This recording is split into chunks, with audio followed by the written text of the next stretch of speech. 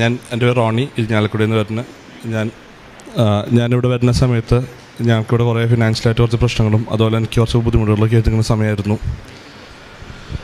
ഇപ്പോൾ ഇവിടെ വന്ന് രണ്ടായിരത്തി രണ്ടായിരത്തി പത്തൊമ്പത് മാർച്ച് പത്താം തീയതിയാണ് ഞാനിവിടെ കൃപാസനത്തിൽ ഉടമ്പടി എടുത്തത്. അതിൽ നിന്ന് ഒരു മാസത്തിനുള്ളിൽ തന്നെ എന്റെ എല്ലാ കാര്യങ്ങളും ദൈവം ശരിയാക്കി തന്നു. ഇപ്പം ഞങ്ങൾക്ക് വേറെ കുഴപ്പങ്ങളൊന്നുമില്ല. വീടും കാര്യങ്ങളും എല്ലാം ഒരു മാസം കൊണ്ട് തന്നെ ഞങ്ങളുടെ എല്ലാ ഇതുകളും ശരിയായി ഇവിടെ വന്ന് എല്ലാ കാര്യങ്ങളും ശരിയാക്കി തന്നു മാതാവ്.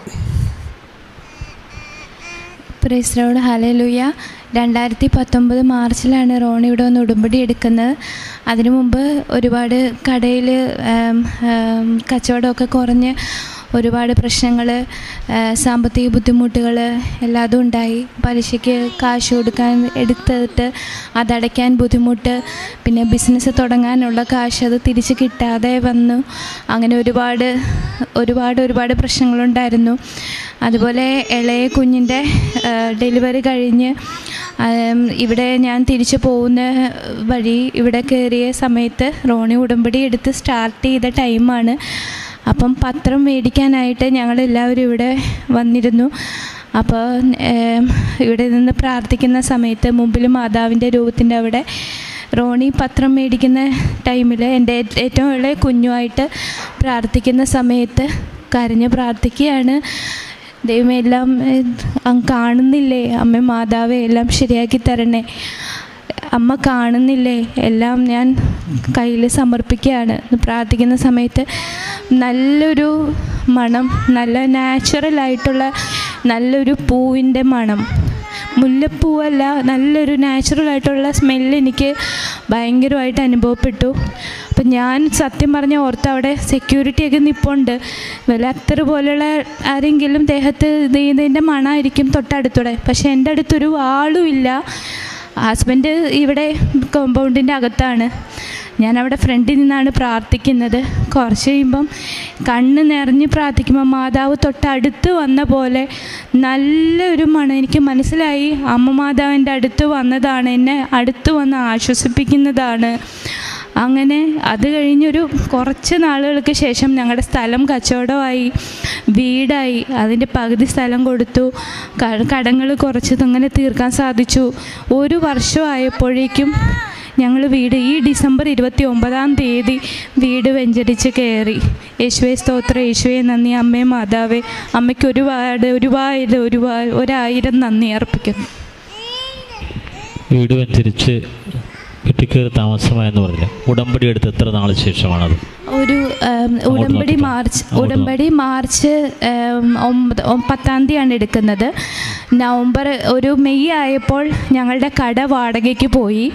കാരണം കടയിൽ നമ്മൾ സ്റ്റോക്ക് ഇറക്കിയാലും അതിന്റെ ഇത് അടക്കിയല്ലാതെ സ്റ്റോക്ക് എടുത്ത സാധനങ്ങളുടെ പൈസ അടക്കിയല്ലാണ്ട് നമുക്ക് ഇങ്ങോട്ടേക്ക് വരുമാനം ഒന്നും ഉണ്ടായില്ല. അപ്പോൾ അങ്ങനെ അത് അടയ്ക്കാൻ വേണ്ടി ഞങ്ങൾ കടം മേടിക്കും. അത് ഒന്നിനൊന്ന് കടം കൂടുക അല്ലാതെ കടയിൽ നിന്ന് യാതൊരുവിധ ലാഭവും ഉണ്ടായില്ല. അത് കഴിഞ്ഞൊരു കട മെയിലായപ്പം കച്ചവട എന്നാ, വാടകയ്ക്ക് പോയി. അതേപോലെ ആ മാസം കുറച്ച് നാൾ കഴിഞ്ഞപ്പോൾ തന്നെ ഒരു കൂട്ടർ ഞങ്ങളുടെ വീടിന് മുമ്പിൽ വാടകയ്ക്ക് താമസിക്കുകയും അവർ സ്ഥലം അന്വേഷിക്കുക എന്ന് പറഞ്ഞപ്പോൾ ഞങ്ങളിങ്ങനെ സ്ഥലം വിൽക്കാനായിട്ട് ഉദ്ദേശിക്കുന്നിപ്പം ഒരു സ്ഥല കച്ചവടം നടക്കാത്ത ടൈമാണ് നമ്മുടെ ഈ ഒരു മറ്റേ പൈസയുടെ പ്രശ്നങ്ങൾ വന്നല്ലോ. നോട്ടിന്റെ പ്രശ്നം വന്നപ്പം കച്ചവടമൊക്കെ വളരെയധികം മോശമായ സമയത്താണ് ഞങ്ങൾ പറയുന്ന ആ ഭൂമിക്ക് എന്തോരം വിലയുണ്ടോ ആ വിലയ്ക്ക് അവർ വന്ന് എടുക്കുകയും ഞങ്ങളുടെ പകുതി സ്ഥലം വിറ്റ് ആ കാശിന് പകുതി സ്ഥലത്ത് ഞങ്ങൾക്ക് വീടായത്. രണ്ടായിരത്തി പത്തൊമ്പത് വീടിന്റെ കല്ലിട്ടു നവംബറിൽ. രണ്ടായിരത്തി ഇരുപത് ഡിസംബർ ഇരുപത്തി ഒമ്പതാം തീയതി ഇളയ മോന്റെ ബർത്ത്ഡേയുടെ അന്ന് കയറണമെന്നുള്ള ആഗ്രഹം മാതാവിന് സമർപ്പിച്ച് ഞങ്ങൾ വീട് മാറി കയറി. യേശുവേ സ്തോത്ര യേശുവെ നന്ദി. കരങ്ങളടിച്ച് കർത്താവ് എന്ന് പറയട്ടെ. പ്രിയമുള്ളവരെ ഉടമ്പടി എടുത്തു കഴിഞ്ഞപ്പോൾ മാർച്ചിൽ ഉടമ്പടി എടുത്തു. മെയ്യോടുകൂടി ഒന്ന് കടമുറി വാടകയ്ക്ക് പോയി. സ്ഥലക്കച്ചവടം നടന്നു. വീടിന്റെ പണി പൂർത്തിയായി. ഇതെല്ലാം മൂന്ന് മാസം കൊണ്ടാണ്. ഉടമ്പടി ഒരു കാലാവധി എന്ന് പറയുന്നത് മൂന്ന് മാസമാണ്. അതായത് ഉടമ്പടി എടുത്തു കഴിഞ്ഞാൽ പരിശുദ്ധമ്മ കൂടെ വരും. എലിസബത്തിന്റെ ഭവനത്തിൽ എലിസബത്തിനോട് കൂടെ പരിശുദ്ധമ്മ താമസിച്ചത് മൂന്ന് മാസമാണ്. അതാണ് ഉടമ്പടിയുടെ അനുഭവം. ഈ ഉടമ്പടി എടുത്ത ആ മൂന്ന് മാസം തന്നെ മൂന്ന് കാര്യവും ഉടമ്പടി വെച്ച എല്ലാ കാര്യവും പരിശുദ്ധമ്മ നടത്തി കൊടുക്കുകയാണ്. അതാണ് ലൂക്കാവ് നാൽപ്പത്തി ഒൻപത് ദൈവം ശക്തനാണ് വൻ കാര്യങ്ങൾ ചെയ്യും. നമുക്ക് ഈ കേട്ട സാക്ഷ്യത കൊടുത്ത് നിങ്ങളുടെ വീട് പണി പൂർത്തീകരിക്കാത്തവരുണ്ടെങ്കിൽ സ്ഥലക്കച്ചവടത്തിന് വേണ്ടി ആഗ്രഹിക്കുന്നവരുണ്ടെങ്കിൽ ബിസിനസ് തകർച്ചയിലായിട്ടുള്ളവരുണ്ടെങ്കിൽ ആ നിയോഗങ്ങളെല്ലാം സമർപ്പിച്ചുകൊണ്ട് ഈ സാക്ഷ്യത്തോടുകൂടി കരങ്ങൾ യുവത്ത് കർത്താവ് എന്ന് പറയട്ടെ. യേശുവെ സ്തോത്രം. യേശുവെ നന്ദി. യേശുവെ ആരാധന. ഹലേലുയ ഹലലുയ അത്യപൂർവ ദൈവാനുഭവങ്ങൾ ഇനി നിങ്ങൾക്കും സ്വന്തം. ഈ യൂട്യൂബ് ചാനൽ ഇതുവരെ സബ്സ്ക്രൈബ് ചെയ്തിട്ടില്ലെങ്കിൽ ഇപ്പോൾ തന്നെ സബ്സ്ക്രൈബ് ചെയ്യുക. ഈ വീഡിയോ ഇപ്പോൾ തന്നെ നിങ്ങളുടെ സുഹൃത്തുക്കൾക്ക് ഷെയർ ചെയ്തുകൊണ്ട് കർത്താവിന്റെ പ്രേക്ഷിതരാകുക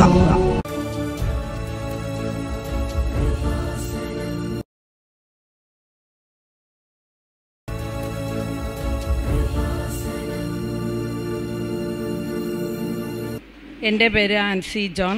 ഞാൻ കൊച്ചി രൂപതയിൽ നിന്ന് ചുള്ളിക്കൽ ഇടവകയിൽ നിന്ന് വരുന്നു. എന്റെ മകൾക്ക് ഒരു കുഞ്ഞ് രണ്ടാമത്തെ കുഞ്ഞുണ്ടായി. പത്ത് ദിവസം കഴിഞ്ഞപ്പോൾ അവളുടെ നെക്കിലൊരു സിസ്റ്റ് കണ്ട് ഹോസ്പിറ്റലിൽ അഡ്മിറ്റ് ചെയ്യേണ്ട വന്നു. ആ സിസ്റ്റ് ആണെങ്കിൽ കഴുത്തിൽ തൊണ്ടയിലും പുറകിലും ഹാർട്ടിലോട്ടും അതിന് കണക്ഷൻസ് ഉണ്ടായിരുന്നു. അതുകൊണ്ട് അത് സർജറി മാത്രമേ ഉണ്ടായിരുന്നുള്ളൂ. അതിന് സൊല്യൂഷൻ പക്ഷേ സർജറി ചെയ്ത എന്തെങ്കിലും വേറെ എന്തെങ്കിലും പ്രശ്നം ഉണ്ടാകുമെന്ന് വിചാരിച്ചിട്ട് ഡോക്ടേഴ്സിനും ധൈര്യം ഉണ്ടായിരുന്നില്ല സർജറി ചെയ്യാനായിട്ട്. അവർ വേറെ എന്തെങ്കിലും മാർഗം കാണാമെന്ന് വിചാരിച്ച് സ്ക്ലീറോ തെറാപ്പി എന്ന് പറയും. മരുന്ന് അതിനകത്തോട്ട് കുത്തിവെച്ച് ഉണക്കിയെടുക്കുന്ന അത്. അത് ചെയ്യാൻ വേണ്ടി ആരംഭിച്ച് മിക്കവാറും മൂന്ന് മാസത്തോളം അവനെ ഹോസ്പിറ്റലിൽ തന്നെയായിരുന്നു. എട്ട് പ്രാവശ്യത്തോളം മരുന്ന് കുത്തിയെടുക്കുകയും ഓർമ്മ കിടത്തിയിട്ടാണ് ഒട്ടിയിൽ പോയിട്ടാണ് അതൊക്കെ ചെയ്തുകൊണ്ടിരുന്നത്. മൂന്ന് പ്രാവശ്യം സർജറിക്ക് തീരുമാനിച്ച് പിന്നെയും മാറ്റിവെക്കും നാലാമത്തെ പ്രാവശ്യം സർജറിക്ക് പകരം ഒരു ട്യൂബ് ഇട്ട് തന്ന് ബാഗ് ഇട്ട് തന്ന്. അത് കണ്ടപ്പോൾ ഞാൻ ഇവിടെ വന്ന് ഉടമ്പടി എടുത്തു. ഉടമ്പടി എടുത്ത് എന്റെ പോയി തൈലൊക്കെ ഇട്ട് പുരട്ടി ചെയ്യുമ്പോൾ പത്ത് ദിവസം കഴിഞ്ഞ് ഞാൻ അച്ഛനെ കാണാൻ വന്ന്. അച്ഛനെ കണ്ട് അച്ഛൻ പ്രാർത്ഥിച്ച അന്ന് തന്നെ എന്റെ മോൾക്കൊരു അനുഭവം ഉണ്ടായി. അത് എന്റെ മോൾ തന്നെ പറയും.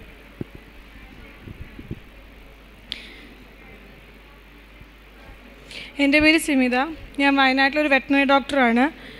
സെഞ്ചൂർ മൂലങ്കാവിലാണ് എന്റെ ഇടവക. ഞാൻ എന്റെ രണ്ടാമത്തെ മകനാണ്. ഒക്ടോബർ രണ്ടായിരത്തി പത്തൊൻപത് പതിനഞ്ചാം തീയതിയാണ് എനിക്ക് മകനുണ്ടായത്. ഒരു കുഴപ്പമില്ലാതെ സ്കാനിങ്ങിൽ ഒരു ബുദ്ധിമുട്ടുമില്ലാതെ സുഖപ്രസവത്തോടെ വന്നത് കുട്ടി കുട്ടിയെ ഡിസ്ചാർജ് ചെയ്തു. പത്താം ദിവസമാണ് കുട്ടിയുടെ ഇടത് കഴുത്തിൽ ഒരു സിസ്റ്റ് കാണുന്നത്. ആ cyst M R I scan ചെയ്തപ്പോൾ കാണുന്നത് നാല് പോയിന്റ് എട്ട് സെന്റിമീറ്ററോളം വലിപ്പമുള്ള വ്യാപ്തിയുണ്ട്. അതിന് എക്സ്റ്റൻഷൻസ് ഭയങ്കര കൂടുതലായിരുന്നു. അമ്മ പറഞ്ഞ പോലെ ട്രക്കിയന്റെ അടുത്തോട്ടും ശ്വാസകോശത്തിന്റെ അടുത്തോട്ടും അയോ ഹൃദയത്തിന്റെ അടുത്തോട്ടും പിന്നെ നട്ടലിന്റെ അടുത്തോട്ടുള്ള വ്യാപ്തി കാരണം ഡോക്ടർമാർ പറഞ്ഞു സർജറി റിസ്ക് ആണ്. കുഞ്ഞിനത് സർജറി ചെയ്ത് സർജറി ചെയ്യാം. പക്ഷെ സർജറി ചെയ്താൽ എന്ത് സംഭവിക്കും എന്ന് അറിയില്ല. ആ, ഈ കാര്യങ്ങളെല്ലാം പറഞ്ഞു കഴിഞ്ഞപ്പോൾ ഒരു രണ്ട് ഓപ്ഷനാണുള്ളത്. ഒന്ന് സർജറി പിന്നെ ഉള്ളത് സ്ക്ലീറോ തെറാപ്പിയാണ് സ്ക്ലീറോ തെറാപ്പി എന്ന് പറയുന്നത് ഈ സിസ്റ്റിനെ കരിയിച്ച് കളയുന്ന ഒരു ട്രീറ്റ്മെന്റാണ് ആ ട്രീറ്റ്മെന്റ് വർക്ക് വർക്കാവുമോ നോക്കാം എന്ന് പറഞ്ഞു. അപ്പോൾ എനിക്കൊരു വലിയ ആശ്വാസമായിരുന്നു. സർജറി ചെയ്യേണ്ടല്ലോ. കുഞ്ഞു കുട്ടിയെ ഒരു പത്ത് ദിവസമുള്ള കുട്ടിയെ സർജറി ചെയ്യാതെ നമുക്ക് ഇങ്ങനൊരു തെറാപ്പി ഉണ്ടല്ലോ എന്ന് വെച്ച് ആശ്വസിച്ചു. എന്നാൽ ഞങ്ങൾ ഈ ഈ സിസ്റ്റിന്റെ കുത്തിയെടുത്തിട്ട് സ്ക്ലീറോ തെറാപ്പി ചെയ്യാൻ തുടങ്ങി. മൂന്ന് പ്രാവശ്യം ഒക്ടോബർ മുതൽ ജനുവരി വരെ മൂന്ന് പ്രാവശ്യം സ്ക്ലീറോ ചെയ്തു. എന്നാൽ യാതൊരു കുറവും ഈ സിസ്റ്റിന് ഉണ്ടായിരുന്നില്ല ഓരോ പ്രാവശ്യം എട്ട് തവണ കുത്തിയെടുത്തു കുട്ടീനെ കഴുത്തിൽ നിന്ന് ഇങ്ങനെ അപ്പോൾ ഫ്ലൂയിഡ് അക്യുമുലേഷൻ എന്ന് പറയുന്നത് പസ് നിറഞ്ഞൊരു ഫ്ലൂയിഡാണ് വരുന്നത്. അതിൽ നിന്ന് ഒരു അറുപത് തൊട്ട് എൺപത് മില്ലിയോളം വെള്ളം വരുന്ന ഓരോ ഓരോ പ്രാവശ്യം കുത്തിയെടുക്കുമ്പോഴും എൺപത് മില്ലിയോളം ആ കുഞ്ഞ് കഴുത്തിൽ നിന്ന് ആ സിസ്റ്റിൽ നിന്ന് വരും. കുട്ടിക്ക് കഴുത്ത് തിരിക്കാനോ പാൽ കുടിക്കാനോ സാധിക്കില്ല. ശ്വാസം വലിക്കാനും പ്രയാസമാവും ഇതിങ്ങനെ വലുതായി വലുതായി വരുമ്പോൾ അതിനിടയിലാണ് ഒരു മൂക്കൊലിപ്പും പനിയും വന്നത്. മൂക്കൊലിപ്പും പനിയും വരുമ്പോൾ സിസ്റ്റ് വലുതാകി പെട്ടെന്ന് വലുതാകും. അങ്ങനെ വലുതായി മൂന്നാമത്തെ സ്ക്ലിയറോ ചെയ്ത പിറ്റേ ദിവസം തന്നെ വീണ്ടും ഇൻഫെക്ഷൻ വന്നു. അപ്പോൾ തന്നെ ഒരു എൺപത് മില്ലിയോളം വീണ്ടും വലിച്ചെടുത്തു. അപ്പോൾ ഡോക്ടർമാർക്കും സംശയം തുടങ്ങി ഇത് നടക്കുന്നില്ല വർക്കാവുന്നില്ല ഇത് സർജറി തന്നെ ചെയ്യണം എന്ന് പറഞ്ഞു. സർജറി ചെയ്യാൻ വേണ്ടി ഇത് ചെയ്യുമ്പോഴും എം ആർ ഐ സ്കാൻ നോക്കുമ്പോൾ അവർക്ക് ചെയ്യാൻ താല്പര്യമില്ല. വളരെ എക്സ്റ്റൻഷൻസ് കൂടുതലാണ് വ്യാപ്തി കൂടുതലാണ്. എന്നെ പറഞ്ഞ് മനസ്സിലാക്കാൻ മനസ്സിലാക്കുന്ന എനിക്ക് എനിക്കും എന്റെ ഹസ്ബൻഡിനും അത് ചെയ്യണമെന്ന് തീരെ താല്പര്യമില്ല. സർജറി ചെയ്യണ്ട ഇതെങ്ങനെയെങ്കിലും നമുക്കിങ്ങനെ ഉന്തി നടക്കാം. കാരണം അതിന്റെ സീരിയസ്നെസ് എനിക്ക് നല്ല മനസ്സിലാവുന്നതുകൊണ്ട് ഞാൻ ഞാനെങ്ങനെ അവരോട് വേറെ എന്തെങ്കിലും സാധ്യതയുണ്ടോ? വിദേശത്തോ എവിടെയെങ്കിലും കൊണ്ടുപോയാൽ സാധ്യതയുണ്ടോ എന്ന് ചോദിക്കുന്നു. എല്ലാവരും ഒരേ മറുപടിയാണ് പറയുന്നത്. ഇല്ല ഒരു സാധ്യതയില്ല നിങ്ങൾക്ക് സർജറി തന്നെ ചെയ്യേണ്ടി വരും. കാരണം സ്ക്ലീറോ തെറാപ്പി വർക്ക് ചെയ്യുന്നില്ല. റെസ്പോണ്ട് ചെയ്യുന്നില്ല ഈ നിന്ന്. അങ്ങനെ സർജറി ചെയ്യാൻ വേണ്ടിയിട്ട് ഡോക്ടർമാർക്കും പേടിയാണ്. ഞങ്ങൾക്കും താല്പര്യമില്ല. അപ്പോൾ അവരാണ് പറഞ്ഞത്. മൂന്ന് മാസമേ ആയിട്ടുള്ളൂ കുട്ടിയെ. നമുക്ക് കുട്ടിയുടെ കഴി കഴുത്തൊന്ന് ഉറച്ചതിന് ശേഷം നമുക്ക് ചെയ്യാം. അതിനു വേണ്ടി ഒരു താൽക്കാലിക മാർഗം എന്ന നിലയിൽ നമുക്കൊക്കെ യൂറിൻ ബാഗൊക്കെ ഇടുന്ന പോലെ കുട്ടിയുടെ കഴുത്തിൽ ഒരു ട്യൂബിൽ യൂറി ഒരു ഡ്രെയിൻ ബാഗ് അറ്റാച്ച് ചെയ്ത് തന്നു. ഡ്രെയിൻ ബാഗിൽ കൂടെ ദിവസവും ഈ ഫ്ലൂയിഡ് ഇതിൽ കൂടെ വന്ന് വീഴും. അങ്ങനെ കഴുത്ത് വീർക്കാതിരിക്കും കുട്ടിക്ക് ശ്വാസതടസ്സമോ പാൽ കുടിക്കാനോ ബുദ്ധിമുട്ടുണ്ടാവില്ല. ആ ആ ഡ്രെ ട്യൂബ് ഇട്ട് തന്നിട്ട് എന്നോട് പറഞ്ഞു ജനുവരി ഇരുപതിന് ട്യൂബ് ഇട്ട് തന്നു. ഫെബ്രുവരി ഇരുപത്തി ആറിന് സർജറി ചെയ്യാം. അപ്പോഴേക്കും മൂന്ന് മാസമാകും. ഫെബ്രുവരി ഇരുപത്തി ആറിന് ഡേറ്റ് തന്നിട്ട് എന്നെ മെഡിക്കൽ കോളേജിൽ നിന്ന് പറഞ്ഞു വിടുകയാണ് അന്ന് ആ ട്യൂബ് ഇട്ട ഒരു കുട്ടീനെ ഞാൻ മെഡിക്കൽ കോളേജിൽ നിന്ന് പോരുമ്പോൾ ഞാൻ അന്ന് വായിച്ച കാര്യങ്ങളും ഞാൻ പഠിച്ച ശാസ്ത്രവും എല്ലാം ഞാൻ അവിടെ നിർത്തിവെച്ചാണ് ഞാൻ വായി വായി വായിക്കും തോറും ടെൻഷൻ കൂടുകയല്ലാതെ എനിക്കൊന്നുമില്ല. ഞാൻ എനിക്കത്ര ദൈവവിശ്വാസമോ അങ്ങനെയൊന്നുമില്ല. അമ്മ കൃപാസനത്തിനും വലിയമ്മയും കൃപാസനത്തിനെ പറ്റി പറയുന്നുവെങ്കിലും എനിക്ക് ഞാൻ പഠിച്ച കാര്യങ്ങളെയാണ് ഞാൻ അതിൽ ആ ആ ദിവസം വരെ വിശ്വസിച്ചിരുന്നത്. അന്ന് ട്യൂബ് ഇട്ട് വന്ന് കൊണ്ടുവന്ന കുട്ടീനെ കണ്ടിട്ട് അമ്മയ്ക്ക് ഭയങ്കര പ്രയാസം കാരണം അമ്മ വയനാട്ടിലാണ്. അമ്മയ്ക്ക് എങ്ങനെയെങ്കിലും ഇവിടെ വന്ന് ഉടമ്പടി എടുക്കണം എന്നുള്ളതായിരുന്നു. അപ്പോഴും എനിക്ക് മനസ്സിലാവുന്നില്ല. ശരി അമ്മ പോയി ഉടമ്പടി എടുക്കുമെന്ന് പറഞ്ഞു. അമ്മേനെ ഉടമ്പടി എടുക്കാൻ വേണ്ടി ഇങ്ങോട്ട് പറഞ്ഞു വിട്ടു. ആ സമയത്താണ് എന്നെ വല്യമ്മ പറഞ്ഞത് നീയും ഓൺലൈനിൽ ഇങ്ങനെ കൃപാസനത്തിലുണ്ട് അതൊന്ന് കേൾക്കുമെന്ന് പറഞ്ഞു. ഞാനത് ഒരു ലാഘവത്തോടെ കേൾക്കാൻ തുടങ്ങി. ഭയങ്കര ടെൻഷനാണ് അപ്പോൾ ഇതൊന്നും കേൾക്കാനുള്ളൊരു മനസ്സ് എനിക്കില്ല. അപ്പോൾ അന്നൊക്കെ ഓരോ സാക്ഷ്യങ്ങൾ കേൾക്കുമ്പോൾ ആൾക്കാർ ഭയങ്കര അന്ധമായിട്ടാണ് പ്രാർത്ഥിക്കുന്നത്. ഒരു എന്താ പറയുക ഒരു പിടിവള്ളി ഇല്ല. അപ്പോൾ അതുകൊണ്ട് ഇതിൽ പ്രാർത്ഥിച്ചില്ല ഇങ്ങനെ പ്രാർത്ഥി എങ്ങനെ പ്രാർത്ഥിക്കണം പോലും എനിക്ക് ആ കുറേ സാക്ഷ്യങ്ങൾ കാരണം എനിക്ക് കുറേ പ്ര പ്രചോദനമായി. പിന്നെ ഞാൻ എല്ലാം വായിക്കുന്നതും സെർച്ച് ചെയ്യുന്നതും ആൾക്കാരോട് ചോദിക്കുന്നതെല്ലാം നിർത്തി. ജനുവരി ഇരുപത്തെട്ടാം തീയതി അമ്മ ഇവിടെ വന്ന് ഉടമ്പടി എടുത്തു. അന്ന് മുതൽ ഞാൻ പ്രാർത്ഥിക്കാൻ തുടങ്ങി. എന്നോട് അമ്മ പറഞ്ഞു നീ സർജറിക്കായിട്ട് പോകില്ല എന്നുള്ളത് പ്രാർത്ഥിക്കാൻ പറഞ്ഞു. അങ്ങനെ ഇരുപത്തഞ്ച് ഫെബ്രുവരി ഇരുപത്തഞ്ചാം തീയതി സ്കാൻ ചെയ്തതിന് ശേഷമാണ് അവർ നമുക്ക് സർജറി ചെയ്യാമെന്ന് പറഞ്ഞിരുന്നു. ഞാൻ ഇരുപത്തഞ്ചാം തീയതിക്ക് ഡേറ്റ് ഇട്ട് പ്രാർത്ഥിച്ചിട്ട് പറഞ്ഞു. ഇരുപത്തഞ്ചാം തീയതി ഞാൻ സ്കാൻ ചെയ്യുമ്പോൾ ഈ സിസ്റ്റം ഇവിടെ കാണില്ല. അതെങ്ങനെയാണെന്ന് എനിക്കറിയില്ല. പക്ഷെ ഞാൻ അങ്ങനെ പ്രാർത്ഥിക്കാൻ തുടങ്ങി. ഈ സിസ്റ്റം ഇവിടെ കാണുമില്ല ഞാൻ അന്ന് ആ നേരെ ആ കോഴിക്കോട് മെഡിക്കൽ കോളേജിൽ നേരെ ഞാൻ കൃപാസനത്തിൽ വന്ന് സാക്ഷ്യം പറയും. അങ്ങനെ വേറൊന്നും ഞാൻ ചിന്തിക്കാതെ പ്രാർത്ഥിക്കാൻ തുടങ്ങി. ഫെബ്രുവരി എട്ടിനാണ് അച്ഛ അന്ന് ഫെബ്രുവരി ജനുവരി ഇരുപത്തെട്ടിന് അമ്മയ്ക്ക് ജോസഫ് അച്ഛനെ കാണാൻ പറ്റിയില്ല. ഉടമ്പടി മാത്രമേ എടുത്തുള്ളൂ. അപ്പോൾ അമ്മയ്ക്ക് വീണ്ടും അച്ഛനെ കാണിച്ചിട്ട് കുഞ്ഞിനെ അവിടെ കൊണ്ടുവരാൻ പറ്റില്ല. ട്യൂബിട്ട കുട്ടിയാണ്. അച്ഛനെ ഫോട്ടോയെങ്കിലും കാണിച്ചിട്ട് പ്രാർത്ഥിക്കണം എന്നുള്ള ആഗ്രഹത്തിന് നിന്ന് ഫെബ്രുവരി എട്ടാം തീയതി അമ്മ ജോസഫ് അച്ഛനെ നേരിട്ട് കണ്ടു. ഫെബ്രുവരി എട്ട് എന്നൊരു ശനിയാഴ്ചയാണ്. അന്ന് ഞാനും ഭയങ്കര അവിടെ വയനാട്ടിൽ പ്രാർത്ഥിക്കുകയാണ്. അച്ഛന് അച്ഛൻ അച്ഛൻ പ്രാർത്ഥിക്കുമ്പോൾ എന്തെങ്കിലും സംഭവിക്കും എന്നുള്ള രീതിയിൽ ഞാൻ ഇങ്ങനെ പ്രാർത്ഥിക്കുകയാണ്. പ്രാർത്ഥിച്ചു? പ്രാ അന്ന് ജോസഫ് അച്ഛനെ കണ്ട അന്ന് രാത്രി എന്റെ അടുത്ത് ഞാൻ ഉറങ്ങിക്കിടക്കുന്ന എന്റെ അടുത്തേക്ക് ഒരു വലിയ തിരമാല. ഈ ഈ ആൾക്കാരെ കാണുന്ന പോലെ ഒരു വലിയ പൊക്കത്തിലുള്ള തിരമാലയാണ്. അത് ആ, ഈ തിരുമാല ഇതിപ്പോൾ ഈ ആൾത്താര വന്നത് ലോക്ക്ഡൗണിന് ശേഷമാണ്. അതിന് മുന്നുള്ള ആൾത്താരയിൽ ഈ തിരമാല ഇല്ല. ഞാനിത് ഇന്ന് ഇന്ന് ആദ്യമായിട്ടാണ് ഞാനിവിടെ വരുന്നത്. എനിക്ക് ഈ തിരമാലയോ ഞാൻ ഇതുവരെയോ അങ്ങനത്തെ ഒരു സംഭവം കണ്ടിട്ടേ ഇല്ല. ആ ഒരു വലിയൊരു വലിയൊരു പൊക്കത്തിലുള്ള നീല തിരമാല എന്റെ മേത്ത് വന്ന് വീണു. അപ്പോൾ ഞാൻ ഞെട്ടി എഴുന്നേറ്റിട്ട് ആര് പറയണ പോലെ തോന്നി മാതാവ് വന്നൂട്ടാന്ന് പറഞ്ഞു. മാതാവ് വന്നൂട്ടാന്ന് പറഞ്ഞപ്പോഴേക്കും എനിക്കങ്ങനെ പ്രതീക്ഷയൊന്നുമില്ല. ഞെട്ടി എഴുന്നേറ്റ് കുട്ടീനെ നോക്കി. കുട്ടി അതേപോലെ തന്നെ ട്യൂബ് ഇട്ടിട്ട് ശാന്തമായി കിടക്കുന്നു. ഞാൻ പ്രാർത്ഥിച്ചിട്ട് വീണ്ടും കിടന്നു. പിറ്റേ ദിവസം കുട്ടിയുടെ ട്യൂബിന്റെ പുറത്ത് കുറേ സ്റ്റിക്കറൊക്കെ ഒട്ടിച്ച് കുളിപ്പിക്കാനോ കുറേ ദിവസമായി കുളിപ്പിച്ചിട്ട്. കുളിപ്പിക്കാനൊന്നും പറ്റില്ല. ഡോക്ടർമാർ പറഞ്ഞേക്കണത് ട്യൂബ് വലിച്ച് കളയാതെയോ കുട്ടിക്ക് ഇൻഫെക്ഷൻ ഒന്നും ഉണ്ടാക്കാതെ സുരക്ഷിതമായിട്ട് ഇതേ രൂപത്തിൽ തന്നെ കൊണ്ടുവന്ന് ഫെബ്രുവരി ഇരുപത്തഞ്ചാം തീയതി കൊണ്ടുവന്ന് അഡ്മിറ്റ് ചെയ്യണം. എന്നാലേ അവർക്ക് സർജറി ചെയ്യാൻ പറ്റുള്ളൂ. ഞാൻ അങ്ങനെ വളരെ സൂക്ഷിച്ചത് കുട്ടി ഇത് വലിക്കാതിരിക്കാൻ വേണ്ടിയിട്ടൊക്കെ കെട്ടി വെച്ചേക്കാണ് ഒൻപതാം തീയതി മുതൽ ട്യൂബിന്റെ പുറത്തു കൂടെ പഴുപ്പ് വരാൻ തുടങ്ങി. സാധാരണ ട്യൂ- ട്യൂബിന്റെ ഉള്ളിൽ കൂടെ പഴുപ്പ് വന്ന് യൂറിൻ ബാഗ് ആ ഡ്രെയിൻ ബാഗിൽ വന്ന് വീഴുകയാണ് ചെയ്യാറുള്ളത്. ഇത് പഴുപ്പ് പുറത്ത് കാണാൻ തുടങ്ങിയപ്പോഴേക്കും ടെൻഷനായി. വീണ്ടും ഡോക്ടറെ വിളിച്ചു സാരമില്ല നോക്കുമെന്ന് പറഞ്ഞു. കുട്ടി ഭയങ്കര അസ്വസ്ഥവും കരച്ചിലും പ്രയാസവും കാണിക്കുകയാണ്. അപ്പം എനിക്ക് ഭയങ്കര സങ്കടമായി ഞാൻ മാതാവിനെ സ്വപ്നം കണ്ടിട്ട് മാതാവ് ഇനിയും എനിക്ക് ബുദ്ധിമുട്ടാണ് തരുന്നതെന്ന് എനിക്ക് മനസ്സിലായി. മൂന്ന് മാസമായിട്ട് ഇങ്ങനെ മെഡിക്കൽ കോളേജിലോട്ട് ഓടിക്കൊണ്ടിരിക്കുകയാണ് ഓരോ ഒന്നര ആഴ്ച വെച്ച് കുട്ടിയുടെ കഴുത്തിന് വേണ്ടിയിട്ട്. അപ്പോൾ പിന്നെ പിന്നെയുള്ള രണ്ട് മൂന്ന് ദിവസവും കുട്ടി ഭയങ്കര അസ്വസ്ഥമാണ്. ബുദ്ധിമുട്ടാണ് കാണിക്കുന്നത്. ഡോക്ടർമാർ വേറെ കുഴപ്പമില്ല അവിടെ തന്നെ നിൽക്ക് നിൽക്കുമെന്ന് പറഞ്ഞു. അങ്ങനെ ഫെബ്രുവരി പതിമൂന്നാം തീയതി രാവിലെ വെളുപ്പിന് കുട്ടി കളിച്ചു ഉണർന്നിട്ട് കളിച്ചുകൊണ്ടിരിക്കുകയാണ് കളിച്ച് കളിച്ചുകൊണ്ടിരിക്കുന്ന കുട്ടി പെട്ടെന്ന് ഞാൻ തിരിഞ്ഞു നോക്കുമ്പോൾ കുട്ടി കഴുത്തിൽ നിന്ന് ആ ട്യൂബ് പിടിച്ച് വലിച്ചൂരി.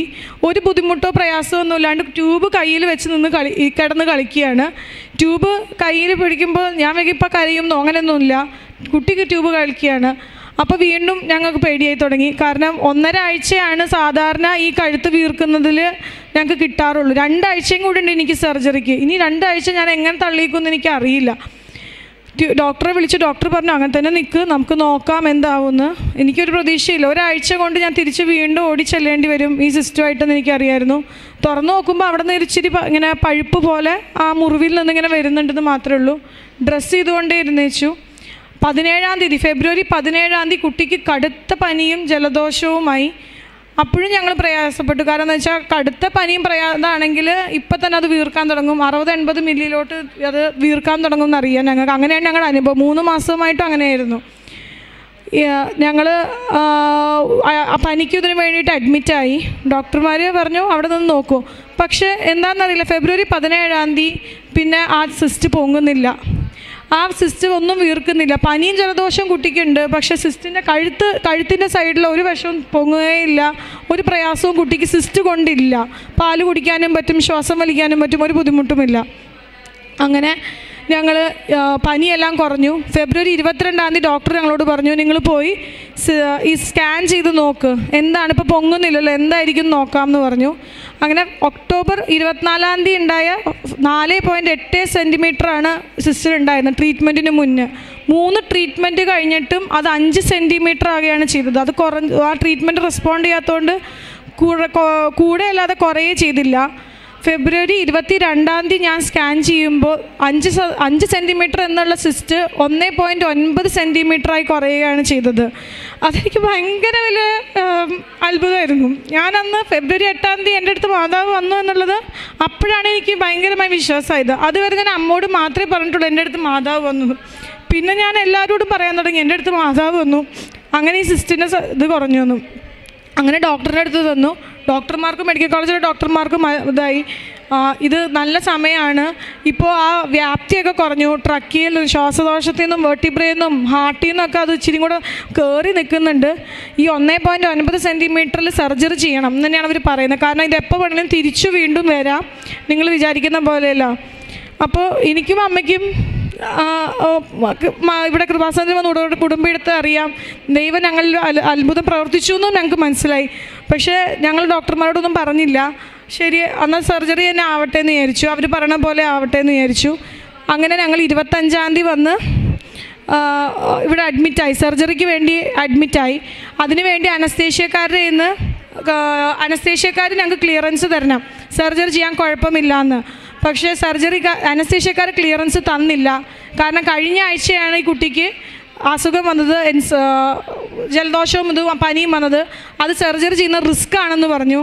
അന്നാണ് എനിക്ക് മനസ്സിൽ അങ്ങനെ സർജറി ചെയ്യാൻ സാധിക്കില്ല. നിങ്ങൾ ഇരുപത്താറാം തീയതി സർജറി ചെയ്യേണ്ട നിങ്ങൾ പൊക്കോ എന്ന് പറഞ്ഞു. അന്നാണ് എനിക്ക് മനസ്സിലായത് സർജറി ചെയ്യാൻ സർജറി ചെയ്യാതിരിക്കാൻ വേണ്ടിയുള്ള ഒരു കാരണമായിരുന്നു കഴിഞ്ഞ ആഴ്ച. അതിന് മുന്നുള്ള തല ആഴ്ച ഈ കുട്ടിക്ക് പനിയും ശക്തമായി ഇത് വന്നത്. അല്ലെങ്കിൽ സർജറി സർജന്മാർ ചെയ്തേനെ. അങ്ങനെ എന്നോട് രണ്ടാഴ്ച കഴി രണ്ടാഴ്ച കഴിഞ്ഞിട്ട് വീണ്ടും വരാൻ പറഞ്ഞു. വീണ്ടും നമുക്ക് സ്കാൻ ചെയ്ത് നോക്കാം. അപ്പം എത്രയാവും നോക്കാമെന്ന് പറഞ്ഞു.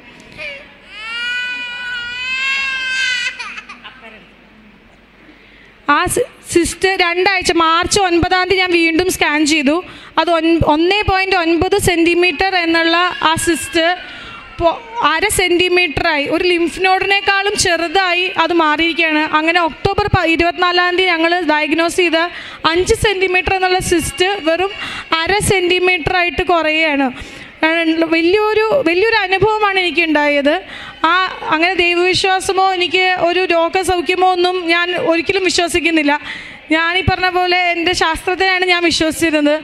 ആ ശാസ്ത്രം മുട്ടുകൂത്തിയ സമയത്ത് അവിടെ നിന്ന് ആ- ശാസ്ത്രത്തെ വിട്ടതിന് ശേഷമാണ് എന്റെ ജീവിതത്തിൽ വലിയൊരു അത്ഭുതം നടന്നത്.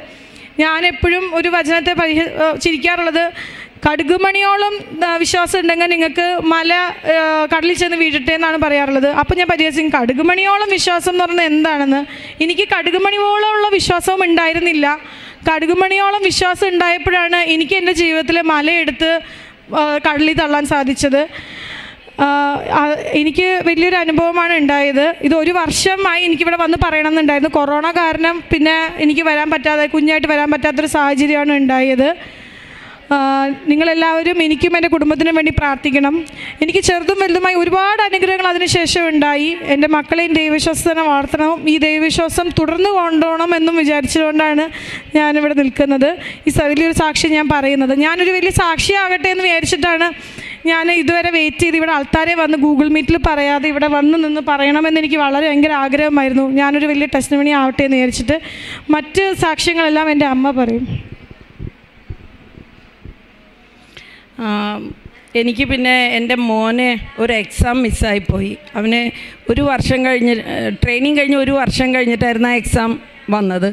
ആ സമയത്ത് അവനത് എഴുതാനായിട്ട് എന്തോ എഴുതുന്ന എഴുതിക്കുന്നില്ല അവർ ഇപ്പോൾ എഴുതാൻ പറ്റില്ല. ഇനി രണ്ടാമത് അടുത്ത വർഷം എഴുതാൻ പറ്റുള്ളൂ എന്ന് പറഞ്ഞു.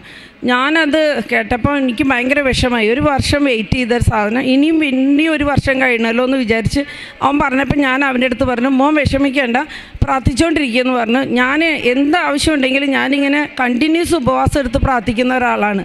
അപ്പം ഞാൻ അവൻ എന്റെ അടുത്ത് പറഞ്ഞിട്ട് പത്ത് ദിവസം കൂടെ ഉണ്ട് എക്സാമിന് ഡേറ്റ് ഞാൻ ആ പത്ത് ദിവസം ഉപവാസം എടുത്ത് പ്രാർത്ഥിച്ചുകൊണ്ടിരുന്നത് എന്റെ അമ്മ ഒരു അവസരം അവന് കൊടുക്കണേ എന്ന് പറഞ്ഞ് ഞാൻ പ്രാർത്ഥിച്ചുകൊണ്ടേയിരുന്നു പക്ഷേ അവന്റെ എക്സാമിന്റെ ഡേറ്റിലും അവന് അവസരം കിട്ടിയില്ല. പക്ഷേ ഒരു വർഷം കഴിഞ്ഞിട്ടേ ഇനി ഉള്ളൂ ആ എക്സാം ഉള്ളൂ. പക്ഷെ എന്ത് അത്ഭുതമാണെന്ന് അറിയില്ല. പിറ്റത്തെ മാസം തന്നെ അവൻ എന്നെ വിളിച്ചിട്ട് പറഞ്ഞു അമ്മ അവരെന്റെ അടുത്ത് പറഞ്ഞു നാളെ എക്സാമാണ്. നിനക്ക് എഴുതാൻ പറ്റുമോ എന്ന് ചോദിച്ചു എന്ന് പറഞ്ഞു. അവൻ പറഞ്ഞു പോച്ചു തീർച്ചയായിട്ടും എനിക്ക് പറ്റും. ഞാൻ പറഞ്ഞു നീ ആ വിശ്വാസത്തിൽ പോയി എഴുതിക്കോ. അമ്മ ഇവിടെ ഇരുന്ന് പ്രാർത്ഥിച്ചോളാം എന്ന് പറഞ്ഞു. അവൻ പിറ്റേ ദിവസം തന്നെ ആ എക്സാം എഴുതി ഡിസ്റ്റിങ്ഷനോടുകൂടി പാസ്സാകുകയും ചെയ്തു. അമ്മ എനിക്കത് ഇപ്പോൾ ഈ കൊറോണ കാലത്ത് ഇനി ആ എക്സാം ഈ ഒരു വർഷം കഴിഞ്ഞിട്ടും വന്നിട്ടില്ല. ഇനി അടുത്ത വർഷം വരുമെന്ന് അറിയില്ല. അവന് സെക്കൻഡ് ട്രെയിനിങ്ങിന് സെലക്ഷൻ ആവുന്ന ആവുകയും ചെയ്തു.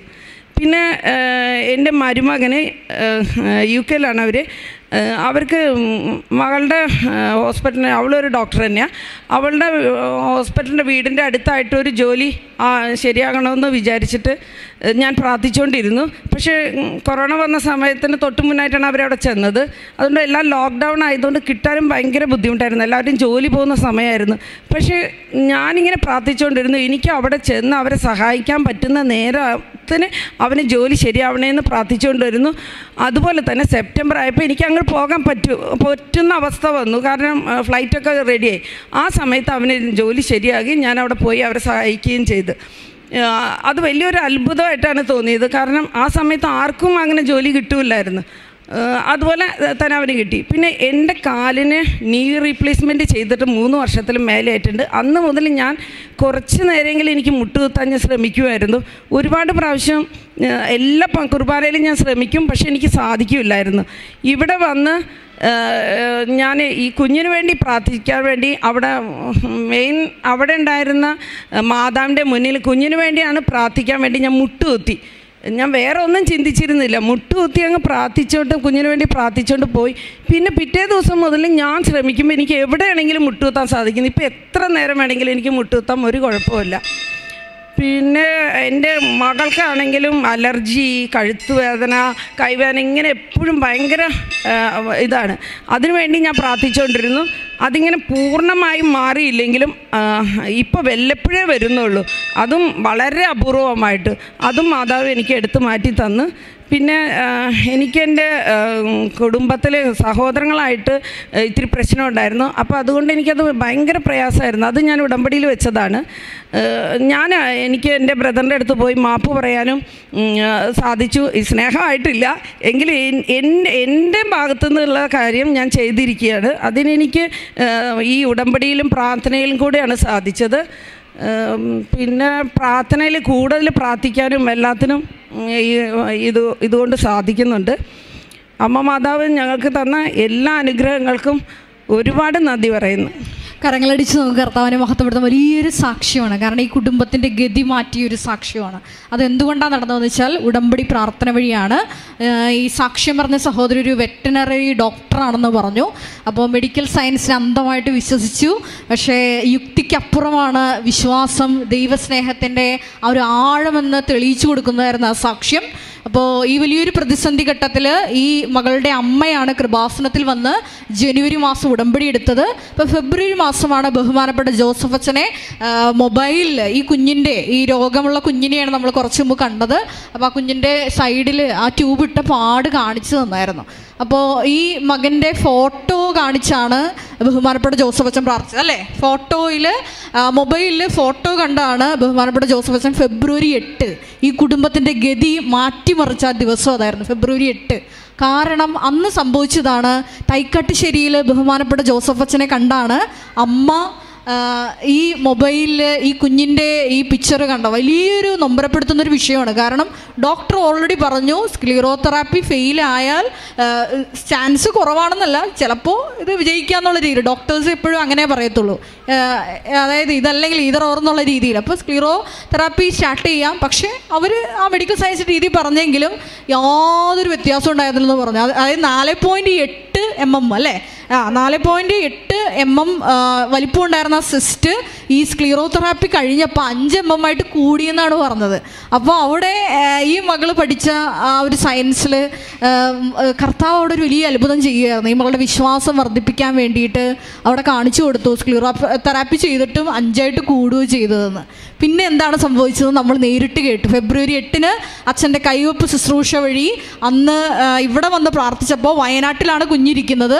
അപ്പോൾ വയനാട്ടിലെ കൃപാസന അൾത്താരയിലെ ഈ തിരയടിച്ച് വരുന്ന വലിയ തിരമാല ഈ മകളിങ്ങനെ കാണുകയാണ്. അപ്പോൾ ഒരു സ്വരം കേട്ടു. അമ്മ വന്നു എന്ന്. വലിയൊരു സാക്ഷ്യമാണ്. ഉടമ്പടി എടുക്കുന്ന ഓരോ വ്യക്തിയുടെയും ജീവിതത്തിൽ സംഭവിക്കുന്നതാണ്.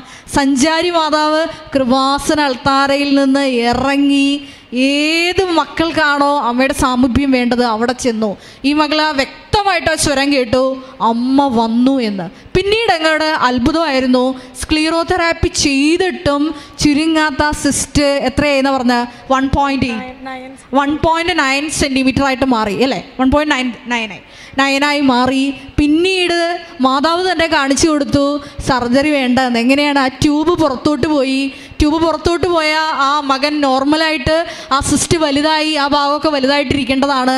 അങ്ങനെ യാതൊരു പ്രശ്നം ഉണ്ടായിരുന്നില്ല. രണ്ടാമത്തെ സ്കാനിങ്ങിൽ വീണ്ടും ആ സിസ്റ്റ് ചുരുങ്ങി. ഇപ്പോൾ ആ കുഞ്ഞ് പൂർണ ആരോഗ്യത്തോടു കൂടിയിട്ടാണ് കൃപാസനം മാതാവിന്റെ കൃപാസനത്തിൽ പ്രത്യക്ഷപ്പെട്ട പരിശുദ്ധ അമ്മയുടെ നടയിൽ നിന്ന് സാക്ഷ്യം പറയുന്നത്. വലിയൊരു സാക്ഷ്യമാണ്. നമ്മൾ ഒരിക്കൽ കൂടി നമുക്ക് കരങ്ങളടിച്ച് കർത്താവിനെ മഹത്വപ്പെടുത്താം. ഹാലലൂയ ഹാലലൂയ ഹാലലൂയ യേശുവി നന്ദി. യേശുവി സ്തോത്ര. യേശുവേ ആരാധന. അത്യപൂർവ ദൈവാനുഭവങ്ങൾ നിങ്ങൾക്കും സ്വന്തം. ചാനൽ ഇതുവരെ സബ്സ്ക്രൈബ് ചെയ്തിട്ടില്ലെങ്കിൽ ഇപ്പോൾ തന്നെ സബ്സ്ക്രൈബ് ചെയ്യുക. ഈ വീഡിയോ ഇപ്പോൾ തന്നെ നിങ്ങളുടെ സുഹൃത്തുക്കൾക്ക് ഷെയർ ചെയ്തുകൊണ്ട് കർത്താവിന്റെ പ്രേക്ഷിതരാകുക.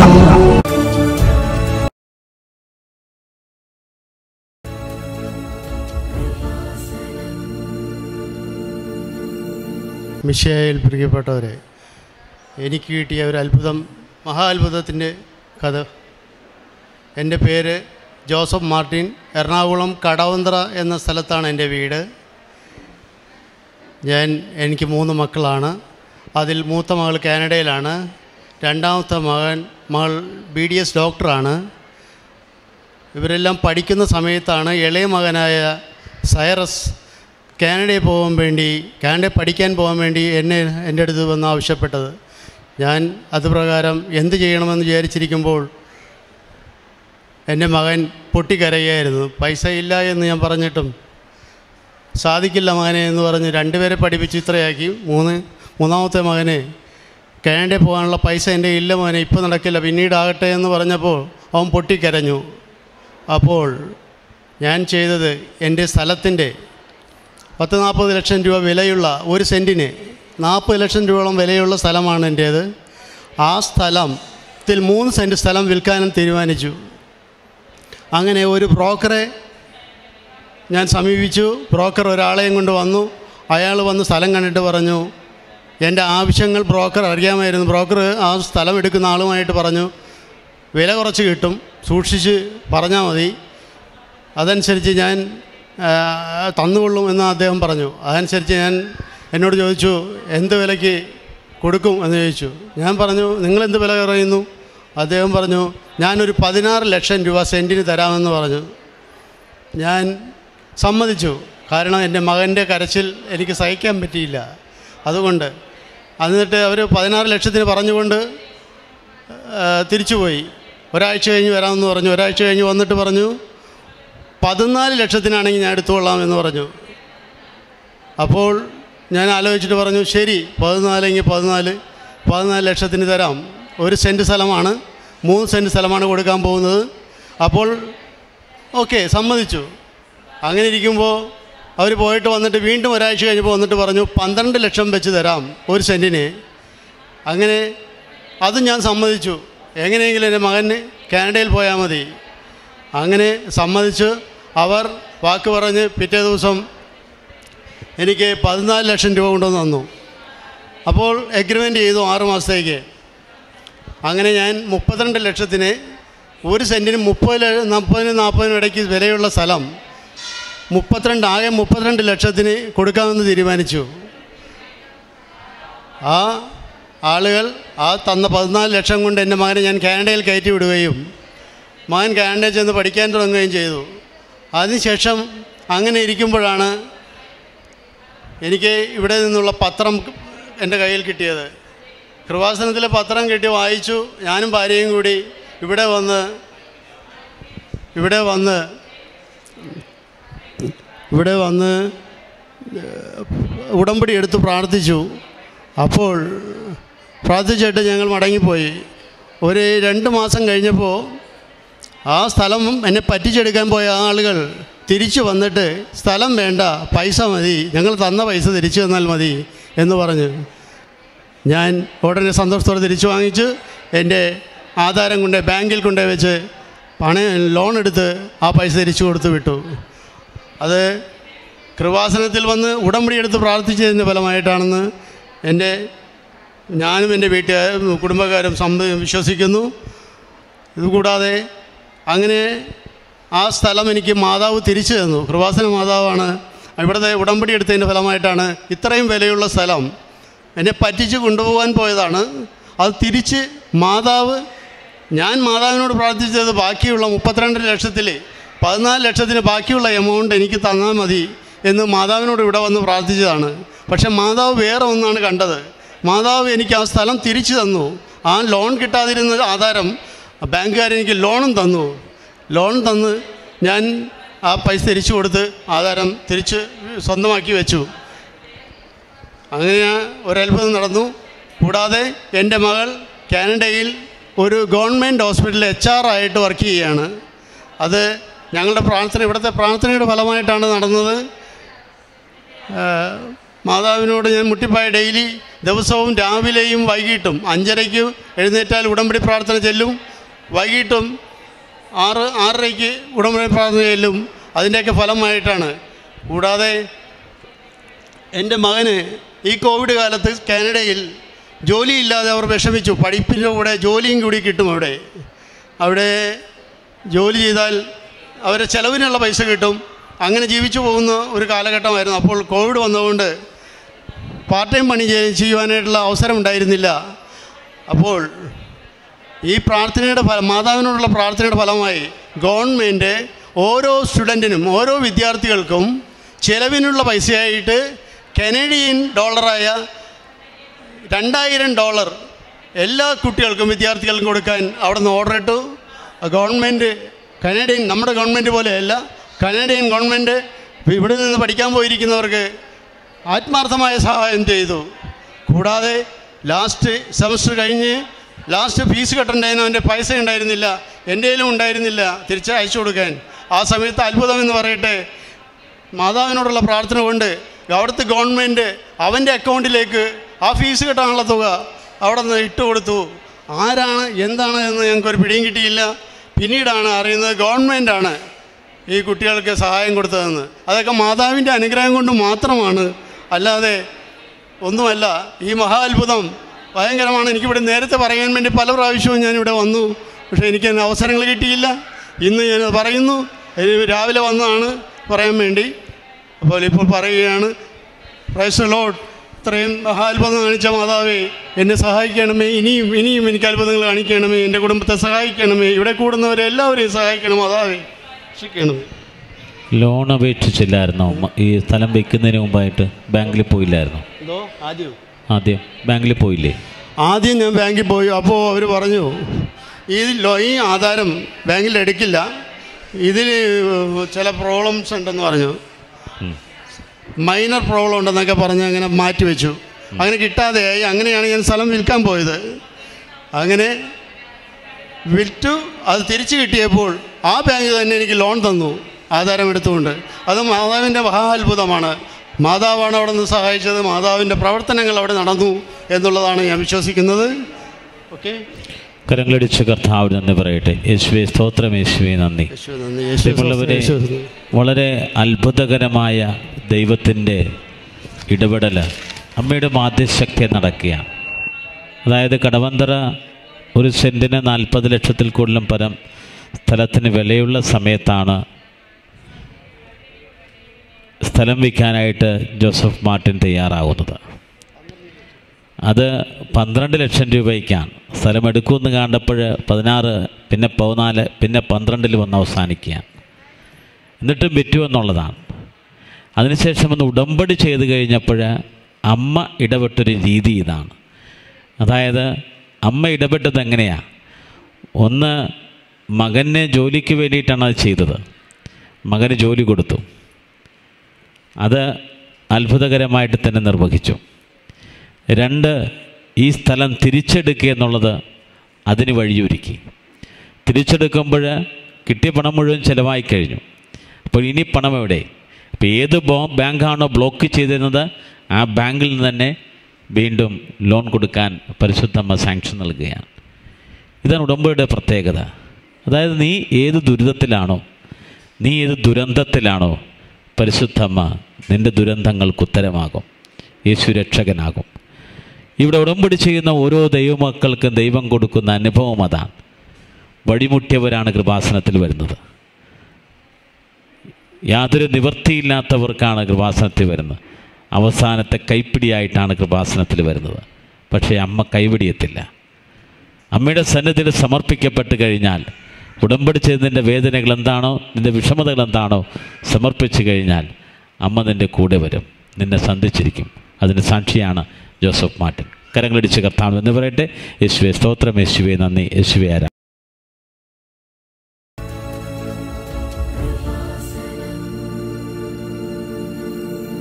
എന്റെ പേര് വിൽമ ഷൈജോ. ഞാൻ കണ്ണമാലിൽ നിന്ന് വരുന്നു. ഞാനിവിടെ പരിശുദ്ധ കൃപാസന മാതാവിന്റെ എന്റെ കൂടെയുള്ള എന്റെ പരിശുദ്ധ കൃപാസന മാതാവിന്റെ സാക്ഷ്യപ്പെടുത്താനാണ് ഞാൻ വന്നിരിക്കുന്നത്.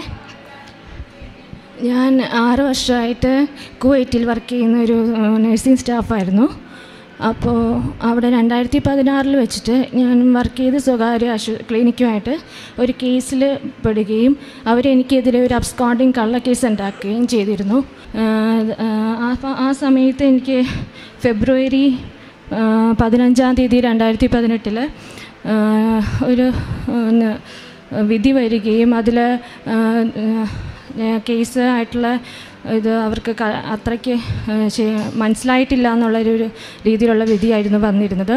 അപ്പോൾ അതെനിക്ക് ഒരുപാട് വിഷമമായിരുന്നു അപ്പോൾ ഞാൻ ഇവിടുത്തെ കൃപാസന പ്രാർത്ഥന ഞാൻ ഫേസ്ബുക്കിന്റെ അകത്തൂടെ കൃപാസനം പ്രാർത്ഥന ഞാൻ കാണുന്നുണ്ടായിരുന്നു. അപ്പോൾ അതിലൂടെ ഞാൻ പ്രാർത്ഥിക്കുകയും ചെയ്യുന്നുണ്ടായിരുന്നു. അപ്പോൾ ഞാൻ ആ സമയത്ത് കൃപാസന മാതാവിനോട് ഞാൻ ഇങ്ങനെ പ്രാർത്ഥിച്ചിരുന്നു.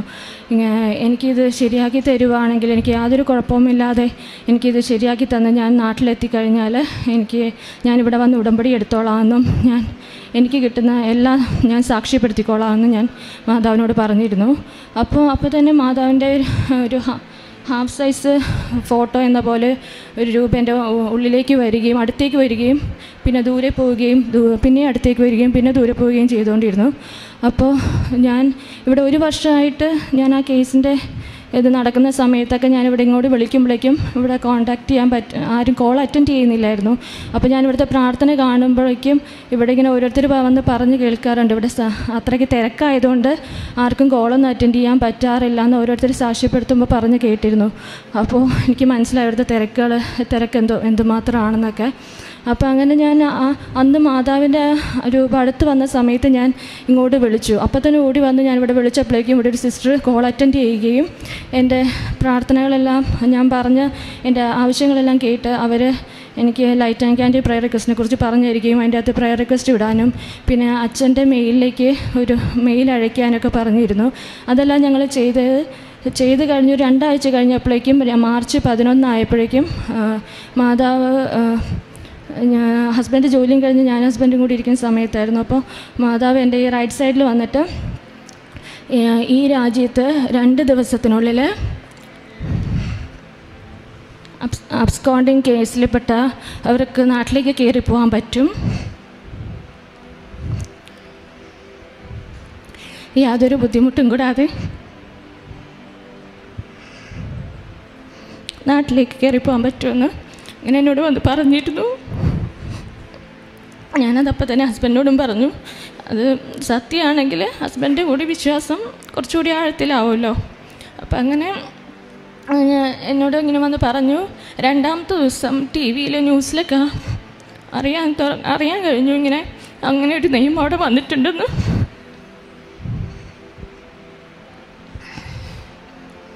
അപ്പോൾ പിന്നെ അതിനെക്കുറിച്ച് അന്വേഷിച്ച് ഒരു ഒരാഴ്ചക്കുള്ളിൽ എന്റെ പേപ്പർ വർക്ക് എല്ലാം കഴിഞ്ഞു.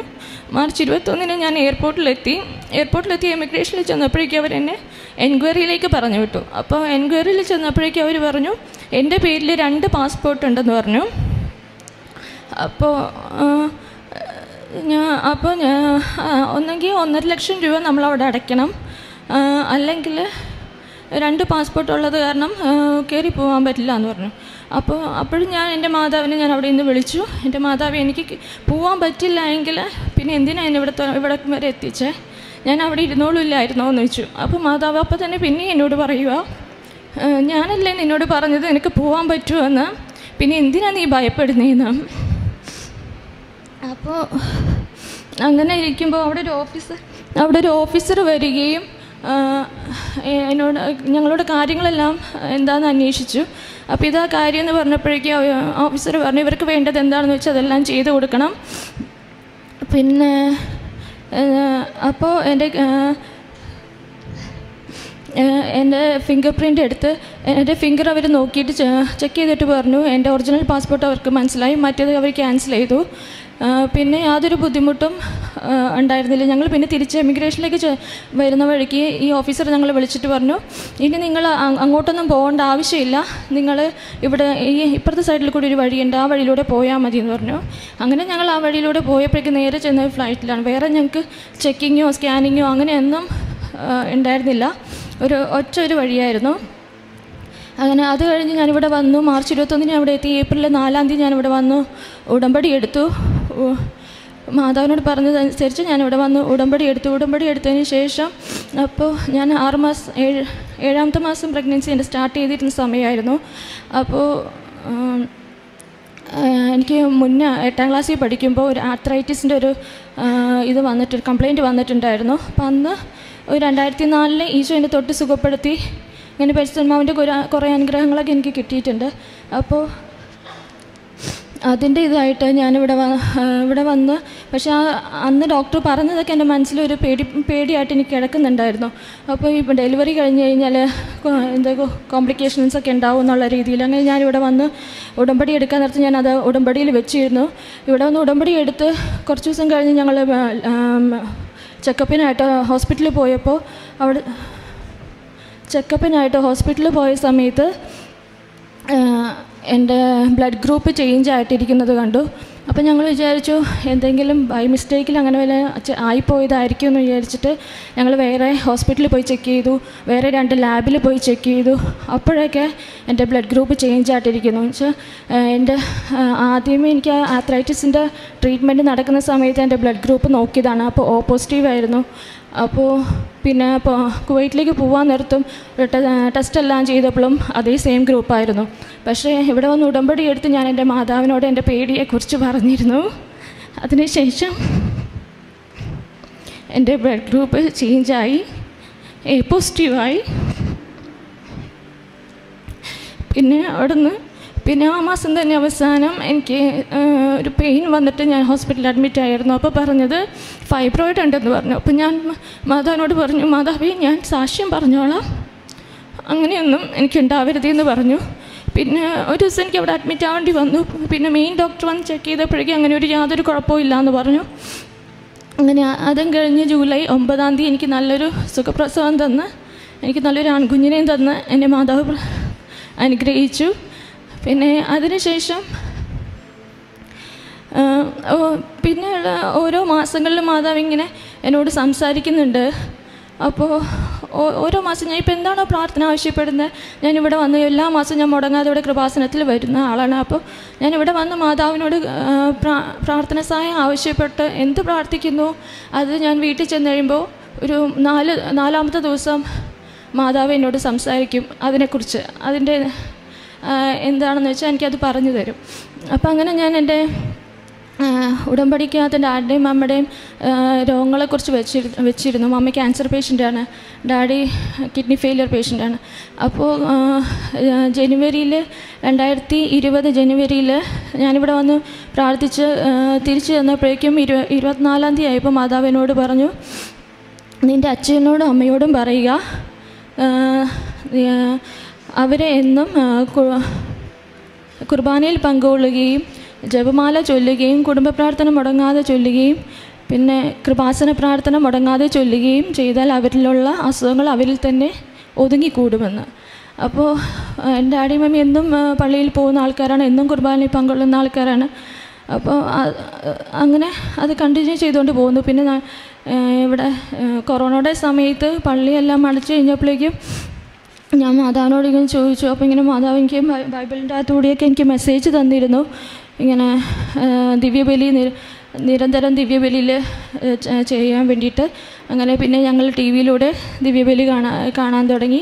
അതിലൂടെയും കുറേ ഒരുപാട് അനുഗ്രഹങ്ങൾ തന്നിട്ടുണ്ട്. പിന്നെ അതുപോലെ തന്നെ മാർച്ച് ഏഴാം തീയതി ആയിക്കഴിഞ്ഞപ്പോൾ അപ്പം പിന്നെ ഫെബ്രുവരി മാസത്തിലൊക്കെ ഇപ്പോൾ എന്റെ ഹസ്ബൻഡിനോട് എന്തെങ്കിലും പറയാനുണ്ടെങ്കിൽ മാതാവിനോട് പറയും നീ അവനോട് അങ്ങനെ പറയണം ഇത് ചെയ്യാൻ പറയണം അങ്ങനെ ചെയ്യാൻ പറയണം എന്നൊക്കെ എന്നോട് പറയും. അപ്പോൾ അതനുസരിച്ച് ഞാൻ എന്റെ ഹസ്ബൻഡിനോട് പറയും. പിന്നെ മാർച്ച് ഏഴാം തീയതി വന്നപ്പോഴേക്കും മാതാവ് രാത്രി ഒരു പതിനൊന്ന് മണിയായിട്ടുണ്ട്. അപ്പോൾ എന്നോട് ചോദിച്ചു ഞാൻ നിന്റെ അടുത്തേക്ക് വന്നോട്ടെ എന്ന് ചോദിച്ചു. അപ്പോൾ ഞാൻ നല്ല ഉറക്കത്തിലായിരുന്നു. അപ്പോൾ ഇവൻ കുഞ്ഞായത് കുഞ്ഞായതുകൊണ്ട് ഈ ഡൈനിങ് ടേബിളിന്റെ മേളിലേക്ക് കയറിനോട് ഞങ്ങൾ ചെയറെല്ലാം കൊണ്ടുവന്ന് ഞങ്ങൾ കിടക്കുന്ന റൂമിൽ അടുക്കി വെച്ചിരുന്നു. അത് രാവിലെ ആകുമ്പോൾ ഞങ്ങൾ ലോക്ക് ചെയ്യും. അങ്ങനെ ചെയ്തിരുന്നത് അപ്പോൾ എന്താ ഇത്തിരി സൗകര്യം കുറവായിരുന്നു. അപ്പോൾ മാതാവ് ഇങ്ങനെ ഞാൻ നിന്റെ അടുത്ത് വന്നോട്ടെ എന്ന് ചോദിച്ചപ്പോഴേക്കും ഞാൻ നല്ല ഉറക്കപ്പി ഉറക്കത്തിലായിരുന്നെങ്കിൽ ഞാൻ പറഞ്ഞു എന്റെ മാതാവേ ഇവിടെ വന്ന് എവിടെ വന്ന് നിൽക്കാനാ. മാതാവ് വന്നിട്ട് ഇത് എവിടെ വന്ന് നിൽക്കാനാന്ന് ഞാൻ ഇങ്ങനെ അറിയാതെ എന്റെ മനസ്സുകൊണ്ട് ഞാൻ അങ്ങനെ പറഞ്ഞുപോയി. അപ്പോൾ തന്നെ ഞാൻ ചാടി എഴുന്നേറ്റ് ബോധത്തോട് ഞാൻ പിന്നെ ഞാൻ നോക്കിയപ്പോൾ എനിക്ക് മനസ്സിലായി എന്റെ മാതാവാണ് എന്നോട് ഇങ്ങനെ സംസാരിച്ചതെന്ന് പിന്നെ ഞാൻ വേഗം ഇരുന്ന് കൊന്ത ചൊല്ലി കരഞ്ഞും ക്ഷമ ചോദിച്ചിങ്ങനെ പ്രാർത്ഥിച്ചു. അത് കഴിഞ്ഞ് ഏപ്രിൽ ഒന്നാം തീയതി ആയപ്പോഴേക്കും എന്റെ ഭയങ്കര ഒരു വേദന. വേദന ശാരീരിക വേദനയല്ല നമ്മുടെ മനസ്സിൽ ഭയങ്കര ഒരു വേദന ഇങ്ങനെ കുത്തി കുത്തി ഇങ്ങനെ നുറുങ്ങുന്നൊരു വേദന. അപ്പോൾ ഞാൻ ചോദിച്ചു എന്റെ മാതാവ് അപ്പം എനിക്ക് ഭയങ്കര വിഷമമായിരുന്നു. മാതാവ് പിന്നെ വരാമെന്ന് പറഞ്ഞിട്ട് എന്താ വരാതിരിക്കുന്നത് ഇത്രയും ദിവസമായല്ലോ മാർച്ച് ഏഴാം തീയതി പറഞ്ഞതല്ലേ. ഇത്രയും ദിവസമായിട്ടും വന്നില്ലല്ലോ. അപ്പോൾ അങ്ങനെയൊക്കെ വിചാരിച്ചിരിക്കുമ്പോഴേക്കും ഏപ്രിൽ ഒന്നാം തീയതി രാത്രി ഒരു പത്തരയായിട്ടുണ്ട് അപ്പോൾ ഞാനിവനെ മേലെഴിയിച്ച് ഡ്രസ്സ് എടുക്കാൻ വേണ്ടിയിട്ട് അങ്ങോട്ട് പോയതായിരുന്നു. അപ്പോൾ എന്നോട് പുറകിൽ നിന്ന് എന്നെ വിളിച്ചു. ഞാൻ നിന്റെ കൂടെ തന്നെയുണ്ട്. നിന്റെ പ്രാർത്ഥനക്കുറവ് കൊണ്ടാണ് നിനക്ക് എന്റെ സാമീപ്യം മനസ്സിലാക്കാൻ സാധിക്കാത്തതെന്ന് പറഞ്ഞു. അപ്പോൾ ആ സമയത്ത് ആ സമയത്ത് ഭയങ്കര ചൂടായത് കാരണം ഞാൻ ഇങ്ങനെ വേർത്തൊലിക്കുമായിരുന്നു അപ്പോൾ ഞാൻ എന്റെ കൈ കൊണ്ട് ഇങ്ങനെ ചെയ്യുന്ന സമയത്താണ് മാതാവ് അവിടെ വന്നത്. അപ്പോൾ ആ ഒരു ഇതുകൊണ്ട് എനിക്ക് മാതാവിന്റെ മുട്ടിന് കിഴിപ്പോട്ടുള്ളത് മാത്രമേ എനിക്ക് കാണാൻ സാധിച്ചിട്ടുണ്ടായിരുന്നുള്ളൂ. ബാക്കി സംസാരം കേൾക്കാം. മുട്ടിന് കിഴിപ്പോട്ടുള്ള ബാക്കി എന്റെ കൈയുടെ ഇതുകൊണ്ട് എനിക്ക് കാണാൻ പറ്റുന്നില്ലായിരുന്നു. അപ്പോൾ ഞാൻ മാതാവ് സംസാരിച്ചു കഴിഞ്ഞപ്പോഴേക്കും ഞാൻ തിരിഞ്ഞു നോക്കിയപ്പോൾ ആരെയും കാണുന്നില്ലായിരുന്നു. അപ്പോൾ ഈ മാതാവ് എന്നോട് വന്നോട്ടെ എന്ന് ചോദിച്ചതിന് ശേഷം ഒരു വ്യക്തി എന്നെ ഇച്ചിരി വേദനിപ്പിച്ചായിരുന്നു. അപ്പോൾ അത് കാരണം എനിക്ക് ആ ഒരു വേദന ഉള്ളിലുണ്ട്. എനിക്ക് ക്ഷമിക്കണമെന്നുണ്ട് പക്ഷെ ക്ഷമിക്കാൻ പറ്റുന്നില്ല. ഞാൻ പിന്നെ ഒത്തിരി കരഞ്ഞ് പ്രാർത്ഥിച്ചു. ക്ഷമി എനിക്ക് ക്ഷമിക്കാൻ പറ്റണേ എന്നുള്ള രീതിയിൽ ഞാൻ ഒത്തിരി കരഞ്ഞ് പ്രാർത്ഥിച്ചു. അപ്പോൾ ആ ഒരു ഇതുകൊണ്ടാണ് മാതാവ് നിന്റെ പ്രാർത്ഥനക്കുറവ് കൊണ്ട് ഞാൻ നിന്നെ നിന്റെ അടുത്ത് നിന്റെ കൂടെ തന്നെയുണ്ട്. നിന്റെ പ്രാർത്ഥനക്കുറവ് കൊണ്ടാണ് നിനക്ക് എന്റെ സാമീപ്യം മനസ്സിലാക്കാൻ പറ്റാത്തതെന്ന് ഉദ്ദേശിച്ചതെന്ന് എനിക്ക് എനിക്ക് മനസ്സിലായത് വെച്ചാൽ ഞാൻ അതേ നേരത്തെ പ്രാർത്ഥിച്ചുകൊണ്ടിരുന്ന പോലെ തന്നെ പ്രാർത്ഥിക്കുന്നുണ്ടായിരുന്നു. പക്ഷേ എനിക്ക് ആ വ്യക്തിയോട് ക്ഷമിക്കാനായിട്ട് കുറച്ച് താമസം എടുത്തു. അതിന്റെ ഒരു കുറവായിരുന്നു. പിന്നെ പിന്നെ ജൂലൈ മാസത്തിലേക്കാണെങ്കിലും വീട്ടിൽ ടി വിയിൽ കുർബാന കണ്ടുകൊണ്ടിരിക്കുമ്പോഴാണെങ്കിലും ഞാൻ കൈ സ്വർഗസ്നായ ചൊല്ലുമ്പോൾ ഞാൻ കൈ താത്തിയായിരുന്നു പിടിച്ചുകൊണ്ടിരുന്നത് അപ്പോൾ പരിശുദ്ധാത്മാവ് എന്നോട് ചോദിച്ചു നിനക്കെന്ത് ഇത്രയും അനുഗ്രഹം മതിയോ? എന്ന് ചോദിച്ചു. അപ്പോൾ ഞാൻ വേഗം ഉന്മേഷത്തോടെ കൈ അങ്ങോട്ട് വിരിച്ച് മുകളിലേക്ക് വിരിച്ച് ഉയർത്തി പിടി പിടിച്ച് പ്രാർത്ഥിക്കാൻ തുടങ്ങി. പിന്നെ അന്ന് മുതൽ ഞാൻ അങ്ങനെ ഉയർത്തി പിടിച്ചാണ് ഞാൻ പ്രാർത്ഥിക്കുന്നത് പിന്നെ അതുപോലെ തന്നെ രണ്ട് ദിവസം കുടുംബ പ്രാർത്ഥന മുടങ്ങി കഴിഞ്ഞപ്പോഴേക്കും മൂന്നാമത്തെ ദിവസം ഈശോ എന്നോട് പ്രാർത്ഥനയുടെ സമയത്ത് എന്നോട് ചോദിച്ചു നീ എന്താ ഇങ്ങനെ നീ എന്താ മോളെ ഇന്ന് ഇന്നലെ പ്രാർത്ഥിക്കാതിരുന്നേന്ന് ചോദിച്ചു. അപ്പോൾ അങ്ങനെ ഉള്ള കുറച്ച് ഇതൊക്കെ ഉണ്ടായിരുന്നു. അപ്പോൾ അതൊക്കെ കേട്ട് കഴിഞ്ഞപ്പോഴേക്കും എനിക്ക് അങ്ങോട്ട് എന്റെ സങ്കടം നിയന്ത്രിക്കാനാവില്ല സങ്കടമാണോ? സന്തോഷമാണോ? എത്രമാത്രം എന്റെ മാതാവ് എന്റെ ഈശോ എന്നെ കരുതുന്നതെന്ന് ഓർത്തിട്ട് പിന്നെ ഇവിടെ വന്ന് ഉടമ്പടി എടുത്തതിന് ശേഷം മുതൽ മാതാവിനെ ഒരുപാട് കരുതുന്നുണ്ട്. ഒരുപാടെന്ന് വെച്ചാൽ എനിക്ക് എന്തോ ഒരു സംരക്ഷണത്തിന്റെ വലയും തന്നെ എനിക്ക് ചുറ്റുമുള്ളതുപോലെ എനിക്ക് ഫീൽ ചെയ്യുന്നത് എന്നെ ഒരുപാട് നന്ദി. എന്റെ മാതാവിന് ഈശോയ്ക്ക് ഒരു കൊടാനുകോടി നന്ദി. കരങ്ങളടിച്ച് നമുക്ക് കർത്താവിനെ മഹത്വപ്പെടുത്താൻ വലിയൊരു സാക്ഷ്യമാണ് കണ്ണമ്മാലിയിൽ നിന്ന് വന്ന ഈ മകൾ കുവൈറ്റിൽ ഒരു കേസിൽ അകപ്പെട്ടത് അബ്സൗണ്ടിങ് കേസായിരുന്നു അപ്പോൾ കൃപാസനത്തിലെ ഉടമ്പടി എടുത്തിട്ടില്ലേ മകൾ? ഫേസ്ബുക്കിൽ പരിശുദ്ധ അമ്മയോട് ആ, നൊമ്പരം ആ മകളെ ഷെയർ ചെയ്ത് പ്രാർത്ഥിച്ചപ്പോൾ അമ്മ ചെയ്തത് കൃപാസനത്തിലെ മാതാവ് നിങ്ങൾക്ക് എല്ലാവർക്കും അറിയാവുന്ന പോലെ സഞ്ചാരി മാതാവാണ്. അമ്മ നേർ സാമീപ്യം മകൾക്ക് കൊടുത്തു. രണ്ട് മൂന്ന് തവണ അമ്മ ഇങ്ങനെ അടുത്ത് വരികയും അകന്നു പോവുകയും ചെയ്തു. പിന്നീട് ഈ മകളുടെ ജീവിതത്തിൽ നടന്ന അത്ഭുതം എന്ന് പറഞ്ഞാൽ മാർച്ച് പതിനൊന്നാം തീയതി ഈ മകൾ റൂമിലിരിക്കുന്ന സമയത്ത് അമ്മ ഒരു സന്ദേശം കൊടുക്കുകയാണ്. ഈ മകൾ ഓൾറെഡി നേർന്നിരുന്നു. നാട്ടിൽ വരുമ്പോൾ ഞാൻ കൃപാസനത്തിൽ വന്ന് ഉടമ്പടി എടുത്തുകൊള്ളാമെന്ന്. മാർച്ച് പതിനൊന്നിന് ഹസ്ബൻഡുമായിട്ട് ഇരിക്കുമ്പോൾ അമ്മ ഒരു സന്ദേശം കൊടുക്കുകയാണ്. രണ്ട് ദിവസത്തിനുള്ളിൽ ഈ രാജ്യത്തൊരു നിയമം വരും. ആ നിയമം വന്നതുകൊണ്ട് മാത്രം മകൾക്ക് ഈ നാട് വിട്ട് കയറി പോകാൻ പറ്റും. ഈ കേസിൽ നിന്ന് ഒഴിവായി കിട്ടുമെന്നായിരുന്നു ആ സന്ദേശം. അതുപോലെ തന്നെ ടി വിയിൽ ആ ന്യൂസ് ഈ മകൾ കാണുകയാണ്. അങ്ങനെ ഒരു അബ്സ്കോണ്ടിങ് കേസ് ഉള്ളവരെ മൊത്തം വിടുവിക്കുന്ന കയറിപ്പോകാൻ അനുവദിക്കുന്ന ഒരു നിയമം. പക്ഷേ ഈ മകൾ ജോലി ചെയ്തിരുന്ന സ്ഥാപനം ഈ മകളെ ഒരു ട്രാപ്പിൽ പെടുത്തിയിരുന്നു. അതുകൊണ്ട് തന്നെ എയർപോർട്ടിൽ ചെന്നപ്പോൾ എമിഗ്രേഷൻ ക്ലിയറൻസിന്റെ ആ ഒരു വിഷയം വന്നപ്പോൾ മാർച്ച് ഇരുപത്തൊന്നാം തീയതി എയർപോർട്ടിൽ വന്നപ്പോൾ വീണ്ടും ഈ മകളെ തടഞ്ഞു വെച്ചിട്ട് പറഞ്ഞു നിങ്ങളുടെ പേരിൽ രണ്ട് പാസ്പോർട്ട് കാണുന്നുണ്ട്. അതുകൊണ്ട് നിങ്ങൾക്ക് പോകാൻ പറ്റില്ല. ഒന്നര ലക്ഷം രൂപ കെട്ടിവെച്ചാൽ മാത്രം ഉള്ളൂ. നിങ്ങൾക്ക് പുറത്തോട്ട് പോകാൻ പറ്റുള്ളൂ എന്ന് പറഞ്ഞു. ഈ മകൾ വീണ്ടും അമ്മയോട് പരാതി പറഞ്ഞു എന്നാണ് പറയുന്നത്. കാരണം അമ്മയോട് നമ്മൾ ദൈവത്തോടും പരിശുദ്ധമ്മയോടും നമ്മൾ ജീവിതത്തിൽ ഒരിക്കലും പരാതി പറയരുത്. കാരണം നമ്മൾ വിശ്വാസം മലയിൽ തൊണ്ണൂറ് നിൽക്കുമ്പോൾ നേരെ വന്ന് ഒന്നിലോട്ട് കൂപ്പുകുത്തുന്ന വിഷയമാണ് പരാതി പറയുക. കാരണം ഈശോയുടെ അമ്മയുടെ ആധ്യാത്മികത എന്ന് പറയണത് അവരെല്ലാം ഹൃദയത്തിൽ സംഗ്രഹിക്കുന്ന വ്യക്തികളായിരുന്നു. ഈ മകൾ പരാതി പറഞ്ഞു എന്നാണ് പറഞ്ഞത്. പരാതി പറഞ്ഞപ്പോൾ അമ്മ അമ്മയുടെ സ്വഭാവം ഈ മകൾക്ക് കാണിച്ചു കൊടുത്തു. ഞാൻ ഞാനല്ലേ നിന്നോട് പറഞ്ഞത് രണ്ട് ദിവസത്തിനുള്ളിൽ ഈ നിയമം നിനക്ക് വേണ്ടിയിട്ടാണ് കൊണ്ടുവരുന്നത്. അപ്പം ഞാൻ തന്നെ നിന്നെ കുവൈറ്റിൽ നിന്ന് വിടുവിക്കുമെന്ന് പറഞ്ഞു. പിന്നീട് നൽപത് അത്ഭുതമായിരുന്നു. അവിടുത്തെ ഒരു ഓഫീസർ തന്നെ വന്ന് ഈ മകളുടെ വിഷയങ്ങളിൽ ഇടപെടുകയും ഈ മകളുടെ എല്ലാം ഒറ്റ ഫിംഗർ പ്രിന്റിൽ ഒറ്റ പാസ്പോർട്ടാക്കി അത് കൊടുക്കുകയും മറ്റേത് മരവിപ്പിക്കുകയും ചെയ്തു. പിന്നീട് നടന്നത് ഇപ്രകാരമാണ്. തുടർന്നുള്ള വഴികളിൽ ഒന്നും തടസ്സം ഉണ്ടാവാതിരിക്കാൻ വേണ്ടിയിട്ട് എമിഗ്രേഷൻ ഓഫീസർ ഈ മകൾക്ക് വേണ്ടി ഒരു പുതിയ വഴി അത് പുതിയ വഴി എന്ന് പറഞ്ഞാൽ ജോഷ്യ മൂന്ന് നാലിലെ വഴിയാണ്. അതായത് ഇതിനു മുമ്പേ ഈ വഴിയിലൂടെ നിങ്ങൾ കടന്നു പോ പോകാത്തതിനാൽ ദൈവമായ കർത്താവ് ഒരു പുതിയ വഴി നിങ്ങൾക്ക് കാണിച്ചു തരും. അത് ജെറമിയ മൂന്ന് നാല്. അതായത് ജോഷുവ മൂന്ന് നാല് തിരുവചനമാണ്. ജോഷുവ മൂന്ന് നാല് തിരുവചനം. ആ പുതിയ വഴി അതായത് ഉടമ്പടി പ്രകാരമുള്ള പുതിയ വഴി ആ എയർപോർട്ടിൽ വെച്ച് ഈ അമ്മ ഈ മകൾക്ക് കാണിച്ചു കൊടുത്തു. ആ വഴിയുടെ പ്രത്യേകത ഈ മകൾ പറഞ്ഞായിരുന്നു. എന്തായിരുന്നു ആ വഴിയുടെ പ്രത്യേകത? പറഞ്ഞോ? ആ വഴിയിലൂടെ പോകുമ്പോൾ നമുക്ക് ചെക്കിങ്ങോ കാര്യങ്ങളോ ഒന്നും ഇല്ല. സ്കാനിങ്ങോ അല്ലെങ്കിൽ നമ്മുടെ ബാഗ് സ്കാൻ ചെയ്യുന്ന സ്ക്രീൻ ചെയ്യുന്ന സംഭവങ്ങളൊക്കെ ഉണ്ട്. അത് ഈ വഴിയിലൂടെ പോകുമ്പോൾ അങ്ങനെ ഒന്നുമില്ല. ഡയറക്റ്റ് നമ്മൾ ഫ്ലൈറ്റിലേക്ക് നേരിട്ട് അതായത് പരിശുദ്ധ അമ്മ സഞ്ചാരി മാതാവ് ആ കുവൈറ്റ് അവിടെ എയർപോർട്ടിൽ ചെന്നിട്ട് പറഞ്ഞു ഇതാണ് നിനക്കുള്ള വഴി. അതായത് അമ്മ ഇടപെട്ടിട്ടുള്ള പുതിയ വഴി ഇതാണ്. കാരണം മറ്റു വഴികളിലൂടെ പോയാൽ വീണ്ടും നൂലാമാലകളൊക്കെ വരും.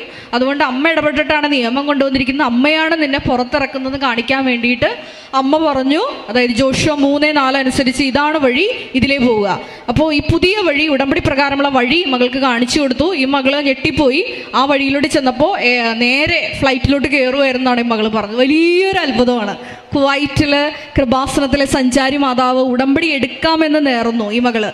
ഈ വിഷയങ്ങളൊക്കെ സെറ്റ് ആവുകയാണെങ്കിൽ ഞാൻ കൃപാസനത്തിൽ വരുമ്പോൾ ഉടമ്പടി എടുക്കാമെന്ന് പറഞ്ഞു. ഈ മകൾ ആ ആ, സമയം പ്രഗ്നന്റ് ആയിരുന്നു. പിന്നീട് നാട്ടിൽ വന്നു. നാട്ടിൽ വന്നപ്പോൾ വർഷങ്ങൾക്ക് മുമ്പ് എട്ടാം വയസ്സിൽ ഈ മകൾക്ക് ഇപ്പോൾ മുപ്പത്തി അഞ്ച് വയസ്സുണ്ട്.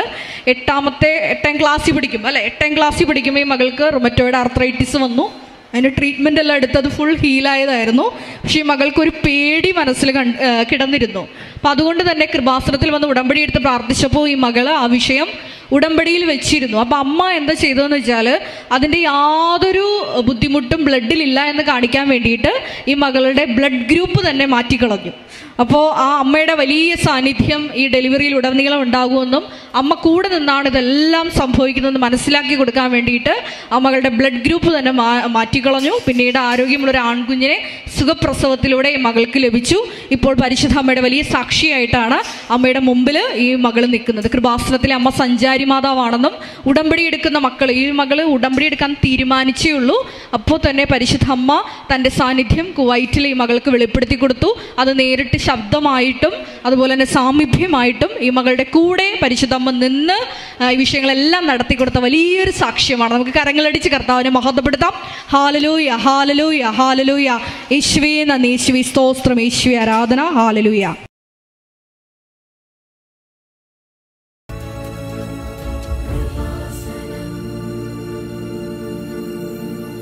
എന്റെ പേര് ബൈജു. ഞങ്ങൾ തിരുവല്ലയിൽ നിന്ന് വരുവാണ് രണ്ടായിരത്തി പതിനെട്ട് ഫെബ്രുവരി ഇരുപത്തി എട്ടാം തീയതിയാണ് ഞങ്ങൾ ഇവിടെ എത്തുന്നത്. ഇവിടെ ഉടമ്പടി എടുത്ത് പ്രാർത്ഥിച്ചതിന്റെ ഫലമായിട്ട് ഞങ്ങൾ കണ്ടിന്യൂസ് ആയിട്ട് വരുന്നുണ്ടായിരുന്നു എല്ലാ എല്ലാ പ്രാവശ്യവും ഉടമ്പടി പുതുക്കി അങ്ങനെ ലാസ്റ്റിൽ അച്ഛനെ കാണാനായിട്ട് ഇടയായി. അച്ഛനെ കണ്ട് കാര്യം ബോധിപ്പിച്ചു. അപ്പോൾ അച്ഛൻ അപ്പോൾ തന്നെ പറഞ്ഞു ഞങ്ങളെ ആൾക്കാരെ കൊണ്ടുവന്നിട്ട് പറഞ്ഞു നാല് മാസത്തിനുള്ളിൽ നിങ്ങൾക്ക് ആനി പ്രഗ്നന്റ് ആവുമെന്ന് പറഞ്ഞു. അതിനുശേഷം ഞങ്ങൾ രണ്ടായിരത്തി പത്തൊൻപത് ഫെബ്രുവരി ഇരുപത്തേഴാം തീയതി പ്രഗ്നന്റ് ആണെന്ന് അറിഞ്ഞു. അപ്പോൾ തന്നെ ഞങ്ങൾക്ക് വളരെ സന്തോഷമായി. അച്ഛൻ പറഞ്ഞ ആ വാക്ക് എത്രത്തോളം ഫലവത്തായി എന്നുള്ളത് അത് അച്ഛനെ കൊണ്ട് പറയിപ്പിച്ചത് കൃപാസനം ആലയത്തിൽ വന്ന് പ്രാർത്ഥിച്ചതിന്റെ ഫലമായി. അച്ഛന്റെ നാവ് കൊണ്ട് അത് കൃപാസന മാതാവ് തിരുക്കുമാരൻ തിരുക്കുമാരനോട് അപേക്ഷിച്ച് പറയിപ്പിച്ചതായിട്ട് തന്നെയാണ് ഞങ്ങൾക്ക് അനുഭവപ്പെട്ടത്. അങ്ങനെ ഒക്ടോബർ രണ്ടാം തീയതി രണ്ടായിരത്തി ഇരുപത് ഒക്ടോബർ രണ്ടാം തീയതി ഡെലിവറിയായി ഞങ്ങൾക്ക് ഈ കുഞ്ഞിനെ സമ്മാനിച്ചു. ഇപ്പോൾ ആറ് മാസം പിന്നിട്ടു. ഏകദേശം പതിനേഴ് വർഷം ശേഷമാണ് ഞങ്ങൾക്ക് ഈ കുഞ്ഞിനെ ദൈവം തരുന്നത്. കരങ്ങളടിച്ച് നമുക്ക് കർത്താവിനെ മഹത്വപ്പെടുത്തും ഉടമ്പടിയുടെ വലിയ സാക്ഷ്യമാണ്. കാരണം ഇരുപത് വർഷത്തിന് മുകളിലുള്ള മക്കൾ വരെ കൃപാസന അൾത്താരയിൽ വന്ന് സാക്ഷ്യം പറഞ്ഞിട്ടുള്ള ഈ ദമ്പതികൾക്ക് ഈ മകൾക്ക് നാൽപ്പത്തി അഞ്ച് വയസ്സുണ്ട് അല്ലേ? ഹസ്ബൻഡ് എത്ര വയസ്സുണ്ട്? എനിക്ക് അൻപത്തി രണ്ട് വയസ്സാകുന്നു വലിയൊരു സാക്ഷിയാണ്. കാരണം നാൽപ്പത്തഞ്ച് അമ്പത്തിരണ്ട് വയസ്സുള്ള ദമ്പതികൾ പതിനേഴ് വർഷമായിട്ട് കുഞ്ഞുങ്ങൾ ഉണ്ടായിരുന്നില്ല അപ്പോൾ ഉടമ്പടിയിൽ വിശ്വസ്താപൂർവം മുന്നേറി ബഹുമാനപ്പെട്ട ജോസഫ് അച്ഛനെ കണ്ട് പ്രാർത്ഥിച്ചപ്പോൾ അച്ഛൻ പറഞ്ഞു നാല് മാസത്തിനുള്ളിൽ നീ ഗർഭിണിയാവെന്ന് പറഞ്ഞു. അങ്ങനെ തന്നെയല്ലേ സംഭവിച്ചത്? പറഞ്ഞു. എന്നായിരുന്നു അച്ഛനെ കണ്ടത്? ഡിസംബർ ഫസ്റ്റ് വീക്കിനാണ് ഞങ്ങൾ വരുന്നത്. എന്നാണ് പ്രഗ്നന്റ് ആണെന്ന് അറിഞ്ഞത്? രണ്ടായിരത്തി ഇരുപത് ഫെബ്രുവരി ഇരുപത്തേഴ് ആ വലിയൊരു സാക്ഷിയാണ്. കാരണം ബഹുമാനപ്പെട്ട ജോസഫ് അച്ഛനിലൂടെ പരിശുദ്ധാത്മാവ് വെളിപ്പെടുത്തുകയായിരുന്നു. നാല് മാസത്തിനുള്ളിൽ നീ ഗർഭവതിയാകുമെന്ന് ഫെബ്രുവരിയിൽ ഈ മകൾ പ്രഗ്നന്റ് ആയി. ആ കണക്ക് കറക്റ്റാണ് ഒന്ന് ആലോചിച്ച് നോക്കിയേ. December January February. നാല് മാസത്തിനുള്ളിൽ തന്നെ ഈ മകൾ ഗർഭവതിയായി ഒക്ടോബർ മാസം രണ്ടാം തീയതി അല്ലേ? രണ്ടായിരത്തി ഇരുപത് ഒക്ടോബർ മാസം രണ്ടാം തീയതി ആരോഗ്യമുള്ള ഒരു ആൺകുഞ്ഞിനെ സുഖപ്രസവമായിരുന്നോ? സിസേറിയനായിരുന്നു സിസേറിയനായിരുന്നു. സിസേറിയനിലൂടെ ആരോഗ്യവാനായിട്ടുള്ള ഒരു ആൺകുഞ്ഞിനെ നൽകി ഈ കുടുംബത്തിന്റെ കണ്ണുനീര് പരിശുദ്ധ അമ്മ സ്വന്തമായിട്ട് ഏറ്റെടുത്ത് ആരോഗ്യവാനായിട്ട് ആൺകുഞ്ഞിനെ നൽകി അനുഗ്രഹിച്ചു. ഇത് ലൂക്ക ഒന്നേ ഒന്നേ മുപ്പത്തേഴ് തിരുവചനമാണ്. ദൈവത്തിന് ഒന്നും അസാധ്യമല്ല. അപ്പൊ ഞാൻ നിങ്ങളത് മനസ്സിലാക്കി തരാൻ വേണ്ടിയിട്ടാണ് ഇവരുടെ രണ്ടുപേരുടെ ഏജ് ചോദിച്ചത്. നാൽപ്പത്തഞ്ച് വയസ്സാണ് ഈ മകൾക്ക്. കാരണം ദൈവത്തിന് ഈ മകളുടെ വിശ്വാസവും പ്രത്യാശയും എല്ലാം ദൈവം ഇങ്ങനെ കണക്കുകൂട്ടി ഒരുക്കി വെച്ചിട്ടുണ്ടായിരുന്നു. ഉടമ്പടിയിലൂടെയാണ് ബഹുമാനപ്പെട്ട ജോസഫ് അച്ഛന്റെ പ്രാർത്ഥന വഴിയാണ് ഈ ദമ്പതികൾക്ക് സന്താന സൗഭാഗ്യം നൽകി അമ്മ അനുഗ്രഹിച്ചത്. ഒരിക്കൽ കൂടി കരങ്ങളടിച്ച് നമുക്ക് കർത്താവിനെ മഹത്വപ്പെടുത്താം. Hallelujah hallelujah hallelujah hallelujah hallelujah. ഐശ്വി നന്ദി. നമ്മൾ എന്താവശ്യപ്പെട്ട് ഇവിടെ വരുന്നു? അത് നമ്മൾ വിശ്വസിച്ചേറ്റെടുത്ത് പ്രാർത്ഥിക്കുക എന്നൊരു ഉപദേശം കൂടി ഞാൻ തരികയാണ്. പരിപൂർണമായിട്ട് വിശ്വസിക്കുക. അതിൽ കൂടി നമുക്ക് എന്ത് നേടാൻ സാധിക്കുമെന്നുള്ളത് ഉദാഹരണമാണ്. ഒരു ചെറിയ രണ്ട് വരിപ്പാട് നന്ദിയോടെ ഞാൻ സ്തുതി പാടിടും എന്റെ യേശുനാഥ. എനിക്കായി നീ ചെയ്തൊരു നന്മയ്ക്കും ഇന്നു നന്ദി ചൊല്ലുന്നു ഞാൻ.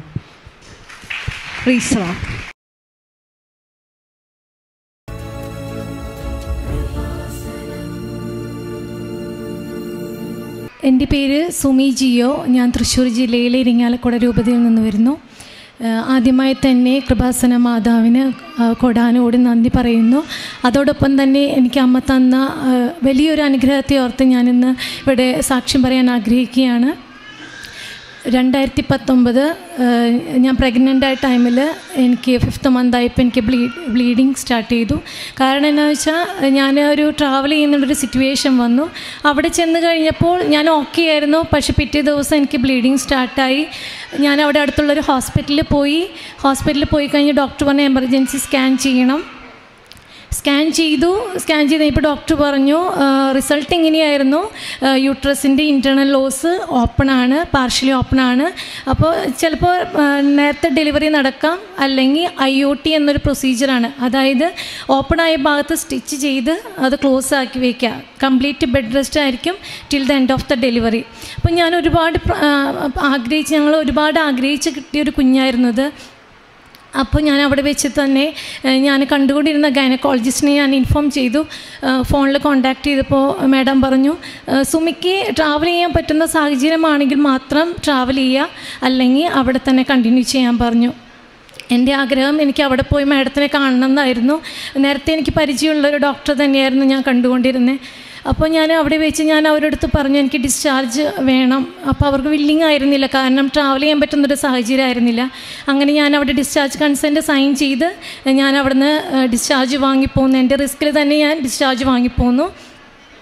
ഞാൻ അവിടെ വെച്ച് തന്നെ ഞാൻ ഇതുവരെ ഇവിടെ വന്നിട്ടുണ്ടായിരുന്നില്ല. ആദ്യമായിട്ടാണ് ഞാൻ ഇവിടെ കൃപാസന മാതാവിന്റെ അടുത്ത് വരുന്നത്. ഞാൻ അവിടെ വെച്ച് തന്നെ എന്റെ മൊബൈലിൽ ഞാൻ ക്യാൻഡിൽ ലൈറ്റ് റിക്വസ്റ്റ് പ്രയർ ഞാൻ സെൻഡ് ചെയ്തു. അതിങ്ങനെയായിരുന്നു പരിശുദ്ധമ്മ മാതാവി സമയത്തിന്റെ മേലധികാരമുള്ള അമ്മയല്ലേ ഞാൻ അവിടെ ചെന്ന് കഴിയുമ്പോൾ എന്റെ റിസൾട്ട് നോർമലാക്കി തരണേന്ന്. ഞാൻ ട്രാവൽ ചെയ്തു അവിടെ ചെന്നു സ്കാൻ ചെയ്തു.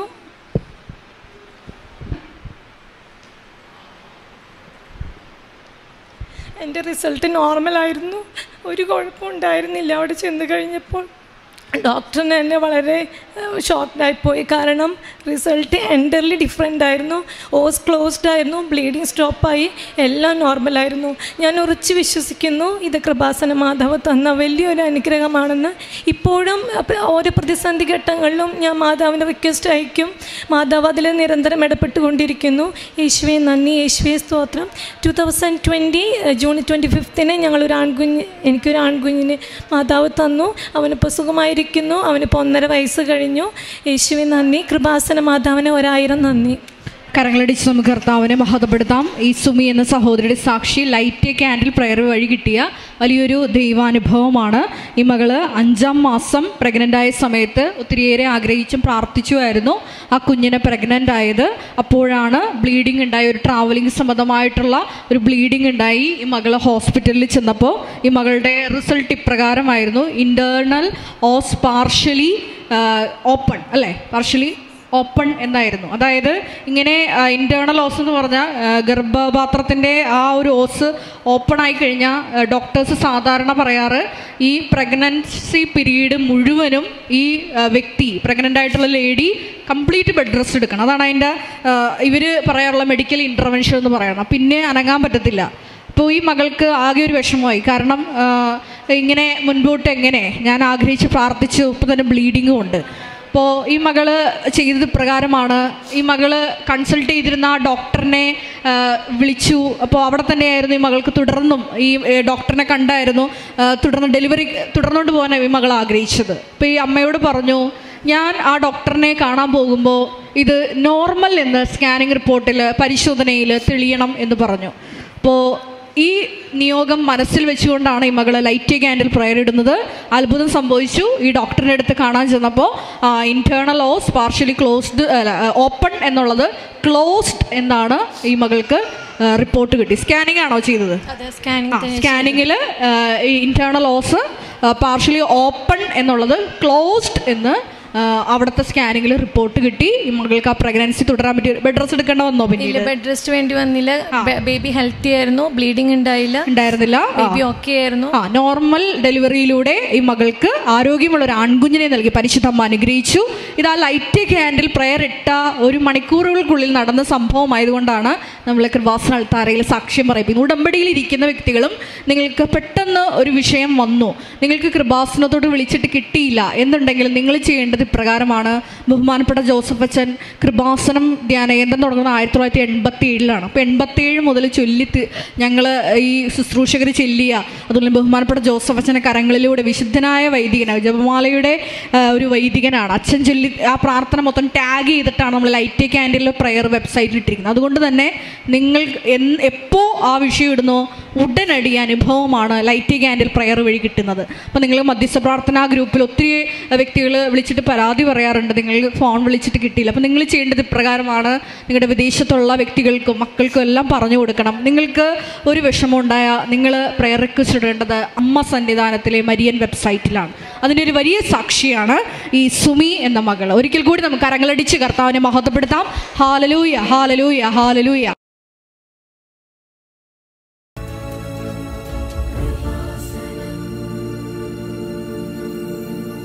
പേര് ജോഷി തോമസ് സ്ഥലം ചേർത്തല. ഞാൻ നവംബർ ഏഴ് രണ്ടായിരത്തി പതിനെട്ടിലാണ് ഉടമ്പടി എടുത്തത്.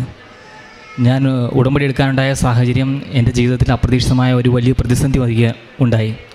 ഞാനൊരു ഇൻസ്റ്റിറ്റ്യൂട്ടിൽ എന്റെ ജോലിയുമായിട്ട് ബന്ധപ്പെട്ട ഒരു കോഴ്സിന് പോയതാണ് അപ്പോൾ അവിടെ വെച്ച് ഒരു സ്വവർഗഭോഗിയായ ഹോമോസെക്ഷലായ ഒരാൾ എന്നെ ഭയങ്കരമായിട്ട് ഫോളോ ചെയ്യുമായിരുന്നു അപ്പോൾ അതുകൊണ്ട് തന്നെ എനിക്ക് ഈ ക്ലാസ്സിന് അറ്റൻഡ് ചെയ്യാൻ സാധിച്ചില്ല. ഭയങ്കര ഡിസ്റ്റർബ്ഡായി എനിക്ക് ആ വ്യക്തിയോട് എങ്ങനെ പെരുമാറണം അല്ലെങ്കിൽ എങ്ങനെ ഇതിനെ അതിജീവിക്കണമെന്ന് എനിക്കൊരു ഒരു ഇതും കിട്ടുന്നില്ല. എന്ത് ചെയ്യണം ഒരവസ്ഥ?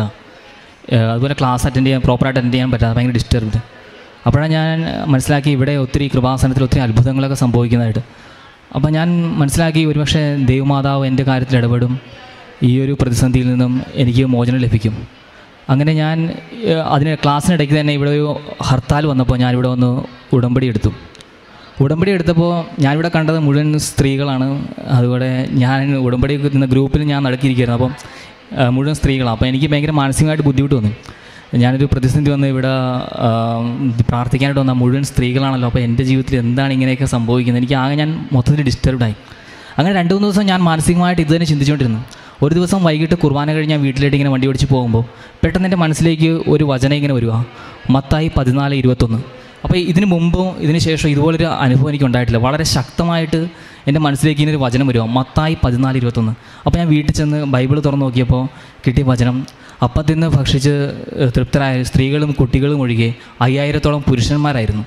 അപ്പോൾ എനിക്ക് ഭയങ്കര വലിയ ആശ്വാസം. ഞാനിത് സ്ത്രീകളാണല്ലോ മൊത്തം ഇവിടെ നിന്ന് ഓർത്ത് വളരെ ദുഃഖിച്ച്. പിന്നെ എനിക്കുണ്ടായ ദുരനുഭവത്തെ ഓർത്ത് ദുഃഖിച്ചിരുന്നപ്പോഴാണ് ഇങ്ങനൊരു വചനം എനിക്ക് കിട്ടുന്നത്. അപ്പോൾ എനിക്ക് മനസ്സിലായ ദൈവം എന്റെ കാര്യത്തിൽ ശ്രദ്ധാലുവാണ്. ഇവിടെ ശരിക്കും ദൈവമാതാവ് പ്രത്യക്ഷപ്പെടാണ് ഇവിടെ ഉടമ്പടിയെല്ലാം കറക്റ്റാണ് എന്നെനിക്കൊരു വിശ്വാസം ഉണ്ടായി കാരണം ഞാൻ ഒരിക്കലും മെഴുകുതിരി കത്തിച്ച് പ്രാർത്ഥിച്ചൊരു ശീലം എനിക്കില്ല. അപ്പോൾ ഈ മെഴുകുതിരി കത്തിച്ച് വെച്ചേക്കാൻ പ്രാർത്ഥനയും കണ്ടപ്പോൾ എനിക്കതങ്ങ് വിശ്വാസത്തിൽ എനിക്കൊരു വലിയൊരു ചോദ്യമായിരുന്നു ഇതൊക്കെ ശരിയാണോ എന്ന് പക്ഷേ ഈ ഒരു അനുഭവത്തോട് എനിക്ക് വിശ്വാസത്തിൽ കൂടുതൽ ഉറയ്ക്കാനും അതിനുശേഷം ഞാൻ ഉടമ്പടി പാലിച്ചു വരികയും ചെയ്തു. പലപ്പോഴും എനിക്കുണ്ടായ അനുഭവം എന്ന് വെച്ച് കഴിഞ്ഞാൽ കൃത്യം അഞ്ചരയാകുമ്പോൾ അല്ലെങ്കിൽ അഞ്ച് അതിന് മുമ്പായിട്ട് തന്നെ അഞ്ചരയ്ക്ക് മുമ്പായിട്ട് തന്നെ ആരോ വിളിച്ചെഴുന്നേപ്പിക്കുന്ന പോലെ എല്ലാ ദിവസവും എഴുന്നേറ്റ് ഞാൻ കൃത്യമായിട്ട് ഉടമ്പടി പ്രാർത്ഥന ചെല്ലുമായിരുന്നു. അതൊരു വലിയ അത്ഭുതമാണ് കാരണം എനിക്ക് നേരത്തെ രാവിലെ എഴുന്നേൽക്കുന്ന ശീലമൊന്നും അത്ര കൃത്യമായിട്ടില്ല. പക്ഷേ ഉടമ്പടി എഴുത്തിന് ശേഷം ഇതൊരു അത്ഭുതമായിട്ട് ഉടമ്പടി കാലഘട്ടം മുഴുവൻ എനിക്കുണ്ടായിരുന്നു. പിന്നെ എന്റെ ഭാര്യയ്ക്ക് ഭയങ്കര മുടി കൊഴിച്ചിലായിരുന്നു. അപ്പം മുടി മുറി നിറച്ച് മുടിയാണ് എപ്പോഴും നോക്കുമ്പോൾ അടിച്ചു വരുമ്പോഴും മുറി. അപ്പോൾ ഞാൻ ഭാര്യയോട് പറഞ്ഞൊരു കാര്യം ചെയ്യും ഉടമ്പടി തൈലം തലയിൽ പുരട്ടി പ്രാർത്ഥിക്കും. അതിന്റെ ഫലമായിട്ട് ഭാര്യയുടെ മുടി കൊഴിച്ചിൽ പൂർണമായിട്ടും നിലച്ചു എന്ന് തന്നെ പറയാം. പിന്നെ എനിക്കെന്റെ കാലിൽ ഒരു ഫംഗൽ ഇൻഫെക്ഷൻ ഉണ്ടായിരുന്നു. ഫംഗസായിട്ട് ഭയങ്കര വല്ലാത്തൊരു ദുരവസ്ഥയായിരുന്നു ചൊറിച്ചിലും ഉണ്ടായിരുന്നു. ഞാൻ ഉടമ്പടി തൈലം പുരട്ടി പ്രാർത്ഥിച്ചതിന്റെ ഫലമായി അത് പൂർണമായിട്ടും സൗഖ്യപ്പെട്ടു. ഞാൻ ഒരൊറ്റ പ്രാവശ്യം പുരട്ടിയുള്ളൂ. അതോടുകൂടി പൂർണമായിട്ടും ആ ഫംഗൽ ഇൻഫെക്ഷൻ മാറിക്കിട്ടി. പിന്നെ എന്റെ കുഞ്ഞിന്റെ മാമോദീസ സമയത്ത് മാമോദീസ നിശ്ചയിച്ച സമയത്ത് പെട്ടെന്ന് കലശലായ ഒരു പനി വരികയും ആശുപത്രിയിൽ അഡ്മിറ്റ് ആവുകയും ചെയ്തു. അതുകൂടാതെ തന്നെ തലതൊട്ടപ്പനും തലതൊട്ടമ്മയായിട്ട് നേരി ആകാമെന്ന് പറഞ്ഞിരുന്നവർക്കും പെട്ടെന്ന് വലിയൊരു ബുദ്ധിമുട്ട് വന്ന് അവർക്കും വരാൻ പറ്റാത്തൊരവസ്ഥ. അപ്പോൾ ഞാൻ എനിക്ക് മനസ്സിലായത് എന്തുകൊണ്ടാണ് ഇങ്ങനെ സംഭവിക്കുന്നത്? ഞാൻ ഉടനെ ഉടമ്പടി പുതുക്കാൻ വന്നപ്പോൾ ഈ ഒരു നിയോഗം മാതാവിന് സമർപ്പിച്ചു. പിന്നീട് അധികം താമസിയാതെ തന്നെ ദൈവിഷ്ടപ്രകാരം വളരെ ലളിതമായി ദൈവഹിത പ്രകാരമുള്ള മാ ആ, തലോട്ടമ്മനും തലോട്ടമ്മനും കിട്ടി എന്റെ കുഞ്ഞിന്റെ മാമോദിസ് നടത്തുവാൻ സാധിച്ചു. പിന്നെ ഞാൻ എന്റെ കുറച്ചാൾ എന്റെ ഭാര്യയുടെ വീട്ടിലായിരുന്നു. അപ്പോൾ അവിടെ പച്ചക്കൃഷി ഉണ്ടായിരുന്നു. അപ്പോൾ ഈ സാധാരണ മരുന്ന് കളിക്കുക ചെയ്യുന്നത് മരുന്ന് കളിക്കുമ്പോൾ കുഞ്ഞിനൊരു ബുദ്ധിമുട്ടുണ്ടാകുന്നതുകൊണ്ട് ഞങ്ങൾ ചോദിച്ചു. ചോദിച്ചതിന്റെ ഫലമായി ഞങ്ങൾ ഉടമ്പടി ഉപ്പ് വെള്ളത്തിൽ കലക്കി മരുന്നിന് പകരമായിട്ട് ഉപയോഗിച്ചു. അതിന്റെ ഫലമായിട്ട് ആ പച്ചക്കൃഷിയിലുള്ള കീടബാധയൊക്കെ മാറിക്കിട്ടി. പിന്നെ ഞാൻ ഉടമ്പടി എടുത്തത് രണ്ടായ നവംബർ ഏഴ് രണ്ടായിരത്തി പതിനെട്ടിനാണ് അതിനുശേഷം ഇപ്പോൾ രണ്ട് വർഷവും അഞ്ച് മാസവുമായി. ഞാൻ നേരത്തെ സൗദി അറേബ്യയിലായിരുന്നു ഞാൻ ജോലി വിട്ടിട്ട് വന്ന് അതിനുശേഷം ഞാൻ കോഴ്സ് ചെയ്യുന്ന സമയത്താണ് ഞാൻ ഇവിടെ വന്ന് ഉടമ്പടി എടുത്തത്. ഉടമ്പടി എടുത്തതിന് ശേഷം ഇപ്പോൾ രണ്ട് വർഷവും അഞ്ച് മാസമായി എനിക്ക് ജോലിയില്ല. ഇതിനിടയ്ക്ക് എന്റെ ഭാര്യയ്ക്ക് ഒരു മൂന്ന് മാസത്തേക്ക് ഒരു ചെറിയ ജോലി കിട്ടിയെന്നല്ലാതെ ഞങ്ങൾക്ക് രണ്ടുപേർക്കും ജോലിയില്ല. ഞങ്ങൾ വാടക വീട്ടിലാണ് താമസിക്കുന്നത്. എനിക്ക് ഒമ്പതിനായിരം രൂപ വാടകയുണ്ട്. എനിക്ക് ഇതിനിടയ്ക്ക് രണ്ട് കുട്ടികൾ ജനിച്ചു. പക്ഷേ ദൈവകൃപയാൽ ഇതുവരെ ഒരു കുഴപ്പം ഒരു കുഴപ്പമില്ലാതെ ഞങ്ങളുടെ ജീവിതം മുന്നോട്ട് തന്നെ പോകുന്നു. ദൈവത്തിന് ഒരായിരം നന്ദി. കരങ്ങളടിച്ച് നമുക്ക് കർത്താവിനെ മഹത്വപ്പെടുത്താം. ചേർത്തലയിൽ നിന്ന് ജോഷി തോമസ് എന്ന സഹോദരൻ വലിയ വലിയ സാക്ഷ്യങ്ങളാണ് കൃപാസന അൾത്താരെ മുമ്പിൽ അമ്മയുടെ മധ്യസ്ഥതയിൽ ഈ മകന് ലഭിച്ചു എന്ന് സാക്ഷ്യപ്പെടുത്തിയത്. ഒന്നാമതായിട്ട് ഈ മകൻ ഒരു ജീവിത പ്രതിസന്ധി ഘട്ടത്തിലാണ് കൃപാസനം എല്ലാവരെയും പോലെ തന്നെ കൃപാസനം എന്ന അമ്മ സന്നിധാനത്തിലേക്ക് നീന്തി കയറുന്നത്. അമ്മ ഈ മകനെ സ്വന്തമായി ഏറ്റെടുത്തു എന്നതിന് വലിയൊരു സാക്ഷ്യമായിട്ട് ഈ മകൻ ബൈക്കിൽ സഞ്ചരിച്ചുകൊണ്ടിരിക്കുമ്പോൾ അമ്മ ഒരു വചനവും കൊടുത്തു. മത്തായി പതിനാല് ഇരുപത്തിയൊന്ന് തിരുവചനം. അതായത് അമ്മ ഈ മകനെ കൃപാസനത്തിലോട്ട് വിളിച്ചിട്ടാണ് ഈ മകൻ കൃപാസനത്തിൽ വന്നിരിക്കുന്നതെന്നും നിന്റെ എല്ലാ വിഷയങ്ങളും അമ്മയുടെ നിയന്ത്രണത്തിലാണ് ഇനി നടക്കാൻ പോകുന്നതെന്നുള്ള വലിയൊരു തെളിവായിട്ടായിരുന്നു ആ വചനം കൊടുത്തത്. പിന്നീട് മകൻ പറഞ്ഞു എനിക്ക് ഇങ്ങനെ മെഴുകുതിരി കത്തിച്ചുള്ള പ്രാർത്ഥനയൊന്നും വലിയ വിശ്വാസമൊന്നും ഉണ്ടായിരുന്നില്ല എന്ന് പറഞ്ഞു. പക്ഷേ അമ്മ ആ മനോഭാവമൊക്കെ മാറ്റി ഈ മകനെ വിശദീകരിച്ചു സ്വന്തം ദൈവ പൈതലാക്കി മാറ്റി കുടുംബത്തിൽ രണ്ട് കുഞ്ഞുങ്ങളെ നൽകി പരിശുദ്ധമ്മ അനുഗ്രഹിച്ചു. ഈ ജോലി ഇല്ലാതെ കാലഘട്ടത്തിൽ പോലും അജ്ഞാതമായ മന്ന കൊണ്ട് പരിശുദ്ധ അമ്മ ഈ കുടുംബത്തെ തീറ്റിപ്പോറ്റി ഒപ്പം തന്നെ ഉടമ്പടിയിലെ നേർച്ച വസ്തുക്കൾ ഉപയോഗിച്ചത് വഴി ഉടമ്പടി തൈലം ഉപയോഗിച്ചപ്പോൾ ഓൺ ദ സ്പോട്ട് ഭാര്യയുടെ മുടികൊഴിച്ചിൽ നിന്നു. അതുപോലെ തന്നെ ഈ മകന്റെ ഫംഗൽ ഇൻഫെക്ഷൻ പൂർണമായിട്ട് മാറി എന്ന് പറഞ്ഞു. അതുപോലെ തന്നെ വലിയൊരു വിചിത്രമായിട്ടൊരു സാക്ഷിയാണ് പറഞ്ഞത്. കുഞ്ഞി കൊച്ചുള്ളതുകൊണ്ട് വൈഫിന്റെ വീട്ടിൽ കൃഷി നടത്തുന്നുണ്ടായിരുന്നു. അപ്പോൾ സാധാരണ കൃഷിക്കാർ ആൾക്കാരൊക്കെ സാധാരണ കീടനാശിനികളാണ് ഉപയോഗിക്കുന്നത്. കീടത്തിനെതിരെ പ്രയോഗിക്കാൻ വേണ്ടിയിട്ട്. അപ്പോൾ കുഞ്ഞുള്ളത് കൊണ്ട് ഇവർ തീരുമാനിച്ചു കൃപാസനത്തിലെ വെഞ്ചിരിച്ച ഉടമ്പടി ഉപ്പ് ഉപയോഗിച്ചാൽ മതി ഇതെല്ലാം മാറുമെന്ന്. എങ്ങനെയായിരുന്നു ആ അനുഭവം? ഒന്ന് പറയാമോ? ഞങ്ങൾ ചെന്ന ഉടനെ തന്നെ ഞങ്ങൾ അവിടെ നിന്നപ്പോൾ തന്നെ ഇങ്ങനെ പപ്പ ഇങ്ങനെ മരുന്ന് കളിക്കാൻ തുടങ്ങി. അപ്പോൾ ഞാൻ ഓർത്ത് ഇവിടെ നിൽക്കാൻ പറ്റത്തില്ല ഇങ്ങനെ ഒരു പ്രതിസന്ധി ആണല്ലോ എന്ന് ഓർത്ത്. അപ്പോൾ ഞാൻ ചോദിച്ചു ഒരു കാര്യം ചെയ്യാമോ ഇങ്ങനെ എന്റെ കൃപാസനത്തിൽ ഉപ്പുണ്ട് നമുക്ക് ഈ തളിക്കാമെന്ന്. അപ്പോൾ അദ്ദേഹം തന്നെ ഉടനെ മരുന്നിന്റെ കീടനാശിനിയുടെ ആ ഒരു ബോട്ടിൽ കൊണ്ടുവന്നിട്ട് ആ സ്പ്രേ ചെയ്യുന്ന ആ സാധനം കൊണ്ടിട്ട് അതിനകത്ത് ഞങ്ങൾ പ്രാർത്ഥിച്ച് ഉപ്പിട്ടു. അതിനകത്ത് വെള്ളമൊഴിച്ച് പിന്നെ ഞങ്ങൾ മിക്സ് ചെയ്ത് കീടനാശിനിക്ക് ഒരു കീടനാശിനി അടിക്കുന്ന പോലെ തന്നെ മൊത്തം തളിച്ച് ഞാൻ പ്രാർത്ഥിച്ചു. ദൈവാനുഗ്രഹത്താൽ കീടബാധ മാറിക്കിട്ടി. കരകളടിച്ച് നമുക്ക് കർത്താവിനെ മഹത്വപ്പെടുത്താൻ കുടുംബത്തിലെ എല്ലാ വിഷയങ്ങളും ഉടമ്പടി അർച്ചവസ്തു വഴി അതുപോലെ തന്നെ ഈ കൃപാസനത്തിൽ വന്നുള്ള പ്രാർത്ഥന വഴിയാണ് ഈ മകനെ നടന്നു കിട്ടിയത്. തുടർന്ന് നല്ലൊരു ജോലി. ഈ മകനെ കംപ്ലീറ്റ് വിശുദ്ധീകരിച്ച് ശക്തീകരിക്കാനായിരുന്നു. ദൈവമായ കർത്താവ് ഓരോരോ വിഷയങ്ങളിലൂടെ ഈ മകനെ നടത്തിക്കൊണ്ടുപോയി. കൃപാസനത്തിൽ അമ്മ സന്നിധാനത്തിൽ അഭയം പ്രാപിച്ച് തുടർന്നും കൃപയിലായിരിക്കുക. കാരണം വലിയ കൃപയാണ് വീണവരോടും എല്ലാം പരിശുദ്ധ അമ്മ കാണിക്കുന്നത്. അതേ കൃപയിൽ നിലനിന്ന് നമുക്ക് നിത്യജീവൻ വരെ സ്വന്തമാക്കാൻ നമ്മളെ സഹായിക്കുന്ന പ്രാർത്ഥനയാണ് ഉടമ്പടി പ്രാർത്ഥന. ഒപ്പം തന്നെ ഈ മകന്റെ സാക്ഷ്യം വെളിവാക്കുന്നത് വലിയൊരു കാര്യമാണ് ഉടമ്പടി എന്ന് പറയുന്നത്. ദൈവിക സംരക്ഷണം ഉറപ്പുവരുത്തുന്ന പ്രാർത്ഥനയാണ്. കുടുംബത്തിലുടനീളം ആ സംരക്ഷണം ഈ ഉടമ്പടി പ്രാർത്ഥന വഴി കുടുംബത്തിന് ലഭിച്ചു. ഒരിക്കൽ കൂടി കരങ്ങളടിച്ച് നമുക്ക് കർത്താവിനെ മഹത്വപ്പെടുത്താം. ഹാലലൂയ ഹാലലൂയ യേശുവേ നന്ദി. യേശുവേ സ്തോത്ര. യേശുവേ ആരാധന.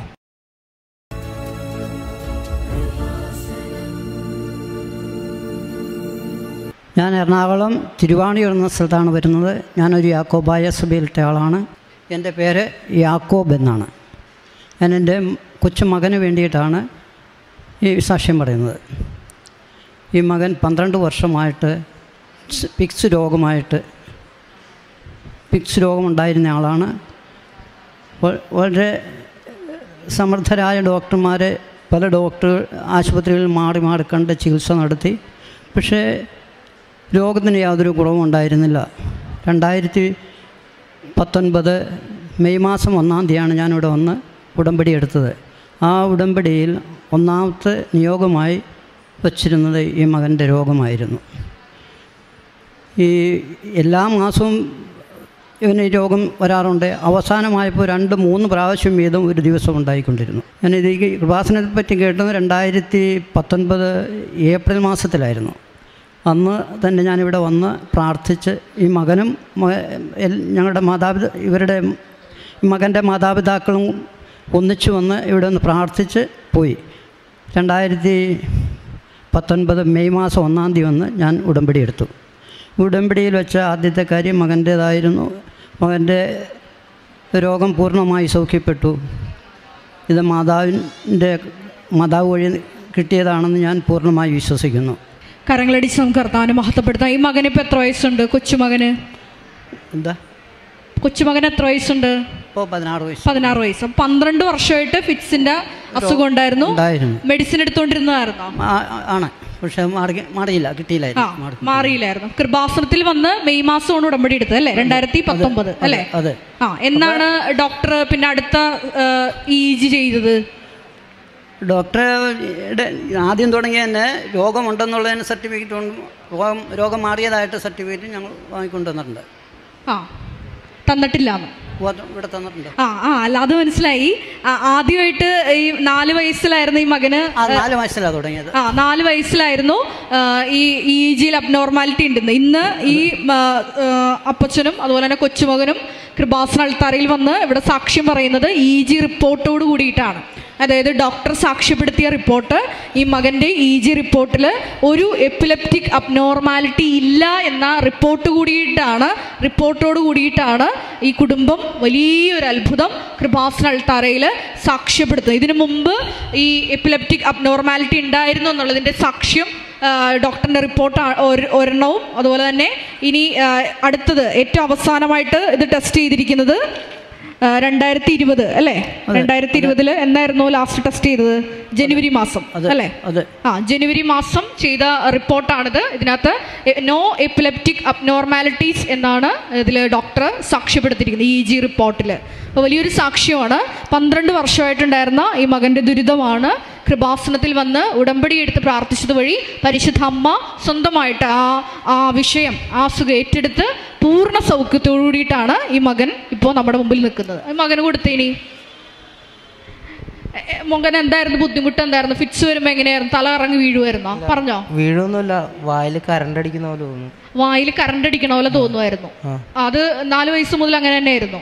നാലാമത്തെ വയസ്സിൽ എനിക്ക് ഞാൻ വരാറ് ആ അങ്ങോട്ട് നോക്കി പറഞ്ഞു നാലാമത്തെ വയസ്സിൽ ഞാൻ കിടന്നുറങ്ങുമ്പോൾ എനിക്ക് അറിയാതെ വരുന്നതായിരുന്നു. അത് കഴിഞ്ഞിട്ട് കുറച്ച് വലുതായപ്പോഴത്തേക്കും ബോധാവസ്ഥയിൽ ഞാനിങ്ങനെ പകലിങ്ങനെ ഇരിക്കുമ്പോഴും ക്ലാസ്സിൽ ക്ലാസ്സിലൊക്കെ ഇരിക്കുമ്പോൾ ഇടയ്ക്ക് ഇടയ്ക്ക് വരാറുണ്ടായിരുന്നു.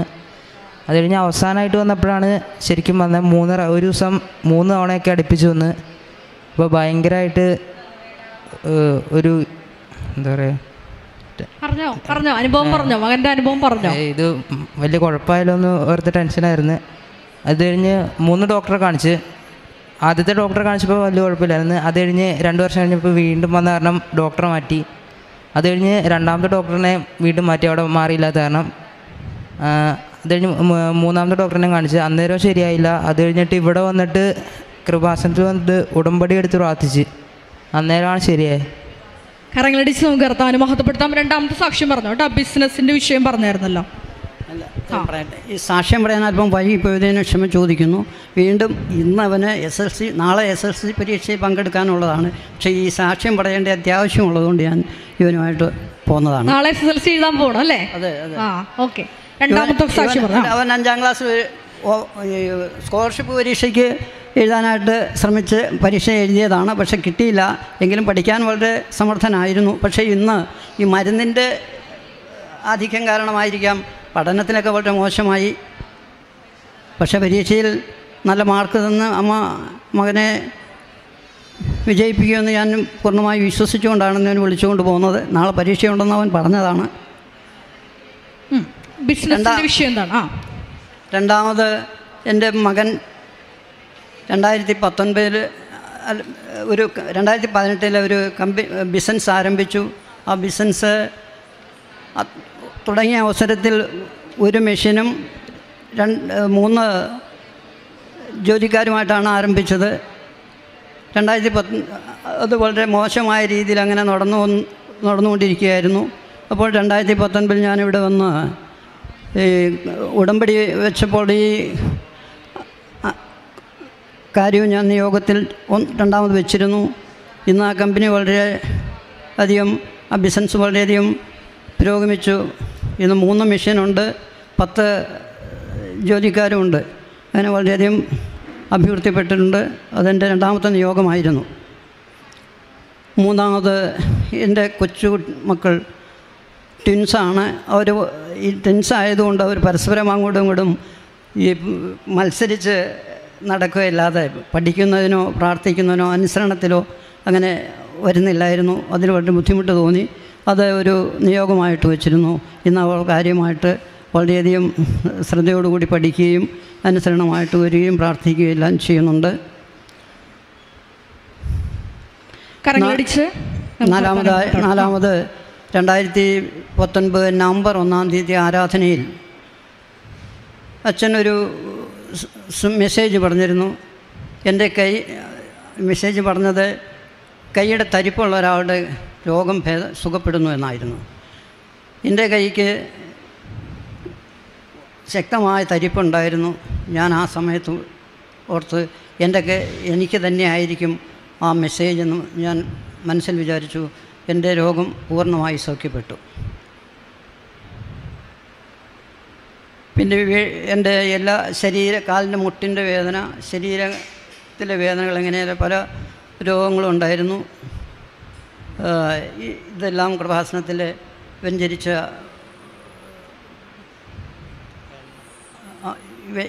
എല്ലാ വസ്തുക്കളും ഉപയോഗിച്ചാണ് ഈ രോഗസൗഖ്യം കിട്ടിയത് ഞാൻ പൂർണമായി വിശ്വസിക്കുന്നു. കരങ്ങളടിച്ച് നമുക്ക് കർത്താൻ മഹത്വപ്പെടുന്ന വലിയ സാക്ഷ്യങ്ങളാണ് ഈ കുടുംബത്തിന് കൃപാസനത്തിൽ വന്ന് ഉടമ്പടി എടുത്ത് പ്രാർത്ഥിച്ച വഴി ലഭിച്ചത്. ഒന്നാമതായിട്ട് പന്ത്രണ്ട് വർഷമായിട്ടുള്ള മകന്റെ ഫിറ്റ്സ് അതുപോലെ ബിസിനസ്സിലെ അഭിവൃദ്ധി അതുപോലെ തന്നെ കുഞ്ഞുങ്ങളുടെ എല്ലാ വിഷയങ്ങളും പരിശുദ്ധ അമ്മ പ്രത്യേകമായിട്ട് ഇടപെട്ട് വിഷയങ്ങളെല്ലാം പരിഹരിച്ചു. അതുപോലെ തന്നെ വ്യക്തിപരമായിട്ടുള്ള ഒരു അനുഭവം കൃപാസനത്തിൽ വന്ന് ഉടമ്പടി എടുത്ത് പ്രാർത്ഥിച്ച വഴി ഈ അപ്പച്ചനും കിട്ടി. ആ തരിപ്പ് അത് ബഹുമാനപ്പെട്ട ജോസഫ് അച്ഛന്റെ സന്ദേശം പറഞ്ഞു. ഈ എനിക്കാണെന്ന് അത് പൂർണമായിട്ട് വിശ്വസിച്ച് പ്രാർത്ഥിച്ചു. അത്ഭുതകരമായിട്ട് സൗഖ്യം കിട്ടി. എല്ലാ അനുഗ്രഹങ്ങൾക്കും നന്ദി പറഞ്ഞുകൊണ്ട് ഒരിക്കൽ കൂടി നമുക്ക് കരങ്ങളടിച്ച് കർത്താവിനെ മഹത്വപ്പെടുത്താം. ഹാലലൂയ ഹാലലൂയ ഹാലലൂയ യേശുവി നന്ദി യേശുവി. സ്തോത്രം യേശുവി ആരാധന.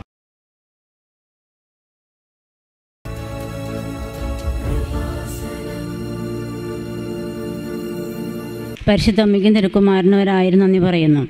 രണ്ട് എന്റെ പേര് എൽസി വീട് താന്നിപ്പുഴ. രണ്ടായിരത്തി പത്തൊമ്പതിലാണ് ഞാൻ ആദ്യമായി ഇവിടെ വന്ന് ഉടമ്പടി എടുത്തത്.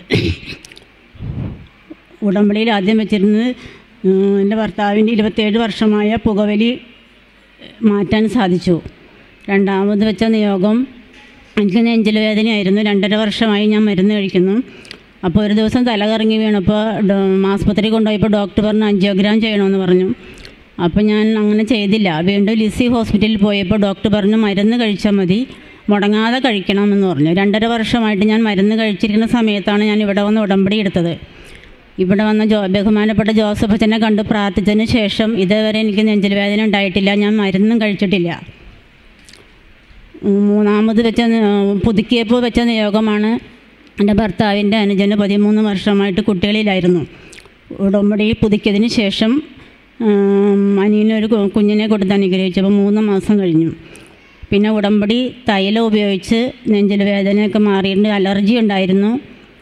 ഒത്തിരി മരുന്നുകൾ കഴിച്ചിട്ടൊന്നും മാറുന്നുണ്ടായിരുന്നില്ല. പിന്നെ ഉടമ്പടി തൈലം ഉപ്പും എല്ലാം കഴിച്ചതിന് ശേ ഉപയോഗിച്ചതിന് ശേഷം അലർജി എല്ലാം പൂർണമായിട്ടും സൗഖ്യപ്പെട്ടു യേശുവേ നന്ദി. യേശുവേ സ്തോത്രം. യേശുവേ ആരാധന. കരങ്ങളടിച്ച് നമുക്ക് കർത്താവിനെ മഹത്വപ്പെടുത്താൻ വലിയൊരു സാക്ഷിയാണ് ഈ അമ്മ പങ്കുവെച്ചത്. താന്നിപ്പുഴയിൽ നിന്ന സഹോദരി. ഭർത്താവിന്റെ ഇരുപത്തിയേഴ് വർഷമായിട്ടുള്ള പുകവലി ശീലം. അപ്പം ഞാൻ ചോദിച്ചു ഇപ്പം എത്ര നാളായിട്ട് പുകവലി ഇല്ല? എന്ന് ചോദിച്ചപ്പോൾ എന്നോട് പറഞ്ഞു അല്ലേ രണ്ട് വർഷമായിട്ടല്ലേ രണ്ടര വർഷം. ഇവിടെ വന്നതിന് ഇവിടെ വന്ന് കാൽ കുത്തിയതിന് ശേഷം ഇത് വലി- വലിച്ചിട്ടില്ല. പുക വലിച്ചിട്ടില്ല വലിയൊരു അത്ഭുതമാണല്ലേ? അമ്മ നേരിട്ട് പ്രവർത്തിച്ചുണ്ടോ രണ്ടര വർഷമായിട്ട് ഇരുപത്തിയേഴ് വർഷമായിട്ടുണ്ടായിരുന്ന പുകവലിയാണ് ഇപ്പോൾ രണ്ടര വർഷമായിട്ട് ഹസ്ബൻഡ് പുക വലിച്ചിട്ടില്ലെന്ന് പറഞ്ഞു. രണ്ടാമതായിട്ട് ബഹുമാനപ്പെട്ട ജോസഫ് അച്ഛന്റെ കൈവപ്പ് ശുശ്രൂഷ വഴി ഹാർട്ടിൽ ബ്ലോക്ക് ഉണ്ടായിരുന്നു. അതിന് മെഡിസിൻ എടുത്തുകൊണ്ടിരുന്നായിരുന്നു ഈ മകൾ. അച്ഛന്റെ കൈവപ്പ് ശുശ്രൂഷ ലഭിച്ചതിന് തുടർന്ന് തുടർന്ന് തുടർന്ന് അങ്ങോട്ട് ഈ മകൾക്ക് ആ നെഞ്ചുവേദന പൂർണമായിട്ട് മരുന്ന് കഴിച്ചില്ലെങ്കിൽ ഭയങ്കര വിഷമായിരുന്നു ഇപ്പം മരുന്ന് എടുക്കുമ്പോൾ കഴിക്കാൻ പറ്റണില്ല. എല്ലാ അനുഗ്രഹങ്ങൾക്കും നന്ദി പറഞ്ഞുകൊണ്ട് ഒരിക്കൽ കൂടി നമുക്ക് അരങ്ങളടിച്ച് കർത്താവിനെ മഹത്വപ്പെടുത്താം. ഹാലലൂയ ഹാലലൂയ ഈശ്വി നന്ദി യേശുവി സ്തോസ്ത്രീ ഈശ്വി ആരാധന. മഹത്വം മഹത്വം ആരാധന ആരാധന.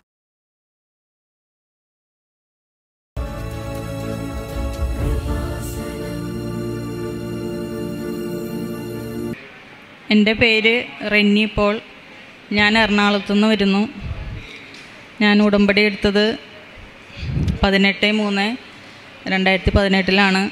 എന്റെ മകൻ മാത്യു പോളിന് വേണ്ടിയാണ് ഞാൻ ഉടമ്പടി എടുത്തത്. അവന് നല്ലൊരു ജോലി കിട്ടുന്നതിന് വേണ്ടിയാണ് ഞങ്ങൾ ഉടമ്പടി എടുത്തു കഴിഞ്ഞ് ഇവിടെ വന്ന് ഉടമ്പടി പ്രാർത്ഥനയിലൊക്കെ പങ്കെടുത്തു കഴിഞ്ഞപ്പോൾ അവന് ഓസ്ട്രേലിയയിൽ പഠിക്കാൻ പോകണമെന്ന് തോന്നി. അങ്ങനെ ഞങ്ങൾ ഉടമ്പടി പുതുക്കിയപ്പോൾ ആ നിയോഗം വെച്ചു. ഞങ്ങൾക്ക് കുറേ ഉടമ്പടി വെച്ച എല്ലാ നിയോഗങ്ങളും സാധിച്ചു കിട്ടി. ആദ്യമായിട്ട് തന്നെ ഉടമ്പടി എടുത്ത് ഒരു വർഷത്തിനുള്ളിൽ എന്റെ മകന് ഓസ്ട്രേലിയയിൽ പോകാൻ പറ്റി. രണ്ടാമതായിട്ട് ഐ എൽ ടി എസ് നല്ല സ്കോറോടുകൂടി പാസ്സായി. മൂന്നാമതായിട്ട് നല്ലൊരു യൂണിവേഴ്സിറ്റിയിൽ അഡ്മിഷൻ ലഭിച്ചു. പിന്നെ ബാങ്ക് ലോണും വിസയും എല്ലാം മാതാവ് കറക്റ്റ് സമയത്തിനുള്ളിൽ ശരിയാക്കി തന്നു. പിന്നെ എന്റെ മകൾ പ്ലസ് ടുവിന് നല്ല മാർക്കോടുകൂടി പാസ്സായി. മംഗലാപുരത്ത് ഫിസിയോതെറാപ്പിക്ക് അഡ്മിഷൻ കിട്ടി. പിന്നെ എന്റെ ഭർത്താവിന് ഇരുപത്തഞ്ച് വർഷമായിട്ടുണ്ടായിരുന്ന പുകവലി ശീലം മാതാവ് മാറ്റിത്തന്നു. മോൻ ഓസ്ട്രേലിയയിൽ പാർട്ട് ടൈം ജോലിയൊന്നും ആദ്യം ലഭിച്ചില്ല. പിന്നെ അതൊരു ഉടമ്പടി വിഷയമായി വെച്ചപ്പോൾ വേഗം പാർട്ട് ടൈം ജോലി കിട്ടി. ഞാൻ ഉടമ്പടി പുതുക്കി കഴിഞ്ഞപ്പോൾ അച്ഛനെ കണ്ടിരുന്നു. അപ്പോൾ ബിസിനസ്സിൽ ഉയർച്ച വേണമെന്ന് അച്ഛനോട് പറഞ്ഞിരുന്നു. അപ്പോൾ അച്ഛൻ ഒരു കാശ് രൂപം വെഞ്ചിരിച്ച് തന്നു. അത് കമ്പനിയിൽ വെച്ചു പ്രാർത്ഥിച്ചു. അപ്പോൾ ധാരാളം ഓർഡറുകളൊക്കെ കിട്ടി. ഇപ്പോഴും ധാരാളം ഓർഡറുണ്ട് ധാരാളം വർക്കുണ്ട്. ഇത്രയും കാര്യങ്ങളൊക്കെ സാധിച്ചു തന്ന മാതാവിനും തിരുക്കുമാരനും ഒരായിരം നന്ദി പറയുന്നു. സാക്ഷ്യം പറയാൻ വൈകിയതിൽ ക്ഷമ യോജിക്കുന്നു ഈ അൾത്താരയിൽ വന്ന് സാക്ഷ്യം പറയാൻ സാധിച്ചതിന് ഒരിക്കൽ കൂടി നന്ദി പറയുന്നു. കരങ്ങളടിച്ച് നമുക്ക് കർത്താവിനെ മഹത്വപ്പെടുത്താം. മകൻ എം ബി ബി എസ് പഠനം പൂർത്തിയാക്കിയ ആളാണ് അല്ലേ? അല്ല ബി ടെക് കഴിഞ്ഞിട്ടാണ് കഴിഞ്ഞിട്ടാണ്. എം എസ് പഠിക്കാനായിട്ട് പോയത്. ഓക്കെ. ഇപ്പോൾ വലിയൊരു സാക്ഷിയാണ്. കാരണം ആ മകന് ചെറിയൊരു ജോലി മാത്രമാണ് ഉണ്ടായിരുന്നത്. അപ്പോൾ കൃപാസനത്തിൽ വന്ന് ഉടമ്പടി എടുത്ത് പ്രാർത്ഥിച്ചതിന്റെ ഫലമായിട്ട് ആ മകന് ഓസ്ട്രേലിയയിൽ ഉപരിപഠനത്തിനായിട്ട് പോകാൻ പരിശുദ്ധമ്മ വഴി തുറന്നു കൊടുത്തു. ഒപ്പം തന്നെ ഇരുപത്തഞ്ച് വർഷമായിട്ടുണ്ടായിരുന്ന ഭർത്താവിന്റെ മദ്യപാനശീലമല്ലേ അല്ലേ? പുകവലി. പുകവലി. ശീലം പൂർണമായിട്ട് മാറിക്കിട്ടി. ഒപ്പം തന്നെ ബഹുമാനപ്പെട്ട ജോസഫ് അച്ഛനെ കണ്ട് പ്രാർത്ഥിച്ചപ്പോൾ ബിസിനസ് മേഖലയിൽ അഭിവൃദ്ധി കിട്ടുന്നതിന് വേണ്ടിയിട്ട് പ്രത്യേകമായിട്ട് പ്രാർത്ഥനാ സഹായം ആവശ്യപ്പെട്ടപ്പോൾ അച്ഛൻ ഒരു വെഞ്ചിരിച്ച കാശ് രൂപം ആ നിയോഗം വെച്ച് പ്രാർത്ഥിച്ച് മകൾക്ക് കൊടുത്തു. അത് വർക്ക്ഷോപ്പിൽ കൊണ്ടുവച്ചപ്പോൾ കൂടുതൽ ഓർഡർ കിട്ടി. ആ മേഖല കർത്താവ് അനുഗ്രഹിച്ചു. വലിയ അനുഗ്രഹമാണ്. കൃപാസനത്തിൽ വന്ന് ഉടമ്പടി എടുത്ത് പാർസിന്റെ ഫലമായിട്ട് കുടുംബത്തിലെ എല്ലാ മേഖലകളെയും സാമ്പത്തിക മേഖല മക്കളുടെ വിദ്യാഭ്യാസം ഹസ്ബൻഡിന്റെ ദുശീലങ്ങളെല്ലാം പരിശുദ്ധമ്മ സ്വന്തമായിട്ട് ഈ ഭവനത്തെ ഏറ്റെടുത്തു. ഇപ്പോൾ സാക്ഷ്യം പറയാൻ വൈകി. അതിന്റെ എന്തെങ്കിലുമൊക്കെ വീട്ടിൽ പ്രകടമായിട്ടുള്ള ബുദ്ധിമുട്ടുകൾ അനുഭവിക്കുന്നുണ്ടാകാം. അതുകൊണ്ടാണ് ആ ക്ഷമാപണം പറഞ്ഞത്. തീർച്ചയായിട്ടും അമ്മ ഈ സാക്ഷ്യം കണക്കിലെടുത്തിട്ടുണ്ട്. നമുക്ക് ഒന്ന് ചേർന്ന് ഈ മകൾ കിട്ടിയ അനുഗ്രഹങ്ങൾ കുടുംബത്തിന് കിട്ടിയ അനുകൾക്ക് നന്ദി പറഞ്ഞുകൊണ്ട് ഒരിക്കൽ കൂടി കരങ്ങളടിച്ച് കർത്താവിനെ മഹത്വപ്പെടുത്താം. Hallelujah hallelujah hallelujah hallelujah hallelujah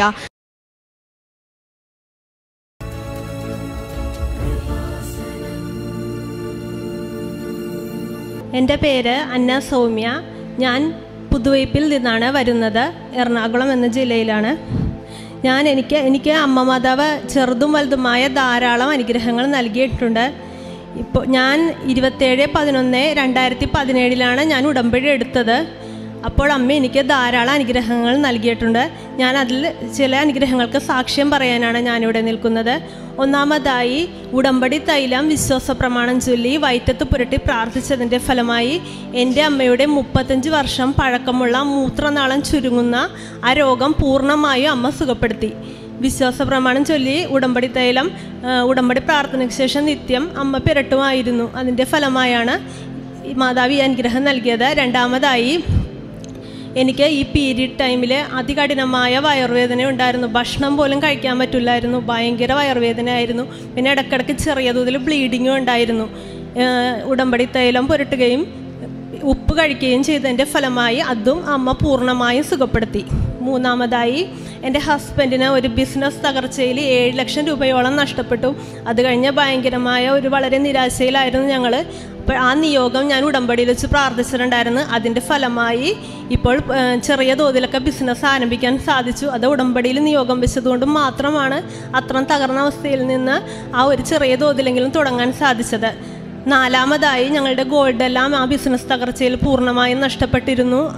അത് കഴിഞ്ഞിട്ട് പിന്നെ ഒരു വിധത്തിലും ഞങ്ങൾക്കൊന്നും ചെയ്യാൻ വേണ്ടി സാധിക്കാത്ത അവസ്ഥയിലായിരുന്നു. അപ്പോൾ ആ നിയോഗവും ഞാൻ ഉടമ്പടിയിൽ വെച്ച് പ്രാർത്ഥിച്ചിട്ടുണ്ടായിരുന്നു. അപ്പോൾ ഉടമ്പടിയിൽ ആ നിയോഗം ഇരിക്കണോണ്ട് മാത്രമായിരിക്കും ആ നഷ്ടപ്പെട്ട പോയ ഗോൾഡിന് പതൽ അതിലും കൂടുതൽ ഗോൾഡ് വാങ്ങാൻ ഞങ്ങൾക്ക് സാധിച്ചു. അതെല്ലാം വളരെ ഒരു അത്ഭുതകരമായി അമ്മ ഇടപെട്ടതാണ്. ഇത്രയും വലിയ ഉപകാരം ചെയ്തതെന്ന എന്റെ അമ്മയ്ക്കും തിരുക്കുമാരനും ഒരായിരം നന്ദി പറയുന്നു. കരങ്ങളടിച്ച് നമുക്ക് കർത്താവിനെ മഹത്വപ്പെടുത്താം. അമ്മയ്ക്ക് എന്തായിരുന്നു അസുഖം പറഞ്ഞല്ലോ. മൂത്രനാളം ചുരുങ്ങുന്ന. മൈക്ക് അടുപ്പിച്ച് വെച്ച് പറഞ്ഞു. എന്തായിരുന്നു ശാരീരിക ബുദ്ധിമുട്ടുകൾ ഉടമ്പടി തൈലം തേച്ചതിന് ശേഷം എന്താണ് സംഭവിച്ചത്? അത്. ട്യൂബിലാ ട്യൂബിട്ട് വികസിപ്പിച്ചുകൊണ്ടിരിക്കണമായിരുന്നു മൂത്രനാളം ചുരുങ്ങുമ്പോൾ അത് ലിസി ഹോസ്പിറ്റലിൽ പോയാണ് ചെയ്തുകൊണ്ടിരുന്നത് വെച്ചത്. അപ്പോൾ ആ ഡോക്ടർ പറഞ്ഞ് അത് സുഖപ്പെടാൻ സാധ്യത വളരെ കുറവാണ് എന്ന് വെച്ചിട്ടുണ്ടെങ്കിൽ മൂത്രനാളം ചുരുങ്ങണ രോഗമാണ് അത്. എന്നെ പ്രസവിച്ച ശേഷമാണ് അമ്മയ്ക്ക് കിട്ടിയത്. അതാണ് മുപ്പത്തഞ്ച് വർഷത്തോളം അത് പഴക്കമുണ്ട്. അപ്പോൾ അത് അമ്മനോട് തന്നെ ചെയ്യാൻ പറ്റുമെങ്കിൽ ചെയ്യാൻ പറഞ്ഞു. ട്യൂബ് കൊടുത്ത് വിട്ടിട്ട് അത് ട്യൂബ് ഇങ്ങനെ ഉള്ളിൽ കടത്തി വേണം ചെയ്യണം. അപ്പോൾ ഭയങ്കരമായ വിഷമതയായിരുന്നു. മൂത്രം പോകുമ്പോൾ ഭയങ്കര പുകച്ചിൽ മൂത്രം ഒരു നേരം പോലും പോയില്ലെങ്കിൽ എത്ര വിഷമതയാണ്. അപ്പം മൂത്രം അങ്ങനെ തടസ്സപ്പെട്ട് ഒരു തരി പോലും പോകൂല ഇനി. അ- അതാണ് ഉടമ്പടി തൈലം അപ്പൊ പിന്നെ ആ മൂത്രനാളം ചുരുങ്ങാതെ അത് വികസിച്ച് ആ ലെവലിൽ തന്നെ പിന്നെ ഇന്ന് വരെ ആ ട്യൂബ് ഉപയോഗിക്കേണ്ട വന്നിട്ടില്ല വന്നിട്ടില്ല, നോർമൽ ആയിട്ട് പാസ് ആയിട്ട്. ആൾ കംഫോർട്ടബിൾ കൂടെ വന്നിട്ടുണ്ടോ? ഇല്ല. ഒരു പ്രാവശ്യം വന്നിട്ടുണ്ട്. വന്നിട്ടുണ്ട്. ഓക്കെ. വലിയൊരു അത്ഭുതമാണ് അല്ലെ? മുപ്പത്തഞ്ച് കൊല്ലമായിട്ട് അനുഭവിച്ചിരുന്ന മാറാതുരിതമാണ് കൃപാസനത്തിലെ വെഞ്ചിരിച്ച ഉടമ്പടി നേർച്ച വസ്തുവായ ഉടമ്പടി തൈലം വിശ്വാസ പ്രമാണം ചൊല്ലി അടിവയറ്റിൽ പുരട്ടിയതിന്റെ ഫലമായിട്ട് ഇന്നേ വരെ അമ്മയ്ക്ക് ഈ മകളുടെ മകൾക്ക് ഇപ്പം മുപ്പത്തിനാല് വയസ്സുണ്ട് അല്ലേ? ആ ആ പ്രസവിച്ചതിന് ശേഷമാണ് അങ്ങനെ ഒരു ആരോഗ്യപരമായിട്ടൊരു ബുദ്ധിമുട്ട് അമ്മയ്ക്ക് വന്നത്. അത്രയും വർഷത്തെ ദുരിതം ഇത് മുപ്പത്തെട്ട് വർഷമായിട്ടുള്ള തളർവാദ രോഗം ഈശോ ബത്സീത കുളർക്കരെ വന്നപ്പോൾ ആ മകന്റെ ഗതി ജീവിതത്തിന്റെ ഗതി മാറ്റിക്കളഞ്ഞു അല്ലേ? ഈശോ പിടിച്ചെഴുന്നേൽപ്പിച്ചല്ലോ തളർവാദ രോഗി ആ ഒരു അത്ഭുതമാണ് ഈ കുടുംബത്തിൽ നടന്നത്. അമ്മ ഇത്രയും നാൾ അനുഭവിച്ചുകൊണ്ടിരുന്ന ആ ഒരു വലിയ ദുരിതം ഈ മകൾ ഉടമ്പടി എടുത്ത് പ്രാർത്ഥിച്ചതിന്റെ ഫലമായിട്ട് ആ ഒറ്റ ഉടമ്പടി നേർച്ച വസ്തുവിലൂടെയാണ് ആ കുടുംബത്തിന്റെ ആ അമ്മയുടെ ആരോഗ്യത്തിന്റെ വിഷയം ദൈവം മാറ്റിമറിക്കുന്നത്. വലിയൊരു അത്ഭുതമാണ്. രണ്ടാമതായിട്ട് ഈ മകൾ പറഞ്ഞ സാക്ഷി എന്ന് പറഞ്ഞത് എന്തായിരുന്നു? ബിസിനസ് തകർച്ച അല്ലേ? ആ. പീരീഡ് സമയത്ത് കഠിന വേദന ഉണ്ടായിരുന്നു അത് മാറി എന്ന് പറഞ്ഞു. രണ്ടാമതായിട്ട് പറഞ്ഞ വലിയൊരു സാക്ഷ്യം എന്ന് പറയണത് ബിസിനസ് തകർച്ച. ബിസിനസ് തകർച്ചയിൽ വന്നപ്പോൾ ഈ മകൾ അതും ഉടമ്പടിയിൽ വിഷയം വെച്ചിരുന്നു അല്ലേ? അപ്പോൾ ആ ബിസിനസ് ഇപ്പോ എങ്ങനെയുണ്ട് ബിസിനസ്? ഒരുമാതിരി തുടങ്ങി വരുന്നുണ്ട്. നന്നായിട്ട് തുടർന്ന് വരുന്നുണ്ട്. അത് മാത്രമല്ല ആ, ബിസിനസിന്റെ തകർച്ചയോടനുബന്ധിച്ചാണ് ഈ ഗോൾഡ് എല്ലാം പണയം വെക്കേണ്ടി വന്നത്. അപ്പൊ അതും എടുക്കാൻ പരിശുദ്ധ അമ്മ സഹായിച്ചു എന്നാണ് പറഞ്ഞത്. ഇവരറിയാതെ തന്നെ അമ്മ കയ്യിൽ പൈസ കൊണ്ടുവന്ന് കൊടുത്തു. അത് എടുക്കാൻ തിരിച്ചെടുക്കാൻ സാധിച്ചു എന്നാണ് പറഞ്ഞത്. രണ്ട് വലിയ അത്ഭുതങ്ങളാണ് ഉടമ്പടി എടുത്ത് പ്രാർത്ഥിച്ചത് വഴി കുടുംബത്തിന് പരിശുദ്ധമ്മ നൽകിയത്. ഒരിക്കൽ കൂടി നമുക്ക് അരങ്ങളടിച്ച് കർത്താവിനെ മഹത്വപ്പെടുത്താം. Hallelujah hallelujah hallelujah. ഈശ്വി നന്ദി. ഈശ്വി സ്തോത്രം.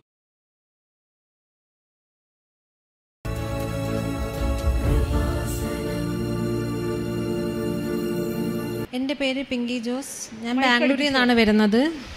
ഞാൻ ഓൺലൈൻ ഉടമ്പടിയാണ് എടുത്തത്. എന്റെ ഉടമ്പടിയിൽ ഒരു നിയോഗം എന്ന് പറഞ്ഞാൽ എന്റെ ഹസ്ബൻഡ് ഒരു ഫിസിയോതെറാപ്പിസ്റ്റാണ് അപ്പോൾ ഞങ്ങൾക്ക് സ്വന്തമായിട്ടൊരു ഫിസിയോതെറാപ്പി ക്ലിനിക്ക് തുടങ്ങണമെന്ന് ഒരു വർഷമായിട്ട് ആഗ്രഹം ഉണ്ടായിരുന്നു. പക്ഷേ അതൊന്നും സാധിച്ചിരുന്നില്ല. ഞാൻ ഉടമ്പടി എടുത്ത് ഒരു മാസത്തിനുള്ളിൽ തന്നെ എന്റെ ഹസ്ബൻഡിന് സ്വന്തമായിട്ടൊരു ഫിസിയോതെറാപ്പി ക്ലിനിക്ക് ബാംഗ്ലൂർ തുടങ്ങാൻ സാധിച്ചു. മാതാവിന്റെ അനുഗ്രഹത്താൽ ഇപ്പോൾ നല്ല രീതിയിൽ തന്നെ പോകുന്നുണ്ട്.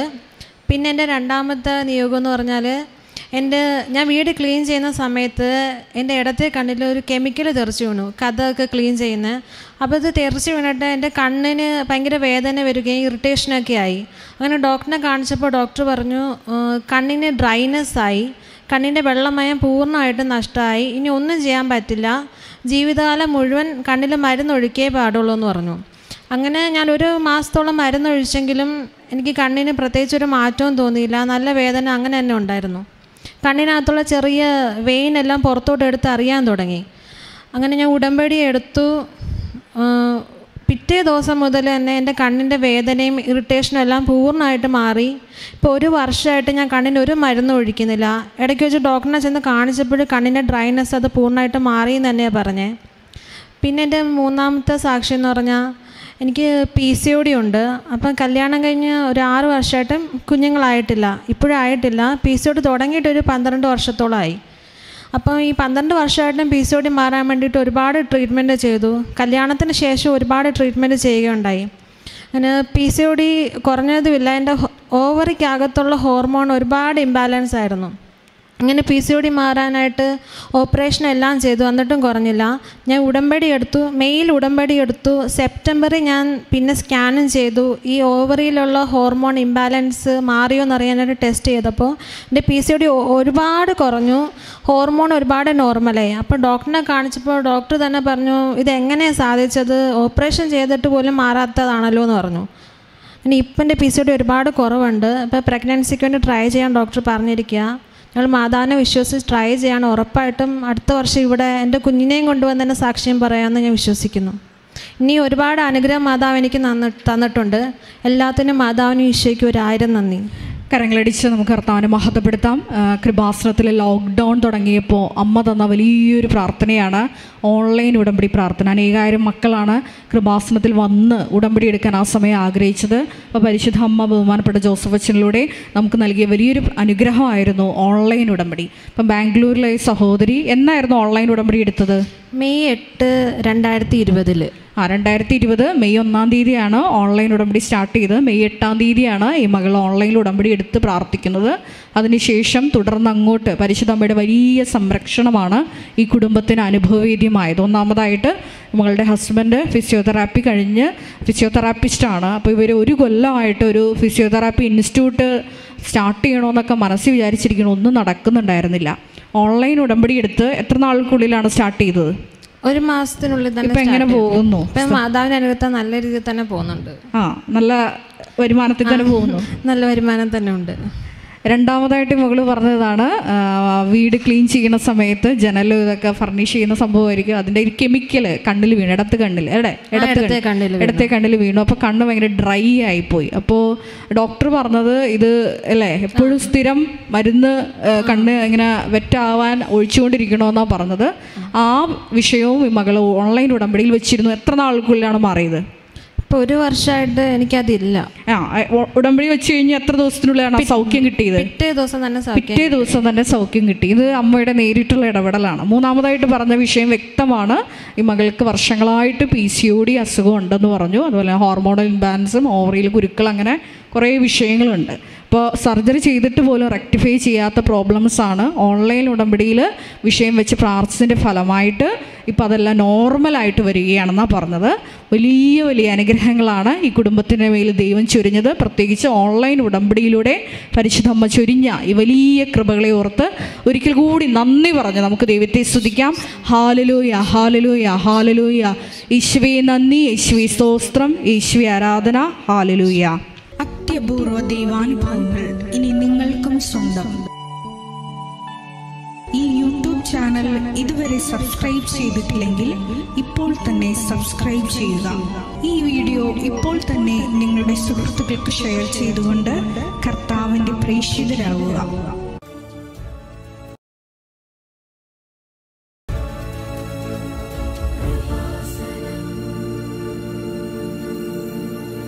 എന്റെ പേര് ക്രിസ്റ്റി? എന്റെ സ്ഥലം ചേർത്തല. എന്റെ ഫസ്റ്റ് ഡെലിവറി ഭയങ്കര കോംപ്ലിക്കേഷൻ ആയിരുന്നു. എട്ട് മാസം എട്ട് മാസം സമയമായപ്പോൾ എന്റെ കുഞ്ഞിന് തലച്ചോറിലേക്കുള്ള ബ്ലഡ് സർക്കുലേഷൻ കുറവായിരുന്നു. എനിക്ക് ഇരുന്നൂറിന്റെ മേലെ ബി പി വരികയും ചെയ്ത്. അപ്പോൾ ഡോക്ടർ പറഞ്ഞു ഒരിക്കലും നമുക്ക് നോർമൽ ഡെലിവറി പറ്റില്ല. സിസേറിയനെ സാധ്യമാകുകയുള്ളൂ പക്ഷേ ഞാനിവിടെ കൃപാസനത്തിൽ വന്ന് വിശു ബഹുമാനപ്പെട്ട ജോസഫ് അച്ഛൻ എന്റെ തലയിൽ കൈവച്ച് പ്രാർത്ഥിച്ച് അച്ഛൻ എന്നോട് പറഞ്ഞു ഉടമ്പടി തൈലം വയറിൽ പുരട്ടിക്കോളൂ. നിനക്ക് നോർമൽ ഡെലിവറി തരുക ദൈവം തരുമെന്ന് പറഞ്ഞു. അത് നീ സാക്ഷ്യപ്പെടുത്താനും തയ്യാറാകണമെന്ന് പറഞ്ഞു. അതുപോലെ തന്നെ എനിക്ക് ഇരുന്നൂറ്റി തൊണ്ണൂറ് ബി പി ആയിരിക്കെ ബ്ലീഡിംഗ് ഒന്നും ഇല്ലാതെ നല്ല മിടുക്കനായ നല്ല ബുദ്ധിയും ആരോഗ്യമുള്ള നല്ലൊരു കുഞ്ഞിനെ എനിക്ക് തന്നു. ഇപ്പോൾ അവന് മൂന്ന് വയസ്സായി. രണ്ടാമത്തെ നിയോഗം എന്ന് പറഞ്ഞാൽ എനിക്കൊരു ജോലി ഒരു സർക്കാർ ജോലിയായിരുന്നു എന്റെ ആഗ്രഹം.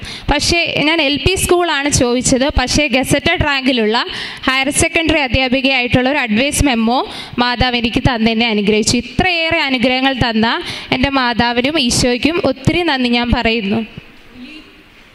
വലിയൊരു സാക്ഷ്യമാണ് നമുക്ക് ഒന്നും കൂടി ശക്തമായിട്ട് കരങ്ങളടിച്ച് കർത്താവിനെ മഹത്വപ്പെടുത്താം. ഈ മകൾ പറഞ്ഞ സാക്ഷ്യം വ്യക്തമാണ്. എട്ടാം മാസം പ്രഗ്നന്റ് ആയിരിക്കുന്ന സമയത്താണ് കുഞ്ഞിന് തലച്ചോറിലോട്ടുള്ള ബ്ലഡ് സർക്കുലേഷൻ കുറഞ്ഞ വളരെ ക്രിട്ടിക്കൽ ഒരു സ്റ്റേജാണെന്നുള്ള രീതിയിൽ അതുപോലെ തന്നെ പ്രഷറും ബി പിയും കൂടുതലായിരുന്നു എന്ന് പറഞ്ഞു. അപ്പോൾ കൃപാസനത്തിൽ വന്ന് ബഹുമാനപ്പെട്ട ജോസഫ് അച്ഛന്റെ കൈവപ്പ് ശുശ്രൂഷ ഈ മകൾ വാങ്ങിച്ചിരുന്നെന്ന് പ്രത്യേകം പറഞ്ഞു. അപ്പോൾ അച്ഛനൊരു കാര്യം പറഞ്ഞു. എന്താണ് പറഞ്ഞത്? ഒരു പ്രവചനമായിരുന്നു. മകൾ ഉടമ്പടി തൈലം വയറിൽ പുരട്ടിയാൽ മതി. സാക്ഷ്യം പറയാൻ റെഡി ആയിക്കോ. സാക്ഷ്യം പറയാൻ പറ്റും. പിന്നെന്താ പറഞ്ഞ? നോർമൽ ഡെലിവറി കിട്ടും. നോർമൽ ഡെലിവറി ആയിരുന്നു നോർമൽ ആയിരുന്നു. ഒരു പ്രോബ്ലം ഇത്രയേറെ കോംപ്ലിക്കേഷൻ ഉണ്ടായിരുന്നിട്ട് പോലും ബഹുമാനപ്പെട്ട ജോസഫ് അച്ഛന്റെ പ്രവചനം നിറവേറി. നോർമൽ ഡെലിവറിയിലൂടെ ആരോഗ്യമുള്ള കുഞ്ഞിനെ നൽകി അമ്മ അനുഗ്രഹിച്ചു. ഒപ്പം തന്നെ കൃപാസനത്തിൽ വന്ന് പ്രാർത്ഥിച്ചതിന് ശേഷമാണ് ഈ മകൾ എക്സാം എഴുതിയത് അല്ലേ? ഒരു വർഷത്തിനുള്ളിൽ എനിക്ക് കിട്ടി. ആ ആ എക്സാം എന്നായിരുന്നു ഉടമ്പടി എടുത്തത്? ഒരു ഏതെങ്കിലും ഒരു സർക്കാർ ജോലി എൽ പി ഉടമ്പടി എടുത്തത് എന്തായിരുന്നു ഏത് മാസമായിരുന്നു? രണ്ടായിരത്തി പതിനെട്ട് ജനുവരി. ജനുവരിയിൽ. എന്നായിരുന്നു എക്സാം എഴുതിയത്? എക്സാം ജനുവരി ഇരുപത്തൊമ്പത്. ഇരുപത്തൊമ്പതിനായിരുന്നു പി എസ് സി ടെസ്റ്റ് എഴുതിയത്. ഇപ്പോൾ ഈ മകൾക്ക് എച്ച് എസ് എസ് ടി ടീച്ചറിന്റെ അഡ്വൈസ് മെമ്മോ കൈ കിട്ടി. ഇനി ജോയിൻ ചെയ്താൽ മതി. ഉടനെ തന്നെ അപ്പോയിൻമെന്റ് ലെറ്ററും കിട്ടും. രണ്ട് വലിയ അനുഗ്രഹങ്ങളാണ് കൃപാസനത്തിൽ വന്ന് ഉടമ്പടി എടുത്ത് പ്രാർത്ഥിച്ചത് വഴി ബഹുമാനപ്പെട്ട ജോസഫ് ജോസഫ് അച്ഛന്റെ കൈവപ്പ് ശുശ്രൂഷ വഴി കിട്ടിയത്. നമുക്ക് കരങ്ങളടിച്ച് കർത്താവിനെ മഹത്വപ്പെടുത്താം.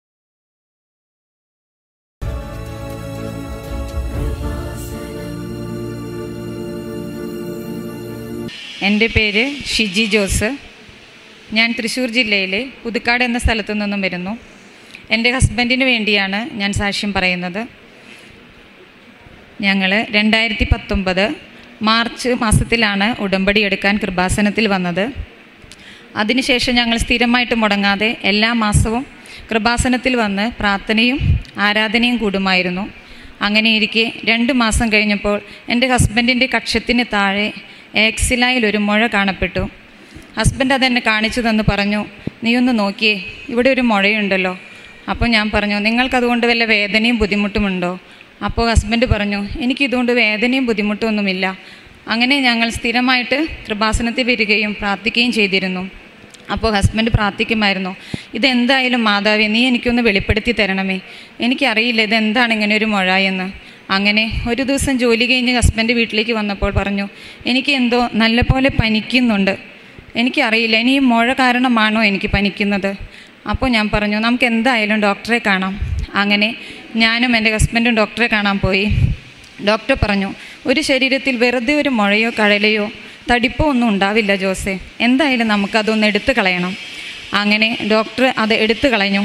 എടുത്തു കളഞ്ഞ് അന്ന് അതെന്നെ കാണിച്ചിട്ട് ഡോക്ടർ പറഞ്ഞു ഇതിന് നല്ല വലിപ്പമുണ്ടായിരുന്നു ഉള്ളിലേക്ക്. ഒരു ചെറുനാരങ്ങയോളം വലിപ്പമുണ്ട് ഉള്ളിലേക്ക്. അപ്പോൾ എനിക്കിത് മുഴുവനായിട്ട് എടുത്തു കളയാൻ സാധിച്ചിട്ടില്ല. കാരണം ഇത് ഇത്തിരി സ്പ്രെഡ് ചെയ്തിട്ടുണ്ട്. ജോസിന്റെ കൈയിന്റെ വെയിനുകളിലേക്കാണ് അത് സ്പ്രെഡ് ചെയ്തേക്കുന്നത്. അത് എടുത്തു കളഞ്ഞാൽ ചിലപ്പോൾ ജോസിന്റെ ചലനശേഷി തന്നെ നഷ്ടപ്പെടാം. അപ്പോൾ അതുകൊണ്ട് ഡോക്ടർക്കത് സംശയം പോലെ ഡോക്ടർ പറഞ്ഞു നമുക്കത് എന്തായാലും ബയോപ്സി ചെയ്യണം. അങ്ങനെ രണ്ട് പ്രാവശ്യമാണ് ഡോക്ടറുടെ നിർബന്ധപ്രകാരം അത് ബയോപ്സി ചെയ്തത്.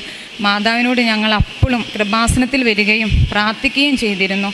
അപ്പോൾ ഡോക്ടറുടെ ആ രണ്ട് റിസൾട്ട് നെഗറ്റീവായിരുന്നു. പക്ഷേ ഡോക്ടർ അപ്പോഴും വിട്ടിരുന്നില്ല. അപ്പോൾ ഡോക്ടർ പറഞ്ഞു നമുക്ക് അവസാനമായിട്ട് ഒരു പ്രാവശ്യം കൂടി ബയോപ്സി ചെയ്യാം ജോസെ.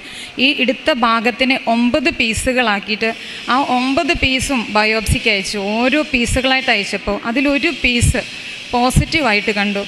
മാതാവിനോട് ഞങ്ങൾ പ്രാർത്ഥിച്ചതിന്റെ ഫലമായിട്ടായിരിക്കണം. മാതാവ് ഞങ്ങൾക്കത് കാണിച്ചു തന്നു. അപ്പോൾ ഡോക്ടർ പറഞ്ഞു എന്തായാലും നീ അമല ക്യാൻസർ സെന്ററിലേക്ക് ചെല്ലുക. അവിടുത്തെ ഡോക്ടറെ കൺസൾട്ട് ചെയ്യുക. അങ്ങനെ ഞങ്ങൾ മാതാവിനോട് നല്ലപോലെ പ്രാർത്ഥിച്ച് ആ ഡോക്ടറെ അടുത്ത് കണ്ടു. അപ്പോൾ ഡോക്ടർ പറഞ്ഞു ജോസെ ഇത് ക്യാൻസർ എന്ന രോഗത്തിന്റെ സ്റ്റാർട്ടിംഗ് ആണ്. പക്ഷേ സ്റ്റേജിലേക്കൊന്നും എത്തിയിട്ടില്ല. സ്റ്റാർട്ടിങ് മാത്രമാണ്. എന്തായാലും നമുക്കൊരു പെറ്റ് സ്കാൻ എടുത്ത് നോക്കണം. അതിന്റെ ഗ്രോത്ത് എന്തുമാത്രമുണ്ട് എന്നറിയാൻ പെറ്റ് സ്കാൻ വേണമെന്ന് പറഞ്ഞു. ഞങ്ങൾ ശരിക്കും പേടിച്ചു. മാതാവിനോട് പ്രാർത്ഥിച്ചു. ഇങ്ങനെ ഞങ്ങൾ പെറ്റ് സ്കാൻ എടുത്തു? പെറ്റ് സ്കാന്റെ റിസൾട്ട് കിട്ടിയപ്പോൾ ഞങ്ങൾ ഡോക്ടറെ കാണിക്കാനല്ല പോയത്. ആദ്യം കൃപാസനത്തിൽ വന്ന് അച്ഛനെയാണ് കാണിച്ചത്. ആ പെറ്റ് സ്കാൻ കണ്ടപ്പോൾ അച്ഛൻ ഞങ്ങളെ അൾത്താരയിലേക്ക് കയറ്റി നിർത്തി. ഞങ്ങളുടെ രണ്ടുപേരുടെയും തലയിൽ കൈവച്ച് വിശ്വാസപ്രമാണം എത്തിച്ച് പ്രാർത്ഥിച്ചിട്ട് അച്ഛൻ പറഞ്ഞു നീ ഒന്നുകൊണ്ടും പേടിക്കേണ്ട. നിന്റെ ഈ രോഗം മെഡിസിൻ കൊണ്ട് പൂർണമായിട്ടും നിനക്കത് സുഖപ്പെടുത്തി തരും മാതാവ്. നീ ധൈര്യമായിട്ട് പോയിക്കൊള്ളുക. അങ്ങനെ ഞങ്ങൾ ഇവിടെ നിന്നും അടുത്ത ദിവസം അമല ഹോസ്പിറ്റലിലേക്ക് ഡോക്ടറെ കാണാൻ ഈ പെറ്റ് സ്കാൻ കാണിച്ചു കൊടുത്തു. അപ്പോൾ ഡോക്ടർ പറഞ്ഞു എന്തായാലും മെഡിസിൻ തുടങ്ങാം. കീമോതെറാപ്പിയും റേഡിയേഷനും. അങ്ങനെ ഇത് രണ്ടും ചെയ്ത് കഴിഞ്ഞു. മെഡിസിൻ കംപ്ലീറ്റ് ആയി ഇനി ഞങ്ങൾക്ക് ചെക്കപ്പ് ചെയ്യേണ്ട സമയമായി. അപ്പോഴാണെങ്കിൽ കൊറോണയും ലോക്ക്ഡൗണും മൂലം ചെക്കപ്പ് നടക്കാതെ ഒരു കൊല്ലത്തോളം കൃപാസനത്തിൽ വരാൻ പറ്റാതെയും മാതാവിനോട് പ്രാർത്ഥിക്കാൻ പറ്റാതെയും ഡോക്ടറെ കാണാതെയും ഞങ്ങൾ വീട്ടിൽ തന്നെ കഴിച്ചുകൂട്ടി. അങ്ങനെ ഇരിക്കെ ഈ രണ്ടായിരത്തി മാർച്ച് പന്ത്രണ്ടാം തീയതിയാണ് എനിക്ക് ഡോക്ടറെ കാണാൻ അമ്മലേക്ക് വിളിച്ചത്. ആ ചെക്കപ്പിൽ ബ്ലഡ് റിസൾട്ട് എടുത്തു? അതിൽ ഒന്നുമില്ല എന്ന് ഡോക്ടർ എന്നോട് പറഞ്ഞു. അതുമാത്രമല്ല എക്സ്റേ എടുത്തു? എക്സ്റേയിലും no evidence and no growth എന്നാണ് ഡോക്ടർ പറഞ്ഞത്. അതേപോലെ തന്നെ സ്കാനിങ് റിസൾട്ടും എടുത്തു? അതിലും no evidence and no growth എന്നാണ് ഡോക്ടർ പറഞ്ഞത്. മാതാവ് പറഞ്ഞ ഈ വലിയ അനുഗ്രഹത്തിനും അത്ഭുതത്തിനും ഞാൻ ഒരുപാട് കോടാനുകൂടി നന്ദി പറയുന്നു ദൈവമേ. അതുമാത്രമല്ല രണ്ടാമതായിട്ട് എന്റെ ഹസ്ബൻഡിന് സ്ഥിരമായിട്ട് ജോലി ഇല്ലായിരുന്നു. ആഴ്ചയിൽ ആഴ്ചയിൽ രണ്ട് ദിവസമൊക്കെയാണ് ജോലി ഉണ്ടായിരുന്നത്.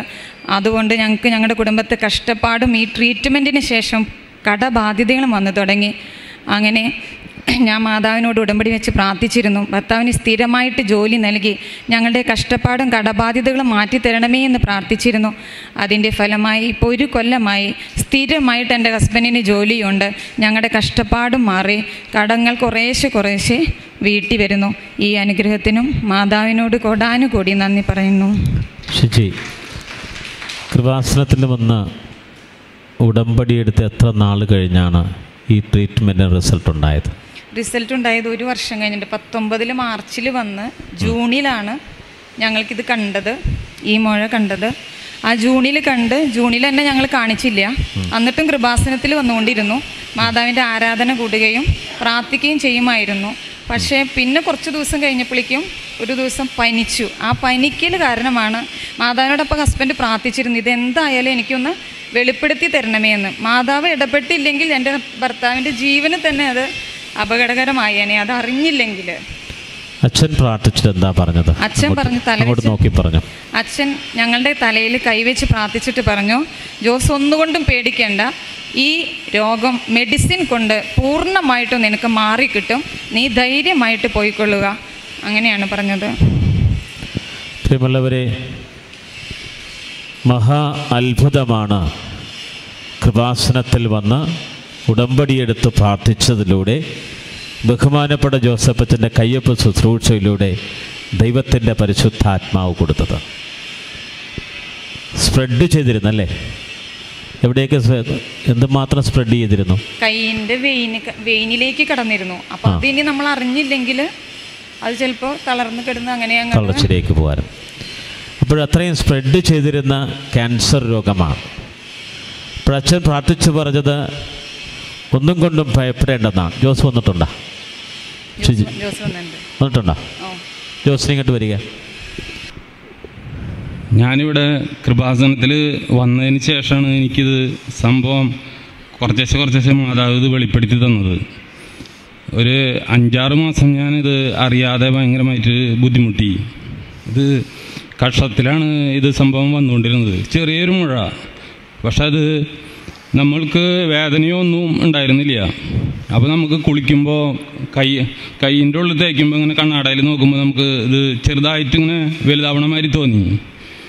അപ്പോൾ ഞാൻ മാതാവിനോട് പ്രാർത്ഥിക്കും ഇത് വേദനയും ഇല്ല ഒന്നുമില്ല. അപ്പോൾ ഇത് എങ്ങനെ ഇത് ഒന്ന് മാതാവ് ഇതൊന്ന് അറിയിച്ചു തരാൻ പറഞ്ഞ് ഞാൻ രാത്രി പ്രാർത്ഥിക്കാറുണ്ട്. ഇവിടെ സ്ഥിരമായിട്ട് സ്ഥിരമായിട്ട് വരാറുണ്ടായിരുന്നു മാസത്തിലൊരിക്കൽ.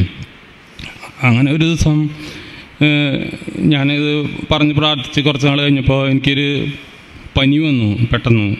നല്ല ശക്തമായിട്ടുള്ള പനി. അങ്ങനെ ഡോക്ടറെ അടുത്ത് പോയി ചെക്ക് ചെയ്തപ്പോഴാണ് ഡോക്ടർ പറഞ്ഞത് ഇതൊരു ചെറിയൊരു ഓപ്പറേഷൻ കഴിക്കണം. അത് കഴിഞ്ഞാണെങ്കിൽ നമുക്കത് അറിയാൻ പറ്റും. അതിന്റെ റിസൾട്ട് ഇതിന് ബയോപ്സിക്ക് വിട്ട് കഴിഞ്ഞാൽ അറിയാമെന്ന് പറഞ്ഞു. അങ്ങനെ ഡോക്ടർ ബയോപ്സിക്ക് വിട്ടു.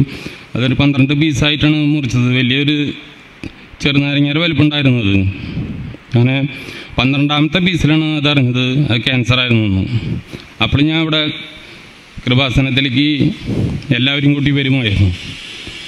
മുടങ്ങാതെ വരുമായിരുന്നു. അങ്ങനെ മാതാവിനോട് പ്രാർത്ഥിച്ചതിന്റെ ഫലമായിട്ടാണ് ഇപ്പം എനിക്ക് ഇതൊക്കെ മാറിപ്പോയത്. ഇപ്പോൾ ലാസ്റ്റ് ചെക്കപ്പ് ചെയ്തപ്പോൾ ഡോക്ടർ പറഞ്ഞു ഒരു കുഴപ്പമില്ല. ഇതെല്ലാതും മാറി എന്നാണ് ഡോക്ടർ പറഞ്ഞത്. മാതാവേ സ്തോത്രം യേശുവെ നന്ദി. വളരെയധികം നന്ദിയുണ്ട്.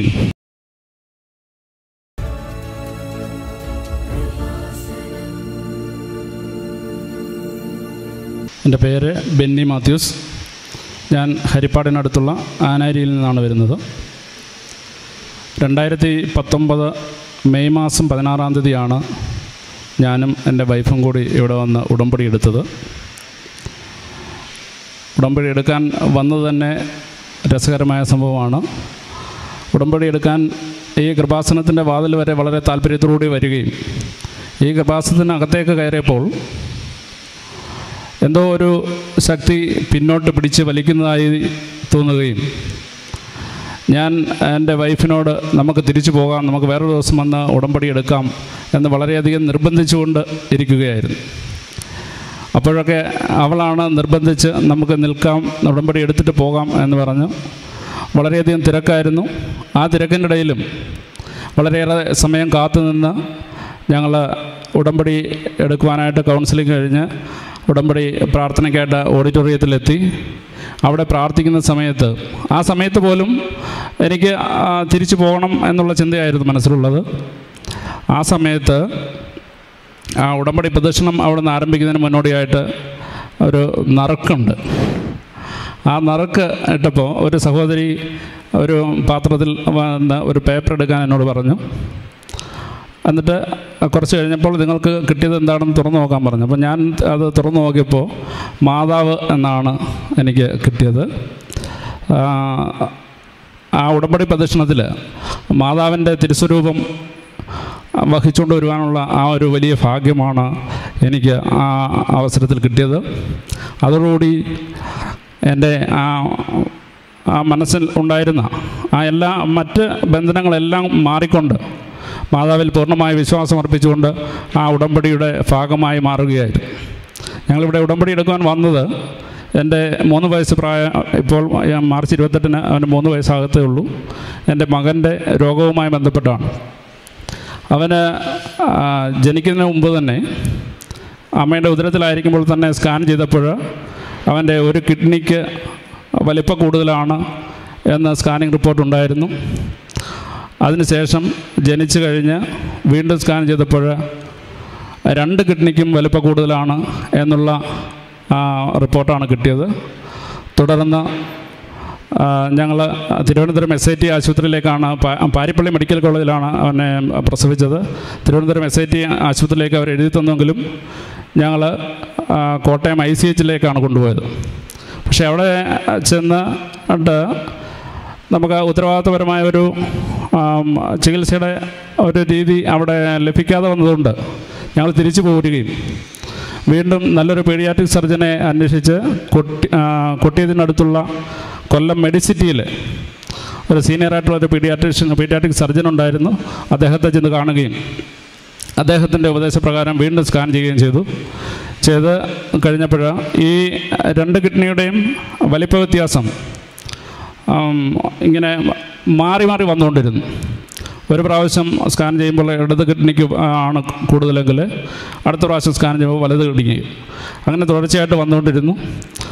അങ്ങനെ ഇപ്പോൾ കഴിഞ്ഞ രണ്ട് മൂന്ന് വർഷക്കാലമായി തുടർച്ചയായി സ്കാൻ ചെയ്യുന്നു. ഡോക്ടർ ഇപ്പോൾ ഏറ്റവും ഒടുവിലത്തെ സ്കാനിങ്ങിലും ഡോക്ടർ പറഞ്ഞത് അവന് മരുന്നൊന്നും കൊടുക്കേണ്ട ആവശ്യമില്ല. ഇത് മാറുകയാണ്. ഇത് തീർച്ചയായും ഇത് തന്നെത്താൻ മാറിക്കോളും എന്നുള്ളതാണ്. ഞാൻ ഇതേ ഇതേപ്പറ്റി മറ്റ് മെഡിക്കൽ മേഖലയിലുള്ളവരുമായിട്ടൊക്കെ അന്വേഷിച്ചപ്പോൾ അവർ പറഞ്ഞത് ഇത്തരം രോഗങ്ങൾ പ്രാഥമികമായ ചികിത്സയിൽ മാറിയില്ലെങ്കിൽ സർജറി അടക്കം വേണ്ടിവരും എന്നുള്ള ഒരറിവാണ് അന്നൊക്കെ ഉണ്ടായിരുന്നത്. ഇതെനിക്ക് ഞാൻ വീട്ടുകാരോട് പോലും ഇതേപ്പറ്റി പറഞ്ഞിരുന്നില്ല. മനസ്സിൽ സൂക്ഷിച്ചിരുന്നു. പക്ഷേ ഇന്ന് വരെയും അവന് ഒരു മരുന്നും ഇത് സംബന്ധിച്ച് കൊടുക്കേണ്ടി വന്നിട്ടില്ല. അവൻ പൂർണ ആരോഗ്യവാനാണ്. അവൻ മാതാവിന്റെ സംരക്ഷണ സംരക്ഷണത്തിൽ വളരെ മിടുക്കനായി തന്നെ വളരുകയാണ്. മാതാവിന്റെ സംരക്ഷണം അവന് ഉണ്ട് എന്നുള്ള പൂർണ ബോധ്യം ഞങ്ങൾക്ക് വെളിവാകുന്ന നിരവധി അനുഭവങ്ങൾ കൂടി ഉണ്ടായിട്ടുണ്ട്. അതിൽ ഒരനുഭവം മാത്രം ഞാൻ പറയാം. അത് പറയാതിരിക്കാൻ നിർ നിവൃത്തിയില്ലാത്തതുകൊണ്ടാണ്. ഒരു ദിവസം ഞാൻ വീടിന്റെ മുറ്റത്ത് മുൻവശത്തുള്ള സോപാനത്തിലിരുന്ന് പത്രം വായിച്ചുകൊണ്ടിരിക്കുകയായിരുന്നു. അപ്പോൾ എന്നോടൊപ്പം എന്റെ രണ്ട് മക്കളും എന്റെ അടുത്തിരുന്ന് കളിച്ചുകൊണ്ടിരിക്കുക കുറച്ച് കഴിഞ്ഞപ്പോഴത്തേന് മോൾ വിളിച്ച് പറഞ്ഞു പപ്പ മോൻകുട്ടൻ എന്ന് പറഞ്ഞു. ഞാൻ തിരിഞ്ഞു നോക്കുമ്പോൾ മോൾ മാത്രമേ അടുത്തുള്ളൂ മോൻ അടുത്തില്ല. ഏകദേശം ഒരു തറനിരപ്പിൽ നിന്ന് എട്ടടിയിൽ കൂടുതൽ ഉയരമുണ്ട് സോപാനത്തിന്റെ കൈവരിക്ക്. ഞാൻ പെട്ടെന്ന് നോക്കുമ്പോഴത്തേന് കൈവരിയിൽ നിന്ന് ആൾ താഴെ പോയിരിക്കുകയാണ്. ഞാൻ പെട്ടെന്ന് ഓടിച്ചെന്ന് നോക്കുമ്പോൾ ഈ എട്ട് എട്ടര അടി ഉയരത്തിൽ നിന്ന് താഴെ വീണ കുഞ്ഞ് ഒരു നമ്മൾ എടുത്ത് കിടത്തിയിരിക്കുന്നത് പോലെ കിടക്കുക. അവൻ കരയുന്നത് പോലുമില്ല നമ്മൾ എടുത്ത് കിടത്തിയിരിക്കുന്ന പോലെ കിടക്കുകയാണ്. ഞാൻ ഓടിച്ചെന്ന് അവനെ വാരിയെടുത്ത് മോനെ എന്ന് വിളിച്ചതിന് ശേഷമാണ് അവൻ കരയാൻ തുടങ്ങിയത് തന്നെ. അവൻ വീണത് അറിഞ്ഞത് അപ്പോഴാണെന്ന് തോന്നുന്നു. അതുപോലെ ഉള്ള ആ ഒരു മാതാവിന്റെ വലിയൊരു കരസ്പർശം. മാതാവിനെ കരങ്ങളിൽ താങ്ങിയതാണെന്ന് ഞങ്ങൾ ഉറച്ചു വിശ്വസിക്കുന്നു. അതുപോലെ നിരവധി അപകടകരമായ സാഹചര്യങ്ങളിൽ നിന്ന് അവനെയും ഞങ്ങൾ എന്റെ കുടുംബാംഗം എന്റെ മാതാപിതാക്കളെ അടക്കം നിരവധി സാഹചര്യങ്ങളിൽ നിന്നും അമ്മ ഇന്നും കാത്ത് സംരക്ഷിച്ചുകൊണ്ടിരിക്കുകയാണ്. രണ്ടാമതായി എനിക്ക് പറയാനുള്ളത് എന്റെ വൈഫ് നേഴ്സാണ്. നേരത്തെ കുവൈറ്റിൽ ജോലിയായിരുന്നു. അവിടെ നിന്ന് ജോലി മതിയാക്കി തിരികെ പോയിരുന്നതാണ്. പക്ഷേ എന്റെ വീട് പണിയുമായി ബന്ധപ്പെട്ട് ഞങ്ങൾക്ക് കുറേയേറെ കടബാധ്യതകൾ വന്നു. ആ കടബാധ്യതകളുടെ അടിസ്ഥാനത്തിൽ വീണ്ടും പോകുവാനായിട്ട് തീരുമാനിക്കുകയും. ആ സമയത്ത് ഞങ്ങൾ ഇവിടെ ഉടമ്പടി എടുത്തതിന് ശേഷമാണ് പോകുവാനായിട്ട് തീരുമാനിച്ചത്. രണ്ടായിരത്തി പത്തൊമ്പത് ഒക്ടോബർ മാസം പത്താം തീയതിയാണ് പോകുന്നത്. ഇവിടെ മാതാവിനോട് പ്രാർത്ഥിച്ചു. ഞങ്ങൾ പ്രാർത്ഥിച്ചത് ഒക്ടോബർ മാസം പത്താം തീയതി ഇവിടുന്ന് പോകുന്നു. പതിനഞ്ചാം തീയതിക്ക് മുമ്പായി ജോലിയിൽ കയറുവാൻ തക്കവണ്ണം അനുഗ്രഹിക്കണമേ എന്ന് പ്രാർത്ഥിച്ചുകൊണ്ടാണ് പോയത്. തീർച്ചയായും വൈഫ് അവിടെ സുരക്ഷിതമായി എത്തി. പതിനഞ്ചാം തീയതിക്ക് മുമ്പായി തന്നെ ഉദ്ദേശിച്ച രീതിയിൽ നല്ല സുരക്ഷിതമായൊരു ജോലി പ്രതീക്ഷിച്ചത്ര സാലറിയോടുകൂടി തന്നെ ആ ജോലിയിൽ പ്രവേശിക്കുവാൻ സാധിച്ചു. എങ്കിലും നിർഭാഗ്യവശാൽ രണ്ട് മാസത്തോളമേ ആ ജോലി ചെയ്യുവാൻ സാധിച്ചുള്ളൂ. ചില കാരണങ്ങളാൽ ആ ജോലി വിടേണ്ടി വന്നു. പിന്നീട് അങ്ങോട്ട് സ്ഥിരമായൊരു ജോലി ലഭിക്കാതെ വളരെയധികം ബുദ്ധിമുട്ടി പോയിക്കൊണ്ടിരിക്കുകയായിരുന്നു. താൽക്കാലികമായി അത്യാവശ്യം ചെലവിനുള്ള ജോലികൾ മാത്രം ചെയ്ത് മുന്നോട്ട് പോകുന്ന ഒരു സാഹചര്യത്തിലാണ് കോവിഡ് സാഹചര്യം വരികയും ലോക്ക്ഡൗൺ ആവുകയും ചെയ്തത്. തുടർന്ന് അങ്ങോട്ടൊരു ആറ് മാസത്തോളം ജോലിയില്ലാതെ റൂമിനകത്ത് തന്നെ ഇരിക്കേണ്ടി വന്നു. ഈ സമയത്ത് ഞങ്ങൾ ഒരുപാട് വിഷമിച്ചു. വിഷമിച്ചെങ്കിലും ഈ സമയത്ത് ഉടമ്പടി പ്രാർത്ഥന ഞാൻ വീട്ടിലും അവൾ അവ അവർ താമസിക്കുന്ന റൂമിലും കൃത്യമായി ചൊല്ലുന്നുണ്ടായിരുന്നു. മാതാവിനോട് ലൈറ്റ് ക്യാൻഡിൽ പ്രയർ റിക്വസ്റ്റ് പ്രാർത്ഥിച്ചു. ഇപ്പോൾ വീണ്ടും നല്ല ജോലിയിലേക്ക് പ്രവേശിച്ചു. പ്രതീക്ഷിച്ചത്ര സാലറി വന്നില്ലെങ്കിൽ പോലും മാന്യമായി കടബാധ്യതകൾ തീർത്ത് മുന്നോട്ട് പോകാൻ കഴിയുന്ന രീതിയിലേക്കുള്ള സാലറിയിൽ നല്ലൊരു ജോലിയിൽ അവളിപ്പോൾ തുടരുകയാണ്. ഇപ്പോൾ ഈ സമയത്ത് ഈ ലൈവ് പ്രോഗ്രാം അവിടെ ജോലി സമയത്ത് ജോലി ചെയ്തുകൊണ്ട് തന്നെ ഈ ലൈവ് പ്രോഗ്രാം കണ്ടുകൊണ്ടിരിക്കുകയുമാണ്. അടുത്തതായി ഞാൻ ഒരുപാട് അനുഗ്രഹങ്ങൾ പറയാനുണ്ടെങ്കിൽ പോലും ഇവിടെ നിന്ന് ബ്രദറും ഇവിടുത്തെ പ്രധാന സിസ്റ്റേഴ്സും പറഞ്ഞത് ഏറ്റവും പ്രധാനപ്പെട്ട മൂന്ന് കാര്യങ്ങൾ മാത്രം പറഞ്ഞാൽ മതി എന്നുള്ളതുകൊണ്ട് ഞാൻ വളരെ ചുരുക്കിയാണ് എഴുതി കൊടുത്തത്. എന്റെ സഹോദരിക്ക് കണ്ണിന്റെ കൺപോളയിൽ ഒരു ചെറിയ ഞൊണൽ പോലെ വന്നു. ആദ്യം അത് കൺകുരുവാണെന്നാണ് വിചാരിച്ചിരുന്നത്. പക്ഷേ പിന്നീട് അത് ചെറുതായിട്ട് ഇങ്ങനെ വളർന്നു വളർന്നു വന്നു. വളർന്നു വളർന്ന് വന്നിട്ട് അത് അകത്തോട്ട് ആയിട്ട് കൺപോളയ്ക്ക് അകത്ത് ഒരു വ്രണമായി മാറി. വളരെ വളരെ ഗുരുതരമായൊരു സ്ഥിതിയിലേക്ക് പോകുന്ന ഒരു സാഹചര്യം ഉണ്ടായി. ഈ സമയത്ത് ഇവിടെ ഞങ്ങൾ ഉടമ്പടി എടുത്ത ഉടമ്പടി തൈലം വിശ്വാസ പ്രമാണം ചൊല്ലി സ്ഥിരമായി ഒരു ഒരാഴ്ചയോളം കണ്ണിൽ പുരട്ടി പ്രാർത്ഥിച്ചതിന്റെ ഫലമായി ആ കണ്ണിനകത്തേക്ക് വ്രണമായി വളർന്ന ആ മുഴ മുഴയെന്ന ചെറിയൊരു മുഴ. അത് നിശേഷം അതിന്റെ ഒരു പാട് പോലും അവശേഷിക്കാത്ത രീതിയിൽ അത് മാറിക്കിട്ടിയ വലിയ കൃപയാണ് അമ്മ ഞങ്ങൾക്ക് ചെയ്തു തന്നത്. അതോടൊപ്പം തന്നെ ഞാനിവിടെ ഉടമ്പടി എടുക്കാൻ വരുമ്പോൾ വലിയ കടബാധ്യതയിലാണ് വന്നത്.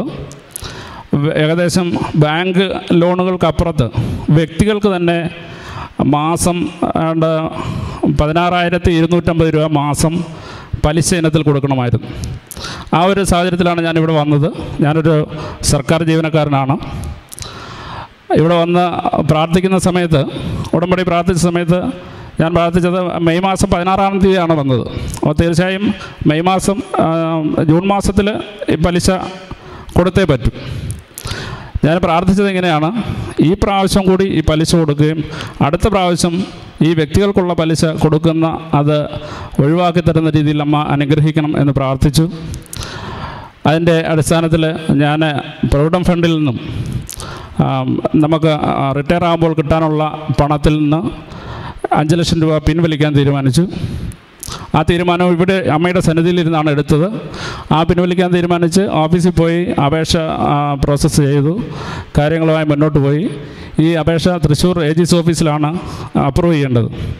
അവിടുന്ന് ഞാൻ ബൈ ഹാൻഡിൽ ഈ അപേക്ഷ വാങ്ങിച്ച് തൃശ്ശൂർ രജിസ്റ്റർ ഓഫീസിൽ കൊണ്ടുപോവുകയാണ്.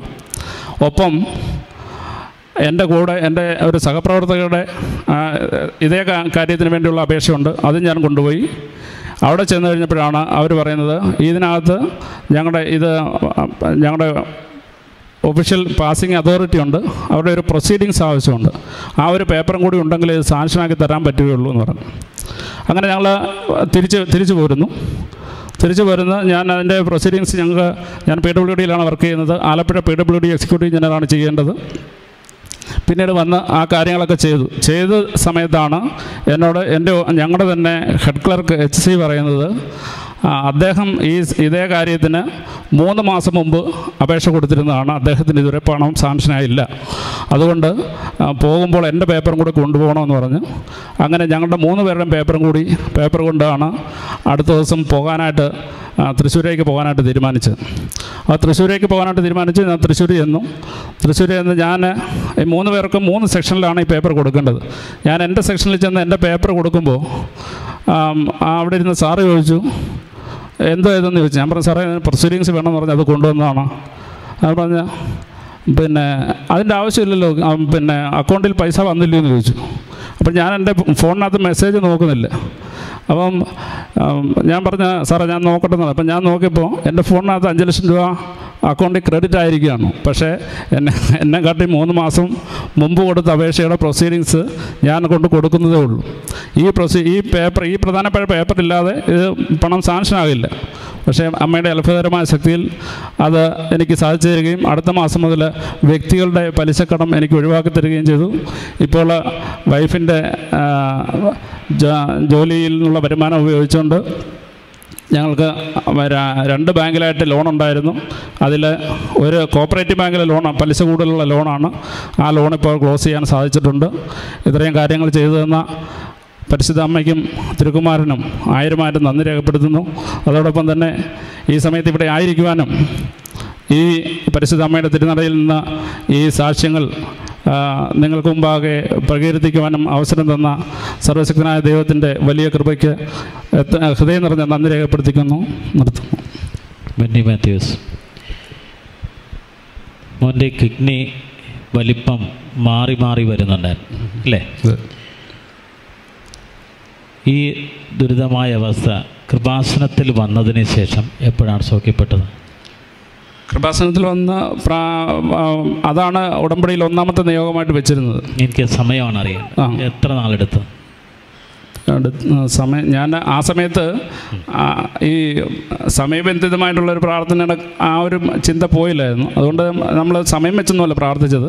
പക്ഷേ അത് ആ മൂന്നാമത്തെ സ്കാനോട് കൂടി നോർമൽ എത്ര ദിവസം കഴിഞ്ഞാണത്? ആറ് ആറുമാസം ആറ് മാസം. ഉടമ്പടി പുതുക്കിയായിരുന്നു? ഉടമ്പടി രണ്ട് തവണ പുതുക്കി. രണ്ട് തവണ. ഇനി മൂന്നാമത്തെ തവണ പുതുക്കാനായിട്ട് ഇപ്പം ഞാൻ രജിസ്റ്റർ ചെയ്തു. പതിമൂന്നാം തീയതിക്ക് പറഞ്ഞിട്ടുണ്ട്. പറഞ്ഞിട്ടുണ്ട്. കരങ്ങളടിച്ച് കർത്താവ് എന്ന് പറയട്ടെ. പ്രിയമുള്ളവരെ കിഡ്നി വലിപ്പച്ചർ മാറി മാറി വരുന്നത് ഒരു വല്ലാത്ത ദുരിതമായ അവസ്ഥയാണ്. ഇവിടെ വൈദ്യശാസ്ത്രം പകച്ചു നിൽക്കുന്ന അവസ്ഥയിൽ കൃപാസനത്തിൽ വന്ന് ഉടമ്പടി എടുത്തു.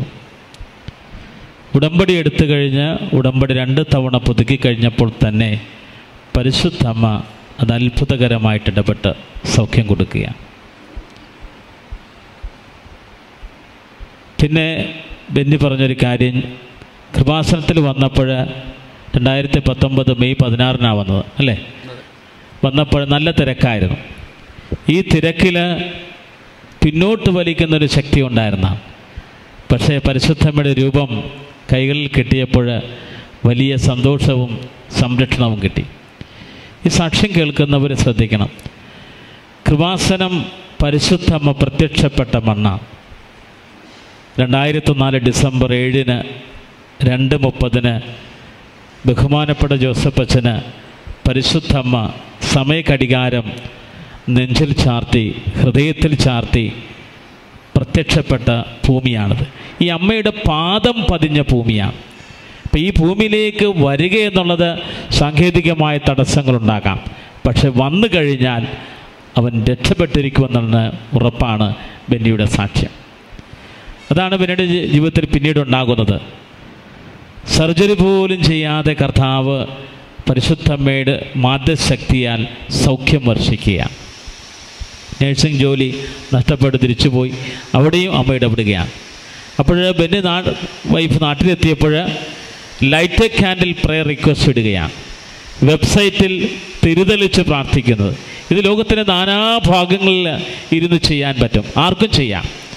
നിങ്ങൾ അലട്ടുന്ന പ്രശ്നങ്ങൾ നിങ്ങളായിരിക്കുന്ന അവസ്ഥയിൽ കൃപാസന മാതാവിന്റെ പ്രത്യക്ഷീകരണ മാതാവിന്റെ സന്നിധിയിൽ പ്രാർത്ഥിച്ചുകൊണ്ട് നിയോഗർപ്പിച്ചുകൊണ്ട് നിങ്ങൾ light a candle prayer request ഇട്ട് കഴിഞ്ഞാൽ ദൈവം ഇടപെടും.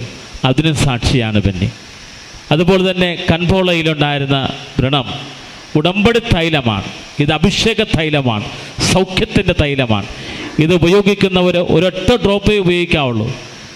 വാരി ഒഴിച്ച് കളയരുത്. ഇത് അത്ഭുത തൈലമാണ്. അഭിഷേക തൈലമാണ്. അപ്പോസിൽ അധികാരത്താൽ ആശീർവദിച്ചതാണ്. അതുകൊണ്ട് തന്നെ അത് ഉപയോഗിക്കുമ്പോൾ ഒരൊറ്റ ഡ്രോപ്സ് ഉപയോഗിച്ചാൽ മതി. ദൈവം പ്രവർത്തിച്ചിരിക്കും. അതാണ് ദൃഢമായി തീർന്ന അവസ്ഥയിൽ നിന്ന് കർത്താവ് പൂർണ സൗഖ്യം നൽപ്പിക്കുക വ്യക്തിപരമായ പലിശ കടങ്ങളിൽ മോചനം മറ്റും അവിടെയും ദൈവം വഴി അപ്പോൾ ഒരു വ്യക്തിയുടെ ജീവിതത്തിൽ ഒരു കുടുംബത്തിന്റെ ജീവിതത്തിൽ അവരുടെ നാനാവിധമായ ജീവിത വിഷയങ്ങളിൽ പ്രതിസന്ധികളിൽ പ്രതികൂല സാഹചര്യങ്ങളിൽ കൃപാസനം അഭയകേന്ദ്രമായി തീരുകയാണ് കൃപാസന പ്രത്യക്ഷയായ പരിശുദ്ധമ്മ അവർക്ക് സംരക്ഷകയായിട്ട് മാറുകയാണ്.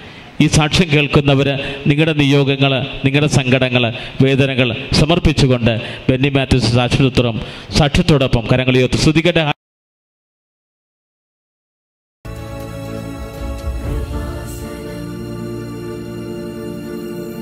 പരിശുദ്ധ അമ്മ മാതാവ് ജീവനോടെ പ്രത്യക്ഷപ്പെട്ട ഈ ആൾത്താരയിൽ കടന്നു വന്ന് അമ്മ മാതാവും അവിടുത്തെ തിരുക്കുമാരനും എന്റെ ജീവിതത്തിൽ ചൊരിഞ്ഞു നൽകിയ അനുഗ്രഹങ്ങൾക്ക് നന്ദി പറയുവാൻ സാധിച്ചതിന് ഒരായിരം നന്ദി അമ്മ മാതാവിനും തിരുക്കുമാരനും കരയേറ്റുന്നു.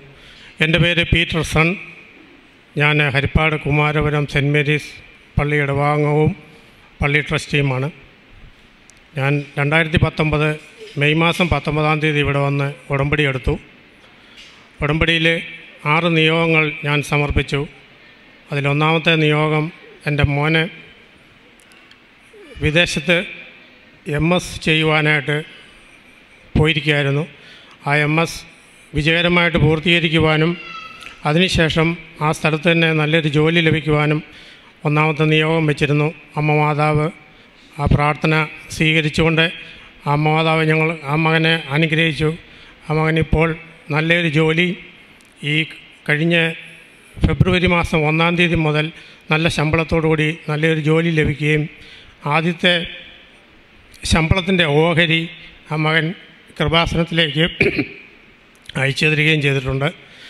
രണ്ടാമത്തത് ഞാൻ രണ്ടായിരത്തി പതിനെട്ട് ഫെബ്രുവരി മാസം ഞാൻ സർക്കാർ ജീവനക്കാരനായിരുന്നു. ഫെബ്രുവരി മാസം ഞാൻ റിട്ടയർ ചെയ്തു. എന്റെ പെൻഷൻ സംബന്ധമായിട്ടുള്ള കാര്യങ്ങൾക്ക് അത് ലഭിക്കുവാനായിട്ട് തടസ്സം നേരിട്ടു. ആ നിയോഗം ഞാൻ അമ്മമാതാവിന്റെ കരങ്ങളിൽ സമർപ്പിച്ച് പ്രാർത്ഥിച്ചതിന്റെ ഫലമായിട്ട് രണ്ടായിരത്തി പത്തൊമ്പത് ഒക്ടോബർ നവംബർ മാസത്തോടുകൂടി എനിക്ക് പെൻഷൻ ലഭിക്കുവാൻ സാധിച്ചു. മൂന്നാമതായിട്ട് ഞങ്ങൾക്ക് രണ്ട് ഫ്ലാറ്റുകൾ വാടകയ്ക്ക് കൊടുക്കുവാനുണ്ടായിരുന്നു. ആ അത് വാടകയ്ക്ക് കൊടുക്കുവാനായിട്ട് ഒരുപാട് ശ്രമിച്ചിട്ടും നടന്നില്ല. ഈ വിഷയം അമ്മമാതാവിന്റെ കരങ്ങളിൽ സമർപ്പിച്ച് പ്രാർത്ഥിച്ചു. അതിലൊരു ഫ്ലാറ്റ് ഉടമ്പടി എടുത്ത് മൂന്ന് മാസത്തിനുള്ളിൽ തന്നെ വാടകയ്ക്ക് കൊടുക്കുവാൻ വാടകയ്ക്ക് നൽകുവാനായിട്ട് അമ്മ മാതാവ് ഞങ്ങളെ സഹായിച്ചു. എന്റെ ജീവിത പങ്കാളിയുടെ കുടുംബസ്വത്ത് ഓഹരി ചെയ്യുന്നത് സംബന്ധിച്ച് വലിയ പ്രശ്നങ്ങളും കേസുകളുമൊക്കെ ആയി നിൽക്കുമായിരുന്നു ഈ വിഷയം അമ്മ മാതാവിന്റെ കരങ്ങളിൽ സമർപ്പിച്ച് പ്രാർത്ഥിച്ചു. രമ്യതയോടുകൂടി ഈ വിഷയം പരിഹരിക്കുവാൻ അമ്മ മാതാവ് ഇടപെട്ടു. ഇപ്പോൾ സഹോദരങ്ങളെല്ലാവരും വളരെ സൗഹൃദത്തിലാവുകയും ഓരോരുത്തർക്കും അവകാശമായിട്ടുള്ള വസ്തുക്കൾ അളന്നു തിരിച്ച് അത് കൈവശമാക്കുവാനായിട്ടുള്ള ഒരു തീരുമാനത്തിലെത്തി നിൽക്കുകയാണ്. അതിന്റെ പൂർത്തീകരണം നടക്കുവാനായിട്ട് എല്ലാ ദൈവമക്കളുടെയും പ്രാർത്ഥനാ സഹായം കൂടി യാചിക്കുകയാണ്. അടുത്തതായിട്ട് എന്റെ ജീവിത പങ്കാളിയുടെ തൊഴിൽ മേഖലയിൽ തൊഴിലുകളൊക്കെ വളരെ കുറവായിരുന്നു. അമ്മമാതാവിന്റെ കരങ്ങളിൽ സമർപ്പിച്ച് പ്രാർത്ഥിച്ചു.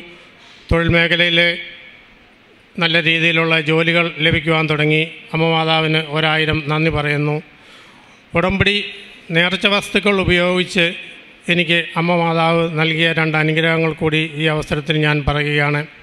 ഏതാണ്ട് അൻപത് വർഷത്തോളം പഴക്കമുള്ള എന്റെ വലതുകാലിലെ കണ്ണയിലുള്ള ഒരു അലർജി രോഗം അതായത് കുഞ്ഞുനാളിലെ ചെരുപ്പിട്ട് നടന്ന സമയത്ത് കാൽ ത- കാൽ ഇടതുകാലിലെ ചെരുപ്പ് ഈ കണ്ണയിൽ ഒരഞ്ഞ് ചെറിയ ഒരു സ്പോട്ടായിട്ട് രൂപാന്തരപ്പെട്ടത് പ്രായമായപ്പോൾ ഒരു വലിയ പത്ത് രൂപ തൊട്ടിന്റെ വലുപ്പത്തിൽ ആ അത് രൂപാന്തരപ്പെട്ട് വന്നു. വലിയ ചൊറിച്ചിലും മറ്റും സഹിക്കാൻ പാടില്ലാത്ത രീതിയിൽ ഇരുന്നു. ഈ സമയത്ത് അമ്മ മാതാവിന്റെ സന്നിധിയിൽ നിന്ന് ലഭിച്ച ഉടമ്പടി തൈലം വിശ്വാസ പ്രമാണം ചൊല്ലി ദിവസങ്ങളോളം ഞാൻ അത് ഉപയോഗിച്ച് പുരട്ടി അത് പൂർണമായിട്ടും അത് മാറിക്കിട്ടി. അടുത്തതായിട്ട് എനിക്ക് കഫക്കെട്ടിന്റെയും ചെറിയ ചുമയുടെയും ചെറിയ ശ്വാസമുട്ടലിന്റെയും അസുഖമുണ്ടായിരുന്നു. ഇത് ഉടമ്പടി തേൻ കഴിച്ചതിന്റെ വഴിയായിട്ട് അമ്മ മാതാവ് അതെല്ലാം പൂർണമായിട്ട് എനിക്ക് മാറ്റി തന്നു കൂടാതെ ഉടമ്പടി എടുത്ത സമയത്ത് വളരെ ഭയാശങ്കയോടുകൂടിയായിരുന്നു ഞാൻ ഉടമ്പടി എടു എടു- എടുക്കാനായിട്ട് കടന്നു വന്നത്. കാരണം ഉടമ്പടിയിൽ പറഞ്ഞിരിക്കുന്ന കാര്യങ്ങളെല്ലാം എന്റെ ജീവിതത്തിൽ പ്രാവർത്തികമാക്കുവാൻ സാധിക്കുമോ എന്നുള്ളൊരു വലിയ ഭയാശങ്കയുണ്ടായിരുന്നു.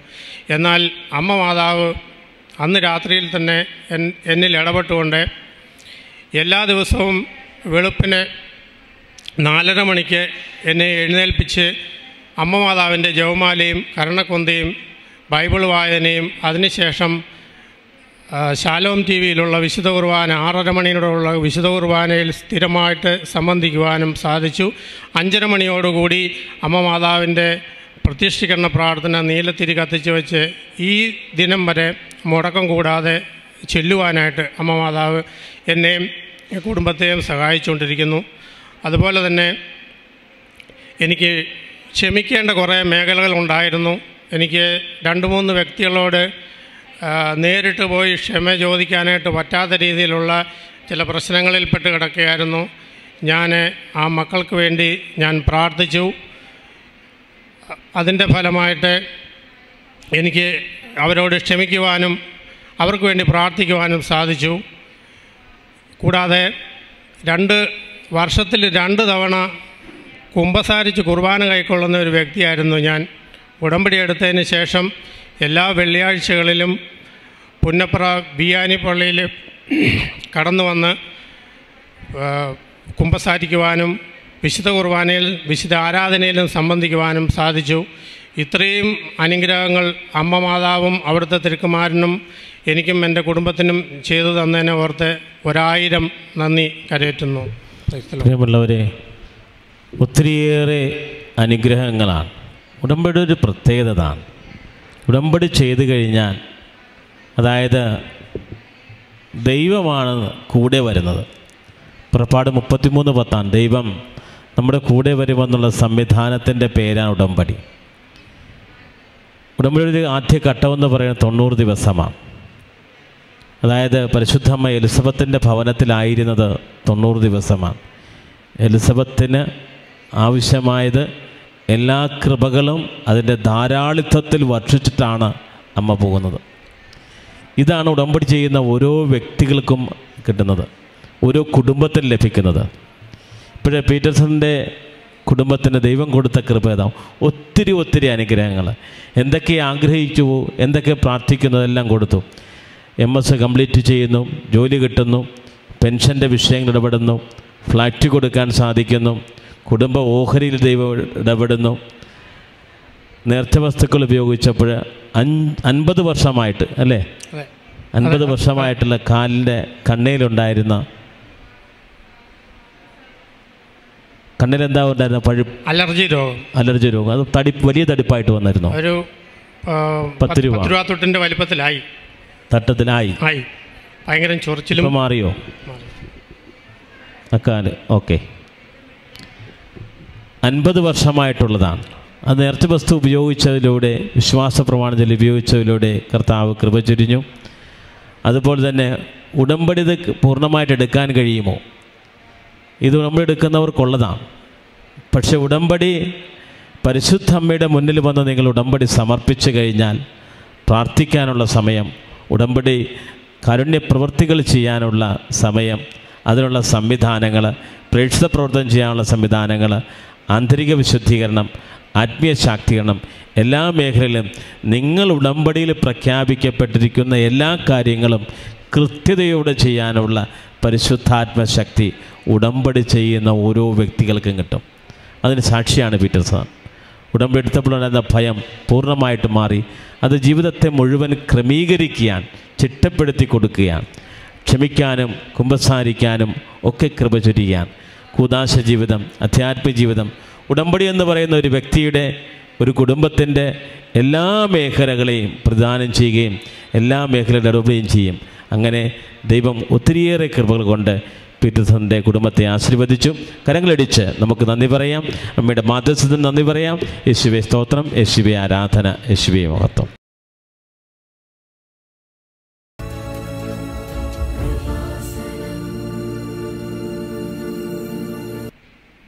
എന്റെ പേര് ഫിലോമിന.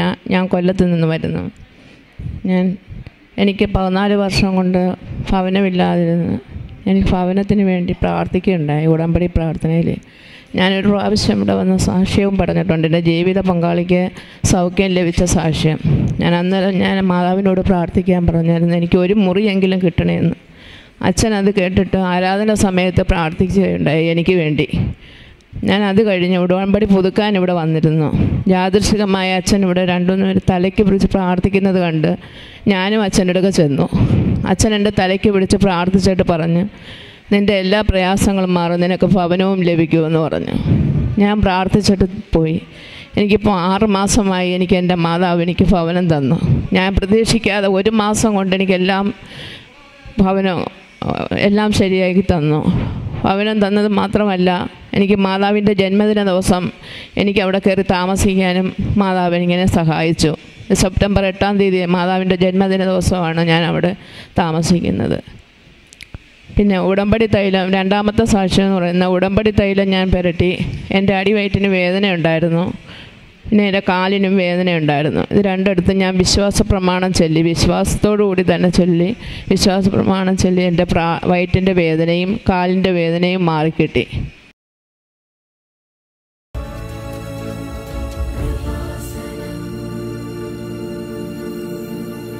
പേര് നിഷ ഞാൻ കൂത്താട്ടോളത്തു നിന്നാണ് വരുന്നത്. വടകര ഇടവക. ഞാനാണെന്നുണ്ടെങ്കിൽ രണ്ടര കൊല്ലമായിട്ട് ഒരു കോഴ്സ് കഴിഞ്ഞിട്ട് ഹെൽത്ത് കെയർ ഫെസിലിറ്റിയിൽ ജോലി ചെയ്ത് വരുമായിരുന്നു ഞാൻ നേഴ്സാണ്. പക്ഷേ അവിടെ അത് കഴിഞ്ഞിട്ട് ഐ എൽസിന് ട്രൈ ചെയ്തെങ്കിലും കിട്ടിയില്ല. നമ്മുടെ കേരളത്തിനെ അപേക്ഷിച്ച് ഭയങ്കര ഡിഫറെന്റ് എക്സാം ആയിരുന്നു. കാരണം വെച്ചാൽ ലിസണിങ് ഒക്കെ ആണെന്നുണ്ടെങ്കിലും നമുക്ക് ഓഡിയബിൾ ആയിട്ട് സ്പീക്കറിൽ ഇടത്തുള്ളൂ. നമുക്ക് മൈക്രോഫോണൊന്നും തരത്തില്ല. അപ്പോൾ എക്സാം ട്രൈ ചെയ്തെങ്കിൽ ഏതെങ്കിലും മൊഡ്യൂളിന് എപ്പോഴും എപ്പോഴും പോകുമായിരുന്നു അപ്പോൾ എന്റെ പേരൻസ് പറഞ്ഞിട്ട് ഞാനിവിടെ സെപ്റ്റംബർ പത്തിന് വന്ന് ഉടമ്പടി എടുത്തു. സെപ്റ്റംബർ ഇരുപത്തൊന്നിന് ഞാൻ അവിടുന്ന് ജസ്റ്റ് ഫെയർ ആയിട്ടൊരു റഫായിട്ട് എഴുതാൻ വേണ്ടി ഒരു ഒ ഇ ടിയുടെ ഡേറ്റ് ബുക്ക് ചെയ്തിട്ടാണ് വന്നത് പക്ഷേ അതിന് വലിയ പ്രിപ്പറേഷൻസ് ഒന്നും ഉണ്ടായിരുന്നില്ല. കാരണം ഞാൻ നാട്ടിൽ ലീവിന് വന്നതാണ്. പക്ഷെ ഞാൻ പോയി എഴുതി ദൈവം മാതാവ് അനുഗ്രഹിച്ച് ഞാൻ ഒ ഇ ടിയുടെ എക്സാം ക്ലിയർ ചെയ്തു. വളരെ പെട്ടെന്നായിരുന്നു. കാരണം എന്ന് വെച്ചാൽ ഞാൻ ഉടമ്പടി എടുത്തിട്ട് റഫായിട്ട് പോയി എഴുതിയതാ. ഫെയർ ആയിട്ട് നമുക്ക് കിട്ടുമെന്ന് എനിക്ക് ഒട്ടും പ്രതീക്ഷ ഉണ്ടായിരുന്നില്ല. എക്സാം വളരെ ഡിഫിക്കൽട്ടായിരുന്നു പക്ഷേ സെപ്റ്റംബർ ഇരുപത്തൊന്നിനുള്ള എക്സാം തന്നെ ഞാൻ ക്ലിയർ ചെയ്തു. അത് കഴിഞ്ഞിട്ട് അയർലൻഡിലോട്ടുള്ള പേപ്പർ വർക്ക് ഞാൻ സ്റ്റാർട്ട് ചെയ്തു. കുറച്ച് ഫാമിലിയുടെ പ്രോബ്ലംസ് കൊണ്ട് ഞാൻ അയർലൻഡാണ് ചൂസ് ചെയ്തത്. ന്യൂസിലാൻഡ് അത്ര സ്യൂട്ടായിട്ട് എനിക്ക് തോന്നിയില്ല. അതുകൊണ്ട് അയർലൻഡ് പേപ്പർ വർക്ക് സ്റ്റാർട്ട് ചെയ്തെങ്കിലും കുറച്ച് ഡിലേ നേരിട്ടു. പക്ഷേ എന്നാലും അതിന്റെ ഉള്ളിൽ എന്റെ മാരേജ് കഴിഞ്ഞു. കുറേ കുറേ നല്ല കാര്യങ്ങൾ അതിന്റെ ഇടയ്ക്ക് സംഭവിച്ചു. നല്ലൊരു ജോബ് ഓഫർ കിട്ടി. അയർലൻഡിന് പോകുമ്പം ഇപ്പോൾ നേഴ്സായിട്ടുള്ള പിള്ളേർക്കൊക്കെ അറിയാം. ചിലപ്പം ത്രീ ടു ഫോർ ലാക്സ് നമ്മൾ ഏജന്റിന് കൊടുക്കണം. അങ്ങനെ കുറേ ഇഷ്യൂസൊക്കെ വരും. പക്ഷേ എനിക്കൊരു ഫ്രീ ഫെയർ ഓഫറായിട്ട് എനിക്ക് ജോബ് കിട്ടി. എനിക്കിതുവരെ ഒരു മുടക്കം വന്നിട്ടില്ല. ഞാനിപ്പോൾ നാളെ പോവാണ്. നാളെ എട്ട് പത്തിന് എന്റെ ഫ്ലൈറ്റ് ടൈമാണ് എല്ലാവരും എനിക്ക് വേണ്ടി പ്രാർത്ഥിക്കണം. അവിടെ ഒരു എക്സാം ഉണ്ട് ഏപ്രിൽ സെവന്റീൻത്തിന് അതും ക്ലിയർ ആവുമെന്ന് എനിക്ക് വിശ്വാസമുണ്ട്. അമ്മ മാതാവ് എന്നെ അനുഗ്രഹിക്കുമെന്ന് നല്ല പ്രതീക്ഷയുണ്ട്. യേശുവെ നന്ദി. യേശുവെ സ്തുതി. കരങ്ങളടിച്ച് നമുക്ക് കർത്താവിനെ മഹത്വപ്പെടുത്താം. ഉടമ്പടി ഈ മകളുടെ ജീവിതത്തെ മാറ്റിമറിച്ചു എന്നാണ് ഈ മകൾ പറഞ്ഞത്. കാരണം ന്യൂസിലാൻഡിൽ നിന്ന് മൂന്ന് തവണ ഐ എൽ ടി എസ് എഴുതി. അപ്പോൾ അവിടുത്തെ രീതികളൊക്കെ വ്യത്യാസമായിരുന്നു. അപ്പോൾ ആ മകൾ മൂന്ന് പ്രാവശ്യം ഐ എൽ ടി എസിന് ഫെയിലായി. അതിനുശേഷം അമ്മയാണ് പറഞ്ഞത് കൃപാസനത്തിൽ വന്ന് ഉടമ്പടി എടുത്ത് പ്രാർത്ഥിച്ചു അതിന്റെ എല്ലാ വിഷയവും സെറ്റാകും. ഈ മകൾ വിശ്വാസത്തോടു കൂടി കൃപാസനത്തിൽ വന്ന് ഉടമ്പടി എടുത്ത് പ്രാർത്ഥിച്ചു. പറഞ്ഞ ഒരു വിഷയം നിങ്ങൾ നോട്ട് ചെയ്തിട്ടുണ്ടാവും. ഒ ഇ ടി ഞാൻ പ്രിപ്പയർ ചെയ്യാതെയാണ് എഴുതിയത്. പക്ഷേ എനിക്ക് കോൺഫിഡൻസ് ജസ്റ്റ് പോയി എഴുതി എന്നാണ് പറഞ്ഞത്. പക്ഷേ ഉടമ്പടിയുടെ ആ ഒറ്റ യോഗ്യതയാൽ എഫ് എസ് എൻസ് രണ്ട് എട്ട് തിരുവചന വിശ്വാസം വഴി കൃപയാലാണ് നിങ്ങൾ രക്ഷിക്കപ്പെട്ടത്.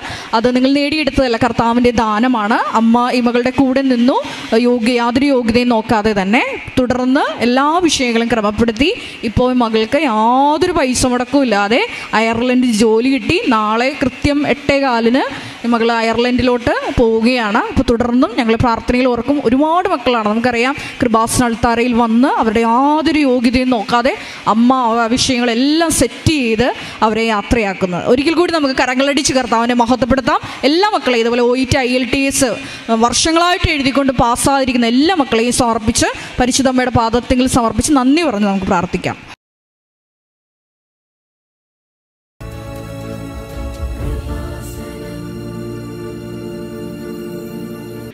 എന്റെ പേര് ബിനു. ഞാൻ എറണാകുളം നെട്ടൂരിൽ നിന്നാണ് വരുന്നത്. ആദ്യമായിട്ട് എനിക്ക് എനിക്ക് മൂന്ന് രോഗസൗഖ്യമാണ് എനിക്ക് പറയാനുള്ളത്. അതിലൊന്നാമത്തേത് എന്റെ മോളുടെയാണ്. ഇവൾക്ക് ഒൻപത് മാസം ആയപ്പോൾ തുടങ്ങി എപ്പോഴും ഫിക്സ് വരുമായിരുന്നു. അങ്ങനെ ഞങ്ങൾ ന്യൂറോനെ കണ്ടു. രണ്ട് വർഷം മരുന്ന് കൊടുത്തു. അതിനുശേഷം മരുന്ന് നിർത്തി ഒരു വർഷത്തിന് ശേഷം വീണ്ടും ഫിക്സ് വന്നു. അത് കഴിഞ്ഞ് വീണ്ടും രണ്ട് വർഷം മരുന്ന് കൊടുത്തു. വീണ്ടും ഒരു വർഷം കഴിഞ്ഞപ്പോൾ വീണ്ടും ഫിക്സ് വന്നു. പിന്നെയും രണ്ട് വർഷം കൊടുത്തു. അപ്പം ഞാൻ ഇനിയിപ്പോൾ വരില്ല എന്ന് കരുതിയിരിക്കുമായിരുന്നു അപ്പോൾ ഒൻപത് വയസ്സായപ്പോഴേക്കും അവൾക്ക് പഠനത്തിൽ കുറച്ച് പുറകോട്ടായിട്ട് ട്യൂഷൻ മാം കണ്ടു. അപ്പം ലേണിംഗ് ഡിസേബിലിറ്റി ഉണ്ടോ എന്ന് നോക്കണം എന്ന് പറഞ്ഞു. അപ്പം ഞങ്ങൾ പീഡിയാട്രിഷനെ ചെന്ന് കണ്ടു. അപ്പോൾ പീഡിയാട്രീഷ്യൻ പറഞ്ഞു എന്തായാലും ഫിക്സ് വന്ന കുട്ടിയല്ലേ നമുക്കൊന്ന് ഈ ഇ ജി എടുത്ത് നോക്കാം എന്നിട്ട് തീരുമാനിക്കാം എന്ന് പറഞ്ഞു. അപ്പോൾ ഈ ഇ ജി എടുത്തപ്പോഴേക്കും ഇപ്പം ഇതുവരെ ഫിക്സ് ഒന്നും വന്നിട്ടില്ലല്ലോ അപ്പോൾ അതുകൊണ്ട് ഇനി കുഴപ്പമൊന്നും ഇല്ലായിരിക്കും എന്ന് തന്നെയാണ് ഞാൻ കരുതിയത്. പക്ഷേ ഈ ഇ ജി വന്നപ്പോഴേക്കും അവൾക്ക് അബ്നോർമലായിരുന്നു ഡോക്ടർ പറഞ്ഞത് നമ്മളറിയാതെയും ഫിക്സ് വരുന്നുണ്ട് ചിലപ്പോൾ ഉറക്കത്തിലായിരിക്കും. അല്ലെങ്കിൽ കളിക്കുമ്പോഴോ പഠിക്കുമ്പോഴോ എപ്പോഴെങ്കിലും ഒരു സെക്കൻഡോ രണ്ട് സെക്കൻഡോ വന്ന് പോകുന്നുണ്ടാവും. അതുകൊണ്ടാണ് ഇങ്ങനെ അബ്നോർമാലിറ്റി കാണിക്കുന്നതെന്ന് പറഞ്ഞു. അതുകൊണ്ട് വീണ്ടും ഞങ്ങൾക്ക് മരുന്ന് സ്റ്റാർട്ട് ചെയ്യേണ്ടതായിട്ട് വന്നു. അപ്പോൾ എനിക്ക് ഭയങ്കര വിഷമമായിരുന്നു. അവൾ പെൺകുട്ടിയല്ലേ ഇത്ര ഒൻപത് വയസ്സായില്ലേ ഇപ്പോഴും ഫിക്സ് വരുന്നതുകൊണ്ട് ഇനി അങ്ങോട്ട് എങ്ങനെയായിരിക്കും എന്ന് കരുതി നല്ല വിഷമമായിരുന്നു. അപ്പോൾ ഞാൻ ഹസ്ബൻഡിനോട് പറഞ്ഞു നമുക്ക് വേറൊരു ഡോക്ടറെ കൂടെ കാണാമെന്ന് പറഞ്ഞു. അങ്ങനെ ഞങ്ങൾ അമൃത ഹോസ്പിറ്റലിൽ പീഡിയാട്രിക് ന്യൂറോനെ പോയി കണ്ടു. അപ്പോൾ ഡോക്ടർ പറഞ്ഞു നമുക്ക് എന്തായാലും വേറൊരു ഇ ജി എടുക്കാം. അതൊരു എട്ട് മണിക്കൂർ കണ്ടിന്യൂസ് എടുക്കുന്ന ഒരു ഇ ജി ആണ്. അപ്പോൾ രാത്രി നിങ്ങൾ ഇവിടെ സ്റ്റേ ചെയ്യണം എന്ന് പറഞ്ഞു. അങ്ങനെ ഹസ്ബൻഡും മോളും രാത്രി അവിടെ സ്റ്റേ ചെയ്തു. ആ സമയം ഒക്ടോബറിൽ ഓൺലൈൻ ജപമാല റാലി നടക്കുന്ന സമയമായിരുന്നു. രാത്രിയിൽ ഫുൾ ഞാൻ ഇവർ ഹോസ്പിറ്റലിലും ഞാൻ വീട്ടിലിരുന്ന് ആ ഓൺലൈൻ ജപമാല റാലി കൂടി പ്രാർത്ഥിച്ചു. സാക്ഷ്യം പറയാമെന്ന് പ്രാർത്ഥിച്ചു. ലൈറ്റ് ക്യാൻഡിൽ പ്രെയർ റിക്വസ്റ്റ് ഇട്ടു. അത് കഴിഞ്ഞ് റിപ്പോർട്ട് വന്നപ്പോഴേക്കും ഡോക്ടർ പറഞ്ഞു നിങ്ങൾ നേരത്തെ പറഞ്ഞതുപോലെയുള്ള ഒരു പ്രശ്നങ്ങളും ഈ ഇ ജി റിപ്പോർട്ടിൽ എനിക്ക് കാണുന്നില്ല. നമുക്കിപ്പോൾ സ്റ്റാർട്ട് ചെയ്ത മരുന്ന് പയ്യെ സ്റ്റോപ്പ് ചെയ്യാമെന്ന് പറഞ്ഞു. ഇപ്പോൾ പഠനത്തിലും കുഴപ്പമില്ല. അവളിപ്പം സാധാരണ എല്ലാ കുട്ടികളും പഠിക്കുന്നത് പോലെ തന്നെ പഠിക്കുന്നുണ്ട്. അടുത്തതായിട്ട് എനിക്ക് ബ്രസ്റ്റിന്റെ അടുത്തായിട്ട് ഒരു സിസ്റ്റ് വന്നു. ഡോക്ടർ ചെന്ന് കണ്ടപ്പോഴേക്കും മാമോഗ്രാഫി ചെയ്യണം എന്ന് പറഞ്ഞു. മാമോഗ്രാഫി ചെയ്തപ്പോഴേക്കും അവർ പറഞ്ഞു ഇതൊരു ഓൺകോളജിസ്റ്റിനെ കാണണം എന്ന് പറഞ്ഞു. അവർ ബയോപ്സിക്ക് ഇത് അയക്കണം എന്ന് പറഞ്ഞു. അപ്പോൾ ബയോപ്സിക്ക് അയക്കാൻ കൊടുത്തു. നാല് ദിവസം കഴിഞ്ഞിട്ട് റിപ്പോർട്ട് കിട്ടുള്ളൂ എന്ന് പറഞ്ഞു. അപ്പോൾ എനിക്ക് ഭയങ്കര വിഷമമായിരുന്നു. എനിക്ക് രണ്ട് പെൺകുട്ടികളാണ്. രണ്ട് വയസ്സും ഒൻപത് വയസ്സുമുള്ള ഹസ്ബൻഡ് ഇവിടെ ഇല്ല. ആർമിയിലാണ് അപ്പോൾ വീട്ടിൽ ഞങ്ങൾ മാത്രമേ ഉള്ളൂ. അപ്പോൾ എനിക്ക് എന്തെങ്കിലും പറ്റിയാൽ എന്തായിരിക്കും എന്ന് കരുതി വളരെ വിഷമിച്ചു. മാതാവിന്റെ അടുത്ത് ഒരുപാട് പ്രാർത്ഥിച്ചു. ആയിരം പ്രാവശ്യം നന്മ നിറഞ്ഞ മറിയം ചൊല്ലി ആയിരം പ്രാവശ്യം വചനം എഴുതി ഒരു ദിവസം നാല് കൊന്ത വീതം ചൊല്ലി വിശ്വാസ പ്രമാണവും കർത്താവിന്റെ സംരക്ഷണം പ്രാർത്ഥന നിരന്തരം ഞാൻ പ്രാർത്ഥിച്ചു. പക്ഷേ ബയോപ്സിയുടെ റിസൾട്ട് വന്നപ്പോൾ ഫെയിലായിട്ടുള്ള ഒരു റിപ്പോർട്ടാണ് വന്നത്. ഡോക്ടർ പറഞ്ഞു ഇത് ക്യാൻസർ ആണെന്നും പറയാൻ പറ്റില്ല അല്ല എന്നും പറയാൻ പറ്റില്ല എന്നാണ് പറഞ്ഞത്. വീണ്ടും ഒരുപാട് വിഷമിച്ചു. ഞങ്ങൾ വേറൊരു ഹോസ്പിറ്റലിൽ പിന്നെ സിസ്റ്റർ അത് എടുത്ത് കളയാം. എന്നിട്ട് അത് എന്നിട്ട് നമുക്ക് ഒന്നുകൂടെ ബയോപ്സിക്ക് അയക്കാം എന്ന് അവർ പറഞ്ഞു. ഞങ്ങൾ എന്നിട്ട് വേറൊരു ഹോസ്പിറ്റൽ കാണാൻ പോയി. അപ്പോൾ അവർ വീണ്ടും ഈ മാമോഗ്രാം ഡിജിറ്റലും സോണോ എല്ലാം വീണ്ടും എടുത്തു. അപ്പോൾ ഞാൻ എപ്പോഴും ടെസ്റ്റ് ചെയ്യാൻ പോകുമ്പോഴെല്ലാം കാശ് രൂപം കയ്യിൽ മുറുക്കി പിടിച്ചിട്ടേ ഞാൻ പോകുള്ളായിരുന്നു. മാതാവിന്റെ ഫോട്ടോയും നോക്കി കൊന്തയും ചൊല്ലി പ്രാർത്ഥിച്ച് ഫുൾ പ്രാർത്ഥിച്ച് ഞാൻ ഇരിക്കുമായിരുന്നു അപ്പോൾ രണ്ടാമത് സോണോ ഞാൻ മാമോഗ്രാം ചെയ്യാൻ വേണ്ടി ഞാൻ പോയപ്പോഴേക്കും ആദ്യം ഡിജിറ്റൽ ചെയ്തപ്പോഴേക്കും ആ ഡോക്ടർക്ക് വീണ്ടും സംശയമായി. പിന്നെ എന്നെ സോണോ ചെയ്യാനായിട്ട് വിളിച്ചു. അപ്പോഴേക്കും ഞാൻ പുറത്തുനിന്ന് ഞാൻ പ്രാർത്ഥിച്ചു മാതാവേ എനിക്ക് ഇനി എനിക്ക് ടെൻഷൻ എടുക്കാൻ വയ്യ. ഇപ്പം എന്നെ കൊണ്ട് താങ്ങാവുന്നതിലും കൂടുതൽ ടെൻഷൻ ഞാൻ എടുത്തു. ഇനി ഞാൻ ചത്തുപോകും എനിക്കിനി പറ്റില്ല. അപ്പോൾ അതുകൊണ്ട് ഇനി ഞാൻ ചെയ്യാൻ പോകുമ്പോൾ മാതാവ് എന്റെ അവിടെ ഉണ്ടാവണം. ഡോക്ടർക്ക് പകരം മാതാവായാൽ മതി. എനിക്ക് മാതാവ് എന്തെങ്കിലും എനിക്കൊരു സമാധാനം കിട്ടുന്ന ഒരു വാക്ക് പറയണം എനിക്ക്.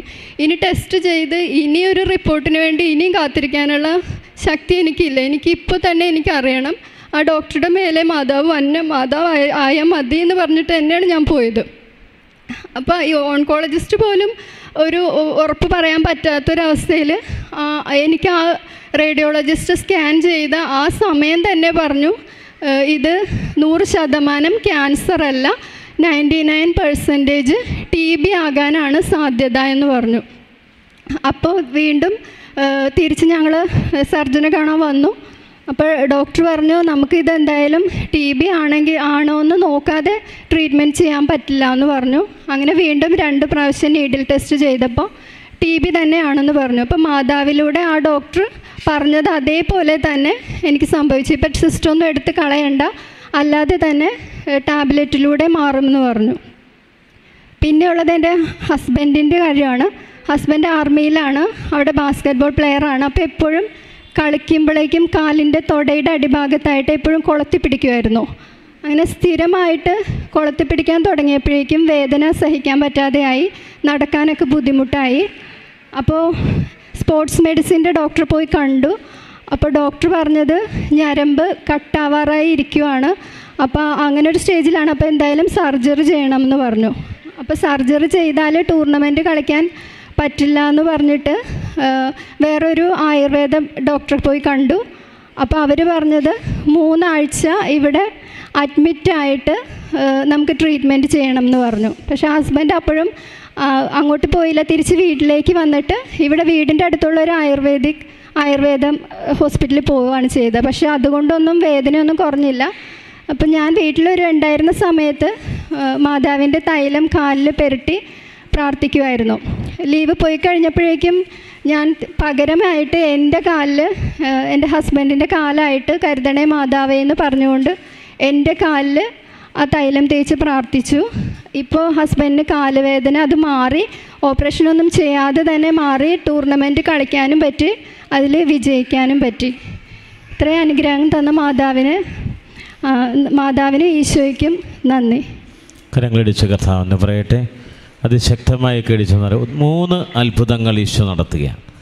ഒന്ന് ഫിറ്റ്സാണ് അത് ശക്തമായിട്ട് പ്രാർത്ഥിച്ചു എന്നാണ്.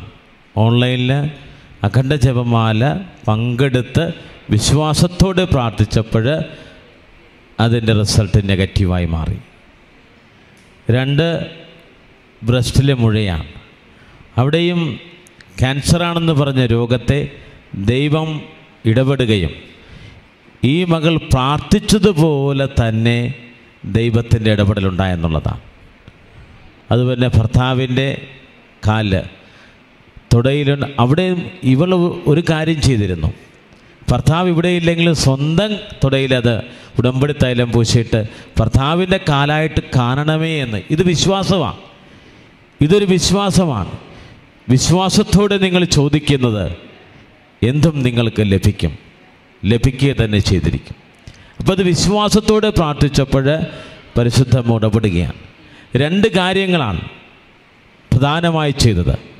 ഒന്ന് ഉടമ്പടി കാശുരൂപം കയ്യിലേന്തി പ്രത്യേകമായിട്ട് പ്രാർത്ഥിച്ചു. രണ്ട് ഉടമ്പടി തൈലം ഉപയോഗിച്ചു. മൂന്ന് കൃപാസനം ഓൺലൈൻ അഖണ്ഡ ജപമാല പങ്കെടുത്ത് ജീവിത നിയോഗങ്ങൾ സമർപ്പിച്ചു. ഇപ്പോൾ ഈ ശുശ്രൂഷ ഓൺലൈനിൽ കാണുന്നവരുണ്ട്. നിങ്ങളിത് പ്രത്യേകമായിട്ട് ശ്രദ്ധിക്കണം കേൾക്കണം. എങ്ങനെയാണ് ഉടമ്പടിയെടുത്തൊരു വ്യക്തിയുടെ ജീവിതത്തിൽ ദൈവത്തിന്റെ ഇടപെടലുണ്ടാകുന്നത്? ഉടമ്പടി എന്ന് പറയുന്നത് ഈസിയായിട്ട് എടുത്തു പോകുന്നതല്ല. മറിച്ച് നമുക്ക് ചെയ്യാൻ പറ്റുന്ന കാര്യമാണ്. പക്ഷേ നമ്മുടെ ഇൻവെസ്റ്റ്മെന്റ് അതിനകത്തുണ്ട്. അങ്ങനെ നമ്മുടെ ഇൻവെസ്റ്റ്മെന്റ് അത് കൃത്യമായിട്ട് ബിനു ചെയ്തപ്പോഴാണ് ദൈവം ഇടപെട്ടത്. കർത്താവ് കൊടുത്ത എല്ലാ അനുഗ്രഹങ്ങളും നന്ദി പറയാം.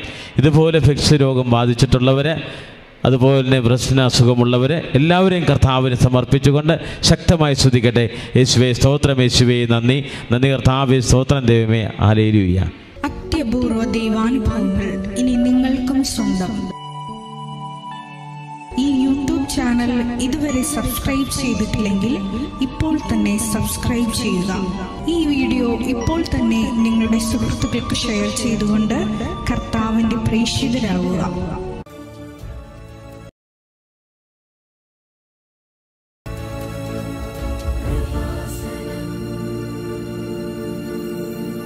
യേശുവെ നന്ദി. യേശുവേ സ്തോത്രം. എന്റെ പേര് ഷൈനി ലൂക്കോസ്. കൊല്ലം ജില്ലയിൽ ശൂരനാട് സെന്റ് ജോസഫ് ഇടവക അംഗമാണ്. ഞാൻ ഉടമ്പടി എടുത്തത് രണ്ടായിരത്തി പതിനെട്ട് ഡിസംബർ പതിനഞ്ചാം തീയതിയാണ്.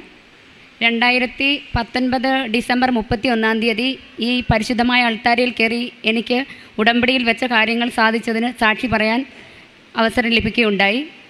ശേഷം ഓപ്പൺ ഓഡിയോ ഓഡിറ്റോറിയത്തിലും എനിക്ക് സാക്ഷ്യം പറയാനുള്ള ഒരു അവസരം ലഭിക്കുകയുണ്ടായി.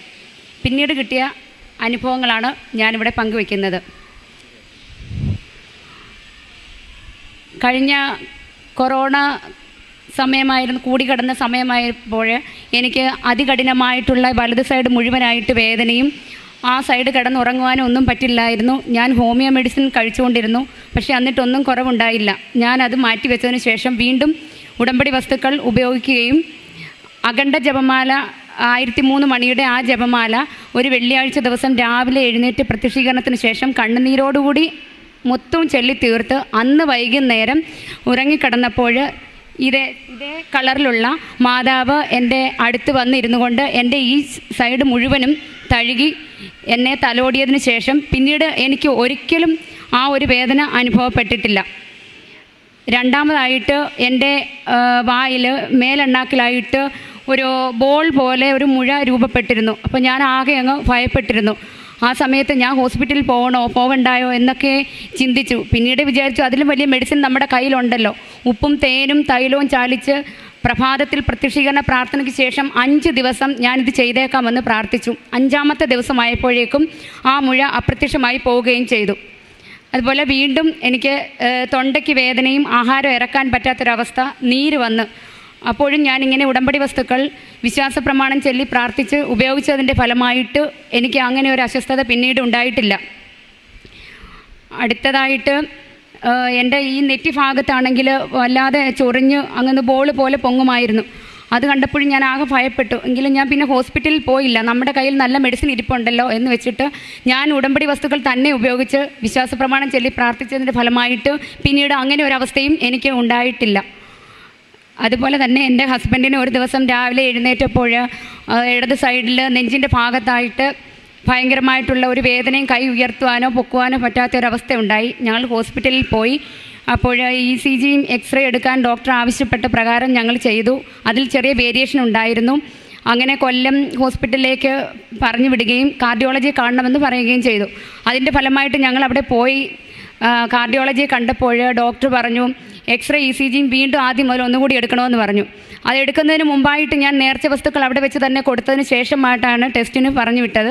അതിനുശേഷം ഞാൻ അച്ഛന്റെ ആരാധന അവിടെ വെച്ച് തന്നെ മൊബൈൽ കൂടിക്കൊണ്ടേയിരുന്നു ഈ ടെസ്റ്റ് റിസൾട്ട് കിട്ടുമ്പോൾ ഒരു കുഴപ്പവും ഇല്ലാതെ തന്നെ ഞങ്ങൾക്ക് ഹോസ്പിറ്റലിൽ വിടുവാനുള്ള അവസരം മാതാവ് ഒരുക്കി തരണമെന്ന് ഞാൻ പ്രാർത്ഥിക്കുകയും ചെയ്തു. അതിന്റെ ഫലമായിട്ട് യാതൊരു കുഴപ്പവും ഇല്ലാതെ പത്ത് ദിവസം ടാബ്ലറ്റ് ഉപയോഗിക്കണമെന്ന് ഡോക്ടർ ആവശ്യപ്പെട്ടു. എങ്കിലും ഞങ്ങൾ അത് ഉപയോഗിച്ചില്ല. വീണ്ടും നേർച്ച വസ്തുക്കൾ മാത്രമാണ് ഞങ്ങൾ ഉപയോഗിച്ചത്. പിന്നീട് എന്റെ കുഞ്ഞിനെ ഒരു ദിവസമായിട്ട് കുളിപ്പിക്കാനായിട്ട് കുളിമുറിയിൽ കൊണ്ടുപോയപ്പോൾ തിളപ്പിച്ച വെള്ളവും അവിടെ വെച്ചിട്ട് കുഞ്ഞിനെ അവിടെ നിർത്തിയിട്ട് ഞാൻ തോർത്ത് ഉപയോഗി എടുക്കുവാനായിട്ട് പുറത്തേക്ക് പോയിട്ട് തിരിച്ചു വന്നപ്പോഴത്തേക്കിന് അവൾ മഗ്ഗിൽ വെള്ളം എടുത്ത് ആ തിളപ്പി തിളച്ച വെള്ളം എടുത്ത് വയറ്റിലൂടെ ഒഴിച്ചു. ഭയങ്കരമായ കരച്ചിൽ കേട്ടുകൊണ്ട് ഓടി ചെന്നപ്പോൾ കുഞ്ഞ് കടന്ന് കരയുകയാണ്. അപ്പോൾ ചൂടുവെള്ളം ഇവിടെ മൊത്തത്തിൽ അങ്ങ് വീണു. അപ്പോൾ ഞാൻ വിചാരിച്ചു എന്ത് ചെയ്യണം? ആദ്യം പേസ്റ്റ് എടുത്ത് ദേഹത്തെല്ലാം ഇട്ടു. പിന്നെ ഞാൻ വിചാരിച്ചു ഇതല്ലല്ലോ. ഉടമ്പടി വസ്തുക്കൾ ഇരിപ്പുണ്ടല്ലോ എന്ന് വെച്ചിട്ട് ഞാൻ നേർച്ച വസ്തുവായ തൈലവും പിന്നെ തേനും മൊത്തത്തിൽ അങ്ങ് പുരട്ടിയിട്ട് ഞാൻ മാതാവിനോട് പ്രാർത്ഥിച്ചു. ഞാൻ സാക്ഷ്യപ്പെടുത്തിയേക്കാം. ഒരു കുഞ്ഞ് പാട് പോലും എന്റെ കുഞ്ഞിന്റെ ദേഹത്തുണ്ടാകരുതെന്ന് പറഞ്ഞു. കുറച്ച് കഴിഞ്ഞതിന് ശേഷം അത് എല്ലാം തുടച്ചു മാറ്റിയപ്പോൾ ഒരു പാട് പോലുമില്ലാതെ എന്റെ കുഞ്ഞ് രക്ഷപ്പെട്ടു. അതുപോലെ എന്റെ കാലിന്റെ രണ്ട് സൈഡിലും പുറകിലാണെങ്കിൽ ഉപ്പൂറ്റി വെടിച്ച് കീറുന്ന ഒരു അവസ്ഥ ഉണ്ടായിരുന്നു. പള്ളിയിലൊക്കെ ചെന്ന് കഴിഞ്ഞാൽ മുട്ട് കുത്തുമ്പോൾ എനിക്ക് നാണക്കേടാ മറ്റുള്ളവർ കാണുമല്ലോ കാണുമല്ലോ എന്നുള്ളൊരു ഭയമായിരുന്നു. അങ്ങനെ ഞാൻ മുട്ട് കുത്താറില്ല. ചില സമയത്ത് ഞാനിങ്ങനെ പാൻസ് വലിച്ച് താഴോട്ട് താഴോട്ട് ഇടും. ആരും കാണല്ലല്ലോ കാണല്ലല്ലോ എന്നിങ്ങനെ ഞാൻ മാതാവിനോട് സങ്കടപ്പെടുമായിരുന്നു.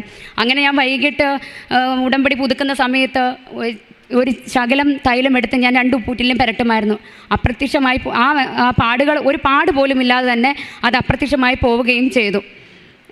ഇത്രയൊക്കെ അനുഗ്രഹങ്ങൾ തന്ന അമ്മയ്ക്കും തിരുക്കുമാരനും കോടി നന്ദി പറയുന്നു. അതുപോലെ എന്റെ ഒരു ആഗ്രഹമായിരുന്നു എനിക്ക് സ്വന്തമായിട്ട് മൊബൈൽ ഇല്ലായിരുന്നു. ഞാൻ അയ്യായിരം ആറായിരം രൂപ റേഞ്ച് വരുന്ന ഒരു മൊബൈൽ വേണമെന്ന് ഞാൻ മാതാവിനോട് ആവശ്യപ്പെട്ടു. എങ്കിലും എനിക്ക് പതിനയ്യായിരം രൂപ വില വരുന്ന ഒരു മൊബൈൽ കിട്ടി. എങ്കിലും ഞാൻ അതിൽ മറ്റൊന്നും ഉപയോഗിക്കാറില്ല. ആകെ ഞാൻ ഉപയോഗിക്കുന്നത് കൃപാസന ഓപ്പൺ ചെയ്യും യൂട്യൂബിൽ കയറുക കൃപാസന അച്ഛന്റെ ധ്യാനങ്ങൾ ആരാധനകളൊക്കെ കാണും. അല്ലാതെ ഞാൻ ആ ഫോൺ ഒന്നിനും ഉപയോഗിക്കില്ല. ഞാൻ ഇപ്പോഴും ഞാൻ അതിൽ മാതാവിനെ കാണുന്നതുകൊണ്ട് ആ ഫോൺ ഞാൻ അതിന് മാത്രം ഉപയോഗിക്കുക പിന്നീട് മാറ്റി വയ്ക്കുക പിന്നെ ഞാൻ ഒന്ന് ഒരു ആരെങ്കിലും അർജന്റായിട്ട് കോൾ വിളിക്കാതെ മാത്രമേ ഞാൻ ഉപയോഗിക്കാറുള്ളൂ. പിന്നീട് എനിക്ക് മൂന്ന് പേർക്ക് നന്ദി പറയണം. എന്റെ മനസ്സിലങ്ങ് അത്രയ്ക്കും അതികഠിനമായ സന്തോഷത്തോടെ ഞാൻ കയറി ഈ സ്റ്റേജിൽ ഈ അൾത്താരയിൽ നിൽക്കുന്നത്. ആഹ് ജോസഫ് അച്ഛന് നന്ദി പറഞ്ഞേ പറ്റുകയുള്ളൂ. കാരണം ഈ കൊറോണ സമയത്ത് ഈ ജനമെല്ലാം ധാരാളമായ പ്രതിസന്ധി നേരിട്ട സമയത്ത് പോലും കൃപാസനത്തിൽ നിന്ന് പലവിധമാകുന്ന ശുശ്രൂഷകളിലൂടെ നമ്മെ ഈശോയിലേക്ക് കൂടുതൽ അടുപ്പിച്ച നമ്മുടെ ചങ്കായ ജോസഫ് അച്ഛന് ആയിരം നന്ദി പറയുകയാണ്. അതുപോലെ അച്ഛനൊപ്പം അതേ തൂക്കത്തിൽ തന്നെ നിന്നുകൊണ്ട് ഇവിടെ പാട്ട് പാടി നമ്മളെ മാതാവിലേക്കും ഈശോയിലേക്കും വാഗ്ദാന പേടകമേ എന്ന പാട്ട് പാടിക്കൊണ്ട് എത്ര മനസ്സലിയാത്തവരെയും അലിയിക്കുന്ന രീതി പാടുന്ന ചേട്ടനും ചേച്ചിക്കും ഞാൻ ഒരായിരം നന്ദി പറയുന്നു. കരങ്ങൾ ഇടിച്ച് കർത്താവ് എന്ന് പറയട്ടെ. യേശുവെ സ്തോത്രം യേശുവെ നന്ദി യേശുവെ. ഷനി ലൂക്കോസിന്റെ ജീവിതത്തിൽ ഒത്തിരിയേറെ കൃപകളാണ് ദൈവം കൊടുത്തത്. ഒത്തിരിയേറെ അനുഗ്രഹങ്ങൾ അപ്പോൾ മേലെണ്ണാക്ക് അതെങ്ങനെ സൗഖ്യപ്പെട്ടത്? അത് ഉടമ്പടി വസ്തുവായ ഉപ്പും തേനും തൈലവും ഞാൻ ശകലമെടുത്ത് കയ്യിൽ പുരട്ടി ഇങ്ങനെ കുഴച്ച് കുഴച്ച് മേലെണ്ണാക്കിൽ ഇങ്ങനെ പുരട്ടി കൊടുക്കും. അഞ്ച് ദിവസത്തെ ഞാൻ പറഞ്ഞു അമ്മ അഞ്ച് ദിവസത്തിനകം ഇത് മാറ്റിത്തരണം ഞാനൊരു ഹോസ്പിറ്റലിലും പോകത്തില്ല. എന്ന് പറഞ്ഞതിന്റെ ഫലമായി അഞ്ചാമത്തെ ദിവസം ഒരു പാട് പോലും ഇല്ലാതെ ആ ഭാഗം എനിക്ക് കിട്ടി. ഉടമ്പടി നേർച്ച വസ്തുക്കളാണ് ഷൈനി ലൂക്കോസിന്റെ ജീവിതത്തെ ദൈവം ശക്തിയായി അനുഗ്രഹിച്ചിട്ടുള്ളത്. ഇപ്പോൾ ഈ ഉടമ്പടി നേർച്ച വസ്തുക്കളെന്ന് പറയുന്നത് ഈ സാക്ഷ്യം കേൾക്കുന്നവരും ഉടമ്പടി എടുത്തിട്ടുള്ളവരൊക്കെ ശ്രദ്ധിച്ച് മനസ്സിലാക്കണം. അതായത് ഉടമ്പടി നേർച്ച വസ്തുക്കൾ തൈലമാണ് ഉപ്പാണ് കാശുരൂപമുണ്ട്. ഇതെല്ലാം എന്ന് പറയുന്നത് നിങ്ങൾ ഉപയോഗിക്കുമ്പോൾ വിശ്വാസ പ്രമാണം ചെല്ലി ഉപയോഗിച്ചാൽ ദൈവം അച്ചിട്ടായിട്ട് നിങ്ങളുടെ ആവശ്യങ്ങളുടെ മേൽ ഇടപെടും. വിശ്വാസ പ്രമാണം എന്ന് റോമ ഒമ്പത് പത്ത് അധരം കൊണ്ട് യേശുക്രിസ്തുവിനെ ഏറ്റുപറയും. ഹൃദയത്തിൽ അവൻ മരിച്ചവരിൽ നിന്ന് ഉയർത്തെണീറ്റ ദൈവമാണെന്ന് വിശ്വസിക്കുകയും അങ്ങനെ വിശ്വസിച്ചുകൊണ്ടാണ് കുഞ്ഞിനെ പൊള്ളലേറ്റപ്പോഴും കുഞ്ഞ് ചൂടുവെള്ളം എടുത്ത് ദേഹത്തോട് ദേഹമാശാലം പൊള്ളപ്പോഴും നമുക്ക് ഉടമ്പടി വസ്തുക്കളുണ്ടല്ലോ. അതാണല്ലോ പുരട്ടേണ്ടത്. പരിശുദ്ധാത്മാവ് തോന്നിച്ചതാണ് ഷൈനിക്ക്. അതിർത്ത് വാരിപ്പൊട്ടി ഒരു പാടുപോലുമില്ലാതെ കർത്താവ് സൗഖ്യപ്പെടുത്തുകയാണ്. നീതി വന്നപ്പോഴും അതുപോലെ തന്നെ ഉപ്പുകുറ്റിയിൽ. എന്തെല്ലാമാണോ ഒരു കുടുംബത്തിൽ ഒരു വ്യക്തിയുടെ ജീവിതത്തിൽ ആവശ്യമായി വരുന്നത് എന്തെല്ലാം വിഷമതകളാണ് ദുരിതങ്ങളാണ് ഒരു വ്യക്തിയുടെ അല്ലെ കുടുംബത്തിൽ ഉണ്ടാവുന്നത് അതിനെല്ലാം കൃപാസനത്തിൽ പ്രത്യക്ഷയായ പരിശുദ്ധമ്മ പരിഹാരമാണ്. അതാണ് ഉടമ്പടി ഉടനടി പരിഹാരമായി തീരുന്നത് അപ്പം നിങ്ങൾ ചെയ്യേണ്ടത് എത്രയേ ഉള്ളൂ. പരിശുദ്ധമിടമിൽ ഉടമ്പടി ചെയ്തിട്ടുള്ളവർ കൃത്യതയോട് ഉടമ്പടി നിബന്ധനകൾ പാലിക്കുകയും നേർച്ച വസ്തുക്കൾ വിശ്വാസ പ്രമാണം ചൊല്ലി ഉപയോഗിക്കുകയും പ്രാർത്ഥനകൾ കൃത്യമായി നിർവഹിക്കുകയും ചെയ്താൽ ദൈവം ഇടപെടും. മത്തായി ആറ് മുപ്പത്തി മൂന്ന് അന്വേഷിക്കേണ്ട ദൈവത്തിന്റെ രാജ്യമാണ്. ബാക്കിയെല്ലാം ദൈവം കൂട്ടിച്ചേർക്കും. അതിന് സാക്ഷിയാണ് ഷൈനി കരങ്ങളടിച്ച് കർത്താവ് എന്ന് പറയട്ടെ? യേശുവെ സ്തോത്രം യേശുവെ നന്ദി യേശുവെ ആരാധന.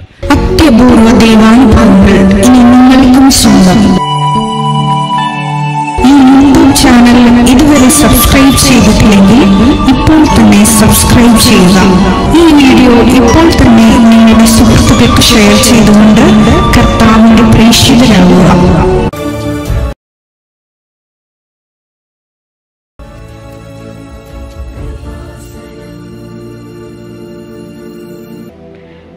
ഷീജ ജോൺസൺ പത്തനംതിട്ട.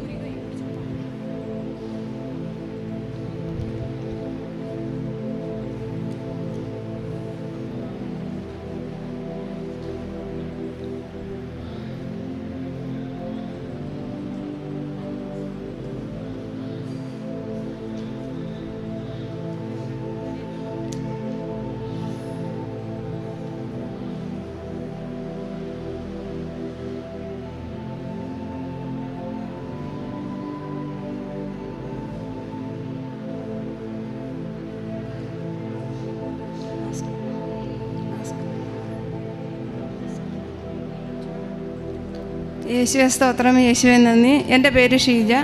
ഞാൻ പത്തനംതിട്ടയിൽ നിന്നും വരുന്നു. ഞാൻ രണ്ടായിരത്തി പത്തൊമ്പത് മെയ് ഇരുപത്താറിനാണ് ആദ്യമായി ഇവിടെ വന്ന് ഉടമ്പടി എടുത്തത്. എന്റെ ഉടമ്പടിയിൽ ആറ് നിയോഗങ്ങളാണ് വെച്ചിരുന്നത്. അതിൽ ഒന്നാമത്തെ നിയോഗം ഞാനൊരു എട്ട് വർഷമായി എനിക്ക് തീരെ പ്രാർത്ഥിക്കാനോ ബൈബിൾ വായിക്കാനോ ഒന്നും കഴിഞ്ഞിരുന്നില്ല.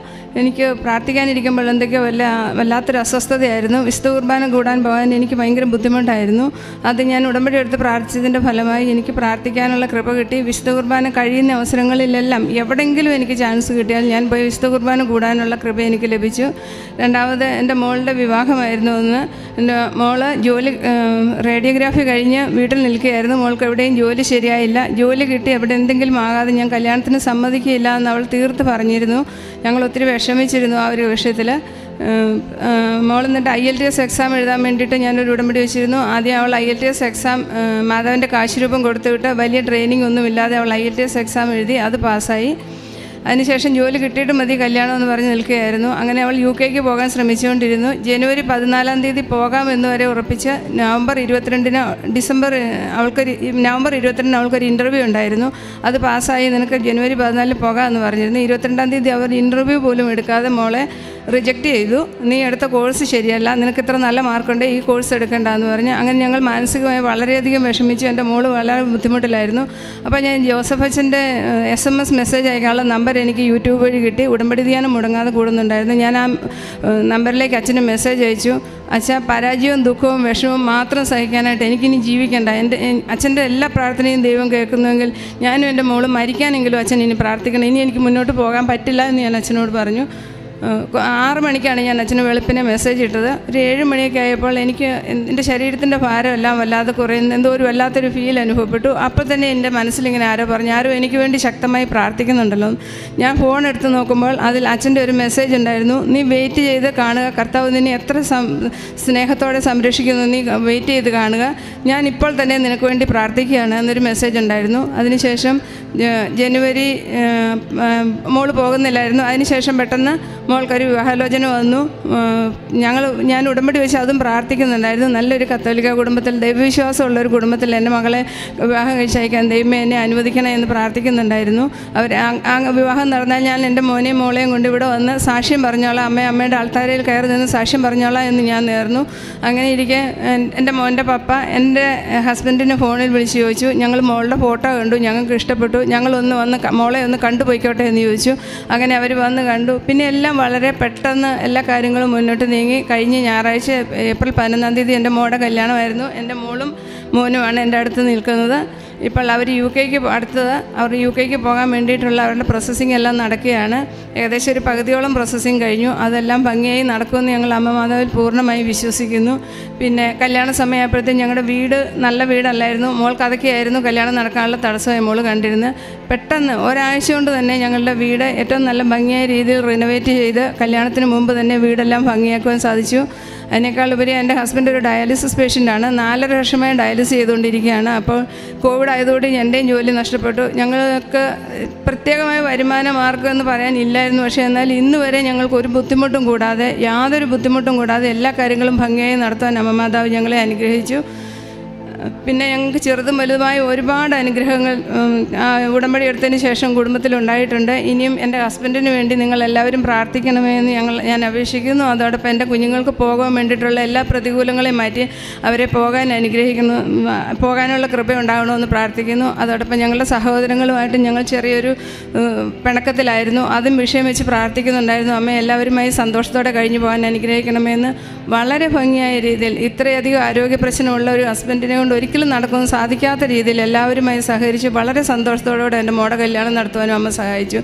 അമ്മ അമ്മ മാതാവും ഈശോയും ഞങ്ങൾക്ക് തന്ന അനുഗ്രഹത്തിനോർത്ത് ആയിരം ആയിരം നന്ദി ഞങ്ങൾ പറയുന്നു. കരങ്ങളടിച്ച് നമുക്ക് കർത്താവിനെ മഹത്വപ്പെടുത്താൻ വലിയൊരു സാക്ഷ്യമാണ്. വളരെ സ്പീഡായിട്ടാണ് സാക്ഷ്യം പറഞ്ഞതെങ്കിൽ ഒരുപാട് കാര്യങ്ങളാണ് ഈ അമ്മ പറഞ്ഞത്. ഷീജ എന്ന ഈ സഹോദരി കൃപാസനത്തിൽ വന്ന് രണ്ടായിരത്തി പത്തൊമ്പതിലാണ് ഉടമ്പടി എടുത്ത് പ്രാർത്ഥിക്കുന്നത്. അതിനുശേഷം ജീവിതത്തിൽ നടന്ന കാര്യങ്ങളാണ് പറഞ്ഞത്. ഒന്നാമതായിട്ട് പറഞ്ഞതാണ് എനിക്ക് പ്രാർത്ഥിക്കാനുള്ളൊരു കൃപ കിട്ടണം. വിശുദ്ധ കുർബാനയിൽ പങ്കെടുത്ത് പ്രാർത്ഥിക്കാനുള്ള കൃപ കിട്ടണമെന്നാണ് പറഞ്ഞത്. മാർത്തോമ സഹോ വിശ്വാസത്തിൽ ജീവിക്കുന്ന ഒരു സഹോദരിയാണ്. അപ്പോൾ ഈ മകൾ രണ്ട് കാര്യങ്ങൾ വെച്ചിരുന്നു. ഒന്ന് എന്റെ മകൾക്ക് ഒരു കത്തോലിക്ക വിശ്വാസിയുള്ള വിശ്വാസത്തിലുള്ള ഒരു മകനെ ജീവിത പങ്കാളിയായിട്ട് ലഭിക്കണം. ഒപ്പം തന്നെ ഈ പ്രശ്നങ്ങളെല്ലാം ഈ മകളെ അലട്ടിക്കൊണ്ടിരുന്നു. അങ്ങനെ ഇരിക്കുകയാണ് ഈ മകളുടെ ജോലി വിഷയം ശരിയായില്ല. അപ്പോൾ മകൾ ഓൾറെഡി പറഞ്ഞിരുന്നു. വലിയൊരു വാശിയുടെ പുറത്ത് പറഞ്ഞായിരുന്നു. എന്റെ ജോലി ശരിയായ മാത്രമേ ഞാൻ വിവാഹത്തിന് സമ്മതിക്കുകയുള്ളൂ എന്ന്.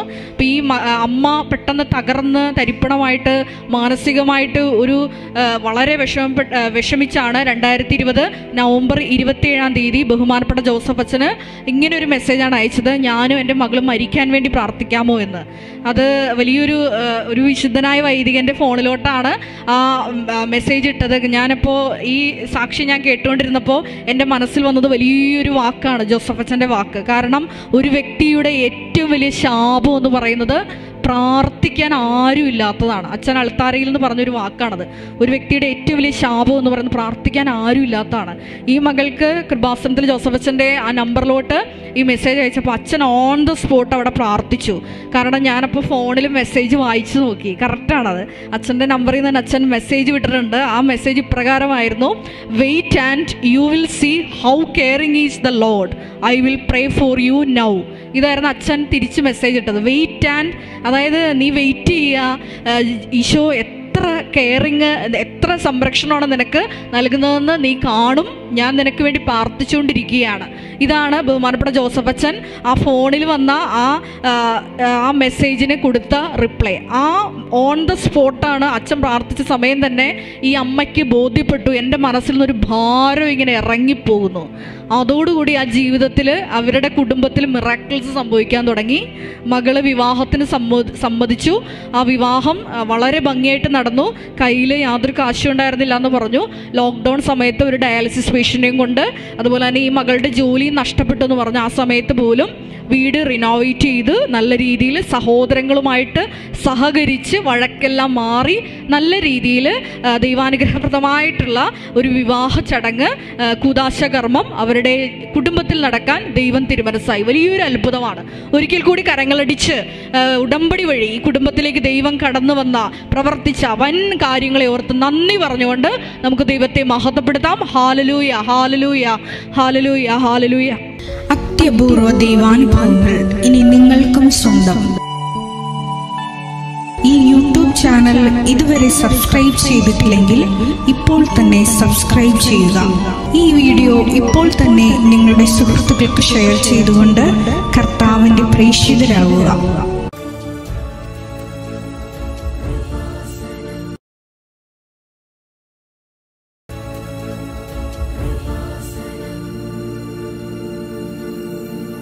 യേശുവെ നന്ദി. യേശുവെ സ്തോത്രം. യേശുവെ ആരാധന. ഞാൻ രണ്ടായിരത്തി പത്തൊൻപത് ജനുവരി പതിനേഴാം തീയതിയാണ് ഇവിടെ ഉടമ്പടി വെച്ചത്. രണ്ടായിരത്തി പത്തൊൻപത് ജനുവരി പതിനേഴാം തീയതി ഞാൻ ഉടമ്പടി വെച്ചപ്പോൾ എനിക്ക് ഒന്നാമത്തെ ഒരാഗ്രഹം ഞങ്ങൾ ആയിരത്തി തൊള്ളായിരത്തി തൊണ്ണൂറ്റി അഞ്ചിലാണ് ഈ വസ്തു മേടിക്കുന്നത് ഞങ്ങൾ താമസിക്കുന്നത്.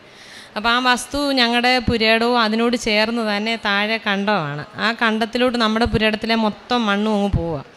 അപ്പോൾ ആ ഇതൊരു ഹിന്ദുക്കളുടെ വസ്തുവാണ് താഴത്തെ കണ്ടം. അവരോട് ഞങ്ങൾ തൊണ്ണൂറ്റി അഞ്ച് മുതൽ ചോദിക്കുവാണ് അതൊന്ന് വെട്ടിക്കയറ്റിക്കോട്ടെ എന്ന് ചോദിച്ചാലും അവർ സമ്മതിക്കത്തില്ല.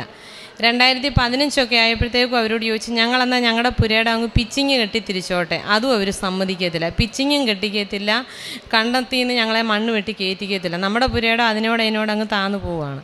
നമുക്കൊത്തിരി സാമ്പത്തിക ബുദ്ധിമുട്ടുള്ളവരാണ് വലിയ സാമ്പത്തികമൊന്നും ഇല്ലാത്തവരാണ്.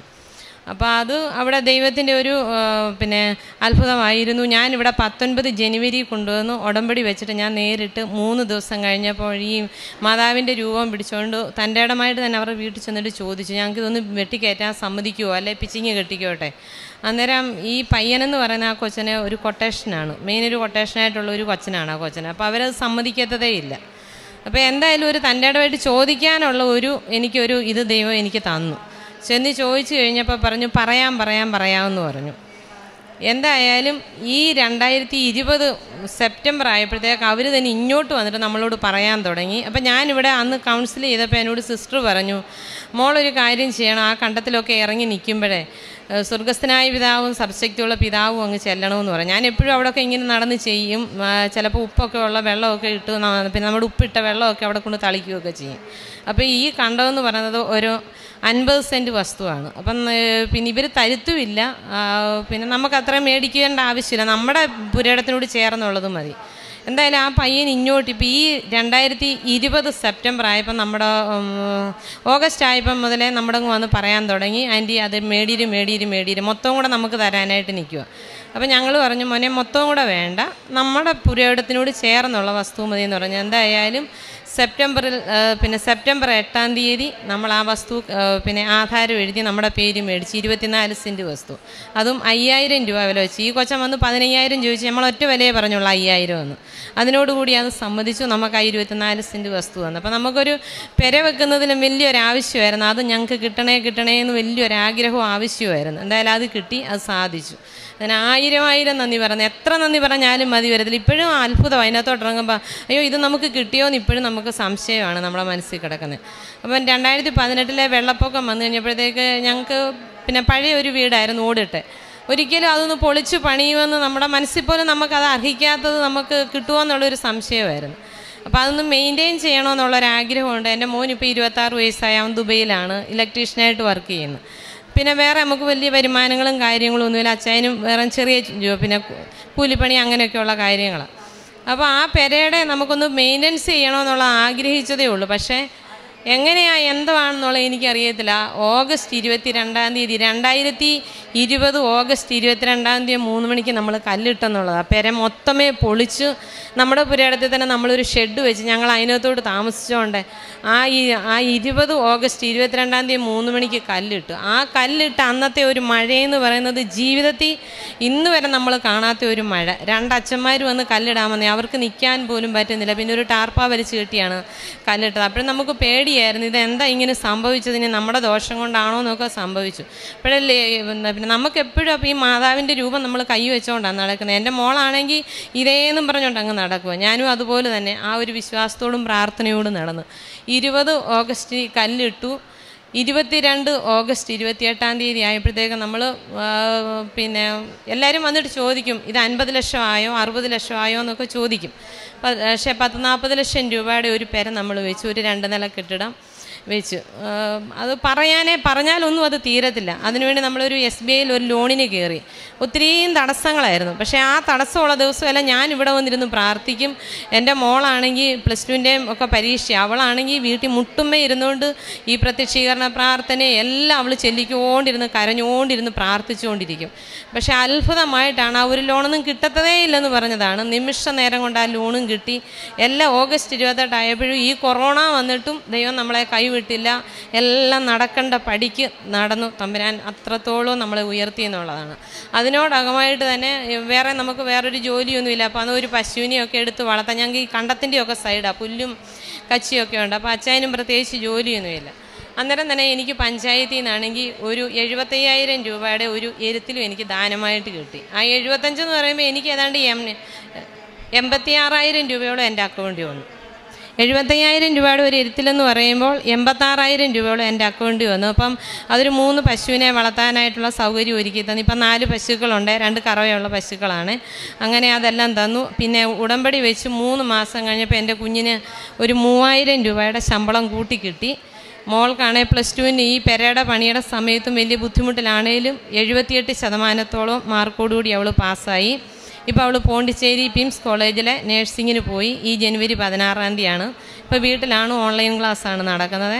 അങ്ങനെ എല്ലാ കാര്യങ്ങളും ഇത്രത്തോളം അനുഗ്രഹങ്ങൾ തന്നു. പിന്നെ പിന്നെ ഉപ്പ് നേർച്ച എന്നൊക്കെ പറഞ്ഞു കഴിഞ്ഞാൽ ഒത്തിരി അനുഗ്രഹങ്ങൾ നമുക്ക് തന്നിട്ടുണ്ട്. ഓരോന്നും എടുത്തു പറഞ്ഞാൽ ഒന്നും തീരത്തില്ല. മോൾക്കാണെങ്കിൽ മിക്ക എല്ലാ മാസവും ഇങ്ങനെ വയറുവേദന വരും. അപ്പോൾ അത് ഈ ഉപ്പിട്ട വെള്ളമോ അല്ലെ നേർച്ചയൊക്കെ തൂത്തു അതെല്ലാം അങ്ങ് മാറും. അങ്ങനെ ഒത്തിരി ഒത്തിരി ഒത്തിരി അനുഗ്രഹങ്ങൾ. എത്ര സ്തുതിച്ചാലും മതി വരത്തില്ല. യാജിപ്പീൻ എന്നാൽ നിങ്ങൾക്ക് കിട്ടും. മുട്ടുവീൻ എന്നാൽ നിങ്ങൾക്ക് തുറക്കപ്പെടുമെന്ന് കർത്താവ് അരളി ചെയ്തു. അതുപോലെ യാചിച്ചു. അമ്മയെന്നൊന്ന് ഒറ്റ വിളി വിളിക്കുമ്പോൾ അമ്മ കൂടെ ഉണ്ടെന്നുള്ളതാണ് ഇപ്പം മുമ്പേ നമ്മളെ പിന്നെ സാറ് പറഞ്ഞതുപോലെ ഓരോ സാധനവും കാണാതെ വരുമ്പോൾ അമ്മയെ ഒന്ന് കാണിച്ചു തരണമെന്ന് പറയുമ്പോഴത്തേക്ക് അത് കണ്ടു കഴിയുക അത്ഭുതപരമായിട്ട് അങ്ങനെ പറഞ്ഞാൽ തീരാത്ത അനുഗ്രഹങ്ങളും അനവധി നന്മകളും തമ്പുരാൻ തന്നു. ഇനി എനിക്ക് എന്റെ മോനൊന്ന് വന്ന് ഇതുവരെ പെര കണ്ടില്ല. അപ്പോൾ അതൊരു പ്രയാസമുണ്ട്. അവൻ ഓഗസ്റ്റ് വരണമെന്നും പറഞ്ഞുകൊണ്ട് നിൽക്കുന്നു കുറേ കൊറോണയുടെ ബുദ്ധിമുട്ടൊക്കെ ഉണ്ട്. അപ്പോൾ അതും അമ്മ മാതാവ് നടത്തി തരും എന്നുള്ള പ്രത്യാശയോട് വിശ്വാസത്തോടു കൂടി ഇരിക്കുന്നു. കരങ്ങളടിച്ച് കഥ എന്ന് പറയട്ടെ ഓമന ഉടമ്പടി എടുത്ത് എത്ര നാൾ കഴിഞ്ഞാണ് ഭവനത്തിന്റെ പണി ആരംഭിച്ചത്? ഉടം ഉടമ്പടി രണ്ടായിരത്തി പത്തൊൻപത് ജനുവരി പതിനേഴ്. മെയിനായിട്ട് നമുക്ക് വസ്തുവിന്റെ ആയിരുന്നു. പക്ഷേ ഓഗസ്റ്റ് ഇരുപത്തിരണ്ടാം തീയതി നമ്മൾ കല്ലിട്ടു. ഉടമ്പടി പുതുക്കിയിരുന്നോ? ആ ഉടമ്പടി ഞാൻ എല്ലാം കറക്റ്റ് സമയത്ത് വന്ന് ചെയ്യാം സാർ എല്ലാം കറക്റ്റ് സമയത്ത് പത്രം മേടിക്കും എത്ര വർഷം പഴക്കമുള്ള വീടായിരുന്നു? പഴക്കം തൊണ്ണൂറ്റി ഒൻപതിലായിരുന്നു തൊണ്ണൂറ്റി ഒൻപതിൽ നമ്മൾ താമസമായ വീടായിരുന്നു. അതൊരു പഴയ പെരയുടെ സാധനം വെച്ച് പണിഞ്ഞ വീടുമായിരുന്നു.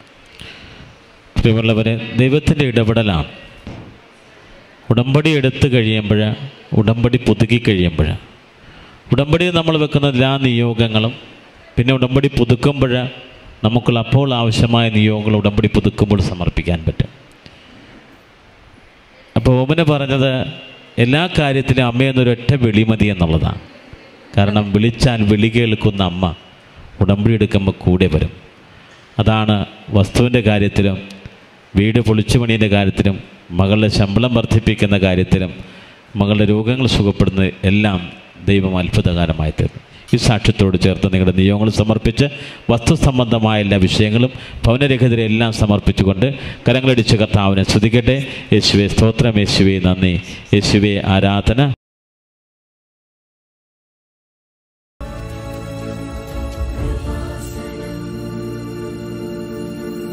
എന്റെ പേര് ഗീതു. ഞാൻ പാലാ രൂപതയിലെ കരിമ്പാനി ഇടവയിൽ നിന്ന് വരുന്നു. ഞങ്ങൾ പതിനാല് വർഷമായിട്ട് വാടകയ്ക്ക് താമസിക്കുമായിരുന്നു എന്റെ പപ്പ രണ്ടായിരത്തി പതിനെട്ട് ഫെബ്രുവരി മാസം ഇവിടെ വന്ന് ഉടമ്പടി എടുത്ത് പ്രാർത്ഥിച്ചു. അതോടൊപ്പം ഞാൻ ലൈറ്റ് ക്യാൻഡിൽ പ്രയർ റിക്വസ്റ്റ് ഇട്ട് മാതാവിനോട് പ്രാർത്ഥിച്ചായിരുന്നു. ഞാൻ ജോലി സ്ഥലത്തിരുന്ന് എപ്പോഴും പരിശുദ്ധ അമ്മയുടെ ഇവിടെ നടക്കുന്ന സാക്ഷ്യ ശുശ്രൂഷ കണ്ട് പ്രാർത്ഥിക്കുമായിരുന്നു അപ്പം ഞാൻ മാതാവിനോട് പ്രാർത്ഥിച്ചു. ഞാൻ ഫസ്റ്റ് ലീവിന് ചെല്ലുമ്പോൾ എനിക്ക് പുതിയ വീട്ടിൽ കയറാൻ പറ്റണമെന്ന് അപ്പം ഞാൻ എന്റെ അമ്മയോട് അവിടുന്ന് വീട്ടിൽ നിന്ന് വീട്ടിലോട്ട് വിളിക്കുമ്പം പറയും പരിശുദ്ധ അമ്മ നമുക്ക് വീട് തന്ന് അനുഗ്രഹിക്കും അമ്മേ. അപ്പോൾ എന്റെ അമ്മ എന്നോട് ചോദിക്കും അതെങ്ങനെ സം നടക്കും? സ്ഥലവും മേടിക്കണം വീടും പണിയണം? അപ്പം ഞാൻ പറയും പരിശു ഇവിടെ എപ്പോഴും ബ്രദർ പറയുന്നത് കേൾക്കാം ഏത് കീറാമുട്ടി കാര്യമാണേലും അമ്മയുടെ അടുത്ത് പറഞ്ഞാൽ നടക്കുമെന്ന്. അങ്ങനെ പറഞ്ഞ് ഞാൻ വിശ്വാസത്തോടെ പ്രാർത്ഥിച്ചു. പരിശുദ്ധ അമ്മയോട് പറഞ്ഞു ഇവിടെ വന്ന് സാക്ഷ്യം പറഞ്ഞു കഴിഞ്ഞേ ഞാൻ എന്റെ വീട് കാണാൻ പോകത്തുള്ളൂ എന്ന് പരിശുദ്ധ അമ്മ ഞങ്ങൾക്ക് നല്ലൊരു വീടും സ്ഥലവും തന്ന് അനുഗ്രഹിച്ചു. പരിശുദ്ധ അമ്മ ഈശോ വഴി തന്ന എല്ലാ അനുഗ്രഹങ്ങൾക്കും ഒരായിരം നന്ദി.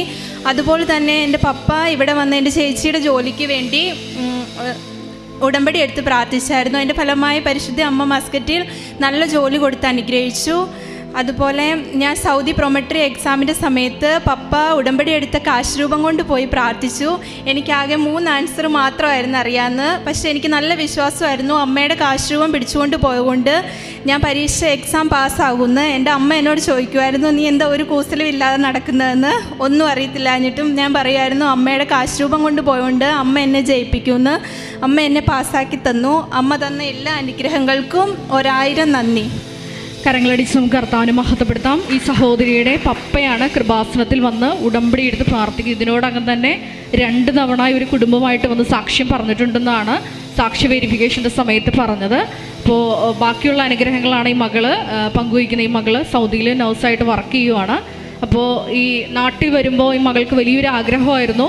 പതിനാല് വർഷമായിട്ട് വാടകയ്ക്കാണ് താമസിക്കുന്നത്. ഒരു ഭവനം ലഭിക്കണമെന്ന്. അപ്പോൾ പപ്പ ഉടമ്പടിയിൽ വിഷയം വെച്ചിരുന്നു. ഈ മകൾ ലൈറ്റ് ക്യാൻഡിൽ പ്രയറിട്ട് പ്രാർത്ഥിച്ചതിന്റെ ഫലമായിട്ട് നാട്ടിൽ ലീവിന് വരുമ്പോൾ ഇപ്പോൾ പുതിയ ഭവനം സ്ഥലവും വീടും വാങ്ങിക്കാൻ അമ്മ അനുഗ്രഹിച്ചു എന്നാണ് സാക്ഷ്യപ്പെടുത്തിയത്. ഒപ്പം തന്നെ എഫ് എസ് രണ്ട് എട്ട് തിരുവചനം. കാരണം ഉടമ്പടി എടുത്ത അനേകം മക്കളാണ് കൃപാസനത്തിൽ വന്ന് സാക്ഷ്യം പറഞ്ഞിരിക്കുന്നത് ഞങ്ങളുടെ കഴിവ് കൊണ്ടല്ല കർത്താവിന്റെ കൃപ പ്രവർത്തിച്ച് ഞങ്ങളുടെ ജീവിതത്തിൽ ദൈവം വൻ കാര്യങ്ങൾ ചെയ്തു എഫ് എസിൻസ് രണ്ട് എട്ട് തിരുവചനമാണത്. വിശ്വാസം വഴി കൃപയാലാണ് നിങ്ങൾ രക്ഷിക്കപ്പെട്ടത്. അത് നിങ്ങൾ നേടിയെടുത്തതല്ല ദൈവത്തിന്റെ ദാനമാണ്. കൃപാസനത്തിൽ നിന്ന് ലഭിച്ച ആ ഉടമ്പടിക്ക് ആശീർവം കൊണ്ടുപോയി മകൾ പ്രാർത്ഥിച്ച് പരീക്ഷ എഴുതിയപ്പോൾ മൂന്ന് ആൻസർ മാത്രം അറിയാമായിരുന്നുള്ളൂ. പക്ഷേ ഈ മകൾക്ക് ഉന്നത വിജയം കിട്ടി. അങ്ങനെയാണ് ആ മകൾക്ക് ജോലി ലഭിച്ചത്. പ്രൊമട്രിക് എക്സാം പാസ്സായി ജോലി ലഭിച്ചത്. അതുപോലെ തന്നെ ചേച്ചിയുടെ വിഷയം പറഞ്ഞു. പപ്പ അത് ഉടമ്പടിയിൽ വിഷയം വെച്ചിരുന്നതാണ്. ചേച്ചിക്ക് ഗവൺമെന്റിൽ സർവീസിൽ തന്നെ മസ്കറ്റിൽ ജോലി ലഭിച്ചു എന്നാണ് സാക്ഷ്യപ്പെടുത്തിയത്. ഈ- വലിയ അനുഗ്രഹങ്ങൾ അമ്മായി കുടുംബത്തിന് ചൊരിഞ്ഞതിനെ ഓർത്ത് നന്ദി പറഞ്ഞുകൊണ്ട് നമുക്ക് ഒരിക്കൽ കൂടി കരങ്ങളടിച്ച് കർത്താവിനെ മഹത്വപ്പെടുത്താം. Hallelujah hallelujah hallelujah. യേശുവി നന്ദി യേശുവി സ്തോത്രം. യേശുവി ആരാധന. ഹാലലൂയ.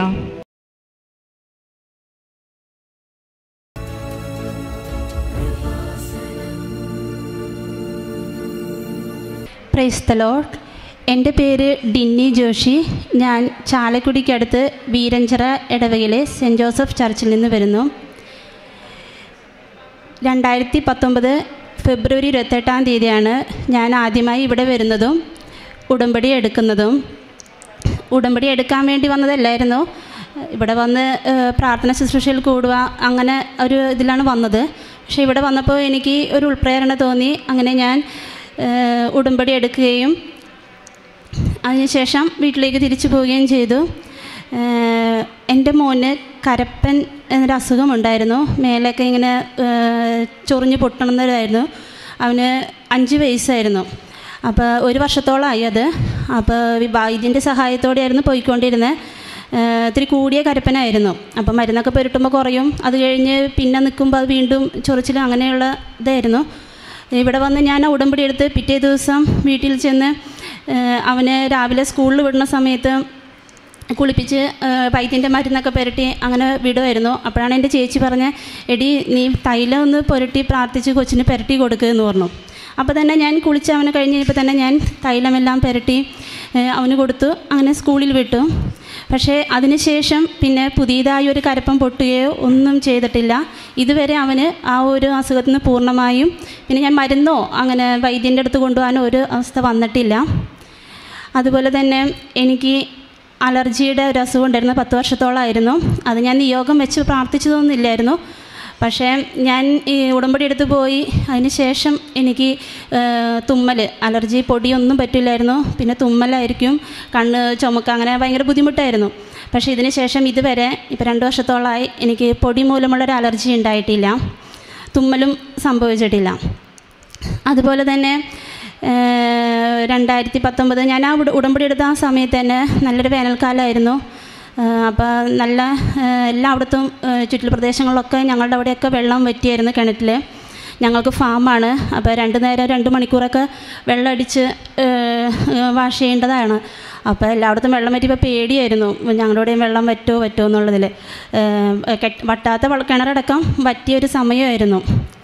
പക്ഷേ അതേപോലെ തന്നെ ഞാൻ പിറ്റേ മാസം ഉടമ്പടി എടുത്ത ഫെബ്രുവരിയിൽ മാർച്ച് മാസം ഇവിടെ വന്ന് പ്രത്യേകം ഞാൻ അതിന് വേണ്ടിയാണ് പ്രാർത്ഥിച്ചത്. വെള്ളം വറ്റല്ലേ? അപ്പോൾ കിണറ്റിൽ വെള്ളം വറ്റി പിന്നെ കുഴൽക്കിണറായിരുന്നു. കുഴൽക്കിണർ ഞങ്ങൾ യൂസ് ചെയ്യുമ്പോൾ ഇരുപത് മിനിറ്റ് നമുക്ക് കിട്ടുള്ളൂ. അത് കഴിഞ്ഞ് പിന്നെ ഒരു മൂന്നാൽ മണിക്കൂറിന് ശേഷമാണ് വീണ്ടും ഇരുപത് മിനിറ്റ് കിട്ടും. അങ്ങനെയാണ്. അപ്പോൾ അതൊരു ബുദ്ധിമുട്ട് തന്നെയായിരുന്നു. അപ്പം ഞാൻ ഇവിടെ വന്ന് പ്രാർത്ഥിച്ച് അന്ന് ജോസഫ് അച്ഛൻ അന്നത്തെ ധ്യാനത്തിൽ പ്രത്യേകം പറയുകയും ചെയ്തു. കിണറ്റിൽ വെള്ളത്തിന് വേണ്ടിയിട്ട് പ്രാർത്ഥിക്കുന്ന ഒരു സഹോദരിയെ ദൈവം കാണുന്നുണ്ടെന്ന്. അപ്പോൾ തന്നെ ഞാൻ എന്റെ മനസ്സിൽ ഉറപ്പിച്ചു അത് ഞാൻ തന്നെയാണെന്ന്. അങ്ങനെ ഞാൻ വീട്ടിൽ ചെന്ന് ഞാൻ ജോഷിയോട് പറഞ്ഞു ജോഷേട്ടാ നമ്മുടെ വെള്ളം പറ്റില്ലാട്ടോ കാരണം പേടിയാണ്. ഫാമൊക്കെ ഉള്ളത് കൊണ്ടുള്ള ഒരു പേടിയായിരുന്നു. വെള്ളം പറ്റില്ലാട്ടോ എന്ന് പറഞ്ഞു. അതേപോലെ തന്നെ വെള്ളം പറ്റിയില്ല പിറ്റേ ദിവസം ഞങ്ങൾ വെള്ളം അടിക്കുമ്പോൾ കുണൽ കിണറിലെ വെള്ളം ഇപ്പം നിൽക്കും നിൽക്കും നിൽക്കും എന്ന് പറഞ്ഞാണ് വെള്ളം അടിക്കുന്നത്. പക്ഷേ വെള്ളം നിന്നില്ല മണിക്കൂറുകളോളം ഇപ്പോൾ രണ്ട് വർഷമായി ഇപ്പോഴും ഞങ്ങൾക്ക് എത്ര നേരം വേണമെങ്കിലും ആ കുഴൽക്കിണറിൽ നിന്ന് വെള്ളം അടിക്കാൻ സാധിക്കുന്നുണ്ട്. അപ്പോൾ അടുത്തുള്ളവരൊക്കെ പറയുകയും ചെയ്യുമായിരുന്നു ഞാൻ അന്ന് ആ പ്രദേശത്ത് നിന്ന് ഞാനൊക്കെ ആയിരുന്നു ആദ്യമായിട്ട് ഇവിടെ കൃപാസനത്തിൽ നിന്ന് ഉടമ്പടി എടുത്തതൊക്കെ. അപ്പോൾ എല്ലാവരും പറയുമായിരുന്നു ഡിന്നി കൃപാസനത്ത് പോയി പ്രാർത്ഥിച്ചതിന്റെ അനുഗ്രഹമാണ് ഡിൻ അവിടെ വെള്ളം വറ്റാതിരുന്നതെന്ന് പിന്നെ അതേപോലെ തന്നെ ഞാൻ നിയോഗം വെച്ച് പ്രാർത്ഥിച്ചായിരുന്നു ചേട്ടന്റെ മോളുടെ വിവാഹം ചേട്ടൻ മരിച്ചു പോയായിരുന്നു അപ്പോൾ എന്റെ ഹസ്ബൻഡാണ് കാര്യങ്ങളൊക്കെ ചെയ്യേണ്ട ഒരു ഇത് വന്നത്. അപ്പോൾ ഞങ്ങളും അതിന് ഞാൻ അവൾക്ക് വേണ്ടി പ്രത്യേകം അവൾക്ക് ഇരുപത്തിയേഴ് വയസ്സായിരുന്നു. പ്രത്യേകം ഇവിടെ നിയോഗം ഫസ്റ്റിന്റെ നിയോഗം ഫെബ്രുവരി വെച്ചപ്പോൾ തന്നെ ഞാൻ ആ നിയോഗം എഴുതിയായിരുന്നു. അതേപോലെ തന്നെ മെയ് എട്ടാം തീയതി അവളുടെ വിവാഹം ഭംഗിയായി ഞങ്ങൾക്ക് നടത്തി കൊടുക്കാനും കടബാധ്യകളൊന്നും ഇല്ലാതെ നല്ല രീതിയിൽ ആ വിവാഹം നടക്കുകയും ചെയ്തു. പിന്നെ അതേപോലെ തന്നെ ഒത്തിരി അനുഗ്രഹങ്ങൾ തന്നിട്ടുണ്ട്. ഇപ്പോൾ ഈ ലോക്ക്ഡൗൺ സമയത്തും ഫാമൊക്കെ നിർത്തി വെക്കേണ്ട ഒരു അവസ്ഥ വന്നാലും ഒരു കുറവുമില്ലാതെ ഇതുവരെ മാതാവ് കാത്തുരക്ഷിച്ച് പ്രാർത്ഥിക്കുന്നുണ്ട്.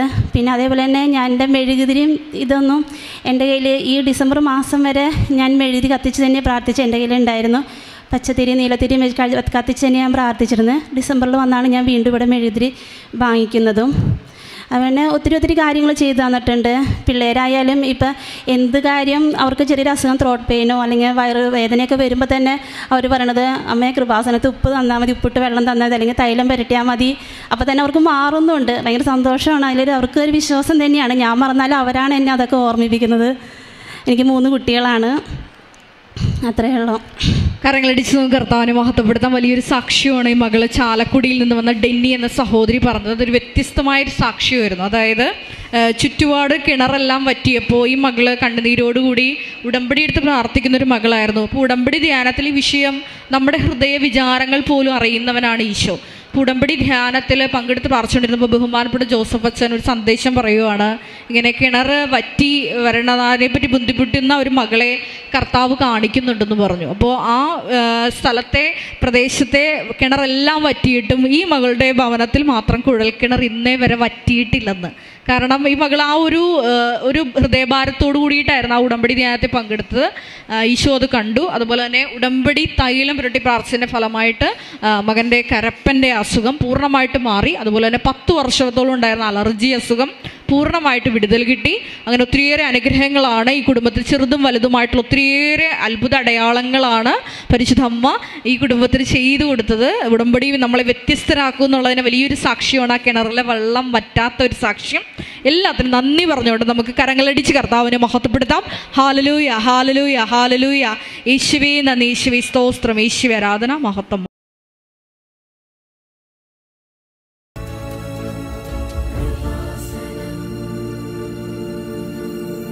എന്റെ പേര് സോളി ബെന്നി. ഞാൻ പാലായിൽ നിന്ന് വരുന്നു. ഞാൻ ആദ്യമേ ഇവിടെ വന്ന് ഉടമ്പടി എടുക്കുന്നത് രണ്ടായിരത്തി പതിനെട്ട് നവംബർ മാസത്തിലാണ്. അത് എന്റെ മോക്ക് വേണ്ടിയിട്ടാണ്. മോൾ നേഴ്സിംഗ് കഴിഞ്ഞ് നിൽക്കുവാണ്. അവൾ ഒ ടി എഴുതി കിട്ടാൻ ആദ്യമേ എഴുതി കിട്ടിയില്ല. അങ്ങനെയാണ് ഞങ്ങൾ ഇവിടെ വന്ന് നിയോഗം എടുക്കുന്ന ഉടമ്പടി എടുക്കുന്നത്. ആ നിയോഗത്തിൽ ആദ്യമേ വെച്ചത് എന്റെ മോക്ക് ഒ ഇ ടി കിട്ടണം എന്നുള്ളതായിരുന്നു. അത് ഒ ഇ ടി കിട്ടി. അത് കഴിഞ്ഞിട്ട് എല്ലാ ഡി എല്ലും എല്ലാം വരാൻ താമസിച്ചു. എന്തായാലും മാതാവിനോട് ഞങ്ങൾ പ്രാർത്ഥിച്ചുകൊണ്ടിരുന്നു. ഡി എൽ വന്നു. അത് കഴിഞ്ഞ് ഇന്റർവ്യൂ പാസ്സാകാം ഒന്നും ഇന്റർവ്യൂ വരുന്നില്ല. അപ്പോഴും ഈ കോവിഡ് പ്രശ്നം എല്ലാം കൂടെ അപ്പോഴത്തേക്കും വന്നു. മോൾ ഭയങ്കര ഡിസ്റ്റർബറായിട്ട് ഭയങ്കര വിഷമം ബുദ്ധിമുട്ട്. എന്തായാലും അയർലൻഡിൽ നിന്ന് ഒരു ഹോസ്പിറ്റലിൽ നിന്ന് തന്നെ ഞങ്ങൾക്കൊരു ഇന്റർവ്യൂ വന്നു. അത് അറ്റൻഡ് ചെയ്തു. അത് പാസ്സായി. പാസ്സായി കഴിഞ്ഞ് പിന്നെ എത്തിപ്പിക്കൽ വിസ വരണം.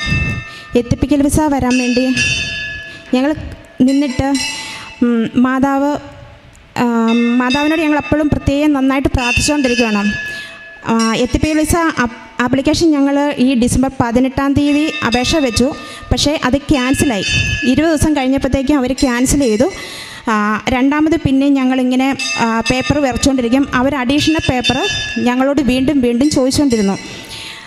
അപ്പം ഞാനിങ്ങനെ മാതാവിനോട് മുട്ടിപ്പായിട്ട് ഇങ്ങനെ പ്രാർത്ഥിച്ചുകൊണ്ട് മാതാവേ എന്താ ചെയ്യണ്ടേ? എന്താ ചെയ്യണ്ടേ? മോൾ ഭയങ്കര സങ്കടമാണല്ലോ എന്ന് അങ്ങനെ ഇരിക്കെ ഞാൻ സ്വപ്നത്തിൽ എന്നോട് അച്ഛൻ വന്ന്. പറയും ഇവിടുത്തെ ബഹുമാനപ്പെട്ട ജോസഫ് അച്ഛൻ എന്നോട് വന്ന് പറയുവാണ് മോളെ നീ എന്തിനു വിഷമിക്കുന്നു? നീ എന്തായാലും എന്തൊക്കെ കാണിച്ചെന്ന് പറഞ്ഞാലും ശരി മാർച്ച് ലാസ്റ്റും ഏപ്രിൽ ആദ്യമായിട്ടേ മോൾ പോകത്തുള്ളൂ. അതെന്ത് കാണിച്ചാലും ശരി അങ്ങനെയാ വരത്തുള്ളൂ എന്ന് പറഞ്ഞു. അപ്പോൾ ഞാൻ പറഞ്ഞ അച്ഛാ അങ്ങനെ എങ്ങനെയാണ് പറ്റുന്നത്? അവൾ എനിക്ക് ഫെബ്രുവരി തന്നെ പോകണം എന്നുള്ളതാണല്ലോ ആഗ്രഹം. അന്ന് നിനക്ക് പോകണോ നീ പൊക്കോ. അതേ ആ അച്ഛന്റെ സ്വതസിദ്ധമായ ആ ശൈലി തന്നെ എന്നോട് മറുപടി പറഞ്ഞു. നിനക്ക് പോണോ? പൊക്കോ. പക്ഷേ കാര്യം നടന്നില്ല. ഞങ്ങളിങ്ങനെ പ്രാർത്ഥിച്ചുകൊണ്ടിരുന്നു. ആറ് പ്രാവശ്യമാണ് റിജക്ഷൻ ആയത്. എത്തിപ്പിക്കൽ വിസ കിട്ടാൻ വേണ്ടി. പക്ഷേ ലാസ്റ്റ് മാർച്ച് ഇരുപതാം കൂടി ഞങ്ങൾക്ക് എത്തിപ്പിക്കൽ വിസ കിട്ടി. അത് കഴിഞ്ഞ് ഞങ്ങളിവിടെ വിസയ്ക്ക് അപ്ലൈ ചെയ്ത് എൻട്രി വിസ കിട്ടി. അങ്ങനെ അച്ഛൻ പറഞ്ഞ ബഹുമാനപ്പെട്ട ജോസഫ് അച്ഛൻ പറഞ്ഞ അതേ ടൈമിൽ ലാസ്റ്റ് മാർച്ച് മുപ്പത്തൊന്നിന് തന്നെ ഇവിടുന്ന് ഫ്ലൈറ്റ് കയറി. അവിടെ ഏപ്രിൽ ഒന്നാം തീയതി തന്നെ കൊച്ചെത്തി അവൾ ഭയങ്കര അത് കഴിഞ്ഞ് അവിടെ ചെന്നൊരു എക്സാം ഉണ്ടായിരുന്നു. അത് തിയറിയും പാസ്സായി പ്രാക്ടിക്കൽ ഉണ്ടായിരുന്നു. ഇന്നലെയായിരുന്നു റിസൾട്ട് വന്നത് അതും പാസ്സായി. നാളെ അവൾ ജോയിൻ ചെയ്യുവാണ് ഹോസ്പിറ്റലിൽ അങ്ങനെ ഞങ്ങൾക്ക് ഒത്തിരി ഒത്തിരി ഒത്തിരി അനുഗ്രഹം അവളാണ് ദൈവത്തിൽ നിന്നും മാറി. കാരണം വിസ എല്ലാം ശരിയാകാതെ വന്നപ്പോഴത്തേക്കും ദൈവമില്ല എനിക്കിനി മാതാവില്ല ആരുമില്ല അങ്ങനെ പ്രാർത്ഥിച്ചു. പക്ഷേ ഞാൻ അപ്പോഴും പറഞ്ഞു മോളെ നീ കൈവിടരുത്. ദൈവവും മാതാവും ഉണ്ട്. അമ്മ നിനക്ക് എക്സാമിന്റെ ടൈമിലൊക്കെ നിന്റെ മാതാവ് വന്ന് നിന്നെ എക്സാം എഴുതിച്ചോളും. പക്ഷേ അവൾ എക്സാം കഴിഞ്ഞപ്പോൾ എന്നോട് കരഞ്ഞോണ്ട് പറഞ്ഞു അമ്മേ ഞാനൊന്നും എഴുതിയിട്ടില്ല. എനിക്കൊന്നും അറിയത്തില്ലായിരുന്നു. ഞാൻ എപ്പോഴും പറഞ്ഞു മോൾ വിഷമിക്കേണ്ട. അമ്മയും മാതാവ് മാതാവ് നിന്റെ കൂടെയുണ്ട്. തിരുക്കുമാരനും നിന്റെ ഒപ്പം തന്നെയുണ്ട്. പരീക്ഷ എഴുതി കഴിഞ്ഞിട്ട് വന്നിട്ട് പറഞ്ഞു അമ്മേ ഇല്ല. എന്റെ കൂടെ മാതാവും ദൈവം ഒന്നും ഇല്ലായിരുന്നു. ആരും ഇല്ലായിരുന്നു എന്റെ കൂടെ എക്സാം എഴുതാൻ നേരത്ത്. ഞാൻ പറഞ്ഞു അല്ല. നിനക്കും മാതാവ് നിന്റെ കൂടെ ഉണ്ടായിരുന്നു. നിനക്ക് കിട്ടും. അങ്ങനെ തന്നെ നീ പ്രാർത്ഥിച്ചോളം പറഞ്ഞു. ലാസ്റ്റ് എക്സ് റിസൾട്ട് വന്നപ്പം അവൾ പാസ്സായി അങ്ങനെ നാളെ അവൾ ജോയിൻ ചെയ്യുവാണ്. അമ്മയ്ക്കും തിരുക്കുമാനും ഒരായിരം ഉടമ്പടി എടുത്തതിന് ശേഷം ഒ ഇ ടി പാസ്സായെന്ന് പറഞ്ഞല്ലോ. അപ്പോൾ ഉടമ്പടി എടുക്കുന്നതിന് മുമ്പ് എത്ര പ്രാവശ്യം എഴുതിയായിരുന്നു? ഒരു പ്രാവശ്യം. അതിനുശേഷം ഉടമ്പടി എടുത്തതിന് ശേഷം നിയോഗം വെച്ചു അല്ലേ? നിയോഗം വെച്ചിട്ട് ആദ്യത്തെ തവണ തന്നെ പാസ്സായോ? പാസ്സായി. വലിയൊരു സാക്ഷ്യമാണ് ഈ മകൾ പറഞ്ഞത്. കൃപാസനത്തിൽ വന്ന് മകളുടെ വിദേശത്തോട്ട് പോകാനുള്ള തടസ്സങ്ങൾ മാറുന്നതിന് നല്ലൊരു ജോലി കിട്ടുന്നതിന് വേണ്ടിയിട്ടാണ് ഒരു നിയോഗമായിട്ട് കൃപാസനത്തിൽ വന്ന് ഉടമ്പടി എടുത്ത് പ്രാർത്ഥിച്ചത്. മറ്റു വിഷയങ്ങളൊക്കെ നടന്ന അനുഗ്രഹങ്ങൾ ഓൾറെഡി സാക്ഷ്യപ്പെടുത്തിയിട്ടുണ്ട്. അൾത്താരെ തന്നെ പറഞ്ഞിട്ടുണ്ട്. അൾത്താരെ തന്നെ പറഞ്ഞിട്ടുണ്ട് ഈ മകൾ. അപ്പോൾ ഈ സഹോദരിയുടെ മകൾ കിട്ടിയ വലിയൊരു അനുഭവമാണ് സാക്ഷ്യപ്പെടുത്തിയത്. ഇങ്ങനെ ഒത്തിരി തടസ്സങ്ങൾ ഇങ്ങനെ വിസ വരാൻ ലേറ്റ് ആവും തോറും ഇങ്ങനെ മകളുടെ വിശ്വാസം ഓൾറെഡി ക്ഷയിച്ചു എന്ന് പറഞ്ഞു. അങ്ങനെ ഒരിക്കലും ചെയ്യരുത്. കാരണം നമുക്ക് കഞ്ഞിയും കപ്പയും അതുപോലെ ഭൗതികമായ സാഹചര്യങ്ങളൊന്നും തരാൻ വേണ്ടിയിട്ടല്ല ഈശോ ക്രൂശിക്കപ്പെട്ടത്. കാരണം കൃപാസനത്തിലെ ഉടമ്പടി തന്നെ ഒരു മനെ നിത്യജീവൻ വരെ നിങ്ങൾക്ക് അവകാശമാക്കി തരുന്നൊരു നടപടിയാണ് ഉടമ്പടി പ്രാർത്ഥന എന്ന് പറയും. ഇതിന്റെ ഒരു പാക്കേജ് അങ്ങനെയാണ്. അപ്പോൾ അതിനെക്കുറിച്ച് ബോധ്യമില്ലാത്തതുകൊണ്ടാണ് ആ മകൾക്ക് ആ സമയത്ത് നിരാശയൊക്കെ തോന്നി. അങ്ങനെ തോന്നേണ്ട ആവശ്യമില്ല. കാരണം ഉടമ്പടിയുടെ ഒരു നിലപാടെന്ന് പറഞ്ഞാൽ നമ്മൾ അവിശ്വസ്തരായിരുന്നാലും ദൈവം വിശ്വസ്തനായിരിക്കും. അപ്പോൾ ദൈവത്തിന് നമ്മൾ പിടികൊടുക്കരുത്. അപ്പോൾ മകൾക്ക് ആ വിശ്വാസം ഉണ്ടായിരുന്നു. പക്ഷേ അമ്മ വിശ്വാസത്തോടു കൂടി പ്രാർത്ഥന തുടർന്നു. ദൈവത്തെ ഒന്നും തള്ളി പറഞ്ഞില്ല. അമ്മ തീർച്ചയായിട്ടും സഹായിക്കുന്നു തന്നെ പറഞ്ഞു. അപ്പോൾ ഈ മകൾക്ക് കിട്ടിയ ഒരു അനുഭവം എന്ന് പറയുന്നത് ബഹുമാനപ്പെട്ട ജോസഫ് അച്ഛൻ സ്വപ്നത്തിൽ പ്രത്യക്ഷപ്പെട്ട് പറയുവാണ്. മാർച്ച് മുപ്പത്തൊന്ന് അല്ലെങ്കിൽ മാർച്ച് മുപ്പത്തൊന്നിന് അല്ലെങ്കിൽ ഏപ്രിൽ ഒന്നിനായിരിക്കും നിന്റെ ജീവിതത്തിൽ ഈ മകൾ കയറി പോകുന്നതെന്നാണ് സ്വപ്നത്തിൽ പ്രത്യക്ഷപ്പെട്ട് ബഹുമാനപ്പെട്ട ജോസഫ് അച്ഛൻ പറയുന്നത്. അപ്പോൾ ഈ അമ്മ ഇതിനെ എതിർത്ത് ചോദിച്ചു അല്ലല്ലോ ഇവൾ ഇങ്ങനെ കയറൊട്ടിച്ച് നിൽക്കുവാണല്ലോ അപ്പോൾ ഫെബ്രുവരി തന്നെ പോകണ്ടേ എന്ന് ചോദിച്ചപ്പോൾ എന്നാ പൊയ്ക്കോ എന്ന് പറഞ്ഞു അച്ഛൻ. പക്ഷേ അന്ന് സ്വപ്നത്തിൽ കണ്ടതുപോലെ തന്നെയാണ് സംഭവിച്ചത്. മാർച്ച് മുപ്പത്തൊന്നിനാണ് ഈ മകൾ അയർലൻഡിലോട്ട് പോയത്. തുടർന്നും ആ മകൾക്ക് പരിശുദ്ധ അമ്മയുടെ പ്രത്യേക ഇടപെടലുണ്ടായിരുന്നു സാമീപ്യം ഉണ്ടായിരുന്നു ആ എഴുതിയ ടെസ്റ്റിന് പാസ്സായി.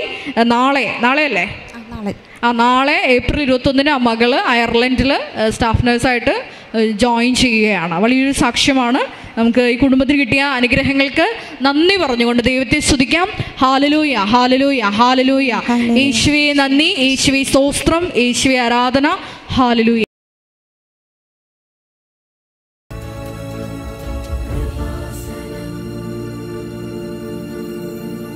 എന്റെ പേര് നയന പൈസ്. ഞാൻ അർത്തുങ്കൽ നിന്ന് വരുന്നു. ഞാൻ രണ്ടായിരത്തി പതിനേഴിലാണ് ആദ്യമായിട്ട് കൃപാസനത്തിൽ അമ്മയുടെ അടുത്ത് വരുന്നത്. രണ്ടായിരത്തി പതിനേഴിൽ അന്ന് ഞാൻ ഇവിടെ വന്നിട്ട് ഉടമ്പടി എടുത്തിട്ടുണ്ടായിരുന്നു. ഉടമ്പടിയിൽ ഞാൻ വെച്ച നിയോഗം ഞാൻ രണ്ടായിരത്തി പതിനേഴിൽ ബി ബി എ പാസ്സായ വ്യക്തിയാണ്. B B A airline and airport മാനേജ്മെന്റാണ് ഞാൻ പഠിച്ചത്. എയർപോർട്ട് സംബന്ധമായ ജോലിയാണ് അതിന് ലഭിക്കേണ്ടത്. രണ്ടായിരത്തി പതിനേഴ് മുതൽ ഞാൻ ട്രൈ ചെയ്യുന്നുണ്ട് പക്ഷെ എനിക്ക് ജോലി കിട്ടിയില്ല. എക്സ്പീരിയൻസ് സ്റ്റാഫിനെ മാത്രമേ എയർപോർട്ടിൽ എടുക്കൂന്ന് അവർ ഞങ്ങളുടെ അടുത്ത് ഇന്റർവ്യൂസിനൊക്കെ പറയും. ജോലി കിട്ടാതെ എക്സ്പീരിയൻസ് ആവാത്തത് കൊണ്ട് എനിക്ക് ജോലിയിൽ ഒരുപാട് തടസ്സങ്ങളുണ്ടായിരുന്നു. രണ്ടായിരത്തി പതിനേഴിൽ ഞാനിവിടെ വന്നു. മാതാവിന്റെ അടുത്ത് വന്ന് ഉടമ്പടി എടുത്തു പ്രാർത്ഥിച്ചു. രണ്ടായിരത്തി പതിനെട്ടിൽ കരിപ്പൂരിലെ ജെറ്റ് എയർവേസിന്റെ ട്രെയിനി ആയിട്ട് എനിക്ക് ജോലി കിട്ടി. മൂന്ന് മാസം ഞാൻ അവിടെ വർക്ക് ചെയ്തു. മൂന്ന് മാസം കഴിഞ്ഞപ്പോൾ ട്രെയിനിങ് കഴിഞ്ഞു. പക്ഷേ ജോലി പെർമനന്റ് ആയില്ല. ഞാൻ പിന്നെയും മാതാവിനോട് പ്രാർത്ഥിച്ചു. മാതാവ് എനിക്കൊരു ജോലി നൽകണം. കാര്യം ഞാൻ ഈ കോഴ്സാണ് പഠിച്ചത്. എനിക്കിനി എം ബി എ ചെയ്യണമെന്നുണ്ട്. എനിക്ക് പഠിക്കണമെന്ന് ഒരുപാട് ആഗ്രഹമുള്ളൊരു വ്യക്തിയായിരുന്നു. അങ്ങനെ ഞാൻ ആ സർട്ടിഫിക്കറ്റുമായിട്ട് ഒരുപാട് ഇന്റർവ്യൂസിന് അറ്റൻഡ് ചെയ്തു. പക്ഷെ ഒന്നും കിട്ടിയില്ല. അവരപ്പോഴും എക്സ്പീരിയൻസ് ആണ്. ത്രീ മന്ത് എക്സ്പീരിയൻസ് പറ്റില്ല എന്നൊക്കെ പറഞ്ഞു. ഞാൻ ത്രീ അങ്ങനെ തന്നെ മാതാവിനോട് പറഞ്ഞു. മാതാവ് എനിക്കൊരു ജോലി കിട്ടണം. ഞാനങ്ങനെ ഇന്റർവ്യൂ വരുന്ന വഴിക്ക് ഇന്റർവ്യൂ തന്നെ അറ്റൻഡ് ചെയ്തു. ഭദ്ര എന്ന് പറയുന്ന ഒരു ഏജൻസിയുടെ അണ്ടറിൽ എത്തിഹാദ് എയർവേസിന്റെ ഗ്രൗണ്ട് സ്റ്റാഫായിട്ട് എനിക്ക് ജോലി കിട്ടി. ഒന്നര വർഷത്തോളം ഞാൻ വർക്ക് ചെയ്തു. ഇപ്പം ആ ഒരൊന്നര വർഷം കൊണ്ട് ഞാൻ എക്സ്പീരിയൻസ് ടു ഇയേഴ്സ് അടുത്ത് എക്സ്പീരിയൻസ് കിട്ടി ട്രെയിനിങ് അടക്കം. ഞാൻ ആ സർട്ടിഫിക്കറ്റുമായിട്ട് ജോലി കണ്ടിന്യൂ ചെയ്യുമായിരുന്നു അപ്പോഴാണ് ഈ കൊറോണയായി. ഞാൻ എന്റെ ഉടമ്പടി ആ സമയത്ത് കംപ്ലീറ്റ് ആയിട്ടുണ്ടായിരുന്നു. ഒന്നര വർഷം കഴിഞ്ഞു. ഞാൻ ഉടമ്പടി കംപ്ലീറ്റ് ചെയ്തു. അതിനുശേഷം ഞാൻ എനിക്ക് കൊറോണ ആയപ്പോൾ ജോലി നഷ്ടപ്പെട്ടു. മാർച്ച് ഇരുപത്തിരണ്ടിനാണ് എനിക്ക് ജോലി നഷ്ടപ്പെട്ടത്. ലോക്ക്ഡൗൺ ആയപ്പോൾ ജോലി നഷ്ടപ്പെട്ടു. പക്ഷേ ജോലി നമുക്ക് നഷ്ടപ്പെട്ടു എന്ന് നമുക്ക് കമ്പനിയിൽ നിന്നൊന്നും ഇൻഫർമേഷൻ കിട്ടിയിട്ടില്ലായിരുന്നു. നമ്മൾ നാട്ടിലേക്ക് ലീവിന് പോവുകയാണ് കൊറോണ ടൈമിൽ നാട്ടിലേക്ക് ലീവിന് പോകാമെന്ന് വിചാരിച്ചാണ് നാട്ടിൽ പോയത്. നാട്ടിൽ വന്നതിന് ശേഷം ഒരു മാസമായി രണ്ട് മാസമായി കമ്പനിയിൽ നിന്നൊന്നും തിരിച്ച് കിട്ടാൻ വിളിക്കുന്നില്ല. ഫ്ലൈറ്റുകളെല്ലാം ക്യാൻസൽ ആയെന്ന് എന്നോട് റിപ്പോർട്ട് ചെയ്ത് പറഞ്ഞു അവർ ഞാനപ്പോൾ അവരുടെ കോൾ പ്രതീക്ഷിച്ചിരുന്നു. ഞങ്ങൾ പത്തായിരത്തോളം ആളുകൾ വർക്ക് ചെയ്യുന്നുണ്ട് ആ കമ്പനിയുടെ അണ്ടറിൽ പല പല എയർലൈൻസിലായിട്ട് ഒരുപാട് ഭയങ്കര വിഷമമായിരുന്നു കാര്യം. വിളിക്കാത്തതുകൊണ്ട് കഷ്ടപ്പെട്ട് പ്രാർത്ഥിച്ച മാതാവ് തന്ന ജോലി തിരിച്ച് ചെയ്യാൻ പറ്റുന്നില്ലല്ലോ എന്ന് ഓർത്താൽ എനിക്ക് ഭയങ്കര വിഷമമായിരുന്നു. ഞാൻ എന്നാലും ഞാൻ മാതാവിനോട് ഞാൻ വെളുപ്പിനൊക്കെ ഞാൻ പ്രാർത്ഥിക്കുമ്പോൾ ഞാൻ പറയും എനിക്ക് ആ ജോലി വേണമെന്ന്. പക്ഷേ ജൂൺ പതിനഞ്ചാം തീയതി ഞങ്ങൾക്ക് ടെർമിനേഷൻ ലെറ്റർ വന്നു. കാര്യം കമ്പനി സാമ്പത്തികമായിട്ട് ബുദ്ധിമുട്ടിലാണ്. അതുകൊണ്ട് ഈ ആയിരത്തോളം സ്റ്റാഫിനെ അവർ ടെർമിനേറ്റ് ചെയ്യാമെന്ന് പറഞ്ഞു. ഞങ്ങൾക്ക് ടെർമിനേഷൻ ലെറ്റർ വന്നു. ലെറ്റർ എന്റെ വീട്ടിൽ വന്നു. ഞാൻ പാരൻസിനൊന്നും കാണിച്ചിട്ടില്ലായിരുന്നു. ലെറ്റർ കൈ കിട്ടിയ ഉടനെ ഞാൻ എന്റെ പഴയ മാതാവിന്റെ ഒരു കാശ് രൂപ എന്റെ ഉണ്ടായിരുന്നു കൃപാസനത്തിൽ. ഞാൻ ആ ടെർമിനേഷൻ ലെറ്ററിൽ മാതാവിന്റെ അടുത്ത് പഞ്ച് ചെയ്ത് വെച്ചിട്ട് ഞാൻ പറഞ്ഞു മാതാവ് ഈ ടെർമിനേഷൻ ലെറ്റർ എനിക്കൊരു അപ്പോയിൻമെന്റ് ലെറ്റർ ആക്കി തരണേന്ന് ഞാനിങ്ങനെ പ്രാർത്ഥിച്ചു. അതിനുശേഷം ഞാൻ എന്റെ ഉടമ്പടി കഴിഞ്ഞായിരുന്നു. ഞാനപ്പോൾ ഇവിടെ ക്ലോസിങ് ആയത് ഇവിടെ തുറക്കാത്തത് കൊണ്ട് ഞാൻ ഇങ്ങോട്ട് വരാൻ എനിക്ക് പറ്റിയില്ല. ഞാൻ ഓൺലൈനായിട്ട് ഉടമ്പടി എടുത്ത് പ്രാർത്ഥിച്ചുകൊണ്ടേയിരുന്നു ജാനുവരി ഏഴാം തീയതി ഞാൻ ഓൺലൈനായിട്ട് ഉടമ്പടി എടുത്തു. ജാനുവരിയിൽ തന്നെ പുതിയൊരു കമ്പനി നെടുമ്പാശ്ശേരി എയർപോർട്ടിലെ ഒരു പുതിയ കമ്പനി കരിപ്പൂർ എയർപോർട്ടിലേക്ക് വന്നിട്ടുണ്ട് എന്ന് പറഞ്ഞു. അവിടെ ഇന്റർവ്യൂസ് ഉണ്ട് എന്ന് പറഞ്ഞു. ഞാൻ എനിക്ക് ഒരു വിശ്വാസം ഉണ്ടായിരുന്നു. എനിക്ക് ഞാൻ ഉടമ്പടി എടുത്തിട്ടുണ്ട്. അമ്മ മാതാവ് എനിക്ക് ജോലിയും തരും. എക്സ്പീരിയൻസ് എനിക്ക് മാതാവ് തന്നെയാണ് തന്നതെന്നൊക്കെ വിചാരിച്ച് ഞാൻ പോയി. എനിക്കൊരു ഇന്റർവ്യൂ പോലും ഇല്ലാതെയാണ് ഫെബ്രുവരിയിൽ എനിക്ക് ജോലി കിട്ടിയത്. എനിക്ക് എന്നോട് ഇന്റർവ്യൂ ക്വസ്റ്റ്യൻസോ ഒന്നോ കാര്യങ്ങളോ ചോദിച്ചിട്ടില്ല. എന്നോട് ജസ്റ്റ് പേര് ചോദിച്ചു വർക്ക് എക്സ്പീരിയൻസ് ചോദിച്ചു എനിക്ക് ജോലി കിട്ടി. ഞാൻ ഫെബ്രുവരി ഇരുപത്തിരണ്ടായപ്പോൾ എന്റെ പി സി സി ക്ലിയർ ചെയ്തു. ട്രെയിനിങ് കഴിഞ്ഞു ഡൽഹിയിൽ ഞാനത് കഴിഞ്ഞിട്ട് ഇപ്പോൾ ജോ ജോലിയിലാണ്. ഞാൻ കരിപ്പുര എയർപോർട്ടിൽ തന്നെ എയർ അറേബ്യയുടെ ഗ്രൗണ്ട് സ്റ്റാഫായിട്ട് വർക്ക് ചെയ്യുകയാണ് ഇപ്പോൾ എക്സ്പീരിയൻസ് ആയി തുടങ്ങി. അതിനുശേഷം എനിക്ക് എം ബി എ ചെയ്യണമെന്ന് വലിയ ആഗ്രഹമായിരുന്നു. പക്ഷേ എനിക്ക് നൈറ്റ് ഡ്യൂട്ടിയൊക്കെ ആയതുകൊണ്ട് എനിക്ക് എം ബി എ ചെയ്യാൻ പറ്റില്ല. ഞാൻ മാതാവിനോട് പറഞ്ഞു മാതാവ് എനിക്ക് എം ബി എ കൂടെ ചെയ്താൽ കൊള്ളാമെന്നുണ്ട്. മാതാവ് അതിന് എനിക്കൊരു വഴി കാണിച്ചു തരണേന്ന് പറഞ്ഞു. ഞാൻ യൂണിവേഴ്സിറ്റിയിൽ തിരക്കി എം ബി എക്കുള്ള അഡ്മിഷൻ മാതാവ് തന്നെ എനിക്ക് തന്നു. അതിനുശേഷം ഞാനിപ്പോൾ വർക്ക് ചെയ്തുകൊണ്ടിരിക്കുകയാണ്. എനിക്ക് പി എഫ് കിട്ടാൻ ഭയങ്കര ബുദ്ധിമുട്ടായിരുന്നു. കാര്യം പലവട്ടമായിട്ട് ടെർമിനേഷനൊക്കെ ആയതുകൊണ്ട് ജോലി നഷ്ടപ്പെട്ടുകൊണ്ട് പി എഫ് ഒന്നും വിഡ്രോ ചെയ്യുന്നില്ലായിരുന്നു. അതിന് ഞാൻ അമ്മ മാതാവിനോട് പറഞ്ഞു എനിക്ക് പി എഫ് കിട്ടണം. അത് പ്രാർത്ഥിച്ച് രണ്ട് മൂന്ന് ദിവസത്തിൽ പി എഫ് കിട്ടി. അങ്ങനെ ഇപ്പം ഞാൻ മാതാവിന്റെ അനുഗ്രഹത്താൽ നെടുമ്പാശ്ശേരിയിൽ ഇപ്പോൾ ഞാൻ ട്രാൻസ്ഫർ ആയി നെടുമ്പാശ്ശേരിയിലേക്ക് വന്നിരിക്കുകയാണ് കൊച്ചിയിൽ കരിപ്പൂരായിരുന്നു ഞാൻ വർക്ക് ചെയ്തുകൊണ്ടിരുന്നത് അമ്മ മാതാവ് നൽകിയ ഈ വലിയൊരു അനുഗ്രഹത്തിന് ഞാൻ മാതാവിന് നന്ദി പറയുന്നു. കൂടാതെ എന്റെ മമ്മിക്ക് ഒരു ആറ് വർഷം മുമ്പാണ് ഞാൻ ഓൾറെഡി ഇത് ഗൂഗിൾ മീറ്റിൽ സാക്ഷ്യം രേഖപ്പെടുത്തിയിട്ടുണ്ടായിരുന്നു. എന്നാലും അൽത്താരയിൽ മാതാവിന്റെ മുമ്പിൽ രേഖപ്പെടുത്തുകയാണ് ഞാൻ എന്റെ മമ്മിക്ക് ബ്രെയിനിൽ ഒരു ചെറിയ കംപ്ലൈന്റ് ഉണ്ടായിരുന്നു. ബ്രെയിനിൽ അവിടുത്തെ ഞരമ്പ് പൊട്ടിയിട്ട് ബ്ലോക്കായി ആൾ വെന്റിലേറ്ററിലൊക്കെ ആയിരുന്നു. അപ്പോൾ ആ സമയത്ത് ഞാൻ പ്ലസ് ടുവിന് പഠിക്കുന്ന സമയമാണ് ഡിഗ്രിക്കൊക്കെ മുമ്പാണ്. അപ്പോൾ ആ സമയത്ത് വെന്റിലേറ്ററിലായിരുന്നു മരിച്ചു പോകുമെന്ന് ഞങ്ങൾ ഡോക്ടർമാർ ഉറപ്പ് പറഞ്ഞതാണ്. അപ്പോൾ ആ സമയത്ത് എന്റെ പപ്പേന്റെ ചേട്ടൻ ഇവിടെ വന്നു അച്ഛനെ കണ്ടു ഒരു കാശ് രൂപം വാങ്ങിച്ചു. വാങ്ങിച്ചിട്ട് മമ്മീന്റെ കൊടുത്തു. അപ്പോൾ ഡോക്ടർ പറഞ്ഞത് എം ആർ ഐ സ്കാനിങ് എടുത്താൽ മാത്രമേ എന്ത് എന്ത് ട്രീറ്റ്മെന്റാണ് വേണ്ടത്? അല്ലെങ്കിൽ എന്ത് ടാബ്ലറ്റ്സ് ആണ് ആൾക്ക് കൊടുക്കണ്ടെന്ന് മനസ്സിലാവും എന്ന് പറഞ്ഞു. പക്ഷെ ആൾ മാനസികമായിട്ട് ആൾക്ക് മെന്റലി ആൾ ആരെയും തിരിച്ചറിയാത്തൊരവസ്ഥയാണ്. കാരണം ബഹളം ഉണ്ടാക്കുക ഒച്ച ഉണ്ടാക്കുക. ഞങ്ങളെ മക്ക എന്നെയോ ഞങ്ങളുടെ ഫാമിലിയിലോ പപ്പേനെയോ ഒന്നും തിരിച്ചറിയ പോലും ഇല്ലായിരുന്നു. ആ സമയത്ത് ഞങ്ങൾ ഭയങ്കര വിഷമിച്ചു. കാരണം എം ആർ ഐ സ്കാനിങ് എടുക്കുമ്പോൾ ആൾ അനങ്ങാതെ കിടന്നാൽ മാത്രം എടുക്കാൻ പറ്റൂ എന്നാണ് പറഞ്ഞത് സൈലന്റ് ആയിരിക്കണം ആൾ എപ്പോഴും എന്ന് പറഞ്ഞു. ഞങ്ങൾക്ക് തീരെ പറ്റാത്ത സാഹചര്യം. ഒന്നും രണ്ടാഴ്ചയായിട്ട് ഒരു ടാബ്ലറ്റ്സും ആൾക്ക് ഉള്ളിലോട്ട് കൊടുക്കാൻ പറ്റുന്നില്ല. കാര്യം ഇങ്ങനൊരു ഇഷ്യൂ ഉള്ളത് കൊണ്ട് അപ്പം ഞങ്ങൾ കാശ് രൂപം വെച്ചു. കാശ് രൂപം കയ്യിൽ കെട്ടി ജോസഫ് അച്ഛനാണ് തന്നത്. ക്യാഷ് കാശ് രൂപം തന്നത് അത് ഞങ്ങൾ കയ്യിൽ വെച്ചു. അതിനുശേഷം അമ്മയുടെ എം ആർ ഐ സ്കാനിങ് എടുക്കാൻ പറ്റി. ഡോക്ടർ പറഞ്ഞു ഓപ്പറേഷൻ ഒന്നും വേണ്ട. ഇല്ലാതെ തന്നെ നമുക്ക് ടാബ്ലറ്റ്സ് കൊണ്ട് അത് മാറുമെന്ന് പറഞ്ഞു. പക്ഷേ ആൾക്ക് ഒരു കണ്ണിന് കാഴ്ച നഷ്ടപ്പെട്ടു. എന്നാലും ആൾക്ക് ഇതുവരെ യാതൊരുവിധ ബുദ്ധിമുട്ടുകളും ഇല്ല. വീട്ടിലെ കാര്യങ്ങളും ഞങ്ങളുടെ കാര്യങ്ങളും ഒക്കെ മമ്മി നന്നായിട്ട് ചെയ്യുന്നുണ്ട്. അമ്മമാതാവാണ് ആ വലിയൊരു അനുഗ്രഹം. കാര്യം ഞങ്ങൾ മരിച്ചു പോകുമെന്ന് വിചാരിച്ച ആളെ ഞങ്ങൾക്ക് തിരിച്ചു തന്നത് അമ്മമാതാവാണ് പിന്നെ എന്റെ പപ്പയുടെ ശ്വാസം മുട്ടൽ കുറേ വർഷമായിട്ടുള്ളായിരുന്നു ഇപ്പോൾ മാതാവിന്റെ തൈലങ്ങൾ കൊടുത്തു. അതിനുശേഷം പപ്പയ്ക്ക് ഇപ്പോൾ ശ്വാസം മുട്ടലും കാര്യങ്ങളൊന്നുമില്ല. പിന്നെ അതിലെ ഏറ്റവും പ്രധാനമായിട്ടുള്ള കാര്യം എന്റെ അനിയത്തിയുടെ മാരേജ് ആയിരുന്നു. അത് ഞാൻ പ്രാർത്ഥിച്ചിരുന്നു എനിക്ക് ജോ എനിക്ക് ജോലി കിട്ടണം അവൾക്ക് അവളുടെ മാരേജ് നടക്കണമെന്നായിരുന്നു എന്റെ ആഗ്രഹം. കാര്യം ഞാനിപ്പോൾ എന്റെ ജോലി സംബന്ധിച്ച് എനിക്കൊരു മാരേജിന് ഇപ്പോൾ ട്വന്റി എയ്റ്റ് ആണ് ഞങ്ങൾക്ക് ഏജ് വരിക. അപ്പോൾ എനിക്കതിന് സാധിക്കില്ല. അപ്പോൾ എന്റെ അനിയത്തിക്കും അതൊരു വല്ലാത്ത ബുദ്ധിമുട്ടാണ്. അപ്പം ഞാൻ മാതാവിനോട് പ്രാർത്ഥിച്ചു മാതാവ് എനിക്ക് ജോലി തന്നു മാതാവ്. അതുപോലെ അവൾക്കൊരു മാരേജ് നടത്തണം. ഇന്നലെയായിരുന്നു ആളുടെ വിവാഹം. മാരേജ് കഴിഞ്ഞു. അവർ പോയി. എനിക്ക് ജോലി കിട്ടി. എന്റെ ജോലിയൊക്കെ തിരിച്ചു കിട്ടി. അമ്മമാതാവ് നൽകി. വലിയൊരു അനുഗ്രഹത്തിന് ഞാൻ അമ്മമാതാവിനോട് നന്ദി പറയുന്നു. ഈശോനോട് നന്ദി പറയുന്നു. ഞാൻ എന്റെ സാക്ഷി ഇവിടെ രേഖപ്പെടുത്തുന്നു. കരങ്ങളടിച്ചു കഥാവെന്ന് പറയട്ടെ. പ്രിയമുള്ളവരെ വലിയ ദൈവിക ഇടപെടലാണ്. ജോലി കിട്ടി ടെർമിനേഷനായി പക്ഷേ നയന പറഞ്ഞത് ടെർമിനേഷൻ കിട്ടിയപ്പോൾ ഉടമ്പടിക്ക് ആശീർവം ചേർത്ത് പിടിച്ച് നമ്മൾ എന്താ പ്രാർത്ഥിച്ചത്? ഞാൻ ആ കാശ് രൂപം മാതാവിന്റെ കാശ് രൂപ എന്റെ കയ്യിലുണ്ടായി ഞാൻ എപ്പോഴും എന്റെ ഫയലിൽ ഏറ്റവും ഫ്രണ്ടിൽ സൂക്ഷിക്കുക മാതാവിന്റെ കാശ് രൂപ. ഞാൻ ഫയൽ ഓപ്പൺ ചെയ്യുമ്പോൾ തന്നെ എന്റെ സർട്ടിഫിക്കറ്റ്സിന്റെ കൂടെ ഞാൻ മാതാവിന്റെ കാശ് രൂപ വെച്ചിട്ട് പോവുക. അപ്പോൾ ടെർമിനേഷൻ ലെറ്റർ കൈ കിട്ടിയപ്പോൾ ഞാൻ പാരൻസിനോട് പറഞ്ഞിട്ടില്ല. ജോലി നഷ്ടപ്പെട്ടു എന്ന് പറഞ്ഞിട്ടില്ല. കാര്യം ഒരുപാട് ബുദ്ധിമുട്ടാണ് എയർപോർട്ടുകളിൽ ജോലി കിട്ടാൻ വേണ്ടി ഗ്രൗണ്ട് സ്റ്റാഫ് ആവുക എന്ന് പറയുന്നത് നിസാരമായ നമ്മൾ പെട്ടെന്ന് ചെല്ലുമ്പോൾ കിട്ടുന്ന ഒരു കാര്യമല്ല അത്. അപ്പം ഞാൻ മാതാവിനോട് പറഞ്ഞു മാതാവ് എനിക്ക് ടെർമിനേഷനായി പാരൻസിനോടൊന്നും ഞാൻ പറയുന്നില്ല. പക്ഷെ ഞാൻ ആ കാശ് രൂപം അന്ന് തന്നെ എടുത്ത് ഞാൻ അതിൽ ഒട്ടിച്ച് വെക്കുക ചെയ്തത് വെച്ച് ഞാൻ പറഞ്ഞു മാതാവ് ഈ കാശ് രൂപം ഞാൻ വെക്കുകയാണ് ഇതിപ്പോൾ എനിക്ക് ടെർമിനേഷൻ ലെറ്ററാണ് എനിക്കിത് അപ്പോയിൻമെന്റ് ലെറ്റർ ആക്കി എനിക്ക് തരണമെന്ന് പറഞ്ഞു മാതാവിനോട്.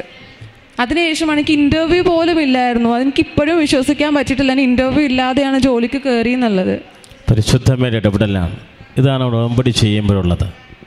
ടെർമിനേഷൻ ലെറ്റർ അപ്പോയിൻമെന്റ് ലെറ്ററാക്കി മാറ്റിയത്. കൃപാസന്റെ പ്രതക്ഷയായ പരിശുദ്ധ അമ്മയാണ് കാരണം അമ്മയുടെ പ്രത്യക്ഷപ്പെടൽ തന്നെ അങ്ങനെയാണ്. മഹാദുരന്തമായ സുനാമിയെ മുൻകൂട്ടി അറിയിച്ചുകൊണ്ടാണ് രണ്ടായിരത്തി നാല് ഡിസംബർ ഏഴിന് കൃപാസനത്തിന്റെ പരിശുദ്ധ പദ്മഹായിൽ പരിശുദ്ധമ്മ പ്രത്യക്ഷയായത്. അപ്പോൾ അതുകൊണ്ട് തന്നെ ഒരു വ്യക്തിയുടെ ഒരു കുടുംബത്തിന് ദുരിതങ്ങൾ വേദനകൾ ഉണ്ടാകുമ്പോൾ അമ്മ ആ മേഖലയിൽ ഇടപെടും. നേടൊരു ജീവിതത്തിൽ അതാണ് ടെർമിനേഷൻ ലെറ്റർ അപ്പോയിൻമെന്റ് ലെറ്ററാക്കി മാറി. മമ്മിയെ സുഖപ്പെടുത്തി.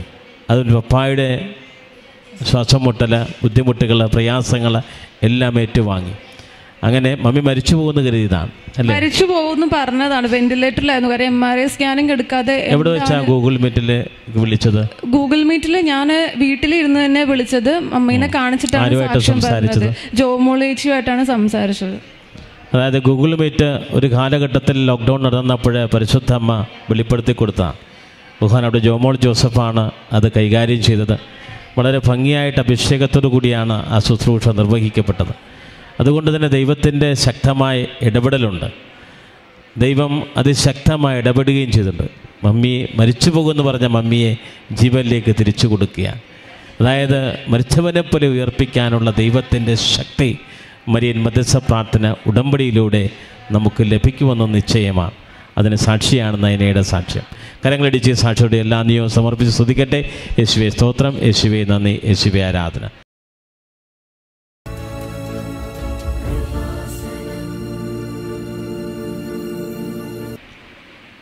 ഈശോമിശയ്ക്ക് സ്തുതിയായിരിക്കട്ടെ. എന്റെ പേര് കിരൺ ഷാജി. ഞാൻ കലയത്തുംകുന്ന് ഇടവക തലയോലപ്പറമ്പിനടുത്തു നിന്നാണ് വരുന്നത്. ഞാൻ രണ്ടായിരത്തി പത്തൊമ്പതിലാണ് ആദ്യമായിട്ട് കൃപാസനത്തെക്കുറിച്ച് അറിയുന്നത്. അത് ഞാൻ വർക്ക് ചെയ്തുകൊണ്ടിരുന്നത് മുംബൈയിലെ ഒരു ആശുപത്രിയിലാണ്. അവിടെ വെച്ച് എനിക്ക് ശ്വാസകോശത്തിൽ വെള്ളം കെട്ടുന്ന അസുഖം വന്നു. അപ്പോഴാണ് ഞാൻ ആദ്യമായിട്ട് കൃപാസനത്തെക്കുറിച്ച് അറിയുന്നത്. അവിടെ എന്നെ നോക്കാൻ വന്നിരുന്ന ഒരു സിസ്റ്ററാണ് എന്റെ ഈ അവസ്ഥ കണ്ടിട്ട് ഇങ്ങനെ ആലപ്പുഴയിൽ ഒരു ധ്യാന കേന്ദ്രമുണ്ട് കൃപാസനം. നീ നാട്ടിൽ ചെന്ന് കഴിയുമ്പം അവിടെ ചെല്ലണം എന്ന് ആ സിസ്റ്ററാണ് എന്നോട് ആദ്യം പറയുന്നത്.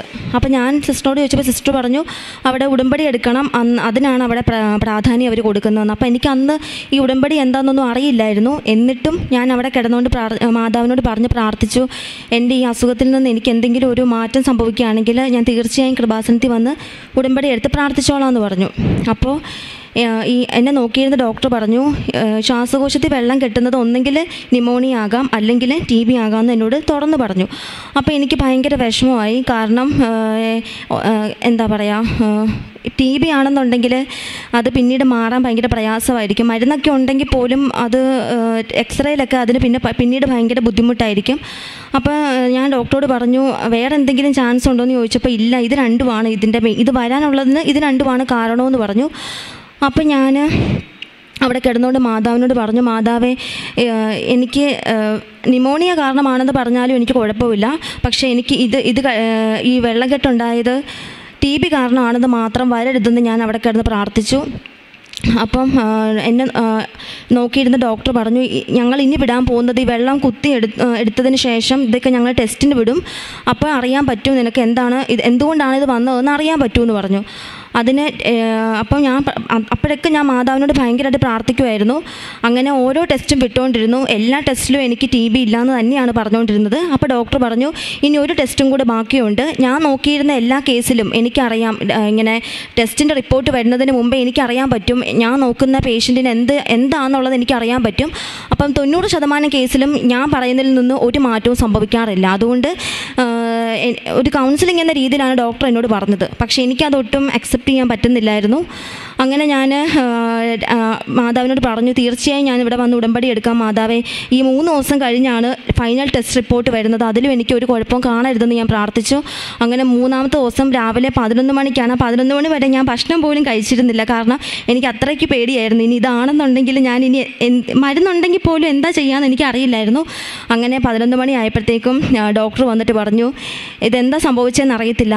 ഞാൻ നോക്കിയിരുന്ന എല്ലാ കേസിലും വെച്ചാണ് ഞാൻ നിന്നോട് പറഞ്ഞത്. ഇത് ഇത് തന്നെയാണ് പക്ഷേ ഇതിലെന്തോ മാറ്റം സംഭവിച്ചിരിക്കുന്നു. എന്താണ് ഡയഗ്നോസ് ചെയ്യാൻ പറ്റുന്നില്ല. എന്തായാലും നിന്റെ ജീൻ എക്സ്പേർട്ട് റിപ്പോർട്ട് വന്നു.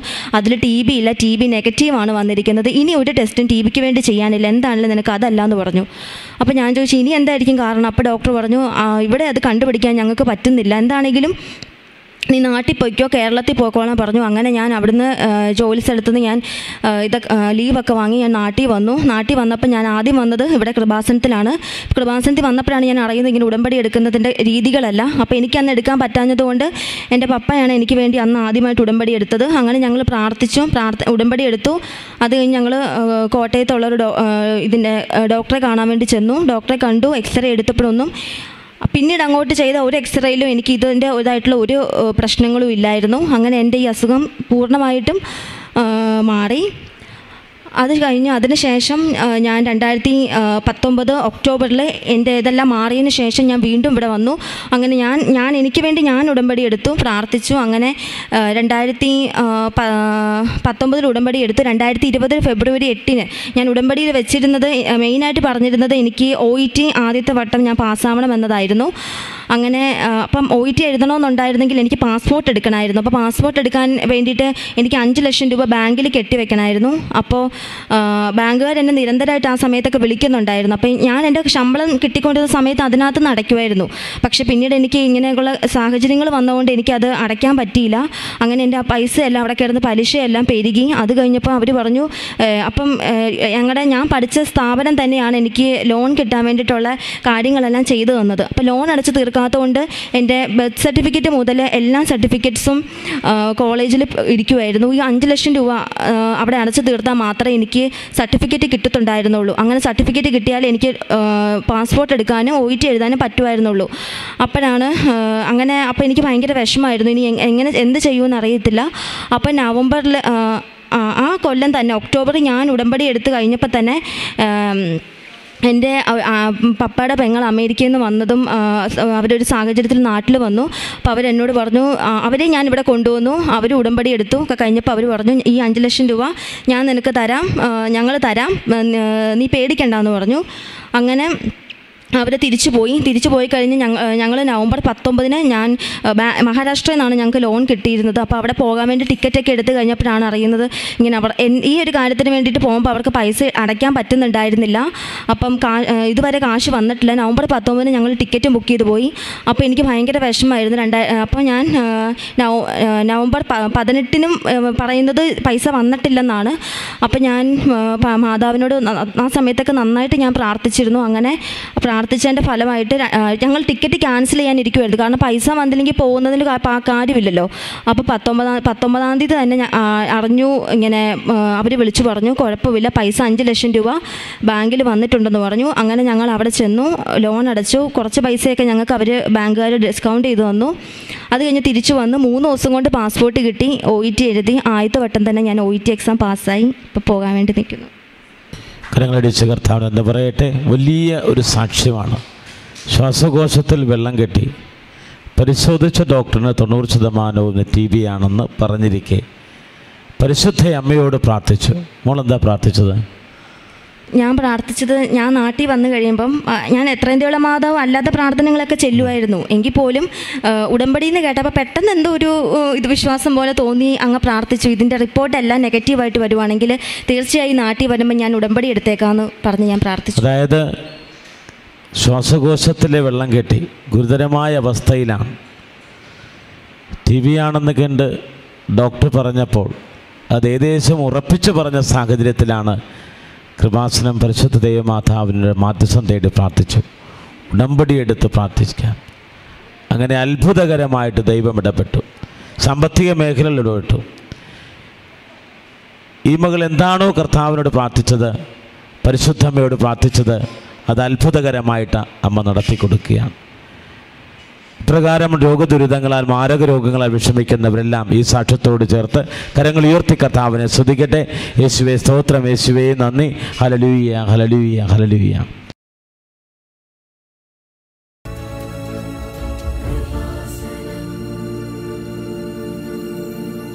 കോഴിക്കോടാണ്.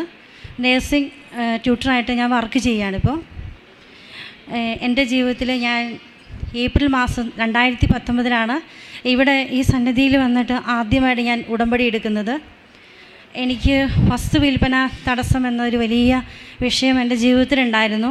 ഞങ്ങൾക്ക് ഓഹരിയായി കിട്ടിയ വസ്തുവിൽ പഴയ കാലങ്ങളിൽ ആദിവാസികളുമൊക്കെയായി നിരന്തരം കുറേ ആഭിചാര കർമ്മങ്ങളൊക്കെ ചെയ്ത ഒരു ഒരു ഭൂമിയായിരുന്നു ഞങ്ങൾക്ക് കിട്ടിയിരുന്നത്. അപ്പം അതിൽ ഞങ്ങൾക്ക് മുന്നോട്ട് നിന്ന് പോകാൻ ഞങ്ങൾക്ക് സാധിക്കുന്നില്ലായിരുന്നു. ഒരുപാട് പരീക്ഷണങ്ങൾ ഞങ്ങളുടെ ജീവിതത്തിലുണ്ടായി. കുഞ്ഞുങ്ങൾക്കും എനിക്കും ഒക്കെ ആയിട്ട് നിരവധി മരണപാശങ്ങളാണ് ഞങ്ങളെ ചുറ്റിയത്. ചുരുക്കത്തിൽ അത്രയേ പറയാൻ കഴിയുമോ അതിനുമാത്രം കഠിനമായ പീഡകൾ ഞങ്ങളുടെ ശരീരത്തിലും ആത്മാവിലും മനസ്സിലും ഉണ്ടായിട്ടുണ്ട്.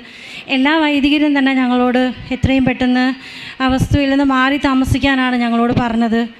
എല്ലാവരും തന്നെ ഞങ്ങളെ ഉപേക്ഷിച്ചതായിരുന്നു. അതായിരുന്നു സത്യം.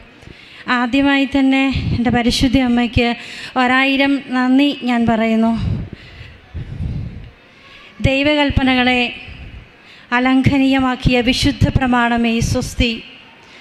സത്യം പറയി ഈ ഉടമ്പടി എടുത്ത അന്ന് മുതൽ ദൈവകൽപ്പനകൾ പത്തെണ്ണമുണ്ട് അത് പത്തെണ്ണവും തെറ്റാതെ നമുക്ക് പാലിക്കാനുള്ള കൃപയാണ് അമ്മ നമുക്ക് തന്നുകൊണ്ടിരിക്കുന്നത്. സത്യം പറ അന്ന് മുതൽ നിരന്തരം പള്ളിയിൽ പോകാനും പ്രാർത്ഥിക്കാനും ലോക്ക്ഡൗണിന്റെ സമയത്ത് പോലും അമ്മ കൃപ തന്നു. നിരന്തരമായി ബലിയർപ്പിക്കാനുള്ള കൃപ തരണേ എന്ന് ഞാൻ വെറുതെ പറഞ്ഞിട്ടുള്ളൂ അമ്മേനോട്. ഉടമ്പടി വെച്ച അഞ്ച് ആറ് നിയോഗങ്ങളിൽ അഞ്ചെണ്ണവും എനിക്ക് സാധിച്ചു തന്നു. അതിലേറ്റവും വലുത് കടഭാരം എന്ന് പറഞ്ഞാൽ എനിക്ക് ഒന്നും തികയാത്തൊരവസ്ഥയായിരുന്നു. ഈ വസ്തുവിൽ ഞങ്ങൾക്ക് താമസിക്കാൻ പറ്റാത്തതുകൊണ്ട് ഞങ്ങൾ വൈദ്യരുടെ അനുവാദത്തോടു കൂടി ഞങ്ങൾ അവിടുന്ന് സ്ഥലം മാറിപ്പോയി. പല സ്ഥലങ്ങളിലായ വാടക വീടുകൾ ഞങ്ങൾ താമസിക്കേണ്ടി വന്നു. ഏഴ് ഏകദേശം ആറ് വർഷത്തോളം ഞങ്ങൾ താമസിച്ചു. ഈ വർഷങ്ങളിലെല്ലാം ഞങ്ങൾ നിരന്തരം പ്രാർത്ഥിക്കുന്നുണ്ടായിരുന്നു. ഈ വസ്തുവിൽ നിന്ന് ഞങ്ങൾക്കൊരു മോചനം തരണമേ എന്ന്. ഒരു തരത്തിലുള്ള മോചനവും ഞങ്ങൾക്ക് അവിടെ നിന്ന് ലഭിച്ചിട്ടില്ല. ഒരു തരത്തിലുള്ള ആശ്വാസവും ഞങ്ങൾ ഈ ഈ ലോകത്തിന്റെ ഏത് കോണിൽ പോയിട്ട് ഞങ്ങൾക്ക് ലഭിച്ചിട്ടില്ല. അവസാനം ഇവിടെ വന്ന് ഉടമ്പടി എടുത്തതിന് ശേഷവും എന്റെ ശരീരത്തിൽ അസാധാരണമായ വേദനകളും പ്രശ്നങ്ങളും എല്ലാം ഉണ്ടായിരുന്നു. എങ്കിലും ഞാൻ നിരാശപ്പെടാതെ ഇവിടെ നിന്ന് അമ്മയുടെ ആ മുമ്പിലുള്ള മണ്ണിന്റെ അല്പം എടുത്തുകൊണ്ട് പോയി വിശ്വാസത്തോടു കൂടി ഞാൻ പ്രാർത്ഥിച്ചു. കാരണം അമ്മയ്ക്കെല്ലാം സാധ്യമാണ്. അമ്മ ദൈവത്തിന്റെ പരിശുദ്ധമായ ജ്ഞാനമാണ് എന്ന് ഞാൻ തിരിച്ചറിഞ്ഞു. ഈ വിശ്വാസം ഞാൻ ഉറച്ചു പ്രാർത്ഥിച്ചു. എന്റെ കടഭാരം മാറാനായി അമ്മ എന്റെ ചെവിയിൽ ഒരു വചനം പറഞ്ഞു തന്നു. കർത്താവിന്റെ അനുഗ്രഹം സമ്പത്ത് വർദ്ധിപ്പിക്കുന്നു. അവിടുന്ന് അതിൽ ദുഃഖം കലർത്തുന്നില്ല. ഇതിങ്ങനെ പ്രാർത്ഥിച്ച് ഉരുവിട്ടുകൊണ്ട് നടക്കാൻ എന്നോട് അമ്മ പറഞ്ഞു. ഞാനതിങ്ങനെ എപ്പോഴും ഓർക്കുമ്പോഴെല്ലാം നടക്കുമ്പോഴും പോകുമ്പോഴെല്ലാം പറഞ്ഞുകൊണ്ടിരുന്നു. അസാധാരണമായ രീതിയിൽ ലോക്ക്ഡൗണിന്റെ സമയത്ത് ആർക്കും ഒന്നിനും വശമില്ലാതിരുന്നൊരു സമയത്ത് ഞങ്ങൾ തൊട്ട അയൽവാസി ഞങ്ങളെ വിളിക്കുകയും കുറച്ച് സ്ഥലം വഴിക്കായി ചോദിക്കുകയും ചെയ്തു. ഇപ്പം ഞാൻ എന്റെ അവസ്ഥ പറഞ്ഞപ്പോൾ കുറച്ച് കുറച്ചെടുക്കാമോ എന്ന് ചോദിച്ചപ്പം എന്റെ പ്രശ്നങ്ങൾ മാറാനായിട്ട് കടഭാരം മാറാൻ ആദ്യം ഒരു ചെറിയൊരു കച്ചവടം നടന്നു. പിന്നീട് ഒരു നീണ്ട വർഷങ്ങളായി ഞാൻ കാത്തിരുന്നു. അമ്മ എന്തെങ്കിലും അത്ഭുതം എനിക്കായി പ്രവർത്തിക്കുമെന്ന് ഓർത്തിട്ട് കാരണം അതിന്റെ ഫ്രണ്ടിലൊന്നും വിറ്റുപോകാൻ ഒരു സാധ്യതയില്ല. മെയിൻ റോഡും കാര്യങ്ങളൊക്കെ ഉണ്ടെങ്കിലും നിരവധി തടസ്സങ്ങൾ അതിനകത്തുണ്ടായിരുന്നു. എങ്കിൽ ഒട്ടും പ്രതീക്ഷിക്കാത്ത രീതിയിൽ ആ പറമ്പിന്റെ ഏറ്റവും പുറകിൽ ഏറ്റവും പുറകിലെന്ന് വെച്ചാൽ യാതൊരു പ്രതീക്ഷയും നമുക്കില്ല. ഒരിക്കലും ഞാൻ സ്വപ്നത്തിൽ പോലും വിചാരിച്ചിട്ടില്ല. അതിന്റെ ഏറ്റവും പുറകിലെ ഒരു ഭാഗം അമ്മ എനിക്കായി സംരക്ഷിക്കാനായി പെറ്റുതരുമെന്ന് ഞാൻ സ്വപ്നത്തിൽ വിചാരിച്ചില്ല. ഞാൻ ഇവിടുത്തെ മണ്ണെടുത്ത് പോയി ആ മണ്ണിൽ കൊണ്ട് കലർത്തി പ്രാർത്ഥിച്ചു. ആ സമയത്ത് എനിക്ക് ഒരുപാട് അടയാളങ്ങൾ കിട്ടി. ഇവിടെ നിന്നുള്ള ഉടമ്പടി കാശ് എന്റെ നെഞ്ചത്ത് ഞാൻ അമർത്തി പിടിച്ചിട്ടുണ്ടായിരുന്നു. അതിന്റെ ഒരു ഭാഗം അടർന്ന് എന്റെ നെഞ്ചിൽ തന്നെ പറ്റിയിരുന്നു. ഒന്നും താഴെ ഒന്നും പോയില്ല. ഞാനതെടുത്ത് ഒട്ടിച്ചൊക്കെ വെച്ചു. ഏ, ഒന്നും സംഭവിച്ചില്ല. കുറേ ശബ്ദങ്ങളും ഒച്ചപ്പാടുകളൊക്കെ അന്നേരം കേട്ടിരുന്നു. പെട്ടെന്ന് അവിടെ എല്ലാം ശാന്തമായി. ആ നിമിഷം തന്നെ എനിക്ക് പെട്ടെന്ന് ഒരു ഏ, മരക്കച്ചവടം നടക്കുകയും എനിക്ക് എന്റെ നിത്യവൃത്തിക്കുള്ള അതായത് ഞാൻ കടം വാങ്ങിയാണ് ഞാൻ ആ സ്ഥലത്തേക്ക് അന്ന് പോയത്. അമ്മേന്റെ കാശുരൂപം വെച്ച് പ്രാർത്ഥിക്കാൻ വേണ്ടി. ഞാനും കുഞ്ഞുങ്ങളും കൂടെ ഈ കാട് പിടിച്ച് കിടന്ന ഈ സ്ഥലത്തിന്റെ നടുക്ക് അമ്മയുടെ ഉടമ്പടി കാശ് തിരിയുണ്ട്. ഇവിടുത്തെ നീലയും പച്ചയുള്ള തിരികൾ കത്തിച്ച് വെച്ച് ഞങ്ങൾ ആകാശത്തിലേക്ക് നോക്കി ഞങ്ങൾ നിലവിളിച്ച് ഞങ്ങൾ പ്രാർത്ഥിച്ചു. അമ്മ ഞങ്ങളുടെ പ്രാർത്ഥന കേട്ടു. പെട്ടെന്ന് അവിടെ പണ്ട് ഞാൻ നട്ട് ഒരു മുല്ലച്ചെടിയിൽ മുല്ലപ്പൂ അമ്മ അടയാളമായിട്ട് അമ്മയോടുണ്ടെന്നുള്ളതിന് ഒരു സൂചന എനിക്ക് തരുമോ എന്ന് ചോദിച്ചപ്പോൾ പെട്ടെന്ന് ആ മുല്ലപ്പൂവിൽ ഒരു മുല്ലപ്പൂ മാത്രം ഇങ്ങനെ ഞാൻ കണ്ടു. സത്യം പറഞ്ഞാൽ ഞാൻ ഞാൻ എന്റെ കണ്ണുകളൊക്കെ നിറഞ്ഞുപോയി. പിന്നെ പോകുമ്പോൾ വരുമ്പോൾ യാത്രയിലും എല്ലാം അമ്മയുടെ ഈ വലിയ രൂപം ഞങ്ങളുടെ വണ്ടിയുടെ മുകളിൽ ഇങ്ങനെ വന്ന് നിൽക്കുന്നതായി എനിക്ക് എപ്പോഴും ഫീൽ ചെയ്തിരുന്നു. ഞാൻ കാണുന്നുണ്ടായിരുന്നു. എന്നിട്ട് പിന്നെ എന്നെ ഇവിടെ പറഞ്ഞ പ്രകാരം അല്ലാതെ തന്നെ നിരന്തരം ഉപവാസവും പ്രാർത്ഥനയും എടുക്കുന്ന ഒരവസ്ഥ എനിക്ക് ഞാൻ കഠിനമായി എടുക്കാൻ ഞാൻ തീരുമാനിച്ചതാണത്. നിരന്തരമായ ഉപവാസത്തിലൂടെ അമ്മ അമ്മയുടെ ഈ മണ്ണ് കലർത്തിയ മണ്ണ് ഞാൻ എനിക്ക് ഇവിടെ വന്ന് എന്നും പ്രാർത്ഥിക്കാൻ പറ്റില്ല ദൂരം ഉണ്ടല്ലോ. എടുത്തുകൊണ്ട് പോയിട്ട് ഞാൻ ചെറിയൊരു അടപ്പ് പോലത്തെ ഒരു പാത്രത്തിൽ എടുത്ത് വെച്ച് ഈ മണ്ണിനകത്ത് വെച്ച് അമ്മയുടെ ഈ നീലയും പച്ചയും തിരി ഞാൻ കത്തിച്ച് പ്രാർത്ഥിക്കാൻ തുടങ്ങി. പ്രത്യേകിച്ച് അത്ഭുതങ്ങളൊന്നും നടന്നില്ല. ഞാൻ എന്നാലും ഒരു ഉപേക്ഷയെ വിചാരിക്കാതെ തുടർന്നുകൊണ്ടിരുന്നു ഒരു ദിവസം ഞാൻ ഇങ്ങനെ നിരാശയോടെ പറഞ്ഞു അമ്മേ ഒന്നും നടക്കുന്നില്ലല്ലോ. അപ്പോഴും എന്റെ മനസ്സിൽ പ്രത്യാശയോടെ പെട്ടെന്ന് അച്ഛന്റെ യൂട്യൂബിലുള്ള ഒരു വീഡിയോ ഉണ്ട്. പറന്ന് നടക്കാനുള്ള ചിറകുകൾ നിനക്കും തരും. വിജയത്തിന്റെ ചിറകുകൾ നിനക്കും കൈവരുന്നുള്ള വീഡിയോ ഞാൻ ഇടയ്ക്കിടയ്ക്ക് കേട്ട് കേട്ട് കേട്ട് കേട്ട് എന്റെ വിശ്വാസം എപ്പോഴൊക്കെ കിടുന്നു അപ്പോഴെല്ലാം ഞാനത് എടുത്തു വെച്ച് കേട്ട് ഞാൻ ശക്തി പ്രാപിക്കുകയായിരുന്നു. അങ്ങനെ ഒരു ദിവസം അതിരാവിലെ അഞ്ചരയ്ക്ക് ഇത് കത്തിച്ച് വെച്ച് പ്രാർത്ഥിച്ചപ്പോൾ അസാധാരണമായ രീതിയിൽ പച്ച മണ്ണിന്റെ നടുക്ക് നിന്ന് ഒരു ദീപനാളം തെളിഞ്ഞു വന്നു. അതിന്റെ എല്ലാ ചിത്രീകരണങ്ങളും ഫോട്ടോസും ഇവിടെയുണ്ട്. ഞാനതെല്ലാം ഇവിടെ ഏൽപ്പിച്ചിട്ടുണ്ട്. ലോക്ക്ഡൗണിന്റെ സമയത്ത് ഇവിടെ വന്ന് ഞാൻ വാട്സപ്പിലൂടെ ഇവിടെ വന്ന് ഞാൻ സാക്ഷ്യം പറഞ്ഞിട്ടുള്ളതാണ്. അമ്മയുടെ സന്നിധിയിൽ എനിക്ക് ഇവിടെ വന്ന് സാക്ഷ്യം പറയാനായിട്ട് എന്റെ അമ്മ എന്നെ അനുഗ്രഹിച്ചതിന് ഒരായിരം നന്ദി പറയുന്നു. ഈ ഒരു ദീപനാളം തെളിഞ്ഞത് പിന്നീട് അത് രണ്ടെണ്ണമായി പിന്നീട് മൂന്നെണ്ണമായി പിന്നീട് അത് ആളിക്കത്തി. ഞാൻ അത്ഭുതത്തോടു കൂടി നോക്കി നിന്ന് അമ്മയെ സ്തുതിച്ചുകൊണ്ട് ഇതിന്റെ ചിത്രങ്ങൾ ഞാൻ പകർത്തി. എന്തോ അത്ഭുതമാണെന്ന് എനിക്ക് മനസ്സിലായി. അതിന്റെ ഏകദേശം കത്തി തീരാറായപ്പോൾ ആ മണ്ണ് കരിഞ്ഞ് അതിന്റെ സെൻട്രൽ നിന്നുള്ള നാളം പൊന്തിയിട്ട് ചിത്രങ്ങളിലാണ് ഞാൻ കണ്ടത്. ഞാൻ എനിക്ക് പെട്ടെന്ന് കണ്ടപ്പോൾ മനസ്സിലായില്ല. ആ ചിത്രത്തിന്റെ ഉള്ളിൽ പരിശുദ്ധ അമ്മ മുട്ടുകുത്തി നിന്ന് കൈ ഉയർത്തി സ്വർഗത്തിലേക്ക് നോക്കി പ്രാർത്ഥിക്കുന്ന ഒരു രൂപം അതിൽ തെളിഞ്ഞിട്ടുണ്ട്. ഞാനിവിടെ കൊടുത്തിട്ടുണ്ട് ആ ചിത്രങ്ങളൊക്കെ. ഇപ്പോഴും എന്റെ ഫോണിൽ വാട്സപ്പിലുണ്ട്. എന്നേക്കുമുള്ള യുഗാന്ത്യം വരെയുള്ള തെളിവായി ഞാനത് വെച്ചിട്ടുണ്ട്. എനിക്ക് അമ്മ തന്നൊരു ശക്തമായ അടയാളമായിരുന്നു. ഞാൻ ഉറച്ച് വിശ്വസിച്ചു. എന്തോ അത്ഭുതം അമ്മ നടത്തും. എന്തോ അത്ഭുതം അമ്മ നടത്തും. അപ്പോഴും ഞാൻ ഇടയ്ക്കിടയ്ക്ക് ഇങ്ങനെ ചോദിക്കുമ്പോൾ പെട്ടെന്ന് അമ്മ പറഞ്ഞു ജൂൺ പതിമൂന്നിന് നിനക്കൊരു വിളി വരും. അപ്പോൾ ഞാൻ ജൂൺ പതിമൂന്ന് വൈകുന്നേരം ആറ് മണിയായിട്ടും ഒന്നും വന്നില്ല. ശക്തമായ ലോക്ക്ഡൗൺ ആയിരുന്നു. പെട്ടെന്ന് ഈ സ്ഥലം എടുക്കാൻ ഉദ്ദേശിച്ച ആൾ എന്നെ വിളിക്കുകയും ഇന്ന ദിവസം വരാനും പറഞ്ഞു ഉറപ്പിക്കുകയും പെട്ടെന്ന് അസാധാരണമായ രീതിയിൽ അമ്മയുടെ ദിവസങ്ങളിലാണ് ഈ അത്ഭുതങ്ങൾ മുഴുവൻ നടന്നത്. കഠിന ദാരിദ്ര്യം ഞങ്ങളെ വിട്ടുപോയി. ഒക്ടോബർ ആറ് ജപമാല രാജ്ഞിയുടെ തിരുനാളിന്റെ അന്ന് അസാധാരണമായ രീതിയിൽ കച്ചവടം വളരെ നീതിപരമായിട്ട് നടക്കുകയും പിറ്റേ പിന്നീട് ഒക്ടോബർ പതിനഞ്ചിന് ഞങ്ങൾ തന്നെ ഞങ്ങൾ പുതിയ ഭവനം ഞങ്ങൾക്ക് ലഭിക്കുകയും ചെയ്തു. പിന്നീട് ഒക്ടോബർ മുപ്പതിന് ഞങ്ങൾ വാങ്ങിച്ചതിന് ശേഷം അതിൽ കയറി കൂടി ഞങ്ങൾ താമസിക്കാനുള്ള വലിയ കൃപ അമ്മ ഞങ്ങൾക്ക് തന്നു.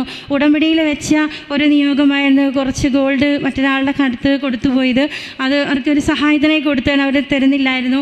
എങ്കിലും അതിന്റെ അതിലൊരു നല്ല ശതമാനം അവർ ഞങ്ങൾക്ക് തിരിച്ചു തരികയും ചെയ്തു. എന്റെ മകന് കുറച്ച് പഠന വൈകല്യങ്ങളുള്ള കുട്ടിയായിരുന്നു.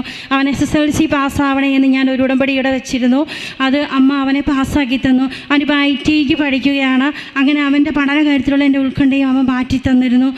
പിന്നെ ഞങ്ങളുടെ ഞങ്ങൾക്ക് എല്ലാറ്റിലും ഉപരി അമ്മയോട് എന്നെന്നും ഞങ്ങൾ അമ്മയുടെ കാൽപ്പാദത്തിൽ അടിയാട്ടികളാണ്. ഞങ്ങൾ അമ്മയുടെ അടിമ മാത്രമാണെന്ന് ഞങ്ങൾ ഏറ്റു ഞങ്ങൾ വിശ്വസിക്കുന്നു. ഇനി ആരെങ്കിലും എവിടെയെങ്കിലും ഇതുപോലെ വസ്തുവിന്റെ കച്ചവടം നടക്കാതെ വിഷമിക്കുന്നുണ്ടെങ്കിൽ നിരാശപ്പെടാതെ നിരന്തരം ശക്തി പ്രാ- പ്രാപിച്ച് ഇതുപോലെ പ്രാർത്ഥിക്കണമെന്ന് ഞാൻ വിനീതമായി യാചിക്കുന്നു ലോകത്തിന്റെ അമ്മ നമ്മുടെ അമ്മ ഒരിക്കലും നമ്മളെ ഉപേക്ഷിക്കുകയില്ല. കാരണം അമ്മയ്ക്കെല്ലാം സാധ്യമാണ്. കരങ്ങളടിയ. കർത്താവിനെ മഹത്വപ്പെടുത്താം. കൃപാസനത്തിലെ അമ്മ രണ്ടായിരത്തി നാല് ഡിസംബർ ഏഴാം തീയതി ഇവിടെ കൃപാസന അൾത്താരിൽ പ്രത്യക്ഷപ്പെട്ടപ്പോൾ സമയ ഘടികാരം നെഞ്ചിൽ ചാർത്തിയാണ് പ്രത്യക്ഷയായത്. അപ്പോൾ സുനാമിയോടനുബന്ധിച്ചുള്ള വലിയൊരു പ്രത്യക്ഷപ്പെടലാണെന്നാണ് ബഹുമാനപ്പെട്ട ജോസഫ് അച്ഛൻ അന്ന് മനസ്സിൽ വിചാരിച്ചത്. തുടർന്ന് അങ്ങോട്ട് നമുക്ക് മനസ്സിലായി പരിശുദ്ധ അമ്മയ്ക്ക് പ്രപഞ്ച പ്രകൃതിയുടെ മേൽ അധികാരമുണ്ട്. അത് തിരുസഭ ഏറ്റുപറയണം. അത് തിരുസഭ ഏറ്റുപറഞ്ഞ പരിശുദ്ധ അമ്മയ്ക്ക് തിരി ഭൂമിയെ മുഴുവൻ പ്രതിഷ്ഠിക്കണം. അങ്ങനെ ഒത്തിരിയേറെ കാര്യങ്ങൾ ഞങ്ങൾ ചേർത്താണ് ആലപ്പുഴ ബിഷപ്പിന് ഈ പ്രത്യക്ഷീകരണം ഏറ്റെടുത്ത് പഠിക്കണമെന്ന് പറഞ്ഞ് ഞങ്ങൾ കത്ത് സമർപ്പിച്ചിരിക്കുന്നത്. അതിന്റെ ഒരു വലിയൊരു അടയാളമാണ് ഈ സാക്ഷ്യം. കാരണം ഈ മകൾക്ക് ഹസ്ബൻഡ് നഷ്ടപ്പെട്ടു. നാൽപ്പത്തിമൂന്ന് വയസ്സുണ്ട് ഈ മകൾക്ക്. അപ്പോൾ മൂന്ന് ആൺ ആൺമക്കളുണ്ട്. അപ്പോൾ കടഭാരത്താൽ മുങ്ങി അതായത് കടുത്ത ദാരിദ്ര്യത്തിലാണ് കൃപാസനത്തിലോട്ട് ഈ മകളെ രണ്ടു കൊല്ലം മുമ്പ് ഒരു ഏപ്രിൽ മാസം പത്ത് നാല് രണ്ടായിരത്തി പത്തൊമ്പതിലാണ് കൃപാസനത്തിൽ വന്ന് ഉടമ്പടി എടുക്കുന്നത്. ഉടമ്പടി എടുത്തതിന് ശേഷം ഈ കുടുംബത്തിന്റെ ആ ഒരു ചരിത്രം തന്നെ പരിശുദ്ധമ്മ മാറ്റി എഴുതി. ഇപ്പോൾ പരിശുദ്ധാത്മാവാണ് ഈ മകൾക്ക് ഇങ്ങനൊരു പ്രേരണ നൽകിയത്. കൃപാസനത്തിൽ നിന്ന് ഇവിടെ നിന്ന് ഇവിടുത്തെ അമ്മ പ്രത്യക്ഷപ്പെട്ട ഈ ഭൂമിയിൽ നിന്ന് മണ്ണ് കൊണ്ടുപോയി ആ വർഷങ്ങളായിട്ട് പത്ത് വർഷത്തോളം വിൽക്കാ വിൽക്ക വിൽക്കാൻ ശ്രമിച്ചിട്ട് വിൽക്കാതിരുന്ന ആ മണ്ണിൽ കലർത്തി ആ മണ്ണിൽ ഒരു പാത്രം എടുത്ത് ഈ രണ്ട് മണ്ണും കൂടി കലർത്തി ഈ മകൾ ചെയ്ത പ്രകാരമാണ് കൃപാസനത്തിൽ നിന്നുള്ള രണ്ട് തിരികൾ അതായത് മോർണിംഗ് പ്രയർ ഈവനിങ് പ്രയറും ചെല്ലാൻ തരുന്ന നീലത്തിരിയും പച്ചത്തിരിയും കുത്തി നിർത്തി പ്രാർത്ഥിക്കാൻ ആരംഭിച്ചു. പരിശുദ്ധ അമ്മ പ്രപഞ്ച പ്രകൃതിക്ക് മേൽ അധികാരമുള്ള അമ്മയാണെന്ന് കാണിക്കാൻ വേണ്ടി അമ്മ വലിയൊരു അടയാളം ഈ മകൾക്ക് കാണിച്ചു കൊടുത്തു. ഈ ഈ മകൾ ഇത് കത്തിച്ച് പ്രാർത്ഥിച്ചുകൊണ്ടിരിക്കുന്ന സമയത്ത് നടുക്കിൽ നിന്ന് ഒരു തീകോളം ഉയർന്ന് വ്യാപിക്കുകയാണ് ചെയ്തത്. ആ തീകോളം അവസാനിക്കാറായപ്പോൾ ഈ മകൾ ആ ദർശനത്തിൽ ആ തീകോളത്തിനിടയ്ക്ക് പരിശുദ്ധ അമ്മയെ ദർശിച്ചു. അമ്മ മുട്ടുകുത്തി സ്വർഗത്തിലേക്ക് കരങ്ങൾ ഉയർന്ന വലിയൊരു ചിത്രമാണ്. ഫോട്ടോഗ്രാഫി ഞാൻ നോക്കി. തീനാളം ഉയരുന്നത് ചിത്രം ശരിക്കും ക്യാമറയിൽ പതിഞ്ഞിട്ടുണ്ട്. ആ ഫോട്ടോ എനിക്ക് തന്നായിരുന്നു. മാതാവിനെ മകൾ നേരിട്ട് കണ്ടു എന്നാണ് പറഞ്ഞത്. അത് ഫോട്ടോ എടുത്തതുകൊണ്ടായിരിക്കാം അത് വ്യക്തമല്ല. പരിശുദ്ധ അമ്മ തന്നെ ആ ഭൂമിയുടെ മേൽ ആ സാത്താന്റെ എല്ലാ പൈശാചിക തിന്മകളുടെ മേൽ ഞാൻ ചവിട്ടി നിന്ന് അധികാരം സ്ഥാപിക്കുന്നു പ്രഖ്യാപിച്ചുകൊണ്ടാണ് ആ മണ്ണിൽ കൈ ഉയർത്തി മുട്ടയിൽ നിന്ന് പ്രാർത്ഥിക്കുക. അതിന് വലിയ അടയാളമാണ്. കാരണം ആ സമൂഹത്തിൽ വലിയ കുപ്രസിദ്ധി ആർജിച്ചൊരു മണ്ണായിരുന്നു. കാരണം ഒരുപാട് ആഭിചാര ക്രിയകളൊക്കെ നടന്നിരുന്നു. നമുക്കറിയാം ഇതൊന്നും ഒരു വിശ്വാസിയെ ബാധിക്കത്തില്ല. കാരണം ഈശോ മരണം എന്നായിരുന്നു അവസാനത്തെ ശത്രു. ആ ശത്രുവിനെ തോൽപ്പിച്ചാണ് നമ്മുടെ കർത്താവ് ഈശോമിശിക പുനരുദ്ധാനം ചെയ്തത്. അപ്പോൾ അവസാന ശത്രുവിനെയും തോൽപ്പിച്ചിട്ടാണ് ദൈവമായ കർത്താവ് പുനരുദ്ധാനം ചെയ്തത്. അപ്പോൾ എല്ലാ തിന്മയുടെ ശത്രുക്കളും നമ്മുടെ നമ്മുടെ പാദത്തിന്റെ കീഴിലാണ്. പ്രത്യേകിച്ച് പരിശുദ്ധ അമ്മ നാരകീയ തിന്മകളെ തല തകർക്കാൻ വേണ്ടി അപ്പായുടെ മനസ്സിൽ അപ്പ സൃഷ്ടിച്ച ആളാണ്. അപ്പോൾ ആ അമ്മ തന്നെ അവിടെ ഇറങ്ങി വന്നു. അതിനുശേഷം സംഭവിച്ചത് വലിയ അത്ഭുതമാണ്. ഒരിക്കലും വിൽക്കില്ല എന്ന് പറഞ്ഞ ആ ഭൂമി ഈ മകൾക്ക് വിൽക്കുവാനും ഒപ്പം തന്നെ ആറു വർഷമായിട്ട് വാടകയ്ക്കാണ് താമസിച്ചുകൊണ്ടിരുന്നത്. പുതിയൊരു ഭവനം ഇതിൽ നിന്ന് കിട്ടിയ ആ പൈസ കൊണ്ട് മറ്റ് വിഷയങ്ങളെല്ലാം ഗോൾഡ് ലോൺ വെച്ചിരുന്ന് അത് എടുക്കാനും അതുപോലെ തന്നെ മറ്റ് വിഷയങ്ങൾ നട്ട ദാരിദ്ര്യത്തിൽ നിന്ന് ഈ കുടുംബത്തെ കരകയറ്റാനും അങ്ങനെ ഇപ്പോൾ വളരെ സന്തോഷവതിയായിട്ടാണ് കൃപാസന അൾത്താരയിൽ വന്ന് സാക്ഷ്യം പറയുന്ന പ്രപഞ്ച പ്രകൃതിക്ക് മേലുള്ള പരിശുദ്ധ അമ്മയുടെ വലിയൊരു അധികാരത്തിന്റെ സാക്ഷ്യമാണിത്. ഒപ്പം തന്നെ കൃപാസനത്തിനെല്ലാം വെഞ്ചിരിച്ച ഇവിടെ എല്ലാം നമുക്കറിയാം ഇവിടെ മരിയൻ തപസ് ധ്യാനം നടക്കുമ്പോൾ ഇവിടെ ജെറിക്കോ പ്രയർ നടത്തി എല്ലാ ദിവ്യകാരുണ്യം കൊണ്ട് നടന്നാണ് ഇവിടെ മൊത്തം മുക്കും മൂലയെല്ലാം വെഞ്ചിരിച്ച് വെച്ചിരിക്കുന്നത്. അതുപോലെ തന്നെ ഈ ഓരോ മണ്ണും വെഞ്ചിരിച്ചേക്കണതാണ് അപ്പോൾ ഈ ഇവിടെ നിന്ന് ആ മണ്ണ് എടുത്തുകൊണ്ട് പോയി പ്രാർത്ഥിച്ച് ആണ് വർഷങ്ങളായിട്ട് നിൽക്കാതിരുന്ന ആ വിൽക്കാതിരുന്ന ആ സ്ഥല വിൽപ്പന ഈ മകൾക്ക് സാധിച്ചു കിട്ടിയത്. വലിയൊരു അത്ഭുതമാണ്. കാരണം കൃപാസനത്തിൽ വന്ന് ഉടമ്പടി എടുത്ത് പ്രാർത്ഥിച്ചതിന്റെ ഫലമായിട്ടാണ് ഈ മകളുടെ എല്ലാ വിഷമതകളും അതുപോലെ തന്നെ ദാരിദ്ര്യം എല്ലാം പരിശുദ്ധ അമ്മ എടുത്തു മാറ്റി ഒരിക്കൽ കൂടി നമുക്ക് കരങ്ങളടിച്ച് കർത്താവിനെ മഹത്വപ്പെടുത്താം. ഹാലലൂയ ഹാലലൂയ ഹാലലൂയ ഹാലലൂയ ഈശ്വി നന്ദി ഈശ്വി സ്തോത്രം ഈശ്വി ആരാധന. മഹത്വം മഹത്വം.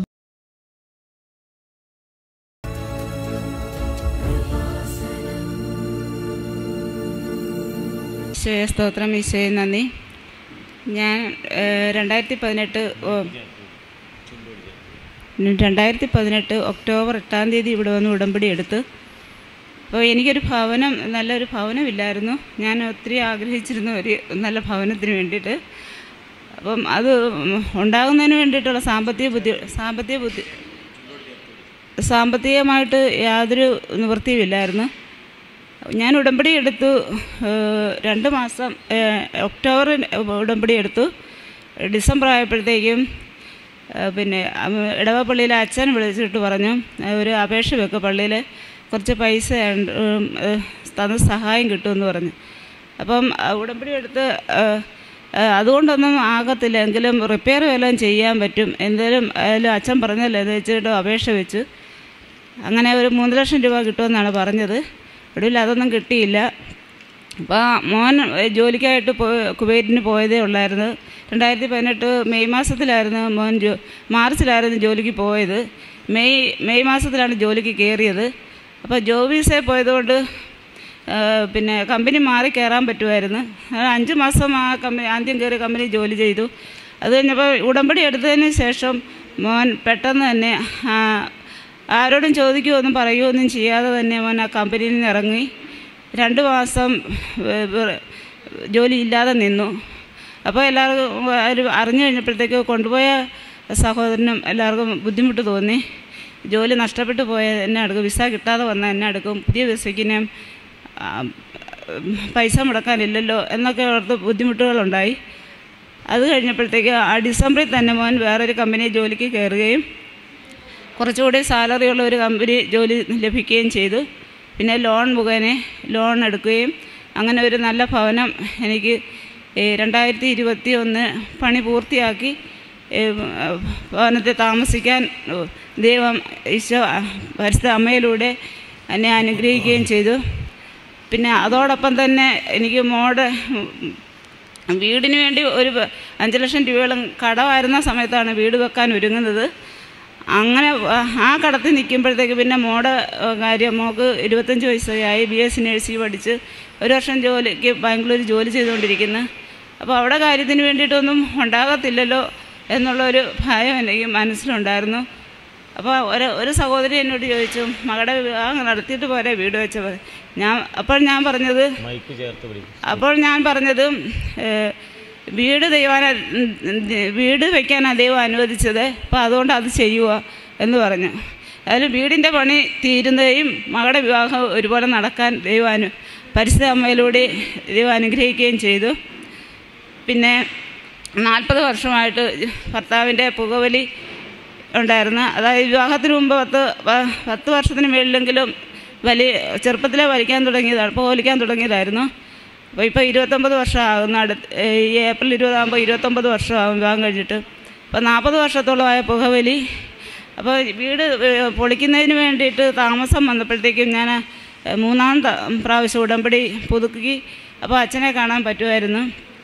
അപ്പോൾ അങ്ങനെ അച്ഛനെ കണ്ടപ്പോഴത്തേക്ക് ഞാൻ പറഞ്ഞ അച്ഛാ എന്നെ വീട് പൊളിക്കാൻ പറ്റുന്നില്ല. എന്നിപ്പോൾ പറഞ്ഞ അച്ഛൻ പ്രാർത്ഥിച്ചിട്ട് കാഴ്ചയും തന്ന്.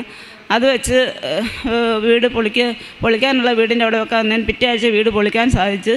അപ്പോൾ ഈ പുകവലിയുടെ കാര്യം ഞാൻ പറഞ്ഞായിരുന്നു അച്ഛനോട്. അപ്പോൾ അച്ഛൻ പിന്നെ പിന്നെ ഒരു അക്ഷ അക്ഷരങ്ങൾ പറഞ്ഞിട്ട് പറഞ്ഞ് പ്രാർത്ഥിച്ച് പുകവലി മാറുമെന്നും പറഞ്ഞു. ഏതായാലും മൂന്നാലഞ്ച് മാസമായി പുകവലി പൂർണമായിട്ട് മാറി.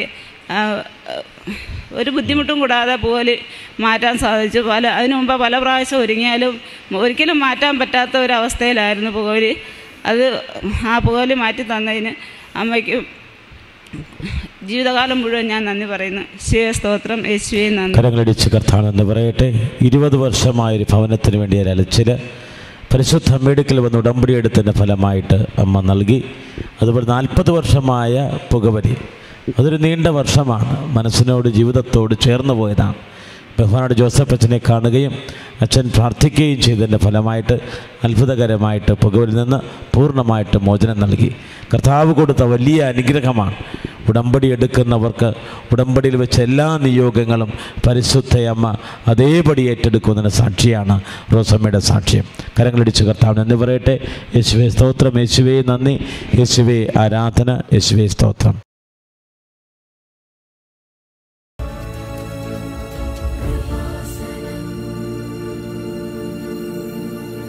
എന്റെ പേര് ജോർജ്. ഞാൻ കടുത്തിരുത്തിൽ നിന്ന് വരുന്നു. രണ്ടായിരത്തി പത്തൊമ്പത് നവംബർ പതിനാറാം തീയതിയാണ് ഞാൻ ഇവിടെ വന്ന് ആദ്യമായി ഉടമ്പടി എടുക്കുന്നത്. ഉടമ്പടിയിൽ ആറ് നിയോഗങ്ങൾ സമർപ്പിച്ചിരുന്നു. അതിലൊന്ന് എന്റെ മകൻ അയർലൻഡിലായിരുന്നു.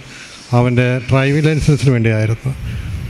രണ്ടായിരത്തി പതിനേഴിലാണ് അവൻ രണ്ടായിരത്തി പതിനേഴിലാണ് അവൻ ഇവിടുന്ന് അയർലൻഡിന് പോയത്. അവിടെ ചെന്ന് നാല് പ്രാവശ്യം ഡ്രൈവിംഗ് ലൈസൻസിന് വേണ്ടി പങ്കെടുത്ത് നാല് പ്രാവശ്യവും പരാജയപ്പെട്ട് ഞാൻ ഇവിടെ വന്ന് ഉടമ്പടി എടുത്ത ആദ്യത്തെ ഉടമ്പടി ധ്യാനം കൂടാനായിട്ട് ഡിസംബർ രണ്ടാം ചൊവ്വാഴ്ചയിലെ ധ്യാനം കൂടി തിരിച്ചു പോകുമ്പോൾ അവൻ ഫോൺ വിളിച്ച് വിളിച്ച് പറഞ്ഞു അപ്പോൾ ഞാൻ ഡ്രൈവിങ്ങിലെ ടെസ്റ്റിൽ പങ്കെടുക്കുകയും ജയിക്കുകയും എനിക്ക് ലൈസൻസ് കിട്ടുകയും ചെയ്തെന്ന് പറഞ്ഞു.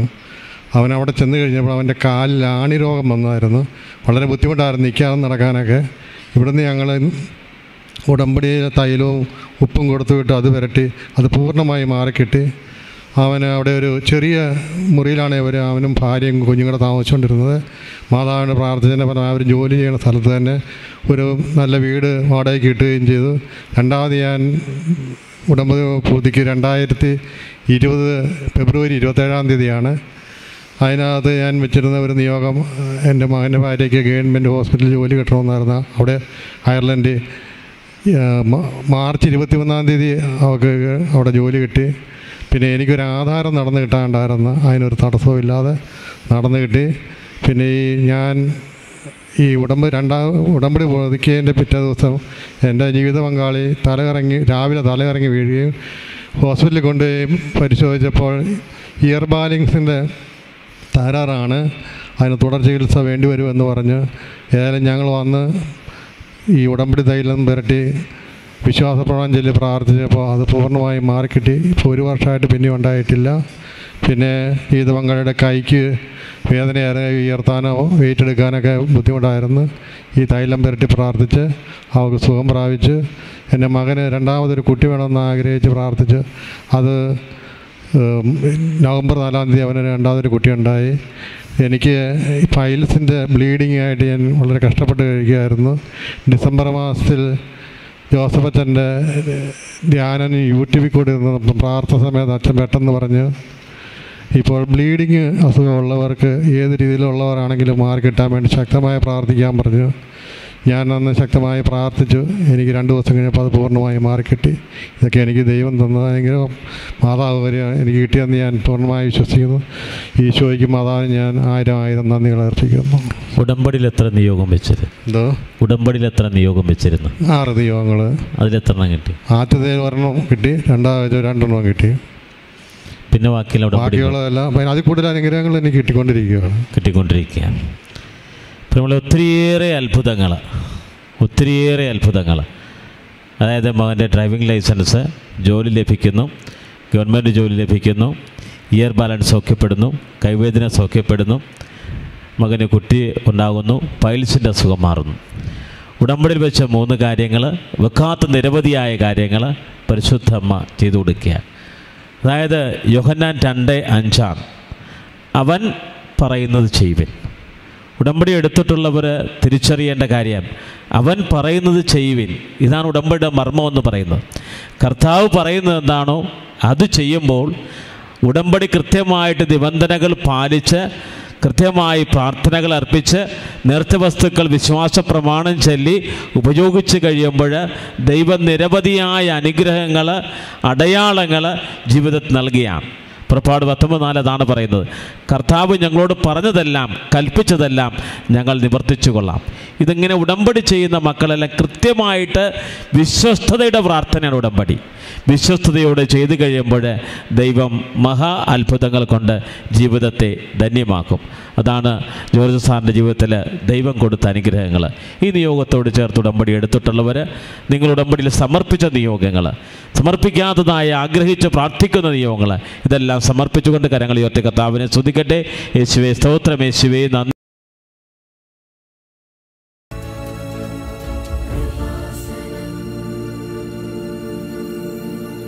എന്റെ പേര് ജൈനമ്മ ജോസ്. ഞാൻ കഞ്ഞിക്കുഴിയിൽ നിന്ന് വരുന്നു. ഞാൻ രണ്ടായിരത്തി പതിനെട്ട് സെപ്റ്റംബറിലാണ് ഇവിടെ വന്ന് ഉടമ്പടി എടുത്തത്. എനിക്ക് മൂന്ന് ആൺകുട്ടികളാണുള്ളത്. മൂത്ത മകന് ഇരുപത്തിയേഴ് വയസ്സായപ്പോഴാണ് ഞാനിവിടെ വന്ന് ഉടമ്പടി എടുത്തത് അപ്പോൾ ഞാൻ ആഗ്രഹിച്ചത് ഒരു ഇരുപത്തൊമ്പത് വയസ്സാകുമ്പോഴെങ്കിലും അവനൊരു കല്യാണം റെഡിയായി വരണമെന്നുള്ള ആഗ്രഹത്തിലാണ് അന്നിവിടെ വന്ന് ഉടമ്പടി എടുത്ത്. ആദ്യം അവന്റെ വിവാഹത്തെക്കുറിച്ചാണ് ഞാൻ എഴുതിയിരുന്നത്. രണ്ടാമതായി എഴുതിയത് നല്ലൊരു ജീവി അവന് ദൈവഭയമുള്ള ഒരു ജീവിത പങ്കാളിയെ നൽകണമെന്ന് ഞാൻ എഴുതിയിരുന്നു. മൂന്നാമതായിട്ട് ഞാൻ എന്റെ ഭർത്താവിന്റെ സഹോദരന്റെ കുടുംബവുമായി എട്ട് വർഷമായിട്ട് ഞങ്ങൾ അകന്നു കഴിയുമായിരുന്നു.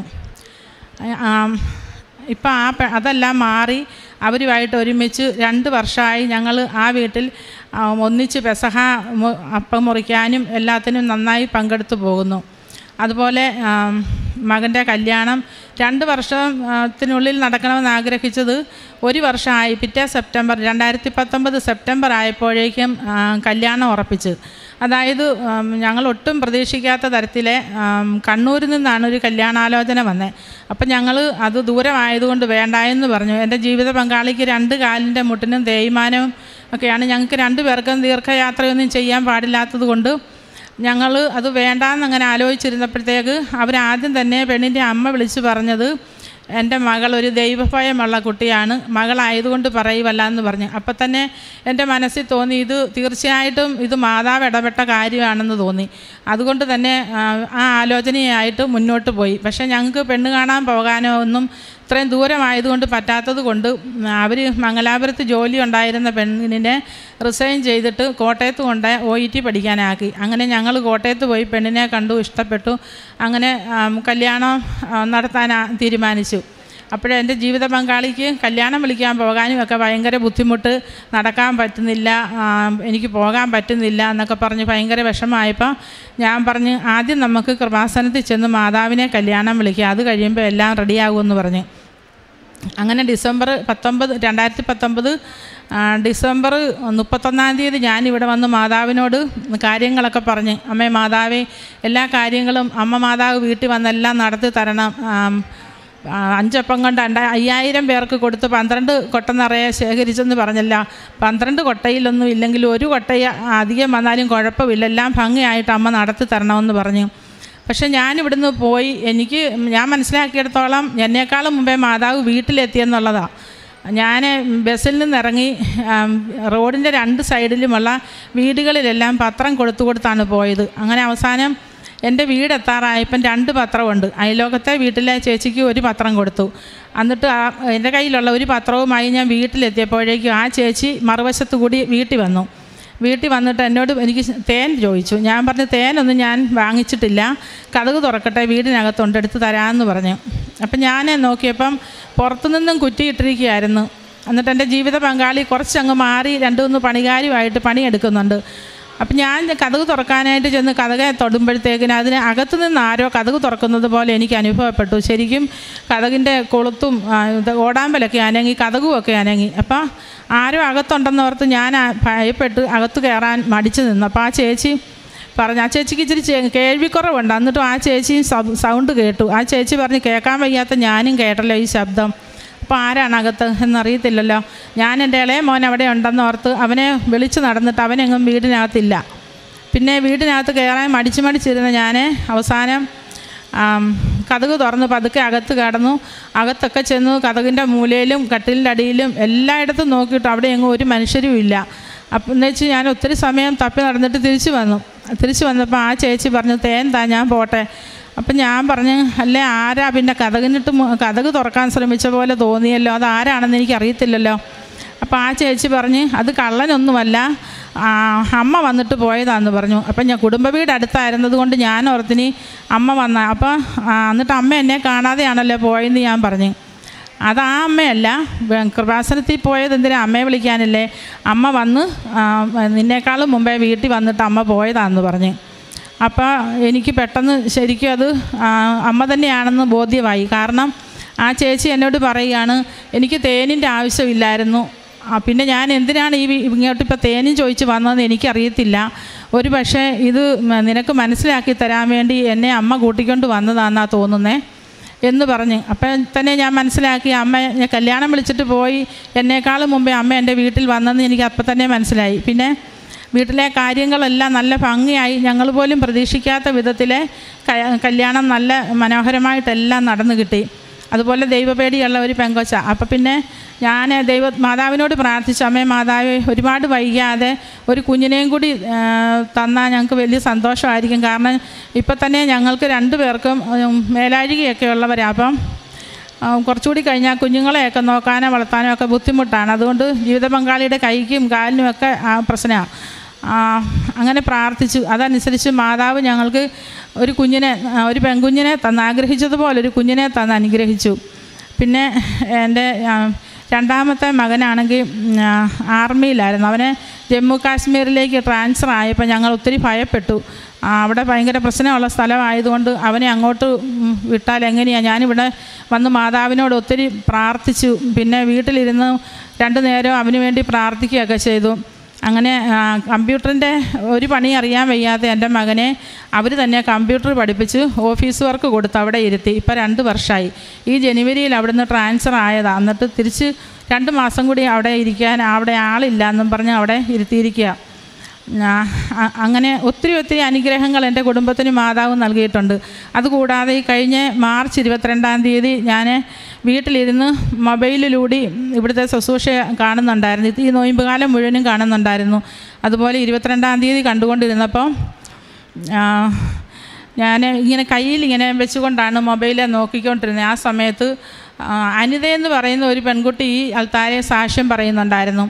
ഞാൻ ഈ മൊബൈലിലേക്ക് നോക്കിയപ്പം രണ്ട് മാതാവ് നിൽക്കുന്നതായിട്ട് തോന്നി. ഇപ്പം നിൽക്കുന്ന മാതാവിന്റെ തൊട്ട് ഇപ്പുറത്ത് തന്നെ ഈ പെൺകുട്ടിയുടെ പുറകിലായിട്ട് മാതാവ് നിൽക്കുന്നു. അപ്പം ഞാൻ ഓർത്തു ഇത്രയും ദിവസവും ഞാൻ ഈ പിന്നെ മൊബൈലിലൂടെ കണ്ട് നോക്കിയിട്ട് ഈ രണ്ട് മാതാവിനെ കണ്ടില്ലല്ലോ. ഇപ്പം എങ്ങനെയാണ് രണ്ട് മാതാവ് വന്നേ? ഞാനത് തന്നെ പറഞ്ഞുകൊണ്ട് മാതാവിനെ തന്നെ നോക്കി നിന്നു. അങ്ങനെ നോക്കി നിന്നപ്പം കണ്ണുകളൊക്കെ തുറക്കുകയും ചലിപ്പിക്കുകയൊക്കെ ചെയ്യുന്നു. ഇങ്ങനെ ശരിക്കും തെളിഞ്ഞു വന്നിട്ട് ആ മാതാവ് പെട്ടെന്ന് മാഞ്ഞു മാഞ്ഞു പോയി. അപ്പോൾ തന്നെ എനിക്ക് ആ സാക്ഷ്യം ശ്രദ്ധിക്കാൻ പറ്റിയില്ല. ഞാൻ ഫോൺ വിളിച്ച് എല്ലാവരോടും പറഞ്ഞു ഇങ്ങനെ കൃപാസന ആൾക്കാരെ മാതാവ് ഉണ്ടെന്ന് അച്ഛൻ പറയുന്നത് പോലെ ശരിക്കും മാതാവിനെ ഞാൻ കണ്ടെന്ന് ഞാൻ ബന്ധുക്കളെ എല്ലാവരെയും വിളിച്ച് പറഞ്ഞു. അങ്ങനെ മാതാവ് എന്നെ കാണിച്ചു തന്നു. അങ്ങനെ ഒത്തിരി ഒത്തിരി അനുഗ്രഹങ്ങളും. പിന്നെ ഈ ഈ ഇവിടെ ഞാൻ വരാൻ തുടങ്ങിയിട്ട് തന്നെ പതിനാറ് വർഷമായി. പതിനാറ് ഈ ഒരു കഴിഞ്ഞ ഒരു വർഷം മാത്രമേ വരാതിരുന്നുള്ളൂ. ഈ പതിനാറ് വർഷത്തിൽ ഞാൻ ഈ പന്തൽ ഇവിടെ ഷീറ്റായിരുന്ന സമയത്തൊക്കെ ഞാൻ ഇവിടെ വരുമായിരുന്നു ആ സമയത്തൊക്കെ ഇവിടെ ഒത്തിരി കാഴ്ചകൾ എന്റെ കണ്ണുകൾ കൊണ്ട് കാണാൻ എനിക്ക് സാധിച്ചിട്ടുണ്ട്. ടി വിയിലൂടെ ആയാലും ഒക്കെ ഒരു പ്രാവശ്യമാണെങ്കിൽ ടി വിയിലൂടെ ഞാൻ നോക്കിയപ്പം വലിയൊരു പൂ പോലെയാണ് കണ്ടത്. ഞാൻ കുറച്ച് നേരം നോക്കി. അത് ഞാൻ സാക്ഷ്യ പേപ്പറിൽ എഴുതാത്തൊരു കാര്യമാണ് ഒരു പൂ വിടർന്ന് നിൽക്കുന്നത് പോലെ തോന്നി. ഞാൻ അതേ തന്നെ കുറച്ച് നേരം നോക്കി നിന്നപ്പോഴത്തേക്കിന് അത് അച്ഛന്റെ കൈയാണോ എന്ന് ഞാൻ ആദ്യം ഓർത്തു. കൈവെള്ളയിൽ കൊന്ത വെച്ചിരിക്കുന്നത് പോലെ തോന്നി. പിന്നെ കുറച്ച് സമയം അങ്ങനെ തന്നെ നോക്കിയിരുന്നപ്പോഴത്തേക്കിന് എനിക്ക് മനസ്സിലായി ഇത് ജോസഫച്ചന്റെ കൈ ചെറിയ കൈയാണല്ലോ. ഇത് വലിയ ഒരു കൈയാണ് ഞാൻ കാണുന്നത് പിന്നെ എനിക്കത് മനസ്സിലായി കൈവെള്ളെ കൊന്തയല്ല രക്തം തളം കെട്ടിക്കിടക്കുന്ന കർത്താവിന്റെ കരമാണ് എന്നെ കാണിച്ചത്.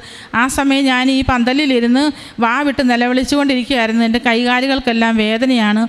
മുന്നിലും പുറകിലുമൊക്കെ ഒത്തിരി കൊച്ചുപിള്ളേരൊക്കെ ഇരുന്ന് ചവിട്ടുന്നു. എനിക്ക് അനങ്ങാനും മേലെ തിരിയാനും വയ്യ. അമ്മേ മാതാവേ ഞാൻ എന്തിനാണ് ഇനി വരുന്നത്? ഞാനിനി ഇങ്ങോട്ട് വരുന്നില്ല. എനിക്ക് വേദന കൊണ്ട് ഇവിടെ ഇരിക്കാൻ വയ്യ മാതാവേ എന്നൊക്കെ പറഞ്ഞ് ഞാൻ കരഞ്ഞുകൊണ്ടിരുന്ന സമയത്താണ് ഞാൻ ടി വിയിലൂടെ ഈ ഇത് കണ്ടത്. ആദ്യം പൂവാണെന്നൊക്കെ ഓർത്തു. പിന്നെ അച്ഛന്റെ കൈയായിരിക്കുമെന്ന് ഓർത്തു. പിന്നെ എനിക്കത് ബോധ്യപ്പെട്ടു. കർത്താവിന്റെ കൈയാണെന്നു ന- ന- ഞാൻ കൈവെള്ളയിൽ കണ്ടത് കൊന്തയല്ല ആണി തറച്ച ആണിയും രക്തവുമാണ് ആ കണ്ടതെന്ന് എനിക്ക് ബോധ്യമായി. ആ നിമിഷം തന്നെ എന്റെ മനസ്സിലേക്ക് ഒരു വചനമാണ് വന്നത്. എന്റെ വേദനകളുടെ മുമ്പിൽ നിന്റെ വേദനകൾ എത്ര നിസ്സാരമാകുന്നു എന്നുള്ള ആ വചനം കർത്താവ് എനിക്ക് പറഞ്ഞു തന്നു ബോധ്യപ്പെടുത്തി. അപ്പോൾ തൊട്ട് എന്റെ സങ്കടങ്ങളൊക്കെ തീർന്നു. കരങ്ങളിടിച്ച് കർത്താവ് എന്ന് പറയട്ടെ. വളരെ ദൈവത്തിന്റെ സജീവമായ സാന്നിധ്യത്തിന്റെ ഒരു സാക്ഷ്യമാണത്. അതായത് ഒന്ന് മകന്റെ വിവാഹം തന്നെയാണ് പ്രതി അമ്മ ആഗ്രഹിച്ചതുപോലെ നടന്നു എന്നുള്ളതാണ്. അതായത് ആദ്യം ക്ഷണിച്ചത് പരിശുദ്ധ അമ്മയെയാണ് അപ്പോൾ അമ്മ ജനമചേച്ചി വീട്ടിലെത്തുന്നതിന് മുമ്പ് തന്നെ ഭവനത്തിലെത്തി സ്വാഗതം ചെയ്തു എന്നുള്ളതാണ്. കൃപാസന മാതാവ് സഞ്ചാരി മാതാവാണ്. ഉടമ്പടിയുടെ പ്രമേയമാവ് തന്നെയാണ്. പുറപ്പാട് മുപ്പത്തിമൂന്ന് പത്തിൽ പറയും ദൈവം നിന്റെ കൂടെ വരും. ആ ദൈവത്തിന്റെ സാന്നിധ്യം ഉടനീളം അനുഭവിക്കുകയാണ് ചെയ്തത്. അത് അയൽവക്കത്തെ ചേച്ചി പോലും അനുഭവിച്ചു എന്നുള്ളതാണ്. ഇതാണ് പരിശുദ്ധ അമ്മയുടെ ഇടപെടലിന്റെ വലിയ സാന്നിധ്യം. പിന്നെ അതിന് കാരണമാകുന്ന എട്ട് വർഷമായിട്ട് സഹോദരനുമായിട്ടുള്ള പിണങ്ങിയിരിക്കുന്നത്.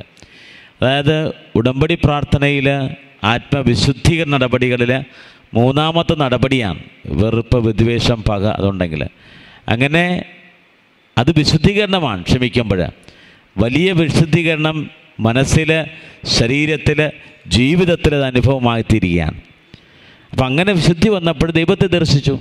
ഹൃദയവിശുദ്ധിയുള്ളവർ ദൈവത്തെ കാണുമെന്നുള്ളതാണ്. അത് ദൈവത്തെ ദർശിക്കാൻ അമ്മയെ ദർശിക്കാൻ അമ്മയുടെ സാന്നിധ്യം അനുഭവിക്കാൻ കഴിഞ്ഞു എന്നുള്ളതാണ്.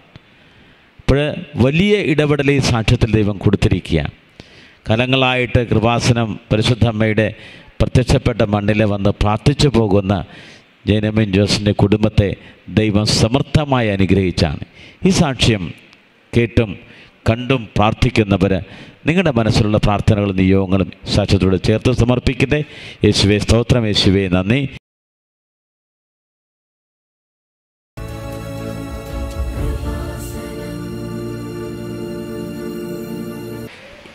യേശുവെ നന്ദി. യേശുവെ സ്വസ്ത്രം എന്റെ പേര് ജിജോ മാത്യു. ഞാൻ കോട്ടയം ജില്ലയിലെ ഈരാറ്റുപുഴയിൽ നിന്ന് വരുന്നു. രണ്ടായിരത്തി പത്തൊമ്പതിൽ ഞാൻ വന്ന ഉടമ്പടി എടുത്തു. എന്റെ മൂന്ന് നിയോഗങ്ങൾ ദൈവം പരിശുദ്ധ മൊഴി എനിക്ക് സാധ്യമാക്കി തന്നു. ഒന്നാമത്തേത് പതിനാല് വർഷമായിട്ട് ഞങ്ങളുടെ സ്ഥലം ചില പ്രശ്നങ്ങളുണ്ടായിരുന്നു. കരം കിട്ടുന്ന ചീട്ടയിൽ തോട്ടം മേഖല എന്ന ഒരു പ്രശ്നമുണ്ടായിരുന്നു അതുകൊണ്ട് ഞങ്ങൾക്ക് ആ സ്ഥലം വിൽക്കുവാനോ വീട് വയ്ക്കുവാനോ ഒന്നും സാധിക്കുമായിരുന്നില്ല. ഇവിടെ വന്ന് ഉടമ്പടി എടുത്തതിന്റെ പേരിൽ ആ പ്രശ്നം വളരെ പെട്ടെന്ന് ഞങ്ങൾക്ക് പരിഹരിക്കുവാൻ സാധിച്ചു. അതുപോലെ തന്നെ ഞങ്ങൾക്കൊരു പതിനാല് വർഷമായിട്ട് ഒരു ആറ് ലക്ഷം രൂപ കടബാധ്യതയുണ്ടായിരുന്നു. ആ കടബാധ്യതയും ഈ ഉടമ്പടി എടുത്തതിന് ശേഷം മൂന്നാമത്തെ പുതുക്കിയതിന് ശേഷം കടബാധ്യത പൂർണമായിട്ടും മാറി. അതുപോലെ തന്നെ വിൽക്കുവാനിട്ടിരുന്ന ഒരു കുറച്ച് സ്ഥലം ഒരു പതിനാറ് സെന്റ് സ്ഥലം ന്യായമായ വിലയ്ക്ക് വിൽക്കുവാനും സാധിച്ചു. അതുപോലെ ഞാൻ ഇവിടെ പേപ്പറിൽ എഴുതാത്ത ഒരു കാര്യമുണ്ട് ഞങ്ങളുടെ വിവാഹ വാർഷികം എന്ന് പറയുന്നത് കഴിഞ്ഞ പന്ത്രണ്ട് രണ്ട് രണ്ടായിരത്തി ഇരുപത്തൊന്നിലായിരുന്നു അന്ന് ഞാൻ അമ്മയോട് പറഞ്ഞു ഇതിന് മുമ്പായിട്ട് ഞങ്ങൾക്ക് വീടിന്റെ തറക്കല്ലിടുവണം ഇടുവാണെങ്കിൽ ഞാൻ ഇവിടെ ഒന്ന് സാക്ഷ്യപ്പെടുത്തിക്കൊള്ളാമെന്ന്.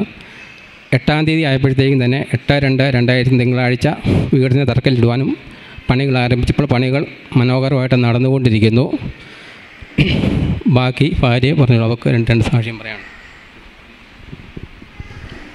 യേശുവെ നന്ദി. യേശുവെ സ്തുതി. യേശുവെ ആരാധന. പരിശുദ്ധ അമ്മ വഴി എനിക്ക് ലഭിച്ച വലിയൊരു അനുഗ്രഹമാണ് എനിക്ക് പറയുവാനുള്ളത്. എനിക്ക് ആറ് ഏഴ് വർഷത്തോളമായി എനിക്ക് വയറിന്റെ റൈറ്റ് സൈഡിൽ എപ്പോഴും വേദന അനുഭവപ്പെടും. അപ്പോൾ അവിടെ എന്തോ ഭാരം തൂങ്ങിക്കിടക്കുന്നത് പോലെയാണ് എനിക്ക് അനുഭവപ്പെടുക. എന്തെങ്കിലും ചെറിയൊരു ജോലി ചെയ്താൽ പോലും പെട്ടെന്ന് എനിക്ക് അങ്ങനെ അനുഭവപ്പെടാറുണ്ടായിരുന്നു. അത് വിട്ടുമാറുന്നില്ല. ഹോസ്പിറ്റലിൽ പോയി സ്കാൻ ചെയ്തു. അവർ നോക്കിയിട്ട് പറഞ്ഞു കുഴപ്പമൊന്നുമില്ല എന്ന് പറഞ്ഞു വിട്ടു. എനിക്ക് പക്ഷേ രോഗം മാറുന്നില്ല. അങ്ങനെ ഞാൻ കൃപാസനത്തിൽ വന്ന് ഇവിടെ ഹസ്ബൻഡ് ഉടമ്പടി എടുത്തു. അപ്പം ഉടമ്പടി തൈലം വയറിൽ ഞാൻ പുരട്ടി ഞാൻ പ്രാർത്ഥിക്കുവാൻ തുടങ്ങി. മൂന്ന് ദിവസം കഴിഞ്ഞപ്പോൾ പൂർണമായും എന്റെ വേദന വിട്ടുമാറി. പിന്നെ ആറുമാസം പഴക്കമുള്ള എന്റെ ദേഹം മുഴുവൻ ചൊറിഞ്ഞു തടിക്കുന്നുണ്ടായിരുന്നു. ചൊറിച്ചിൽ വന്നു കഴിഞ്ഞാൽ പറയാൻ പറ്റില്ല. അതുപോലെ ഭയങ്കരമായിട്ട് ചൊറിഞ്ഞു തടിക്കും. അതും ഇതുപോലെ തന്നെ വെഞ്ചരിച്ച ഉപ്പും വെഞ്ചരിച്ച എണ്ണയും ഞാൻ പുരട്ടിയും വെഞ്ചരിച്ച ഉപ്പ് വെള്ളത്തിലിട്ട് കലക്കി കുടിച്ചും. അത് പൂർണമായിട്ടും വിട്ടുമാറി. പരിശുദ്ധ അമ്മയ്ക്കും ഈശോയ്ക്കും ഒരായിരം നന്ദി നന്ദികൾ അർപ്പിക്കുന്നു. കരങ്ങളടിച്ച് കർത്താവ് എന്ന് പറയട്ടെ. പതിനാല് വർഷമായ വസ്തു സംബന്ധമായ തടസ്സങ്ങൾ. എന്തായാലും ശരിക്കുള്ള തടസ്സം? അത് ഈ തോട്ടം മേഖല എന്ന് പറഞ്ഞ ഒരു പ്രശ്നമുണ്ട് നമ്മുടെ അവിടെ. അതുണ്ടെങ്കിൽ നമുക്ക് ആ സ്ഥലം വിൽക്കാനും പറ്റുകയില്ല വീട് വെക്കാനും ഉടമ്പടി എടുത്ത് എത്ര നാൾ കഴിഞ്ഞ് അത് മാറിയതാണ് ഉടമ്പടി എടുത്ത് രണ്ടായിരത്തി പത്തൊമ്പതിനാണ് അത് കഴിഞ്ഞ വർഷം ലോക്ക്ഡൗണിന് മുമ്പാണ് മാറിയത്. മാറിയത്. ആ. കരങ്ങളടിച്ച് കർത്താവ് എന്ന് പറയട്ടെ? അതുപോലെ തന്നെ പതിനാല് വർഷമായിട്ട് ആറ് ലക്ഷം രൂപയുടെ കടം. കടം തീരുകയല്ലായിരുന്നു. എപ്പോഴും കടം. ഇപ്പം ദൈവം അനുഗ്രഹിച്ച് ഒരു രൂപ പോലും കടവും ഇല്ല കടവില്ല കൈയിടിച്ച് കർത്താവ് എന്ന് പറയട്ടെ? പിന്നെ ജീവിത പങ്കാളിയുടെ വയറിന്റെ റൈറ്റ് സൈഡിലുള്ള വേദന ഉടമ്പടി തൈലം പൂശി പ്രാർത്ഥിച്ചപ്പോൾ കർത്താവ് സൗഖ്യപ്പെടുത്തി. സങ്കീർത്ത തൊണ്ണൂറ്റി ഒന്ന് പത്താം. പുതിയൊരു തൈലം ഞാൻ അഭിഷേകം ചെയ്യും. കർത്താവ് ഇതിനെ സൗഖ്യപ്പെടുത്തും.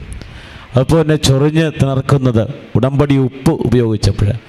പ്രിയമുള്ളവരെ കൃപാസനത്തിന്റെ നേർച്ച വസ്തുക്കൾ ഉടമ്പടി നേർച്ച വസ്തുക്കളെല്ലാം ബൈബിളിൽ നിന്ന് തന്നെയാണ്. ബൈബിളില്ലാത്ത ഒരു നേർച്ച വസ്തുവും കൃപാസനത്തിലില്ല. എല്ലാം ബൈബിളിൽ നിന്നുള്ളതാണ്. എല്ലാം പരിശുദ്ധ കുർബാന അർപ്പിച്ച് പന്ത്രണ്ട് പ്രാവശ്യം അപ്പോസരെയും അധികാരത്താൽ വലിയ മാധ്യശക്തിയാൽ ആശീർവദിച്ചതാണ്. അത് തൊട്ടുപയോഗിക്കുമ്പോൾ തന്നെ കർത്താവ് അത്ഭുതം പ്രവർത്തിക്കും. അതിന് സാക്ഷിയാണ് ജിജെ മാത്യു. കരങ്ങളടിച്ച് കർത്താവ് എന്ന് പറയട്ടെ.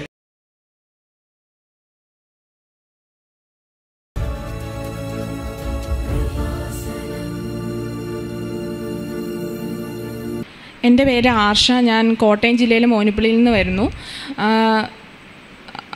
ഞാൻ അഞ്ച് പ്രാവശ്യം ഐ എൽ ടി എസ് എഴുതിയിട്ടും എനിക്ക് കിട്ടിയിട്ടുണ്ടായിരുന്നില്ല. എപ്പോഴും എല്ലാ സമയത്തും ബാക്കി എല്ലാത്തിനും നല്ല സ്കോർ ഉണ്ടെങ്കിൽ ഏതെങ്കിലും ഒരെണ്ണത്തിന് പോയിന്റ് ഫൈവ് വെച്ച് എനിക്ക് പോകുമായിരുന്നു അങ്ങനെ ഞാൻ രണ്ടായിരത്തി പത്തൊമ്പത് ഡിസംബറിൽ ലാസ്റ്റ് അഞ്ചാമത്തെ തവണ ഞാൻ ഐ എൽ ടി എസ് എഴുതി. അത് കഴിഞ്ഞ് എനിക്ക് കിട്ടാതെ വന്നപ്പോൾ ഞാൻ വീട്ടിൽ വിളിച്ച് പറഞ്ഞു ഇനി ഞാൻ എഴുതത്തില്ല എനിക്ക് എനിക്കിനി പറ്റത്തില്ല. ഞാൻ ഭയങ്കര ഡൗൺ ആയി പോയായിരുന്നു. അങ്ങനെ ഞാൻ പറഞ്ഞു ഞാൻ വീട്ടിൽ വിളിച്ചിട്ട് പറഞ്ഞു ഞാൻ എഴുതത്തില്ല ഇനി. എനിക്ക് എനിക്കിനി ഒരു കോൺഫിഡൻസ് ഇല്ല ഒട്ടും എഴുതാൻ ഞാൻ എഴുതില്ല എന്ന് പറഞ്ഞു. അപ്പം അമ്മ എന്നോട് ഞാൻ ഞാൻ കൃപാസനത്തിൽ വന്ന് ഉടമ്പടി എടുക്കാം. നീ ഒരു രാഷ്ട്രവും കൂടെ എഴുതണം. അത് കഴിഞ്ഞ് കിട്ടിയില്ലെങ്കിൽ നീ അവിടുന്ന് റിസൈൻ വെച്ച് ഞാൻ ജോലി ചെയ്യുന്നുണ്ടായിരുന്നു. അവിടുന്ന് റിസൈൻ വെച്ച് പോരെ. അത് കഴിഞ്ഞ് നമുക്ക് നോക്കാമെന്നൊക്കെ പറഞ്ഞിരുന്നു. അങ്ങനെ രണ്ടായിരത്തി ഇരുപത് ജാനുവരി ആദ്യം അമ്മ ഇവിടെ വന്ന് ഉടമ്പടി എടുത്തു. ഞാൻ അത് കഴിഞ്ഞാണ് എക്സാമിന് ഡേറ്റ് എടുത്തത്. ജാനുവരി പന്ത്രണ്ടാം തീയതി ഞാൻ എക്സാം എഴുതി. അത് കഴിഞ്ഞ് ജാനുവരി മുപ്പത്താം തീയതി റിസൾട്ട് വന്നപ്പോൾ എനിക്ക് കിട്ടി. ഞാൻ ഈ മാസം ജാനു മാർച്ച് മുപ്പത്തൊന്നിന് ഞാൻ അയർലൻഡിലേക്ക് പോവുകയാണ്. അത് ഇവിടെ ഉടമ്പടി എടുത്തതിന്റെ ഭാഗമായിട്ടാണ് ഞാൻ വിശ്വസിക്കുന്നത്. അമ്മ മാതാവിന് ഒരുപാട് നന്ദിയുണ്ട്. അങ്ങനെ അഞ്ച് പ്രാവശ്യവും എഴുതിയിട്ട് കിട്ടാത്ത എനിക്ക് ആറാമത്തെ പ്രാവശ്യം എനിക്ക് തന്നു. അതുപോലെ തന്നെ എനിക്ക് വിസയുടെ പ്രോസസ്സിങ്ങിന്റെയൊക്കെ സമയത്ത് വിസയുടെയൊക്കെ ഒരു ചെറിയ പ്രശ്നം അങ്ങനെ ആ സമയത്ത് ഞാൻ ലൈറ്റ് ക്യാൻഡിൽ പ്രയർ റിക്വസ്റ്റ് ഇട്ടായിരുന്നു.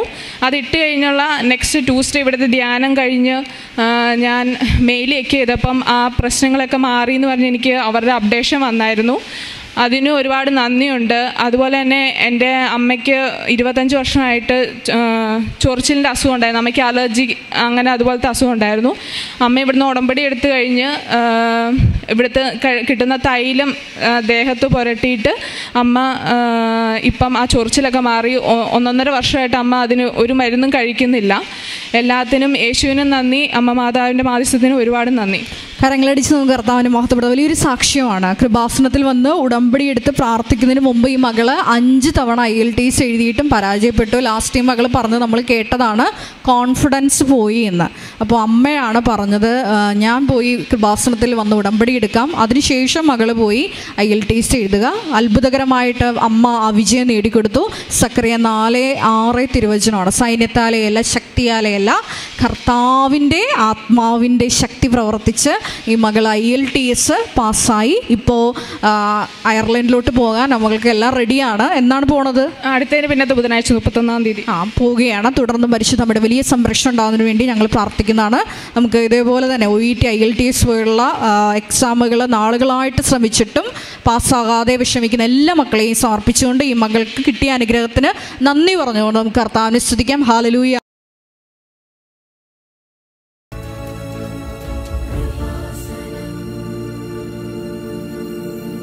യേശുവെ സ്വസ്ത്രം യേശുവെ നന്ദി.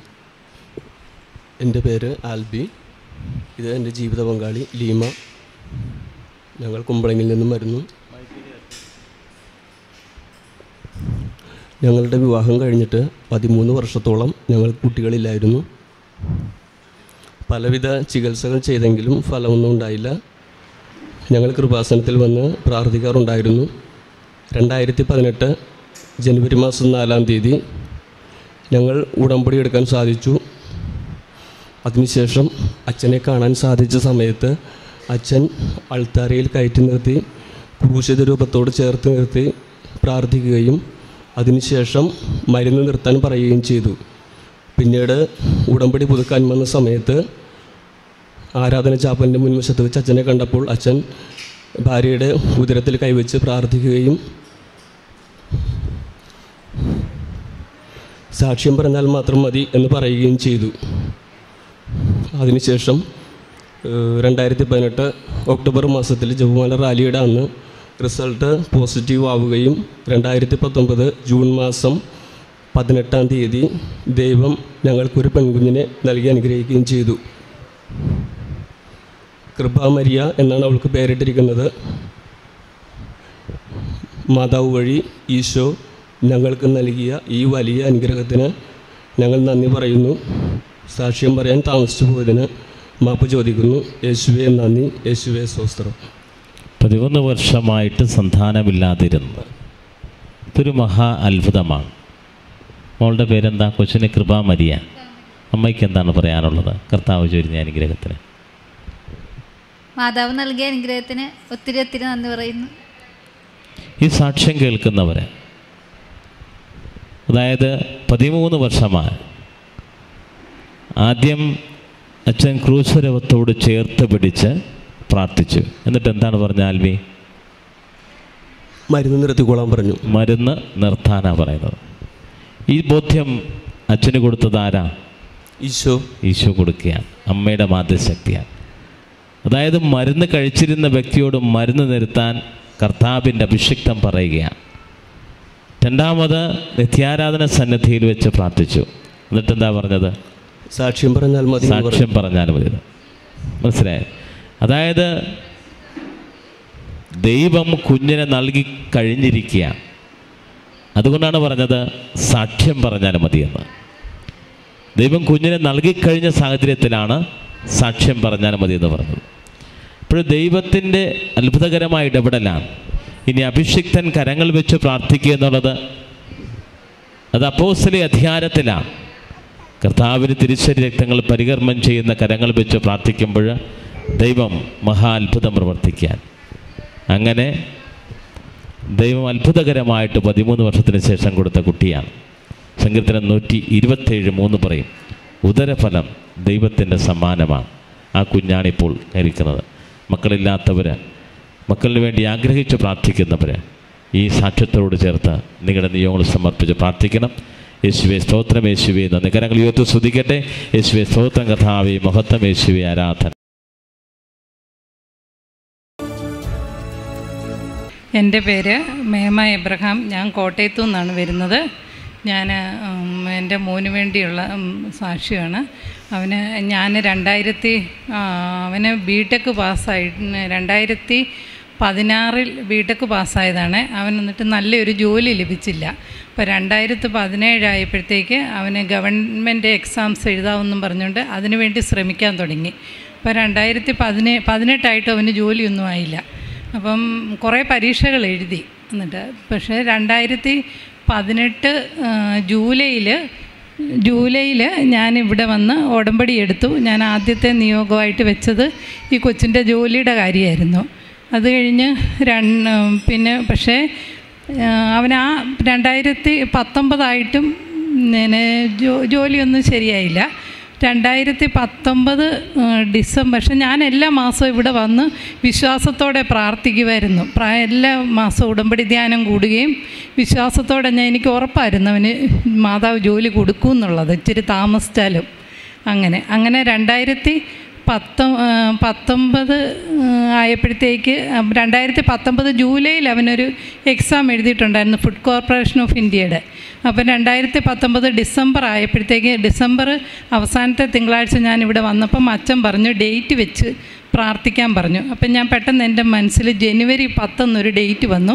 അപ്പം ഞാൻ മാതാവിനോട് പ്രാർത്ഥിച്ചു. ജനുവരി പത്തിന് മുമ്പ് അവന് ഒരു ജോലി നൽകണമെന്ന് പ്രാർത്ഥിച്ചു. ജനുവരി ഒമ്പത് വൈകിട്ടായപ്പോഴത്തേക്ക് അവന് ഫുഡ് കോർപ്പറേഷൻ ഓഫ് ഇന്ത്യയുടെ രണ്ട് ജൂലൈയിൽ എഴുതിയ ആറ് മാസം മുമ്പ് എഴുതിയ പരീക്ഷയുടെ റിസൾട്ട് വന്ന് നല്ല റാങ്കോടെ അവൻ പാസ്സായി. പിന്നെ കൊറോണ കാരണം പിന്നെ കുറച്ച് ഓഫർ ലെറ്റർ വരാൻ കുറച്ച് താമസിച്ചു. എന്നാലും രണ്ടായി രണ്ടായിര ഈ കഴിഞ്ഞ സെപ്റ്റംബർ ഏഴാം തീയതി അവൻ food corporation of India central ഗവൺമെന്റിന്റെ സ്ഥാപനമായ ഫുഡ് കോർപ്പറേഷൻ ഓഫ് ഇന്ത്യയിൽ ഒരു നല്ല ജോലി പ്രവേശിച്ചു. പിന്നെ ഞാൻ നിയമം വെക്കാത്ത സാമ്പത്തികമായിട്ട് കുറച്ച് ബുദ്ധിമുട്ടായിട്ട് വന്നായിരുന്നു. മോനും ജോലിയില്ല. ഹസ്ബൻഡിന്റെ പെൻഷൻ കൊണ്ട് കഴിയുന്ന ആ സമയത്ത് മോന് ജോലി കിട്ടുന്നതിന്റെ തലേ മാസം തന്നെ ഹസ്ബൻഡിന് ഒരു ജോലി തന്ന് ദൈവം അനുഗ്രഹിച്ചു. പിന്നെ എന്ത് അസുഖം വന്നാലും ഞാൻ ഉടമ്പടി തൈലമാണ് ഉപയോഗിച്ചുകൊണ്ടിരുന്നത്. എനിക്ക് ശാരീരികമായിട്ട് വലിയ പ്രശ്നമൊന്നും ഉടമ്പടി സൗഖ്യം ഉടമ്പടി തൈലം ഉപയോഗിക്കുമ്പോഴത്തേക്ക് എനിക്ക് സൗഖ്യം ലഭിക്കുമായിരുന്നു. കരങ്ങളടിച്ച് നമുക്ക് കർത്താവിനെ മഹത്വപ്പെടുത്താൻ വലിയൊരു സാക്ഷ്യമാണ് നമ്മൾ ശ്രവിച്ചത്. രണ്ടായിരത്തി പതിനാറിൽ ബി ടെക് പാസ്സായ ഈ അമ്മയുടെ മകന് രണ്ട് വർഷത്തോളം ജോലിയില്ലാതെ അലഞ്ഞു. നമുക്കറിയാം മാതാപിതാക്കളുടെ വലിയൊരു സ്വപ്നമാണ്. ഇപ്പോൾ ഉന്നത രീതിയിൽ വിദ്യാഭ്യാസം കഴിഞ്ഞ മക്കൾക്ക് നല്ലൊരു ജോലി ലഭിക്കുക എന്നുള്ളത്. ഈ അമ്മയും ഇതേ ഇതേ നിയോഗത്തോടു കൂടി രണ്ടായിരത്തി പതിനെട്ട് ജൂലൈയിൽ അല്ലേ? രണ്ടായിരത്തി പതിനെട്ട് ജൂലൈയിൽ കൃപാസനത്തിൽ വന്ന് ഉടമ്പടി എടുത്ത് പ്രാർത്ഥിച്ചു. തുടർന്ന് രണ്ടായിരത്തി പത്തൊമ്പതിൽ ഒരു എക്സാം വന്നു. ഫുഡ് കോർപ്പറേഷൻ ഓഫ് ഇന്ത്യയുടെ സെൻട്രൽ ഗവൺമെന്റിന്റെ ജോലിയുടെ എക്സാം വന്നു. എക്സാം എഴുതിയതിന് ശേഷം നമുക്കറിയാം കൃപാസനത്തിൽ നിന്ന് തന്നിരിക്കുന്ന ഒരു നിർദ്ദേശം. രണ്ടായിരത്തി നാല് ഡിസംബർ ഏഴാം തീയതി പരിശുദ്ധ അമ്മ കൃപാസന അൾത്താറയിൽ പ്രത്യക്ഷപ്പെട്ടപ്പോൾ സമയ ഘടികാരം നെഞ്ചിൽ ചാർത്തിയാണ് പ്രത്യക്ഷപ്പെട്ടത്. അന്ന് മുതൽ ബഹുമാനപ്പെട്ട ജോസഫ് അച്ഛനിലൂടെ പരിശുദ്ധാത്മാവ് നൽകിയ വലിയൊരു വെളിപാടാണ് നിങ്ങളുടെ ജീവിത പ്രതിസന്ധി. അത് എന്ത് തന്നെ ആയാലും നിങ്ങൾ ഡേറ്റ് ഇട്ട് പ്രാർത്ഥിക്കുക. ഈ അമ്മയെ അതേപോലെ ഒരു ഡേറ്റ് ഇട്ടു. ജൂൺ ജൂ ജനുവരി പത്ത് എന്ന് അല്ലേ? ജനുവരി പത്ത് എന്നൊരു ഡേറ്റ് ഇട്ടു.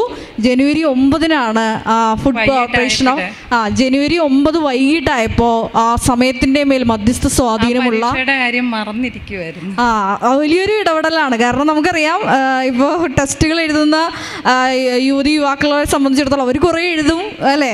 വരും പോകും എന്നുള്ള രീതിയിൽ. അപ്പോൾ അത് ഇങ്ങനെ ഒരു റിസൾട്ട് വരുമെന്നൊരു പ്രതീക്ഷ ഉണ്ടായിരുന്നില്ല പക്ഷേ ജനുവരി ഒമ്പതാം തീയതി പത്താം തീയതി എന്നാണ് ഡേറ്റ് ഇട്ടത്. ഒമ്പതാം തീയതി വൈകിട്ട് അമ്മ അമ്മയുടെ സമയത്ത് തന്നെ ആ മകന് ജോലി കൊടുത്തു.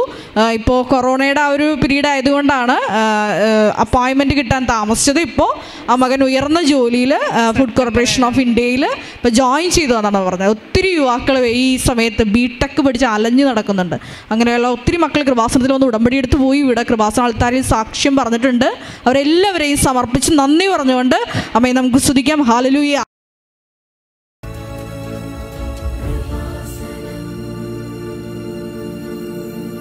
എന്റെ പേര് മിലി. ഉടമ്പടിയിലെ ആദ്യ നിയോഗമായത് എന്റെ വിവാഹം തന്നെയായിരുന്നു പുനർവിവാഹമാണ്. അപ്പോൾ എനിക്കൊരു രണ്ടാമതൊരു വിവാഹം കഴിക്കാനുള്ള ധൈര്യക്കുറവുണ്ടായിരുന്നു. പല വിവാഹാലോചനകൾ വരികയെങ്കിലും പല കാരണങ്ങൾ പറഞ്ഞ് ഞാനത് മാറ്റി വയ്ക്കുകയായിരുന്നു. ഇവിടെ വന്ന് ഉടമ്പടി എടുക്കുന്നതിന്റെ ഫലമായിട്ട് വിവാഹം കഴിക്കാനുള്ള ധൈര്യം വരികയും എന്റെ വിവാഹം ജൂൺ പത്തിന് രണ്ടായിരത്തി ഇരുപത് ജൂൺ പത്തിന് നടക്കുകയും ചെയ്തു. രണ്ടാമതായിട്ട് ഞാനിവിടെ വന്ന് ഉടമ്പടി എടുക്കുക കഴിഞ്ഞ് ഒക്ടോബറിലാണ് എടുക്കരു കുറച്ച് കഴിഞ്ഞപ്പോൾ എനിക്കൊരു ചെവിപ്പഴുപ്പ് വന്നു തുടങ്ങി. പഴുപ്പ് നിൽക്കുന്നുണ്ടായിരുന്നില്ല. അപ്പോൾ ഞാൻ ഡോക്ടറെ കാണിച്ചു. അപ്പോൾ എനിക്ക് ആദ്യം ചെവി പഴുക്കൊക്കെ ഒരു ഓപ്പറേഷൻ നടക്കുകയായിരുന്നു. മുറിച്ചുകൊണ്ടുള്ള ആളുകൾക്ക് ചെവിയുടെ ഭാഗത്തും പഴുപ്പ് വരും. അപ്പോൾ ആ ഓപ്പറേഷനിൽ പാട പൊക്കിയിട്ടുണ്ടായിരുന്നു അപ്പോൾ ഡോക്ടർ പറഞ്ഞു ചിലപ്പോൾ എനിക്കൊരു ഓപ്പറേഷൻ വീണ്ടും വേണ്ടി വരും. പക്ഷെ അതിങ്ങനെ നിലനിൽക്കില്ല. അത് പൊക്കി പോകുക തന്നെ ഇടയ്ക്ക് പൊക്കി പോവും അപ്പോൾ മരുന്നുകൾ കഴിക്കുക അതേ നിവർത്തിയുള്ളൂ അതിങ്ങനെ കിടന്നുകൊണ്ടേ ഇരിക്കുന്നു പറഞ്ഞു. എനിക്കത് ഭയങ്കര വിഷമായി. ഞാനപ്പോൾ ഇവിടെ വന്ന് എന്നും പ്രാർത്ഥിക്കുകയും ചെയ്തിരുന്നു. പക്ഷെ ഞാൻ ഈ ഉടമ്പടി എടുക്ക് എനിക്ക് ഉടമ്പടി കയ്യിലും ഉപ്പും കിക്കിരുന്നെങ്കിലും അതിനത്ര മാത്രം ഞാൻ വിശ്വാസത്തോടെയല്ല ഉപയോഗിച്ചിരുന്നത് പക്ഷേ ഈ ഒരു പ്രതിസന്ധി എന്റെ മുന്നിൽ വന്നപ്പോൾ ഞാൻ ചെവിയിലെ ഒരു പപ്പ് ഇട്ടിട്ട് ഈ എണ്ണയും ഉടമ്പടി കയ്യിലും കൂടി പെരക്കി വിശ്വാസത്തോടു കൂടി അത് ചെവിയിൽ എന്നും കയച്ച് പ്രഭാത പ്രാർത്ഥന കഴിഞ്ഞ് അത് കയക്കുമായിരുന്നു. ഡേക്കൊക്കെ ഞാൻ പ്രാർത്ഥിച്ചിട്ടുണ്ടായിരുന്നു. ജനുവരി പത്തിന് മുന്നേ ഈ എണ്ണ പെരക്കി എനിക്ക് സൗഖ്യം തരണമെന്ന്. ഉടമ്പടി തൈലം അല്ലേ? ഉടമ്പടി തൈലം ആ തൈലം ഉപ്പും ചേർക്കാണ് ചേർത്താണ് ഞാൻ പെരക്കിരുന്നത് എനിക്ക് ജനുവരി പത്തിന് മുന്നേ തന്നെ സൗഖ്യം തന്നിരുന്നു. ശരിക്കും ഇതിന് കരുന്ന മരുന്നുകൾ തന്നെ എനിക്ക് കഴിക്കാൻ പറ്റുന്നുണ്ടായിരുന്നില്ല. ഭയങ്കര അലർജി ആയിരുന്നു. അപ്പോൾ ഇത് നിർ മരുന്ന് നിർക്കി പലപ്പോഴും ഞാൻ നിന്നിരുന്നു. പക്ഷേ ഈ ഒരു ഡേക്കൊക്കെ ഞാൻ പ്രാർത്ഥിച്ച് ഈ എണ്ണ പരക്കിയപ്പോൾ എന്റെ ചെവി സൗഖ്യം നൽ കിട്ടി. അതുപോലെ തന്നെ എനിക്ക് ജോലിയിലും പ്രതി ഞാൻ ജോലി ചെയ്യുകയായിരുന്നു ഒരു പ്രൈവറ്റ് സ്ഥാപനത്തിൽ അവിടെ ബിസിനസ് രണ്ടായിരത്തി പതിനെട്ട് പത്തൊമ്പതിൽ കുറവായതുകൊണ്ട് ബിസിനസ് നിർത്തി എല്ലാവരും പിരിച്ചു വിട്ടു. എനിക്കും ജോലിയിൽ പ്രശ്നങ്ങളുണ്ടായിരുന്നു. എന്നെയും ബ്രാഞ്ച് തന്നെ നിർത്തുക. തൃശ് തൃശ്ശൂരായിരുന്നു എന്റെ ബ്രാഞ്ച് ആ ബ്രാഞ്ച് തന്നെ നിർത്തുക എന്നാണ് പറഞ്ഞിരുന്നത് പക്ഷെ ഞാൻ ഇവിടെ വന്ന് പ്രാർത്ഥിച്ചിരുന്നു. എപ്പോഴും എനിക്ക് എന്റെ ജോലി നിലനിർത്തി തരണമെന്ന് പറഞ്ഞ് പ്രാർത്ഥിച്ചു. എന്നെ മാത്രം അവിടെ നിർത്തിക്കൊണ്ട് ബാക്കി എല്ലാവരും പറഞ്ഞു വിടുകയാണ് ചെയ്തത്. വീണ്ടും ഞാൻ തുടർന്ന് പ്രാർത്ഥിച്ചു. അവിടെ ആ ബിസിനസ് പുനഃസ്ഥാപിക്കണം. അല്ലെങ്കിൽ ഞാൻ പിന്നെ അവിടെ നിന്നൊക്കെ വലിയ കാര്യമൊന്നും ഉണ്ടാവില്ല. അപ്പം ഞാൻ അതിനു വേണ്ടി തന്നെ പ്രാർത്ഥിച്ചിരുന്നു. രണ്ടായിരത്തി ഇരു ഇരുപത് ഓഗസ്റ്റ് ഒക്ടോബർ ഓഗസ്റ്റ് ഒക്കെ ആയപ്പോൾ ജാനുവരി ആയ ഓഗസ്റ്റ് ഒക്കെ ആയപ്പോൾ ബിസിനസ് പുനഃസ്ഥാപിക്കണമെന്ന് പറഞ്ഞു. പക്ഷെ ആ സമയത്ത് കൊറോണ ഉണ്ടായിരുന്നു. അപ്പോൾ വീണ്ടും ലാഗ് ചെയ്തു. ഇപ്പോൾ രണ്ടായിരത്തി ഇരുപത്തൊന്ന് ജാനുവരി തൊട്ട് എല്ലാം പുതിയ ആളുകളെ എടുക്കുകയും എന്നെയും അവിടെ നിലനിർത്തിക്കൊണ്ട് തൃശ്ശൂർ ബ്രാഞ്ച് വീണ്ടും തുടങ്ങി. അപ്പോൾ അതും ഞാൻ പരിശുദ്ധ അമ്മയുടെ മധ്യസ്ഥ ശക്തിയാൽ ഈശോ തന്ന അനുഗ്രഹം തന്നെയാണെന്നാണ് ഞാൻ വിശ്വസിക്കുന്നത്. പ്രീക്ഷിത പ്രവർത്തനത്തിന്റെ കാര്യം പറഞ്ഞായിരുന്നല്ലോ. ഞാനിവിടെ ആദ്യം ഇവിടെ വന്ന് ഉടമ്പടി ഒന്നും എടുക്കാതെ തിരിച്ചു പോവുകയാണ് ചെയ്തത്. അതിന്റെ മെയിൻ കാര്യം എന്ന് പറഞ്ഞു കഴിഞ്ഞാൽ ഇവിടെ ഒരു പ്രേക്ഷിത പ്രവർത്തനം ചെയ്യണം പക്രം വിതരണം ചെയ്യുക എന്നുള്ളതായിരുന്നു. അപ്പം ഞാൻ നോക്കി കഴിഞ്ഞപ്പോൾ എനിക്കതൊരു ഭയങ്കര നാണക്കേട് പോലെ തോന്നി. അത്രയധികം ആളുകളുടെ മുന്നിൽ വെച്ചൊക്കെ എങ്ങനെയാണ് ഇങ്ങനെ റോക്കിലൊക്കെ നടന്ന് പക്രം കൊടുക്കുക? അങ്ങനെ ഒരു നാണക്കേട് കൊണ്ട് ഞാനിവിടെ ആദ്യ പ്രാവശ്യം വന്നൊക്കെ തിരിച്ചു പോവുകയാണ് ചെയ്തത് അത് കഴിഞ്ഞ് പിന്നെ എന്റെ ചേക്കന്റെ മോൾ ഉടമ്പടി എടുക്കുക അപ്പോൾ എല്ലാവരും എന്നെ നിർബന്ധിച്ച് ഉടമ്പടി എടുക്കുക നീ വിവാഹത്തിന് വേണ്ടി പ്രാർത്ഥിക്കണം ഉടമ്പടി എടുത്ത് പ്രാർത്ഥിക്കണം എന്ന് പക്ഷേ എന്റെ മുന്നിൽ ഈ ഒരു പ്രതിസന്ധി ഇങ്ങനെ നിൽക്കുന്നത് കൊണ്ട് എനിക്ക് അങ്ങനെ വന്ന് വരാനൊരു ഉടമ്പടി എടുക്കാനൊരു മടിയുണ്ടായിരുന്നു. അങ്ങനെ ഞാനൊരു വിശുദ്ധ കുർബാനയിൽ എന്റെ ഇടവകപ്പള്ളിയിൽ വിശുദ്ധ കുർബാന കണ്ടുകൊണ്ടിരിക്കുമ്പോൾ ഈ ഉടമ്പടി എന്റെ മനസ്സിലിങ്ങനെ ഒരു എല്ലാവരും നിർബന്ധിക്കുന്ന കാരണം എന്റെ മനസ്സിലൊരു ഇതായിരുന്നു. വീട്ടുകാർ നിർബന്ധിക്കണ കാരണം. അപ്പം ഞാനിങ്ങനെ പ്രാർത്ഥിച്ചു. എങ്ങനെ ഉടമ്പടി എടുക്കാം. പക്ഷേ ഇതെങ്ങനെ ചെയ്യും? ഇതൊരു വലിയൊരു പ്രശ്നമായിട്ട് എന്റെ മുന്നിൽ നിൽക്കുകയാണല്ലോ എന്നിങ്ങനെ പറഞ്ഞ് പ്രാർത്ഥിക്കണ സമയത്ത് എന്റെ മനക്കണ്ണിലൂടെ എനിക്കിങ്ങനെ പിക്ചർ പോലെ കറക്റ്റ് ക്ലിയർ ആയിട്ടൊരു പിക്ചറാണ് കുറേ കടകൾ കാണിച്ചു തന്നു. അവിടെ ഈശോയുടെ കരുണയുടെ രൂപമുള്ള കടകളായിരുന്നു കാണിച്ചു തന്നിരുന്നത്. ആ കടകൾ എന്റെ മനസ്സിൽ കാണിച്ചു തന്നപ്പോൾ തന്നപ്പോൾ എനിക്ക് പെട്ടെന്ന് മനസ്സിലായി. ഞാൻ താമസിക്കുന്നത് തൃശ്ശൂരാണ്. അവിടേക്ക് എന്നും പുത്തമ്പള്ളിയിലേക്ക് നടന്നാണ് പോവുക. അങ്ങനെ പോകുമ്പോൾ ആ വഴിയിൽ നിറയെ കടകളുണ്ട്. അതിൽ ഈ കരുണയുടെ രൂപം വെച്ച ധാരാളം കടകളുണ്ടായിരുന്നു. അപ്പോൾ എനിക്ക് മനസ്സിലായി ആ പക്രം അവിടെ ആ കടകളിൽ കൊടുക്കാനാണ് മാതാവ് ആവശ്യപ്പെടുന്നതെന്ന്. പിന്നൊക്കെ ദിവസം പിന്നൊക്കെ ആഴ്ച വന്നിട്ട് ഞാൻ ഉടമ്പടി എടുക്കുകയാണ് ചെയ്തത്.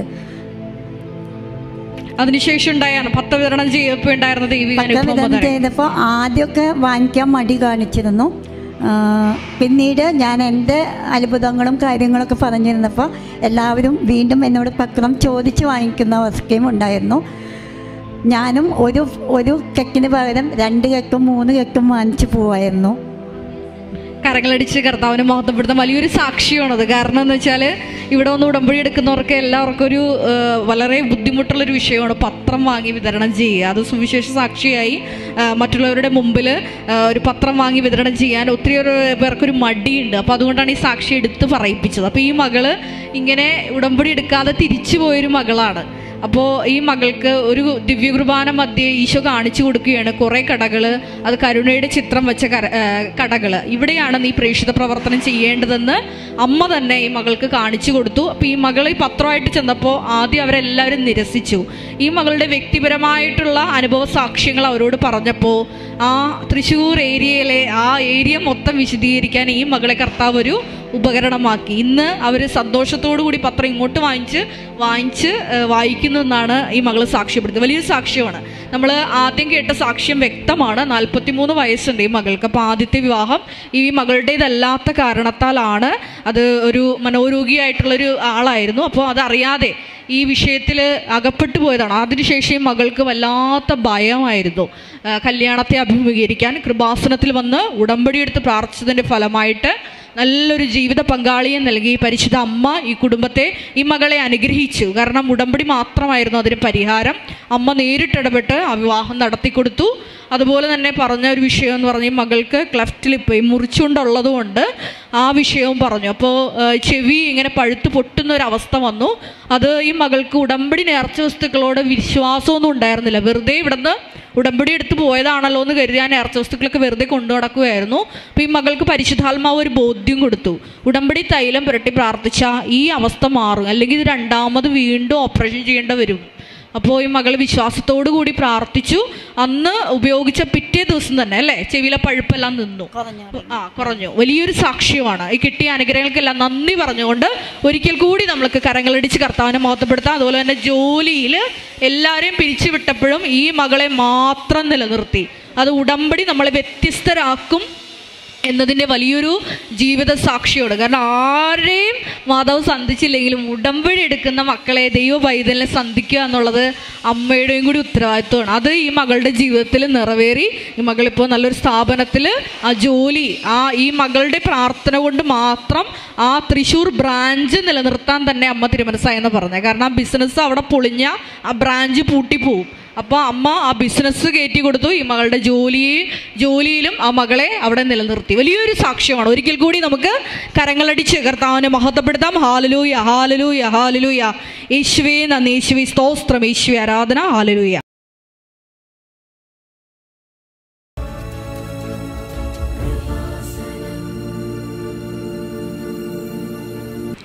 പ്രൈസ് ലോഡ് എന്റെ പേര് തോമസ്. ഞാൻ തൃശ്ശൂർ മണ്ണൂത്തിയിൽ വരുന്നു. ഞാൻ രണ്ടായിരത്തി പതിനെട്ട് മെയ് മാസം പത്താം തീയതി ഇവിടെ ഉടമ്പടി എടുത്തു. ഉടമ്പടി എടുത്തു കഴിഞ്ഞപ്പോൾ ആറ് നിയോഗം പരിശുദ്ധി അമ്മ വഴി ഈ പരിശുദ്ധി അമ്മ പ്രത്യക്ഷപ്പെട്ട ഈ പരിശുദ്ധി അൾട്ടാരയ്ക്ക് മുൻപിൽ ഞാൻ സമർപ്പിച്ചിരുന്നു. ഒന്നാമത്തെ എനിക്ക് കിട്ടിയ നിയോഗത്തിന്റെ വലിയ വിടുതലുകൾ എന്റെ മോൾ പഠനവൈകല്യമുള്ള പഠന വൈകല്യമുള്ള ആളായിരുന്നു. കുറേ വർഷമായിട്ട് മൂന്നാൽ വർഷം കൊണ്ട് പഠന വൈകല്യത്തിൽ അവൾക്ക് പഠിച്ചു കഴിഞ്ഞാൽ ഒന്നും കിട്ടുന്നില്ല. പരീക്ഷ എഴുതുമ്പോൾ സീറോയാണ് കിട്ടുന്നത്. ഭയങ്കര സങ്കടവും വേദനയും വിഷമവും ഒക്കെ ആയിരുന്നു. ഞങ്ങളിവിടെ ഒന്നിച്ച് ഇരുന്ന് പ്രാർത്ഥിച്ചു. വീട്ടിൽ പോയി. നിരന്തരം ഈ സമയം ഇന്നും ഞാൻ രാവിലെ ഉടമ്പടി പ്രാർത്ഥന പ്രതിഷ്ഠീകരണ മധ്യസ്ഥ പ്രാർത്ഥന ചെല്ലിയ ആണ് ഞാൻ വന്നത്. ഇതുവരെ മുടങ്ങിയിട്ടില്ല. തമ്പുരാൻ ഒത്തിരി ഒത്തിരി ചെറുതും വലുതുമായ കാര്യങ്ങൾ ഞങ്ങൾക്ക് തന്നിട്ടുണ്ട്. അതിൽ പ്രധാനപ്പെട്ട ഒന്നാമത്തെ കാര്യമാണ് ആൾ എന്റെ മോൾ തൃശ്ശൂർ ഒരു ഗേൾസ് ഹൈ സ്കൂളിൽ തന്നെയാണ് പഠിച്ചുകൊണ്ടിരുന്നത് അവിടുത്തെ സിസ്റ്റർമാരാണ് ആ സ്കൂൾ നടത്തുന്നത് ഞങ്ങൾക്ക് വേണ്ടപ്പെട്ട ഒരു സിസ്റ്ററായിരുന്നു അവിടുത്തെ എച്ച് എം. ആൾ പറഞ്ഞ് ഇവിടെ ഇപ്രാവശ്യം നമുക്ക് പരീക്ഷയ്ക്ക് ഇരുത്തണ്ട. അവൾക്കൊന്നും കിട്ടുന്നില്ലെങ്കിൽ അവളെ പരീക്ഷ എഴുതിക്കണ്ട. നമുക്ക് അടുത്ത പ്രാവശ്യം ഒന്നും കൂടെ നോക്കാം. അന്നേരത്തേനും കുറേ കൂടെ അവൾക്ക് അത് പഠിച്ച് കഴിഞ്ഞാൽ കിട്ടുമല്ലോ. സ്കൂളിന്റെ പേര് പോകുന്ന കാര്യത്തിലുമൊക്കെ എല്ലാവർക്കും ബുദ്ധിമുട്ടുള്ള കാര്യമാണല്ലോ. അത് കാരണം ഞങ്ങൾ അങ്ങനെ വിഷമിച്ചിരുന്നു. കുറച്ച് കഴിഞ്ഞപ്പോൾ ആ സിസ്റ്റർ ആളിന്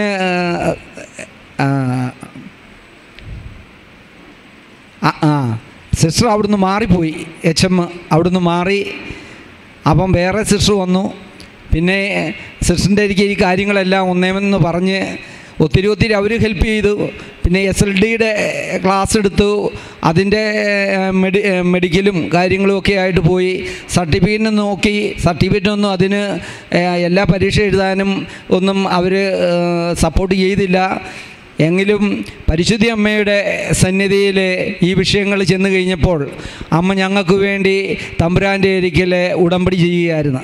അതിന്റെ ഫലമായിട്ട് ഞങ്ങൾ പ്രതീക്ഷിക്കാതിരുന്ന എ പ്ലസ് വരെ രണ്ടു മൂന്നെണ്ണത്തിന് കിട്ടുവാനും എഴുപത് ശതമാനത്തോടു കൂടി ആൾ എസ് എൽ സി പാസ്സാകുവാനായിട്ട് ദൈവം ഇടയാക്കി. കരങ്ങളടിച്ച് നമുക്ക് കർത്താവിനെ മഹത്വപ്പെടും വലിയൊരു സാക്ഷ്യമാണ്. സ്പീച്ചിങ് ആൻഡ് ലേണിംഗ് ഡെഫിസിറ്റ് ഉള്ള ഒരു മകളാണ് കൃപാസനത്തിന് വന്ന് ഉടമ്പടി എടുത്ത് പ്രാർത്ഥിച്ചതിന്റെ ഫലമായിട്ട് I S L C exam എഴുതുന്നുള്ള എല്ലാ തടസ്സങ്ങളും എച്ചവനെ വരെ മാറ്റി ആ തടസ്സങ്ങളെല്ലാം അമ്മ നീക്കി ആ മകളെ എഴുപത് ശതമാനത്തോളം മാർക്ക്. ഒരു കാര്യം പ്രത്യേകം പറഞ്ഞ് നിങ്ങൾ ഓർത്തിരിക്കും. അതായത് രണ്ട് എ പ്ലസോട് കൂടിയിട്ടാണ് ആ ഒരു വിജയം. അതായത് മൂന്ന് എ പ്ലസോട് കൂടിയിട്ടാണ്. എന്തൊരു വലിയ അത്ഭുതമാണ്. എഫ് എസിയൻസ് രണ്ട് എട്ട് തിരുവചനമാണ്. വിശ്വാസം വഴി കൃപയാലാണ് നമ്മൾ രക്ഷിക്കപ്പെട്ടത്. അത് നിങ്ങൾ നേടിയെടുത്തല്ല ദൈവത്തിന്റെ ദാനമാണ്. ആ ഓക്കെ പ്രൈസ് ലോഡ് എനിക്ക് വീണ്ടും എന്റെ മോനെ പ്ലസ് ടു കഴിഞ്ഞ് ആൾക്ക് കാനഡയ്ക്ക് പോകണമെന്നും പറഞ്ഞ് ഒത്തിരി ട്രൈ ചെയ്തു പോയി.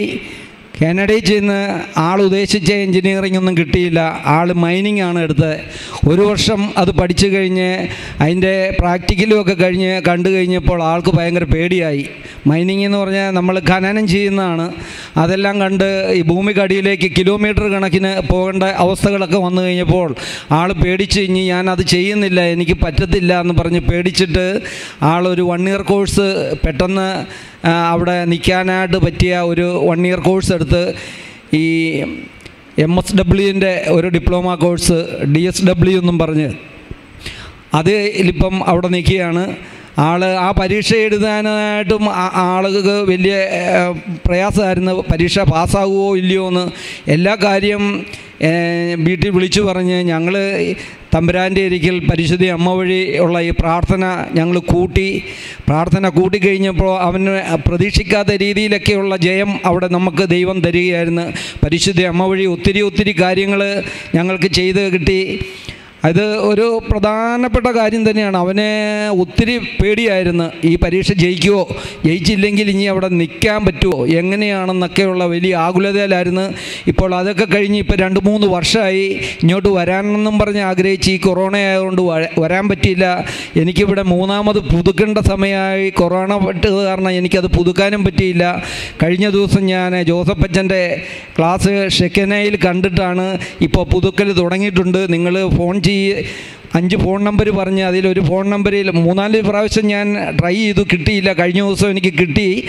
അപ്പം ഇന്ന് വരാൻ പറഞ്ഞായിരുന്നു. വൈഫിന്റെ വിഷയം എന്താണ്? ഉടമ്പടി തൈലം തേച്ചതിന്റെ ഫലമായിട്ട്. ആ ഉണ്ട്. ഇനിയുണ്ട്.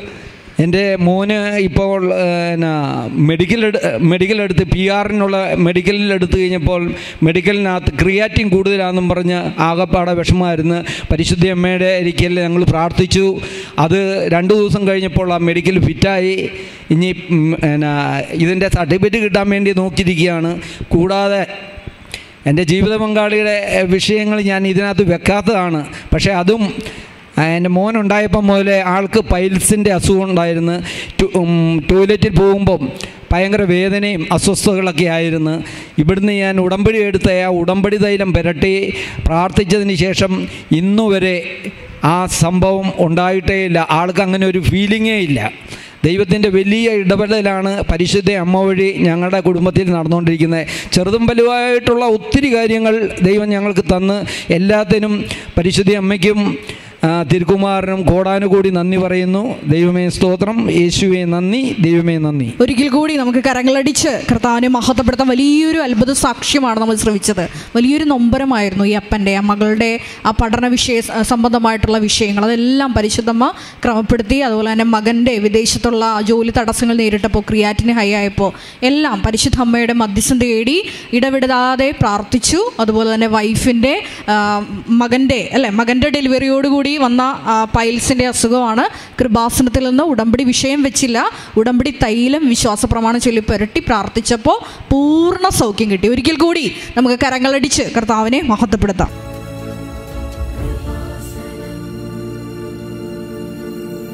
എന്റെ പേര് ഡോക്ടർ വർഗീസ് പി. പീറ്റർ. നിങ്ങൾ കരുതുന്ന പോലെ ഒരു മെഡിക്കൽ ഡോക്ടറല്ല. വിദ്യാഭ്യാസത്തിൽ പി. എച്ച്. ഡി. ബിരുദം നേടിയ ഒരു അധ്യാപകനാണ്. ഇപ്പോൾ റിട്ടയർ ചെയ്തു. എന്റെ സ്വദേശം തിരുവല്ലയിലെ ഇരുവിപേരൂർ എന്ന് പറയുന്ന സ്ഥലമാണ്. ഞാനും തിരുവല്ല മലങ്കര കത്തോലിക്ക സഭയുടെ തിരുവല്ല അതിരൂപതയിലെ ഇരുവിപേരൂർ ഇടവക അംഗമാണ്.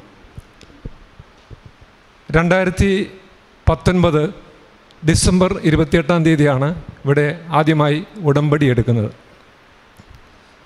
ഈ ഉടമ്പടിയിലേക്ക് എന്നെ നയിച്ച അല്പ സംഭവങ്ങൾ വിവരിച്ചാൽ മാത്രമേ അതിന്റെ തീവ്രത എനിക്ക് പോലും അറിയാൻ കഴിയുകയുള്ളൂ. ആദ്യമേ തന്നെ ഞാൻ പറയട്ടെ ഞാൻ അധ്യാപക വൃത്തിയിൽ കടക്കുമ്പോൾ ഇവിടെ അടുത്ത് ചേർത്തലയിലെ തിരുവിഴ എന്ന് പറയുന്ന സ്ഥലത്തിനടുത്തുള്ള ഒരു ഗവൺമെന്റ് സ്കൂളിലാണ് ജോലി പ്രവേശിച്ചത്. അതിനുശേഷം നിരീശ്വരവാദ പ്രസ്ഥാനവുമായി ബന്ധപ്പെട്ട സംഘടനകളിലെ ഏറ്റവും സജീവ പ്രവർത്തകനായിരുന്നു. ഇവിടെ കലവൂര് ഒരു തിയേറ്റർ ഉണ്ടായിരുന്നു ആ തിയേറ്ററിലെ പഴയ ഒരു പ്രസിദ്ധമായ നാടകമാണ് ക്രിസ്തുവിന്റെ ആറാം തിരിമുറിവ്. ഇത് കാണുന്നതിന് വേണ്ടി ഞങ്ങൾ സംഘടിതമായി വന്ന് ഇവിടെ കണ്ട് മടങ്ങിപ്പോവുക. പിന്നീട് ഇത്തരം സംഘടനാ പ്രവർത്തനങ്ങൾ സജീവമായി നിലനിൽക്കുക എന്നുള്ളതായിരുന്നു എന്റെ സ്ഥിതി. ഇത് ഏകദേശം ആയിരത്തി തൊള്ളായിരത്തി എൺപത്തി അഞ്ചിലാണ് ആ സമയത്ത് എൺപത്തി ഏഴായപ്പോൾ എനിക്ക് വിവാഹാലോചന വന്നു. എന്റെ വിവാഹ പങ്കാളിയായി വന്ന ആൾ എന്റെ വിപരീത സ്വഭാവക്കാരിയായിരുന്നു. പൂർണമായ ദൈവഭക്തിയുള്ള ഒരു വനിതയായിരുന്നു. അവൾ പ്രാർത്ഥിക്കും. ഞാൻ പ്രാർത്ഥനയിൽ പങ്കുകൊള്ളും പക്ഷേ എന്റെ ഉള്ളിലൊരു കഴമ്പുമില്ല. വളരെ ആഴത്തുള്ള പ്രാർത്ഥനക്കാരിയാണ്. അവൾ മിക്കവാറും എല്ലാ യാമങ്ങളിലും പ്രാർത്ഥിക്കുമായിരുന്നു. അധ്യാപിക കൂടിയാണ്. രാത്രിയിലൊക്കെ തീവ്രമായ പ്രാർത്ഥനയാണ്. ജപമാലയൊക്കെ ഏറ്റവും ഭംഗിയായി ചൊല്ലുന്നയാളാണ് പക്ഷേ ഞാനിതൊക്കെ എന്താണ് ഒരു നിരീശ്വരവാദി എങ്ങനെയായിരിക്കും ഒരു കാര്യത്തെ സമീപിക്കുക ആ ഒരു ശൈലിയായിരുന്നു എന്റെ പക്ഷേ അവൾ എനിക്ക് വേണ്ടി പ്രാർത്ഥിക്കുന്നുണ്ടായിരുന്നു. അപ്പോൾ ഞാൻ സാധാരണ ഒരു അധ്യാപകനായിട്ട് കയറിയെങ്കിലും പിന്നീട് എനിക്ക് തുടർ പഠനങ്ങളൊക്കെ പലതും നടത്തി. ഈ പഠനങ്ങളൊക്കെ നല്ല വിജയം കൈവരിക്കാനായിട്ട് കഴിഞ്ഞു. ഏകദേശം രണ്ടായിരത്തി പതിമൂന്നായപ്പോഴേ എനിക്ക് ഡോക്ടറേറ്റ് ബിരുദം കിട്ടി. അതും എന്റെ ഭാര്യയുടെ ശ്രമമാണ്. കാര്യം ഭയങ്കര പ്രാർത്ഥനയാണ്. എനിക്ക് വലിയ വിശ്വാസമില്ല. പക്ഷേ എന്നിട്ട് പോലും എനിക്ക് തീവ്രമായ ഒരു വിശ്വാസത്തിലേക്ക് കടന്നു വരാനായിട്ട് എപ്പോഴും തോന്നിയില്ല. രണ്ടായിരത്തി പതിനാലിൽ തന്നെ എനിക്ക് സംസ്ഥാന അധ്യാപക അവാർഡും അതേ വർഷം തന്നെ ദേശീയ അധ്യാപക അവാർഡും ലഭിച്ചു. ഇത് ലഭിച്ചപ്പോഴും എന്റെ വിചാരം എന്റെ മഹിമയാണെന്ന്. പക്ഷെങ്കിൽ ഈ സമയത്താണ് ദൈവം എന്നെ പിടികൂടുന്നത്. കാര്യം എന്റെ ഭാര്യയിൽ നിരന്തരമായി ഒന്നിന് പുറകെ ഒന്നായി രോഗം വരാൻ തുടങ്ങി. ആ രോഗത്തിൽ ഇന്നിപ്പോൾ എന്റെ കൂടി ഇവിടെ വരേണ്ടതാണ് ആളവിടെ ബെഡ് റെസ്റ്റാണ്. വരാൻ പറ്റുകയില്ല. കാര്യം വ്യത്യസ്തങ്ങളായ രോഗങ്ങളാണ് അവൾ അനുഭവിക്കുന്നത്. ഇപ്പോൾ ഏറ്റവും ഒടുവിലായിട്ട് കണ്ടെത്തിയിരിക്കുന്ന ഒരു മാർഗം ഒരു പ്രത്യേക ആമാശയത്തിൽ അൾസർ രൂപം കൊണ്ടിരിക്കുകയാണ്. ആ അൾസർ ബയോപ്സിക്ക് എടുത്തിട്ടുണ്ട്. തീരെ വയ്യ. ഭക്ഷണം കഴിക്കാനേ പറ്റുകയില്ല. ഇങ്ങനെയുള്ളൊരു പ്രത്യേക സാഹചര്യത്തിൽ ആളിങ്ങനെ വരുന്ന ഒരു സ്ഥിതിയാണ്. അപ്പോൾ എന്നോട് ഈ രണ്ടായിരത്തി പതിനേഴൊക്കെ ആയപ്പോൾ ഞാൻ പെൻഷനായി അവളും പെൻഷനായി. ആ സമയത്ത് എന്നോട് ചോദിച്ചു കൃപാസനത്തെ പറ്റി ഞാൻ യൂട്യൂബിലൊക്കെ കേൾക്കുന്നുണ്ട്. നമുക്കവിടെ പോയി ഒരു ഉടമ്പടി വെച്ചാൽ എന്താണ്? എന്ന്. പക്ഷേ എന്റെ മനസ്സ് സാവകാശം മാറി ചിന്തിച്ചു തുടങ്ങി. അങ്ങനെ അതിന്റെ ഭാഗമായിട്ട് ഭാര്യയും ഞാനും മകനും കൂടി ഇവിടെ വന്നു. പിന്നീട് രണ്ടായിരത്തി പതിനെട്ട് ഡിസംബർ ഇരുപത്തെട്ടാം തീയതി ഞാൻ തന്നെ വന്ന് ഉടമ്പടി വെച്ചു. ആ ഉടമ്പടിയിൽ ആറ് കാര്യങ്ങളാണ് ഞാൻ എന്നെ എഴുതി വെച്ചിരുന്നത്. തീർച്ചയായിട്ടും അതിലെ മൂന്ന് കാര്യങ്ങൾ കർത്താവ് എനിക്ക് തന്നു എന്നുള്ളത് വലിയ അനുഗ്രഹമായി കരുതി. ഞാൻ അതേപ്പറ്റി പറയാം. അതുകൂടാതെ അതിൽ രേഖപ്പെടുത്താതിരുന്ന രണ്ട് കാര്യങ്ങൾ കൂടി പ്രത്യേകമായി ലഭിക്കുകയും ചെയ്തു. ഞാൻ ഇത് ഉടമ്പടിക്ക് ശേഷം ബൈബിൾ ഇങ്ങനെ വായിക്കുമ്പോൾ എന്നെ സ്വാധീനിച്ച ഒരു വാക്യം അതിനകത്ത് എനിക്ക് ലഭിക്കുകയുണ്ടായി. അതിലെ മിസ്റ്റർ യാക്കോബിന്റെ ലേഖനം ഒന്നാം അധ്യായം ഏഴാം വാക്യമാണ്. അതിലിങ്ങനെ പറയുന്നുണ്ട് നമ്മൾ സംശയ മനസ്കനും എല്ലായ്പ്പോഴും നമ്മുടെ അചഞ്ചല ചഞ്ചല ഹൃദയസ്ഥനുമായ ഒരുത്തനെ ഒരു കാലത്തും ദൈവത്തിന്റെ കൃപ ലഭിക്കുമെന്ന് കരുതേണ്ടതില്ല. അപ്പോൾ അതിന്റെ അർത്ഥം എനിക്ക് കൃപയിലേക്ക് ഞാൻ കടന്നു വരണമെങ്കിൽ എന്റെ ഈ ചാഞ്ചല്യം എന്റെ ഈ മനസ്സിന്റെ അവസ്ഥയിൽ ഞാൻ മാറിയേ പറ്റൂ എന്നുള്ള ഒരു പൂർണ ബോധ്യം എന്നിലേക്ക് സാവകാശം കടന്നു വരികയാണ്. ഞങ്ങൾ പിന്നീട് കൃത്യമായിട്ടും അവളുടെ പ്രാർത്ഥനയുടെ ഫലം തന്നെയാണ്. ഞങ്ങൾ കൃത്യമായിട്ടും നമ്മുടെ ഈ കൃപാസനത്തിലെ ഉടമ്പടിക്ക് അനുസൃതമായ ഒരു ജീവിതത്തിലേക്ക് ഞാൻ വരികയാണ്. പരിപൂർണമായിട്ടും ആ ഒരു തരത്തിലേക്ക് വന്നു. അവിടെ എന്താണോ പറയുന്നത് അവയെല്ലാം തന്നെ. നമ്മുടെ കൃപാസനം പത്രത്തിന്റെ വിതരണം പിന്നെ സാധുക്കൾ രോഗികളെ പോയി കാണൽ ഇങ്ങനെയുള്ള എല്ലാ വ്യ- വ്യത്യസ്തങ്ങളായ പ്രവർത്തനങ്ങളിൽ വളരെ സജീവമായിട്ട് പതുക്കെ പങ്കെടുക്കാനായിട്ട് തുടങ്ങി. ഇങ്ങനെ എടുത്തു തുടങ്ങിയപ്പോഴാണ് ഈ കൃപാസനത്തിൽ വെച്ച ഉടമ്പടിയുടെ തീവ്രത കൂടെ ഞാൻ മനസ്സിലാക്കുന്നത്. ആ തീവ്രത എന്താണെന്ന് അറിയാമോ ഉടമ്പടി എന്ന വാക്കിന് അർത്ഥം എഗ്രിമെന്റ് എന്നാണ്. ഈ എഗ്രിമെന്റ് നമ്മളെല്ലാം നേരത്തെ തന്നെ ചെയ്യുന്നതാണ്. കാര്യം മാമോദിസ ലഭിച്ചപ്പോൾ നമ്മൾ പറയുന്നുണ്ട് പത്ത് കൽപ്പനകളൊക്കെ നമ്മൾ പാലിക്കേണ്ടവരാണ്. അത് നമ്മൾ മനസ്സാ ചെയ്യേണ്ടതാണ്. പക്ഷേ പാപിയായ മനുഷ്യൻ അതിന്റെ സാഹചര്യങ്ങൾക്കനുസരിച്ച് പുതിയ പാപത്തിലേക്ക് വീഴുകയും നമ്മൾ സ്വാഭാവികമായിട്ട് കുമ്പസാരിക്കുന്നു വീണ്ടും പാപത്തിലേക്ക് പോകുന്നു ഈ ഒരു അവസ്ഥയിലേക്കാണ്. പക്ഷേ ഇവിടെ ഒന്ന് ഉടമ്പടി എടുത്തപ്പോൾ എനിക്ക് തോന്നിയ ഒരു വലിയ അനുഭവം ഇതാണ്. ഇവിടെ നട എടുത്ത ഉടമ്പടി കൃപാസനത്തിൽ വെച്ചാണ് എടുത്തതെങ്കിലും ഞാൻ എടുത്തിരിക്കുന്നത് കർത്താവുമായിട്ടാണ്. കർത്താവുമായിട്ടുള്ള ഉടമ്പടി ഞാൻ പാലിക്കപ്പെടാൻ നിർബന്ധിതനാവുകയും അതിനനുസൃതമായി എന്റെ ജീവിതത്തെ നയിക്കുവാനും മാറ്റിയെടുക്കുവാനും എനിക്ക് കഴിഞ്ഞു എന്നുള്ളതാണ് എന്റെ ഏറ്റവും വലിയ പ്രത്യേകത. ഇനി ഞാൻ എന്റെ അനുഗ്രഹങ്ങളിലേക്ക് വരാം. കൃപയാണ് എനിക്ക് കൂടുതലുണ്ടായത്. അനുഗ്രഹങ്ങൾ പ്രധാനമായിട്ടും ഒന്നാണ്. അതിലൊന്ന് എന്റെ മകനും മകളും മരുമകളും ഇംഗ്ലണ്ടിലെ ലെസ്റ്ററിലെ അവൾ നേഴ്സാണ്. അവന് പി ആർ കിട്ടിയിരുന്നുകൊണ്ട് മകൻ സഹിതം അവന്റെ കുഞ്ഞു സഹിതം അവിടേക്ക് ചെന്നു. അപ്പോൾ ആ സമയത്ത് നിങ്ങൾക്കറിയാം രണ്ടായിരത്തി ഇരുപത് ഒക്കെ ആയി ആയപ്പോഴത്തേക്ക് കൊറോണ കോവിഡ് വ്യാപകമായി. അപ്പോൾ ഇവന് ഒരു സ്ഥിരം ജോലിക്ക് വേണ്ടി ശ്രമിക്കുന്നുണ്ടായിരുന്നു. പക്ഷേ ആ തിരക്കിനിടയിൽ അത് കിട്ടുമെന്ന് തോന്നിയില്ല. പക്ഷേ ഞാനിവിടെ വെച്ചിരുന്ന ഉടമ്പടിയിലെ രണ്ടാമത്തെ ആവശ്യം മൂന്നാമത്തെ ആവശ്യം അതായിരുന്നു എന്റെ മകന് അവിടെ ഒരു ജോലി ലഭിക്കണമെന്നുള്ളത്. എന്റെ സഹോദരങ്ങളെ ഏതാണ്ട് ആ കോവിഡിന്റെ കാലഘട്ടത്തിൽ തന്നെ അവിടുത്തെ ഒരു എം എൻ സി ഒരു മൾട്ടിനാഷണൽ കമ്പനി അവനെ ജോലിക്ക് വിളിക്കുകയും ആ ജോലിയിൽ അവനെ സാവകാശം സ്ഥിരപ്പെടുത്തുകയും ചെയ്തു. ആ സമയത്ത് മറ്റു പ്രത്യേകത കോവിഡ് മൂലം കുറേ പേരെയൊക്കെ പുറത്തേക്ക് വിട്ടെങ്കിലും അവനോട് പറഞ്ഞു അവന്റെ സബ്ജക്റ്റ് ഈ കമ്പ്യൂട്ടർ സയൻസ് ആയിരുന്നു അതിൽ ബി ടെക്കും എം ബി എയും ഉണ്ടായിരുന്നു പിന്നെ അതിൽ എക്സ്പെർട്ട് ആയിരുന്നുകൊണ്ട് അവർ പുറത്തുവിടാതെ വിടാതെ തുറന്നോളാൻ പറഞ്ഞു ഇപ്പോൾ സ്ഥിരപ്പെടുത്തുകയും ചെയ്തിരിക്കുകയാണ്. അതാണ് എനിക്ക് ലഭിച്ച ആദ്യത്തെ അനുഗ്രഹം. രണ്ടാമത്തെ വലിയൊരു പ്രത്യേകത അവൻ എന്നോട് പറഞ്ഞു അച്ഛാ ഞങ്ങൾക്ക് നല്ല രീതിയിൽ ഹോസ്പിറ്റലിനടുത്ത് താമസിക്കാൻ ഒരു സ്ഥലം കിട്ടുന്നില്ല എന്താണ് ചെയ്യേണ്ടതെന്ന് പറഞ്ഞു. ഞാനപ്പോൾ പറഞ്ഞു മോനെ നീ ഒരു കാര്യം ചെയ്യ്. കൃപാസനത്തിന്റെ ലൈറ്റ് കാൻഡിൽ എന്ന് പറയുന്ന ഒരു നല്ല സമീപന രീതിയുണ്ട്. നിനക്കത് ചെയ്യാൻ പറ്റും. ഞാൻ അവന് വിശദീകരണം കൊടുത്തു. അവൻ ലൈറ്റ് കാൻഡിൽ വെച്ചിട്ട് പത്താം ദിവസമായപ്പോൾ അവന് താമസിക്കാൻ പര്യാപ്തമായ ഒരു വീടും സൗകര്യം കൂടെ ഹോസ്പിറ്റലിനടുത്ത് തന്നെ കിട്ടി. ഇതാണ് രണ്ടാമത് ലഭിച്ചവ. ഇനി ചില കൃപകളാണ് ഉണ്ടായത്. ആ കൃപ എന്ന് പറയുന്നത് ഒന്ന് ഞാൻ നിങ്ങളോട് പറഞ്ഞ എന്റെ കൂട്ടത്തിൽ ഈ നിരീശ്വരവാദത്തിലൊക്കെ നിന്നുകൊണ്ട് ഇന്റർനെറ്റൊക്കെ ഞാൻ ഏറ്റവും അധികം ദുരുപയോഗം ചെയ്ത വ്യക്തിയാണ്. അപ്പോൾ ഇന്റർനെറ്റിന്റെ ദുരുപയോഗം വളരെ ശക്തമായതുകൊണ്ട് അതിൽ കാണുന്ന പ്രത്യേകതകളെ പറ്റി നാം പ്രത്യേകം പറയേണ്ടതില്ല. അവയെല്ലാം ശക്തമായിട്ട് കാണുകയും ഭാര്യ ചിലപ്പോൾ കണ്ടുപിടിച്ചിട്ടുണ്ട്. അപ്പോൾ എന്നോട് വന്ന് സങ്കടപ്പെട്ടിട്ടുണ്ട്. അപ്പോൾ ഈ ഉടമ്പടി വെച്ച ശേഷം ഞാനെടുത്ത തീരുമാനം ഇനി അത് പാടില്ല. സത്യമായിട്ട് പറയട്ടെ അന്ന് ഉടമ്പടി വെച്ച ശേഷം ഇപ്പോൾ വരെയും ഈ ദുരുപയോഗത്തെ പരിപൂർണമായിട്ട് എന്നിൽ മാറ്റുന്നുള്ള കൃപ കർത്താവ് എനിക്ക് തന്നു. അത് ഞാൻ ഉള്ള എല്ലാവിധ നന്ദിയും കർത്താവിന്റെ പേരിൽ ഇവിടെ അർപ്പിക്കുകയാണ്. മാത്രമല്ല ഞാനും ഭാര്യയും കൂടെ ചേർന്ന് ഞങ്ങൾ ദൈവവചന പ്രഘോഷണത്തിനായി ഒരു വീഡിയോ ചാനൽ പോലും തുടങ്ങാൻ ഞങ്ങൾക്ക് പറ്റിയിട്ടുണ്ട്. ഹിസ് വോയിസ് എന്നാണ് ആ ചാനലിന്റെ പേര്. ഇന്നിപ്പോൾ ഇരുപത്തിയഞ്ചാമത്തെ എപ്പിസോഡ് ഈ ബുധനാഴ്ച ഞങ്ങൾ അപ്ലോഡ് ചെയ്യുന്നതാണ്.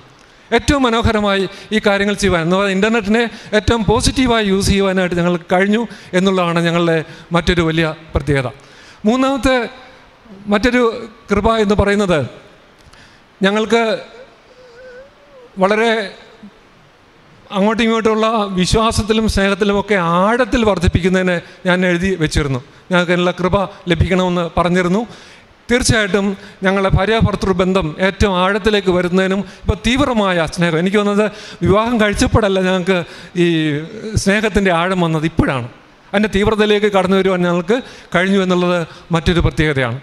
ഇനിയും ഉടമ്പടിയിൽ വെക്കാത്തൊരു പ്രത്യേകത എന്ന് പറയുന്നത് ഞാൻ റിട്ടയർ ചെയ്തിട്ട് ഒരു ഗവൺമെന്റ് ഒരു അധ്യാപകർ ട്രെയിനിങ് കോളേജിൽ അധ്യാപകനായിട്ട് ജോലി ചെയ്യുമായിരുന്നു ആ സമയത്ത് എൻ സി ടിയിൽ എല്ലാ റെക്കോർഡുകളും സബ്മിറ്റ് ചെയ്യണം.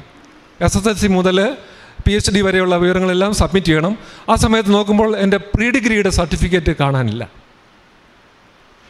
ഇത് കാണാതാവുന്നത് ഒരു രണ്ടായിരത്തി പതിനഞ്ചിലാണ് എവിടെല്ലാം അന്വേഷിക്കാമോ അവിടെ മുഴുവൻ അന്വേഷിക്കുന്നുണ്ട് പക്ഷേ എന്റെ സർട്ടിഫിക്കറ്റ് ഇല്ല. ഞാൻ പിന്നീട് ഇവിടെ വന്ന് ഉടമ്പടിയിൽ വെച്ചതുമില്ല. പ്രാർത്ഥിച്ച് ഇതേപ്പറ്റി ആഴ്ച ചിന്തിക്കുന്നുണ്ട്. എന്റെ പെരയുടെ ഒരു നവീകരണം നടന്നപ്പോൾ ചില സാധനങ്ങളൊക്കെ എടുത്തു മാറ്റി പോയിട്ടുണ്ട്. അവിടെയെല്ലാം പോയി നോക്കി. ഒരു ദിവസം രാവിലെ ഞാനും ഭാര്യയും കുടുംബവും എഴുന്നേറ്റ് ഉടമ്പടി പ്രാർത്ഥന നടത്തി കഴിഞ്ഞപ്പോൾ എന്റെ മനസ്സിൽ പെട്ടെന്ന് തോന്നുകയാണ് എന്റെ മേശയ്ക്കകത്തിരിക്കുന്ന ഒരു ഡയറിയിൽ ഒരു പേജിന്റെ ഇടയിൽ എന്തോ ഉണ്ട് ഒന്ന് നോക്കാൻ പറയുകയാണ്. എന്റെ മനസ്സിൽ പ്രേരണയാണ്. ഞാൻ പെട്ടെന്ന് തന്നെ പിന്നെ വൈഫിനോടും പറഞ്ഞു നോക്കട്ടെ എന്ന് പറഞ്ഞു. കൃത്യമായിട്ടും സഹോദരങ്ങളെ ഞാൻ ചെന്ന ഡയറി തുറന്നു നോക്കുമ്പോൾ എന്റെ പ്രീ ഡിഗ്രിയുടെ സർട്ടിഫിക്കറ്റ് മടക്കി അതിന്റെ മടക്കിലിരിപ്പുണ്ട്. അത് വളരെ ദൈവാനുഗ്രഹമായി ഞാൻ കരുതുകയാണ്. എന്റെ മാനസ എന്റെ മാറ്റത്തിന് ഈ ചഞ്ചല അവസ്ഥയും എന്റെ മാനസിക സ്ഥിതിയുടെ ഒരു സ്ഥിരതയും ഒക്കെ വന്നപ്പോൾ ദൈവം കൊടുത്ത വലിയ കൃപയെന്ന് തന്നെ ഞാൻ കരുതുകയാണ്. അതുകൊണ്ട് അവ എനിക്ക് കൊടുത്ത് എന്റെ കാര്യങ്ങളെ മെച്ചപ്പെടുത്തുവാൻ എനിക്ക് കഴിഞ്ഞു എന്ന് ഞാൻ കരുതുന്നു. മറ്റൊരു വലിയ പ്രത്യേകത നമ്മുടെ തൈലമാണ്. എന്റെ വൈഫ് നടക്കുന്ന അവസ്ഥയിൽ കാലൊന്നിടറിയിരുന്നു അപ്പം കാലിന്റെ കുഴയ്ക്ക് നീർക്കോളായി. മാറുമെന്നൊക്കെ ഞങ്ങൾ പറഞ്ഞു പക്ഷേ മാറ്റം വന്നില്ല. ഞങ്ങളൊരു ഓർത്തോപീഡിക് സർജനെ തന്നെ കാണിച്ചു. അപ്പോൾ കാണിച്ചപ്പോൾ അദ്ദേഹം പറഞ്ഞു കുഴപ്പമൊന്നുമില്ല. ബാൻഡേഡ് ചുറ്റി നടന്നാൽ മതി എന്ന് പറഞ്ഞു. പക്ഷേ ബാൻഡേഡ് ചുറ്റി കഴിഞ്ഞിട്ട് കിടക്കാൻ നേരത്ത് കുഴപ്പമൊന്നുമില്ല. നടക്കുമ്പോൾ വീണ്ടും അസുഖമാണ്. അങ്ങനെ മൂന്നാഴ്ചയോളം നോക്കി നോക്കി നിന്നു മരുന്നും കഴിച്ചു പക്ഷേ ഒരു കുറവുമില്ല. അപ്പോൾ ഭാര്യയും ഞാനും പറഞ്ഞു നമുക്കൊരു കാര്യം ചെയ്യാം. നമുക്ക് ഈ കൃപാസനത്തിലെ തൈലം പരട്ടി തോക്കാമെന്ന് പറഞ്ഞു. ഞങ്ങൾ രാവിലെയും വൈകിട്ടും പ്രാർത്ഥനയ്ക്ക് ശേഷം ഈ തൈലം കാലിൽ പുരട്ടും. ഇപ്പോൾ യാതൊരു കുഴപ്പവുമില്ലാതെ ഒരു പ്രശ്നമില്ലാതെ പരിപൂർണമായിട്ട് അതിൽ നീര് മാറുകയും വളരെ ഭംഗിയായിട്ട് അവൾക്ക് നടക്കുവാൻ കഴിയുകയും ചെയ്യുന്നു എന്നുള്ളതാണ് എന്റെ പ്രത്യേകത. ഇത്രയും കാര്യങ്ങൾ ആണ് എനിക്കിവിടെ പറയുവാനുള്ളത്. അനുഗ്രഹം തന്ന ദൈവത്തിന്റെ വലിയ കൃപയെ നന്ദിയോട് ഞാൻ ഓർക്കുകയാണ്. അമ്മ മാതാവിനോടും അമ്മ മാതാവ് മാധ്യസ്ഥ തേടി തന്ന് ഞങ്ങൾക്ക് തന്ന അനുഗ്രഹങ്ങൾക്കും കോടാനുകോടി നന്ദി രേഖപ്പെടുത്തിക്കൊണ്ട് ഞാൻ ഇവിടെ നിർത്തട്ടെ. യേശുവെ നന്ദി. യേശുവെ സ്തുതി. ഡോക്ടർ വർഗീസ് എത്ര നാളാണ് നിരീശ്വര പ്രസ്ഥാനത്തിൽ പ്രവർത്തിച്ചത്? എത്ര വർഷമായിട്ടുണ്ട്? ഒരു ആയിരത്തി തൊള്ളായിരത്തി എൺപതുകളിൽ തുടങ്ങിയിട്ടുണ്ട്. എൺപതിൽ തുടങ്ങി. എപ്പോഴാണ് കർത്താവ് സ്പർശിച്ചത്? ഉടമ്പടി എടുത്തതിന് ശേഷം. ഉടമ്പടി എടുത്ത ഏത് വർഷം ഏതാ എടുത്തതിന് ശേഷമാണ് എന്റെ തീവ്രതയിലേക്ക് വന്നത്. എന്നാൽ അതിന് തൊട്ടുമുമ്പ് ഭാര്യയുടെ ചില സ്വാധീനം എന്നെ സഹായിച്ചു. സഹായിച്ചു. ഏത് വർഷം ഉടമ്പടി എടുത്തത്? ഉടമ്പടി എടുത്തത് രണ്ടായിരത്തി പത്തൊമ്പത് ഡിസംബർ ഇരുപത്തി എട്ടാം തീയതി. അപ്പോൾ എൺപത് കാലഘട്ടത്തിലാണ് അതെ അതെ. പ്രസ്ഥാനത്തിൽ അപ്പോൾ ഏതാണ്ട് നാൽപ്പത് മുപ്പത്തൊമ്പത് വർഷത്തോളം. യെസ് ഈ സാക്ഷ്യം കേൾക്കുന്നവരെ ശ്രദ്ധിക്കണം. ദൈവത്തെ നകന്ന് അല്ലെങ്കിൽ ദൈവത്തെ പരിത്യജിച്ച് നിരീശ്വര പ്രസ്ഥാനങ്ങൾക്ക് ഊടും ഭാവവും നൽകിയ വലിയ വ്യക്തിത്വം തന്നെയാണ് ഡോക്ടർ വർഗീസ്. പക്ഷേ വിവാഹത്തിലൂടെ ഒരു മാറ്റം നല്ലൊരു ജീവിത പങ്കാളി ദൈവം കൊടുത്തു.